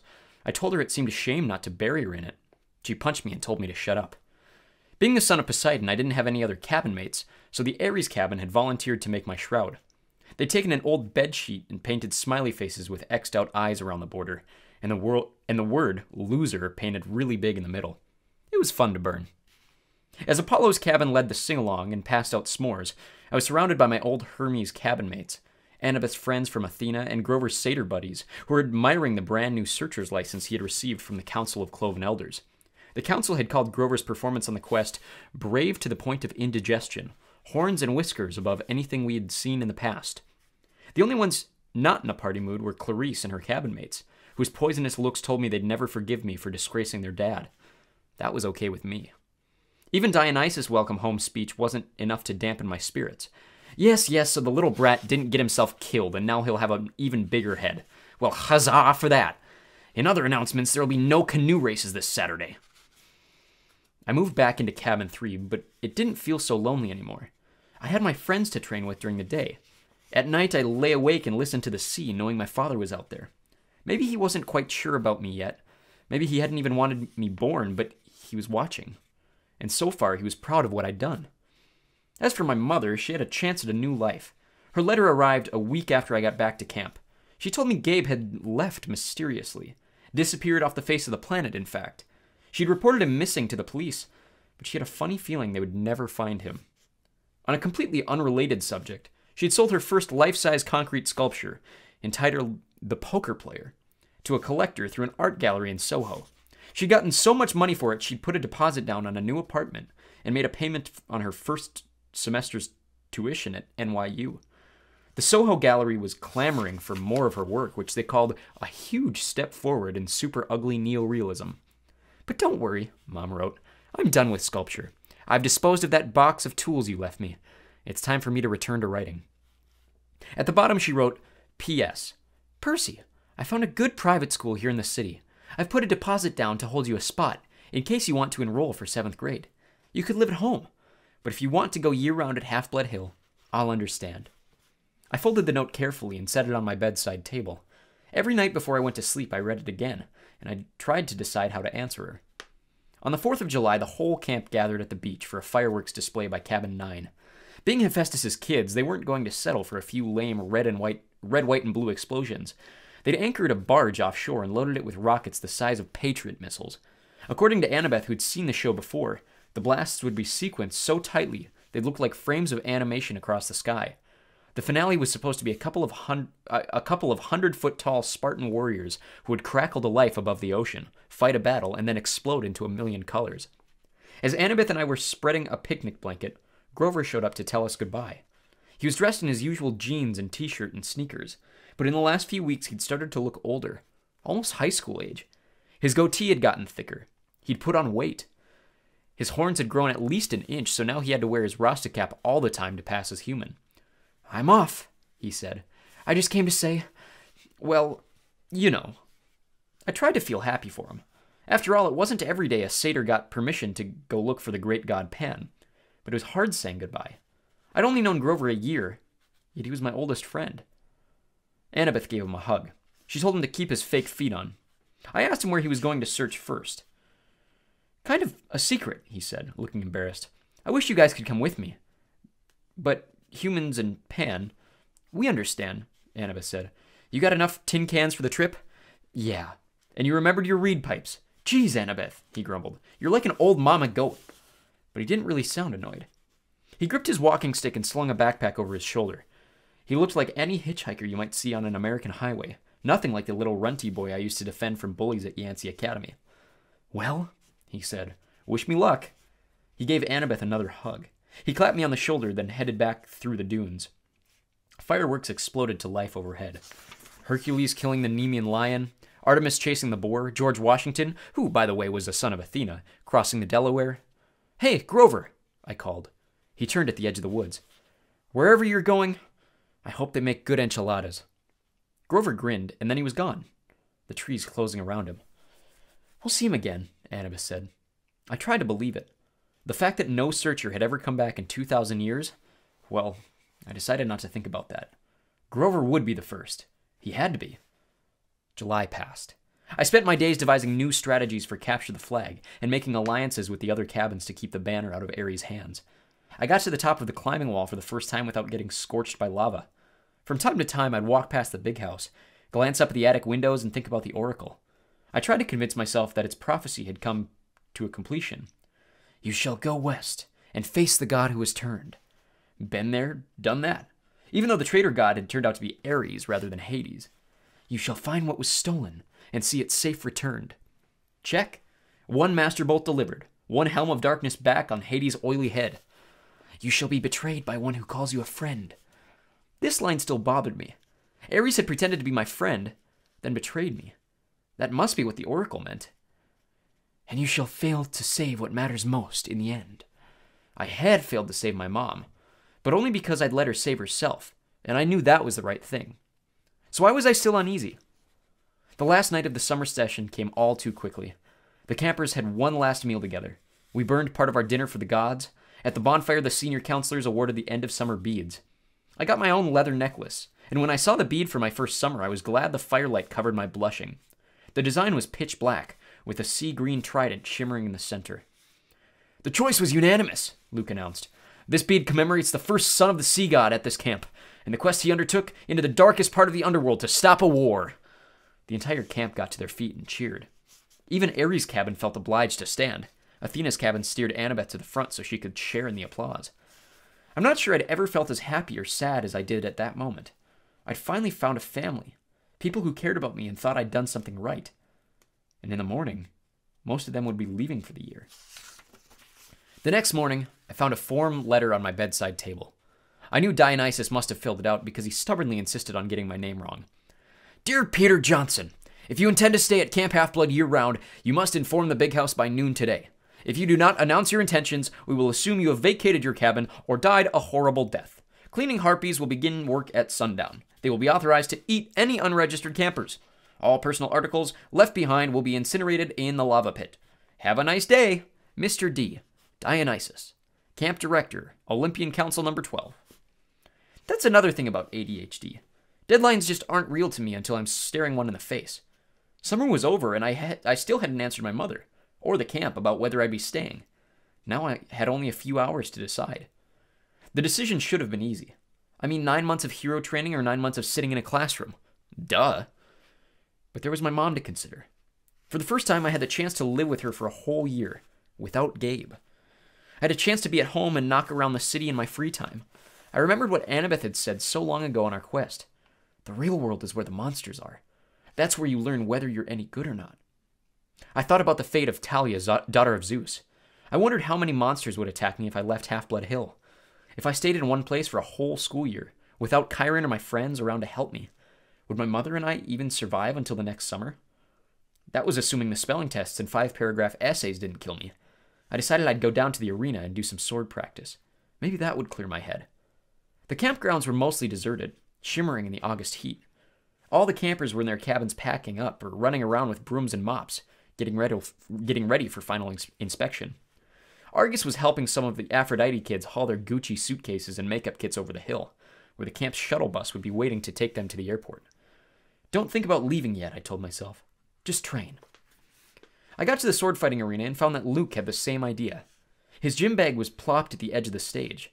He was working solo, wailing on a bottle, wailing on battle dummies with a sword I'd never seen before. It must have been a regular steel blade because he was slashing the dummies' heads right off, stabbing through their straw-stuffed guts. His orange counselor's shirt was dripping with sweat. His expression was so intense his life might have really been in danger. I watched, fascinated, as he disemboweled the whole row of dummies, hacking off limbs and basically reducing them to a pile of straw and armor. They were only dummies, but I still couldn't help being awed by Luke's skill. The guy was an incredible fighter.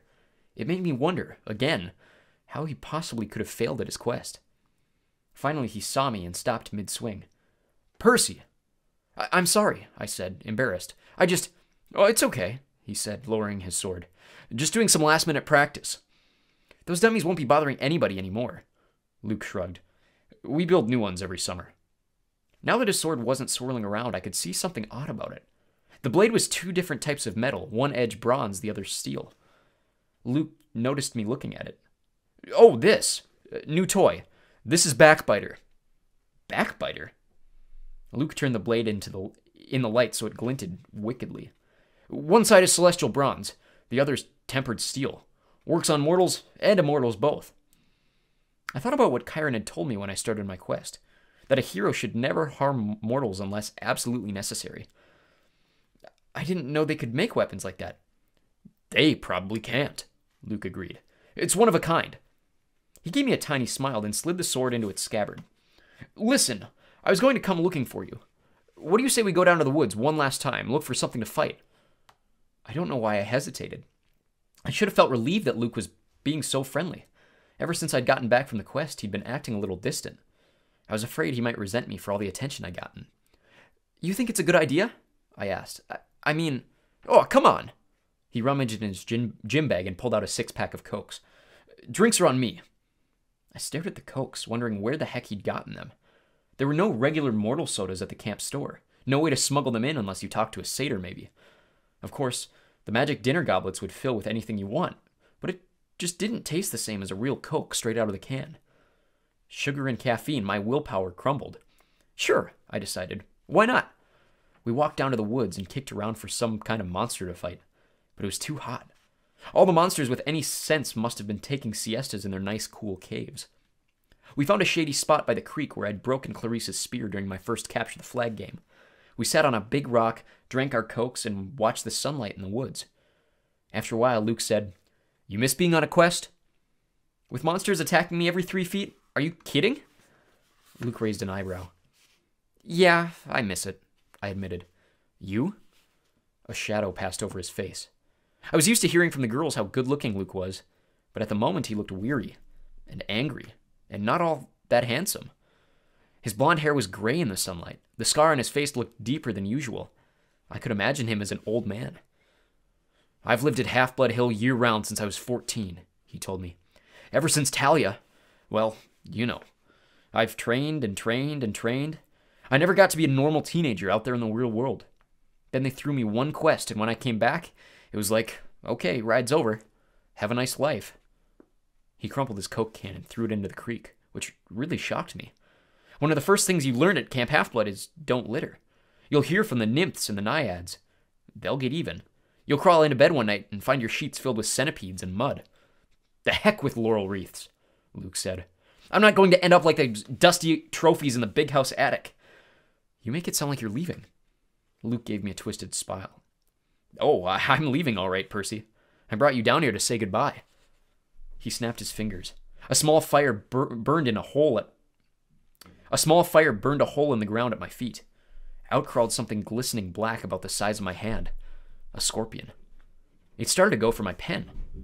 I wouldn't, Luke cautioned. Pit scorpions can jump up to 15 feet. Its stinger can pierce right through your clothes. You'll be dead in 60 seconds. Luke, what? Then it hit me. You will be betrayed by one who calls you a friend. You! I said. He stood calmly and brushed off his jeans. The scorpion paid him no attention. It kept its beady black eyes on me, clamping its pincers as it crawled into my shoe. I saw a lot out there in the world, Percy, Luke said. Didn't you feel. Didn't you feel it? The darkness gathering? The monsters growing stronger? Didn't you realize how useless, useless it all is? All the heroics, being pawns of the gods. They should have been overthrown thousands of years ago. But they've hung on, thanks to us, us half bloods. I couldn't believe this was happening. Luke, you're talking about our parents, I said. He laughed. That's supposed to make me love them? The precious Western civilization is a disease, Percy. It's killing the world. The only way to stop it is to burn to the ground, start over with something more honest. You're as crazy as Ares.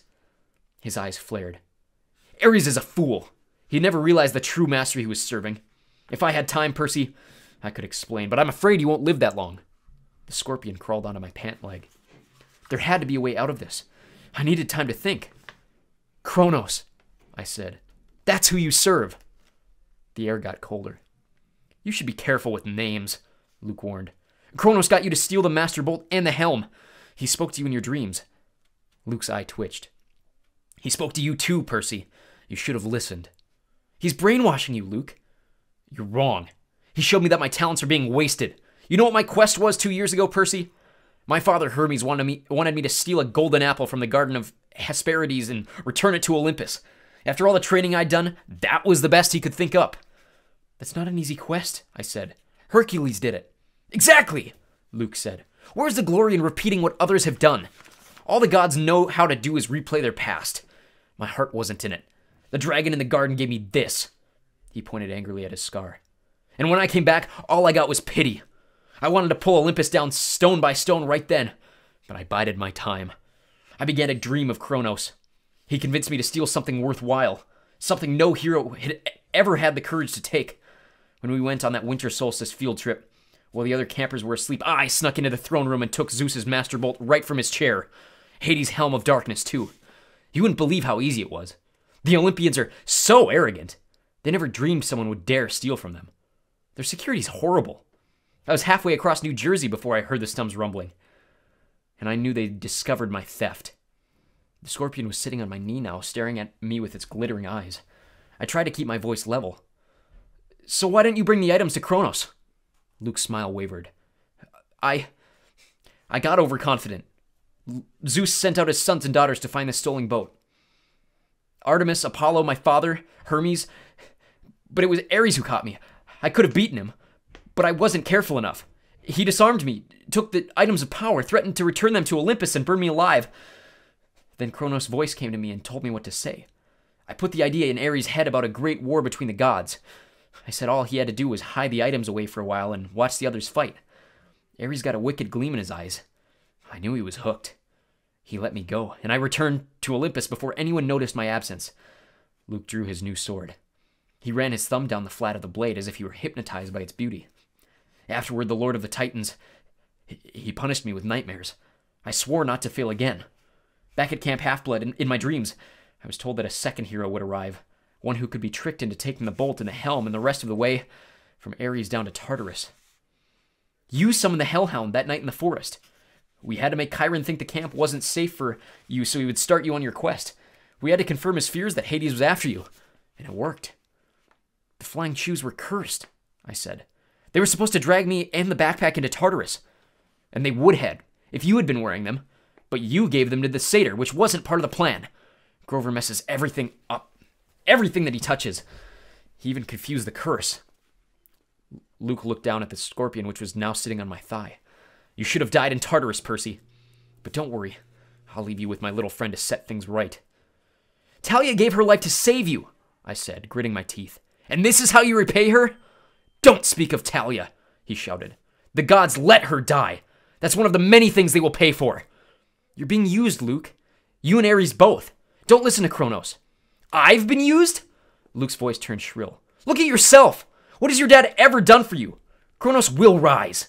You've only delayed his plans. He will cast the Olympians into Tartarus and drive humanity back to their caves. I'll accept the strongest, the ones who serve him. Call off the bug, I said. If you're so strong, fight me yourself. Luke smiled. Nice try, Percy, but I'm not Ares. You can't bait me. My lord is waiting, and he's got plenty of quests for me to undertake. Luke! Goodbye, Percy. There's a new golden age coming, and you won't be a part of it. He slashed his sword in an arc and disappeared in a ripple of darkness. The scorpion lunged. I swatted it away with my hand and uncapped my sword. The thing jumped at me and I cut it in half midair. I was about to congratulate myself until I looked down at my hand. My palm had a huge red welt, oozing and smoking with yellow guck. The thing had gotten me after all. My ears pounded, my vision went foggy. The water, I thought. It healed me before. I stumbled to the creek and submerged my hand, but nothing seemed to happen. The poison was too strong. My vision was getting dark. I could barely stand up. Sixty seconds, Luke had told me. I had to get back to camp. If I collapsed out here, my body would be dinner for a monster. Nobody would ever know what had happened. My legs felt like lead. My forehead was burning. I stumbled toward the camp, and the nymphs stirred from the trees. Help! I croaked. Please! Two of them took my arm, pulling me along. I remember making it out to the clearing, a counselor shouting for help, a centaur blowing the conch horn. Then everything went black. I woke with a drinking straw in my mouth. I was sipping something that tasted like liquid chocolate chip cookies. Nectar. I opened my eyes. I was propped up in bed in the sick room of, of the big house, my right hand bandaged like a club. Argus stood guard in the corner. Annabeth sat next to me, holding my nectar glass and dabbing a washcloth on my forehead. Here we are again, I said. You idiot, Annabeth said, which is how I knew she was overjoyed to see me conscious. You were green and turning gray when we found you. If it weren't for Chiron's healing. Now, now, Chiron's voice said, Percy's constitution deserves some of the credit.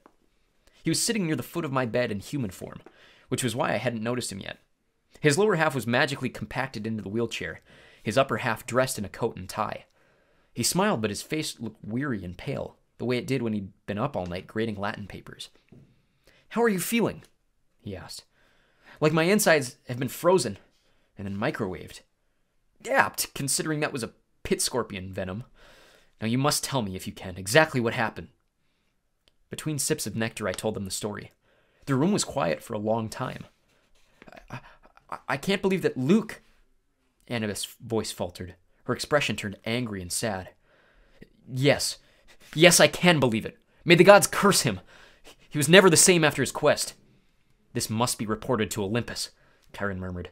I will go at once. Luke is out there right now, I said. I have to go after him.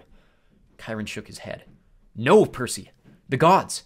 Won't even talk about Kronos, I snapped. Zeus declared the matter closed. Percy, I know this is hard, but you must not rush out for vengeance. You aren't ready. I didn't like it, but part of me suspected Chiron was right. One look at my hand, and I knew I wasn't going to be sword fighting anytime soon. Chiron, your prophecy from the oracle, it was about Kronos, wasn't it? Was I in it? In Annabeth? Chiron glanced nervously at the ceiling. Percy, it isn't my place. You've been ordered not to talk to me about it, haven't you? His eyes were sympathetic but sad. You will be a great hero, child. I will do my best to prepare you, but if I'm right about the path ahead of you. Thunder boomed overhead, rattling the windows. All right, Chiron shouted. Fine! He sighed in frustration. The gods have their reason, Percy. Knowing too much of your future is never a good thing. We can't just sit back and do nothing, I said. We will not sit back, Chiron promised. But you must be careful. Kronos wants you to come unraveled. He wants your life disrupted, your thoughts clouded with fear and anger. Do not give him what he wants. Train patiently. Your time will come.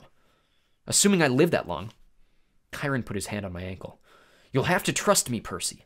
You will live. But first, you must decide your path for the coming year. I cannot tell you the right choice. I got the feeling that he had a very definite opinion, and it was taking all his willpower not to advise me. But you must decide whether to stay at Camp Half Blood year round, or return to the mortal world for seventh grade and be a summer camper. Think on that. When I get back from Olympus, you must tell me your decision. I wanted to protest. I wanted to ask him more questions, but his expression told me there was no there could be no more discussion. He had said as much as he could. I'll be back as soon as I can, Chiron promised. Argus will watch over you. He glanced at Annabeth. Oh, and my dear, whenever you're ready, they're here. Who's here? I asked. Chiron rolled himself out of the room. I heard the wheels of his chair clunk carefully down the front steps, two at a time. Annabeth studied the ice in my drink. What's wrong? I asked her. Nothing. She set the glass on the table. I just took your advice about something. You, um, need, anything? Yeah, help me up. I want to go outside. Percy, that isn't a good idea. I slid my legs out of bed. Annabeth caught me before I could crumple to the floor. A wave of nausea rolled over me. Annabeth said, I told you. I'm fine, I insisted. I didn't want to lie in bed like an invalid while Luke was out there planning to destroy the Western world. I managed a step forward, then another, still leaning heavily on Annabeth. Argus followed us outside, but he kept his distance. By the time we reached the porch, my face was beaded with sweat. My stomach had twisted into knots, but I had managed to make it all the way to the railing. It was dusk. The camp looked completely deserted. The cabins were dark and the volleyball pit silent. No canoes cut the surface of the lake. Beyond the woods and the strawberry fields, the Long Island Sound glittered in the last light of sun. What are you going to do? Annabeth asked me. I don't know. I told her I got the feeling Chiron wanted me to stay year round, to put in more individual training time, but I wasn't sure that was what I wanted. I admitted I feel bad about leaving her alone, though, with only Clarisse for company. Annabeth pursed her lips, then said quietly, I'm going home for the year, Percy. I stared at her. You mean to your dad's? She pointed toward the crest of Half Blood Hill. Next to Thalia's pine tree at the very edge of the camp's magical boundaries, a family still uh, a family stood silhouetted. Two little children, a woman, and a tall man with blond hair. They seemed to be waiting. The man was holding a backpack that looked like the one Annabeth had gotten from Waterland in Denver. I wrote him a letter when we got back, Annabeth said.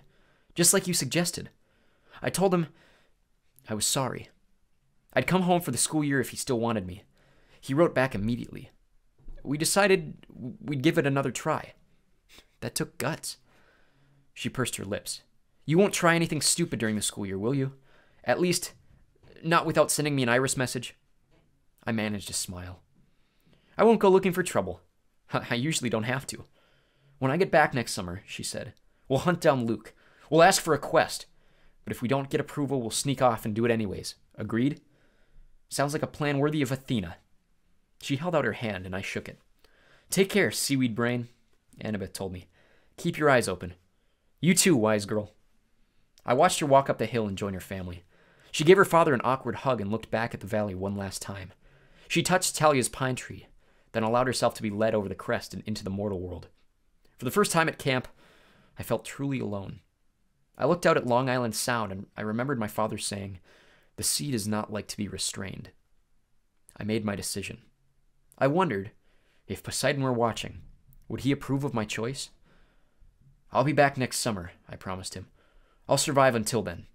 After all, I am your son. I asked Argus to take me to, down to cabin three so I could pack my bags for home.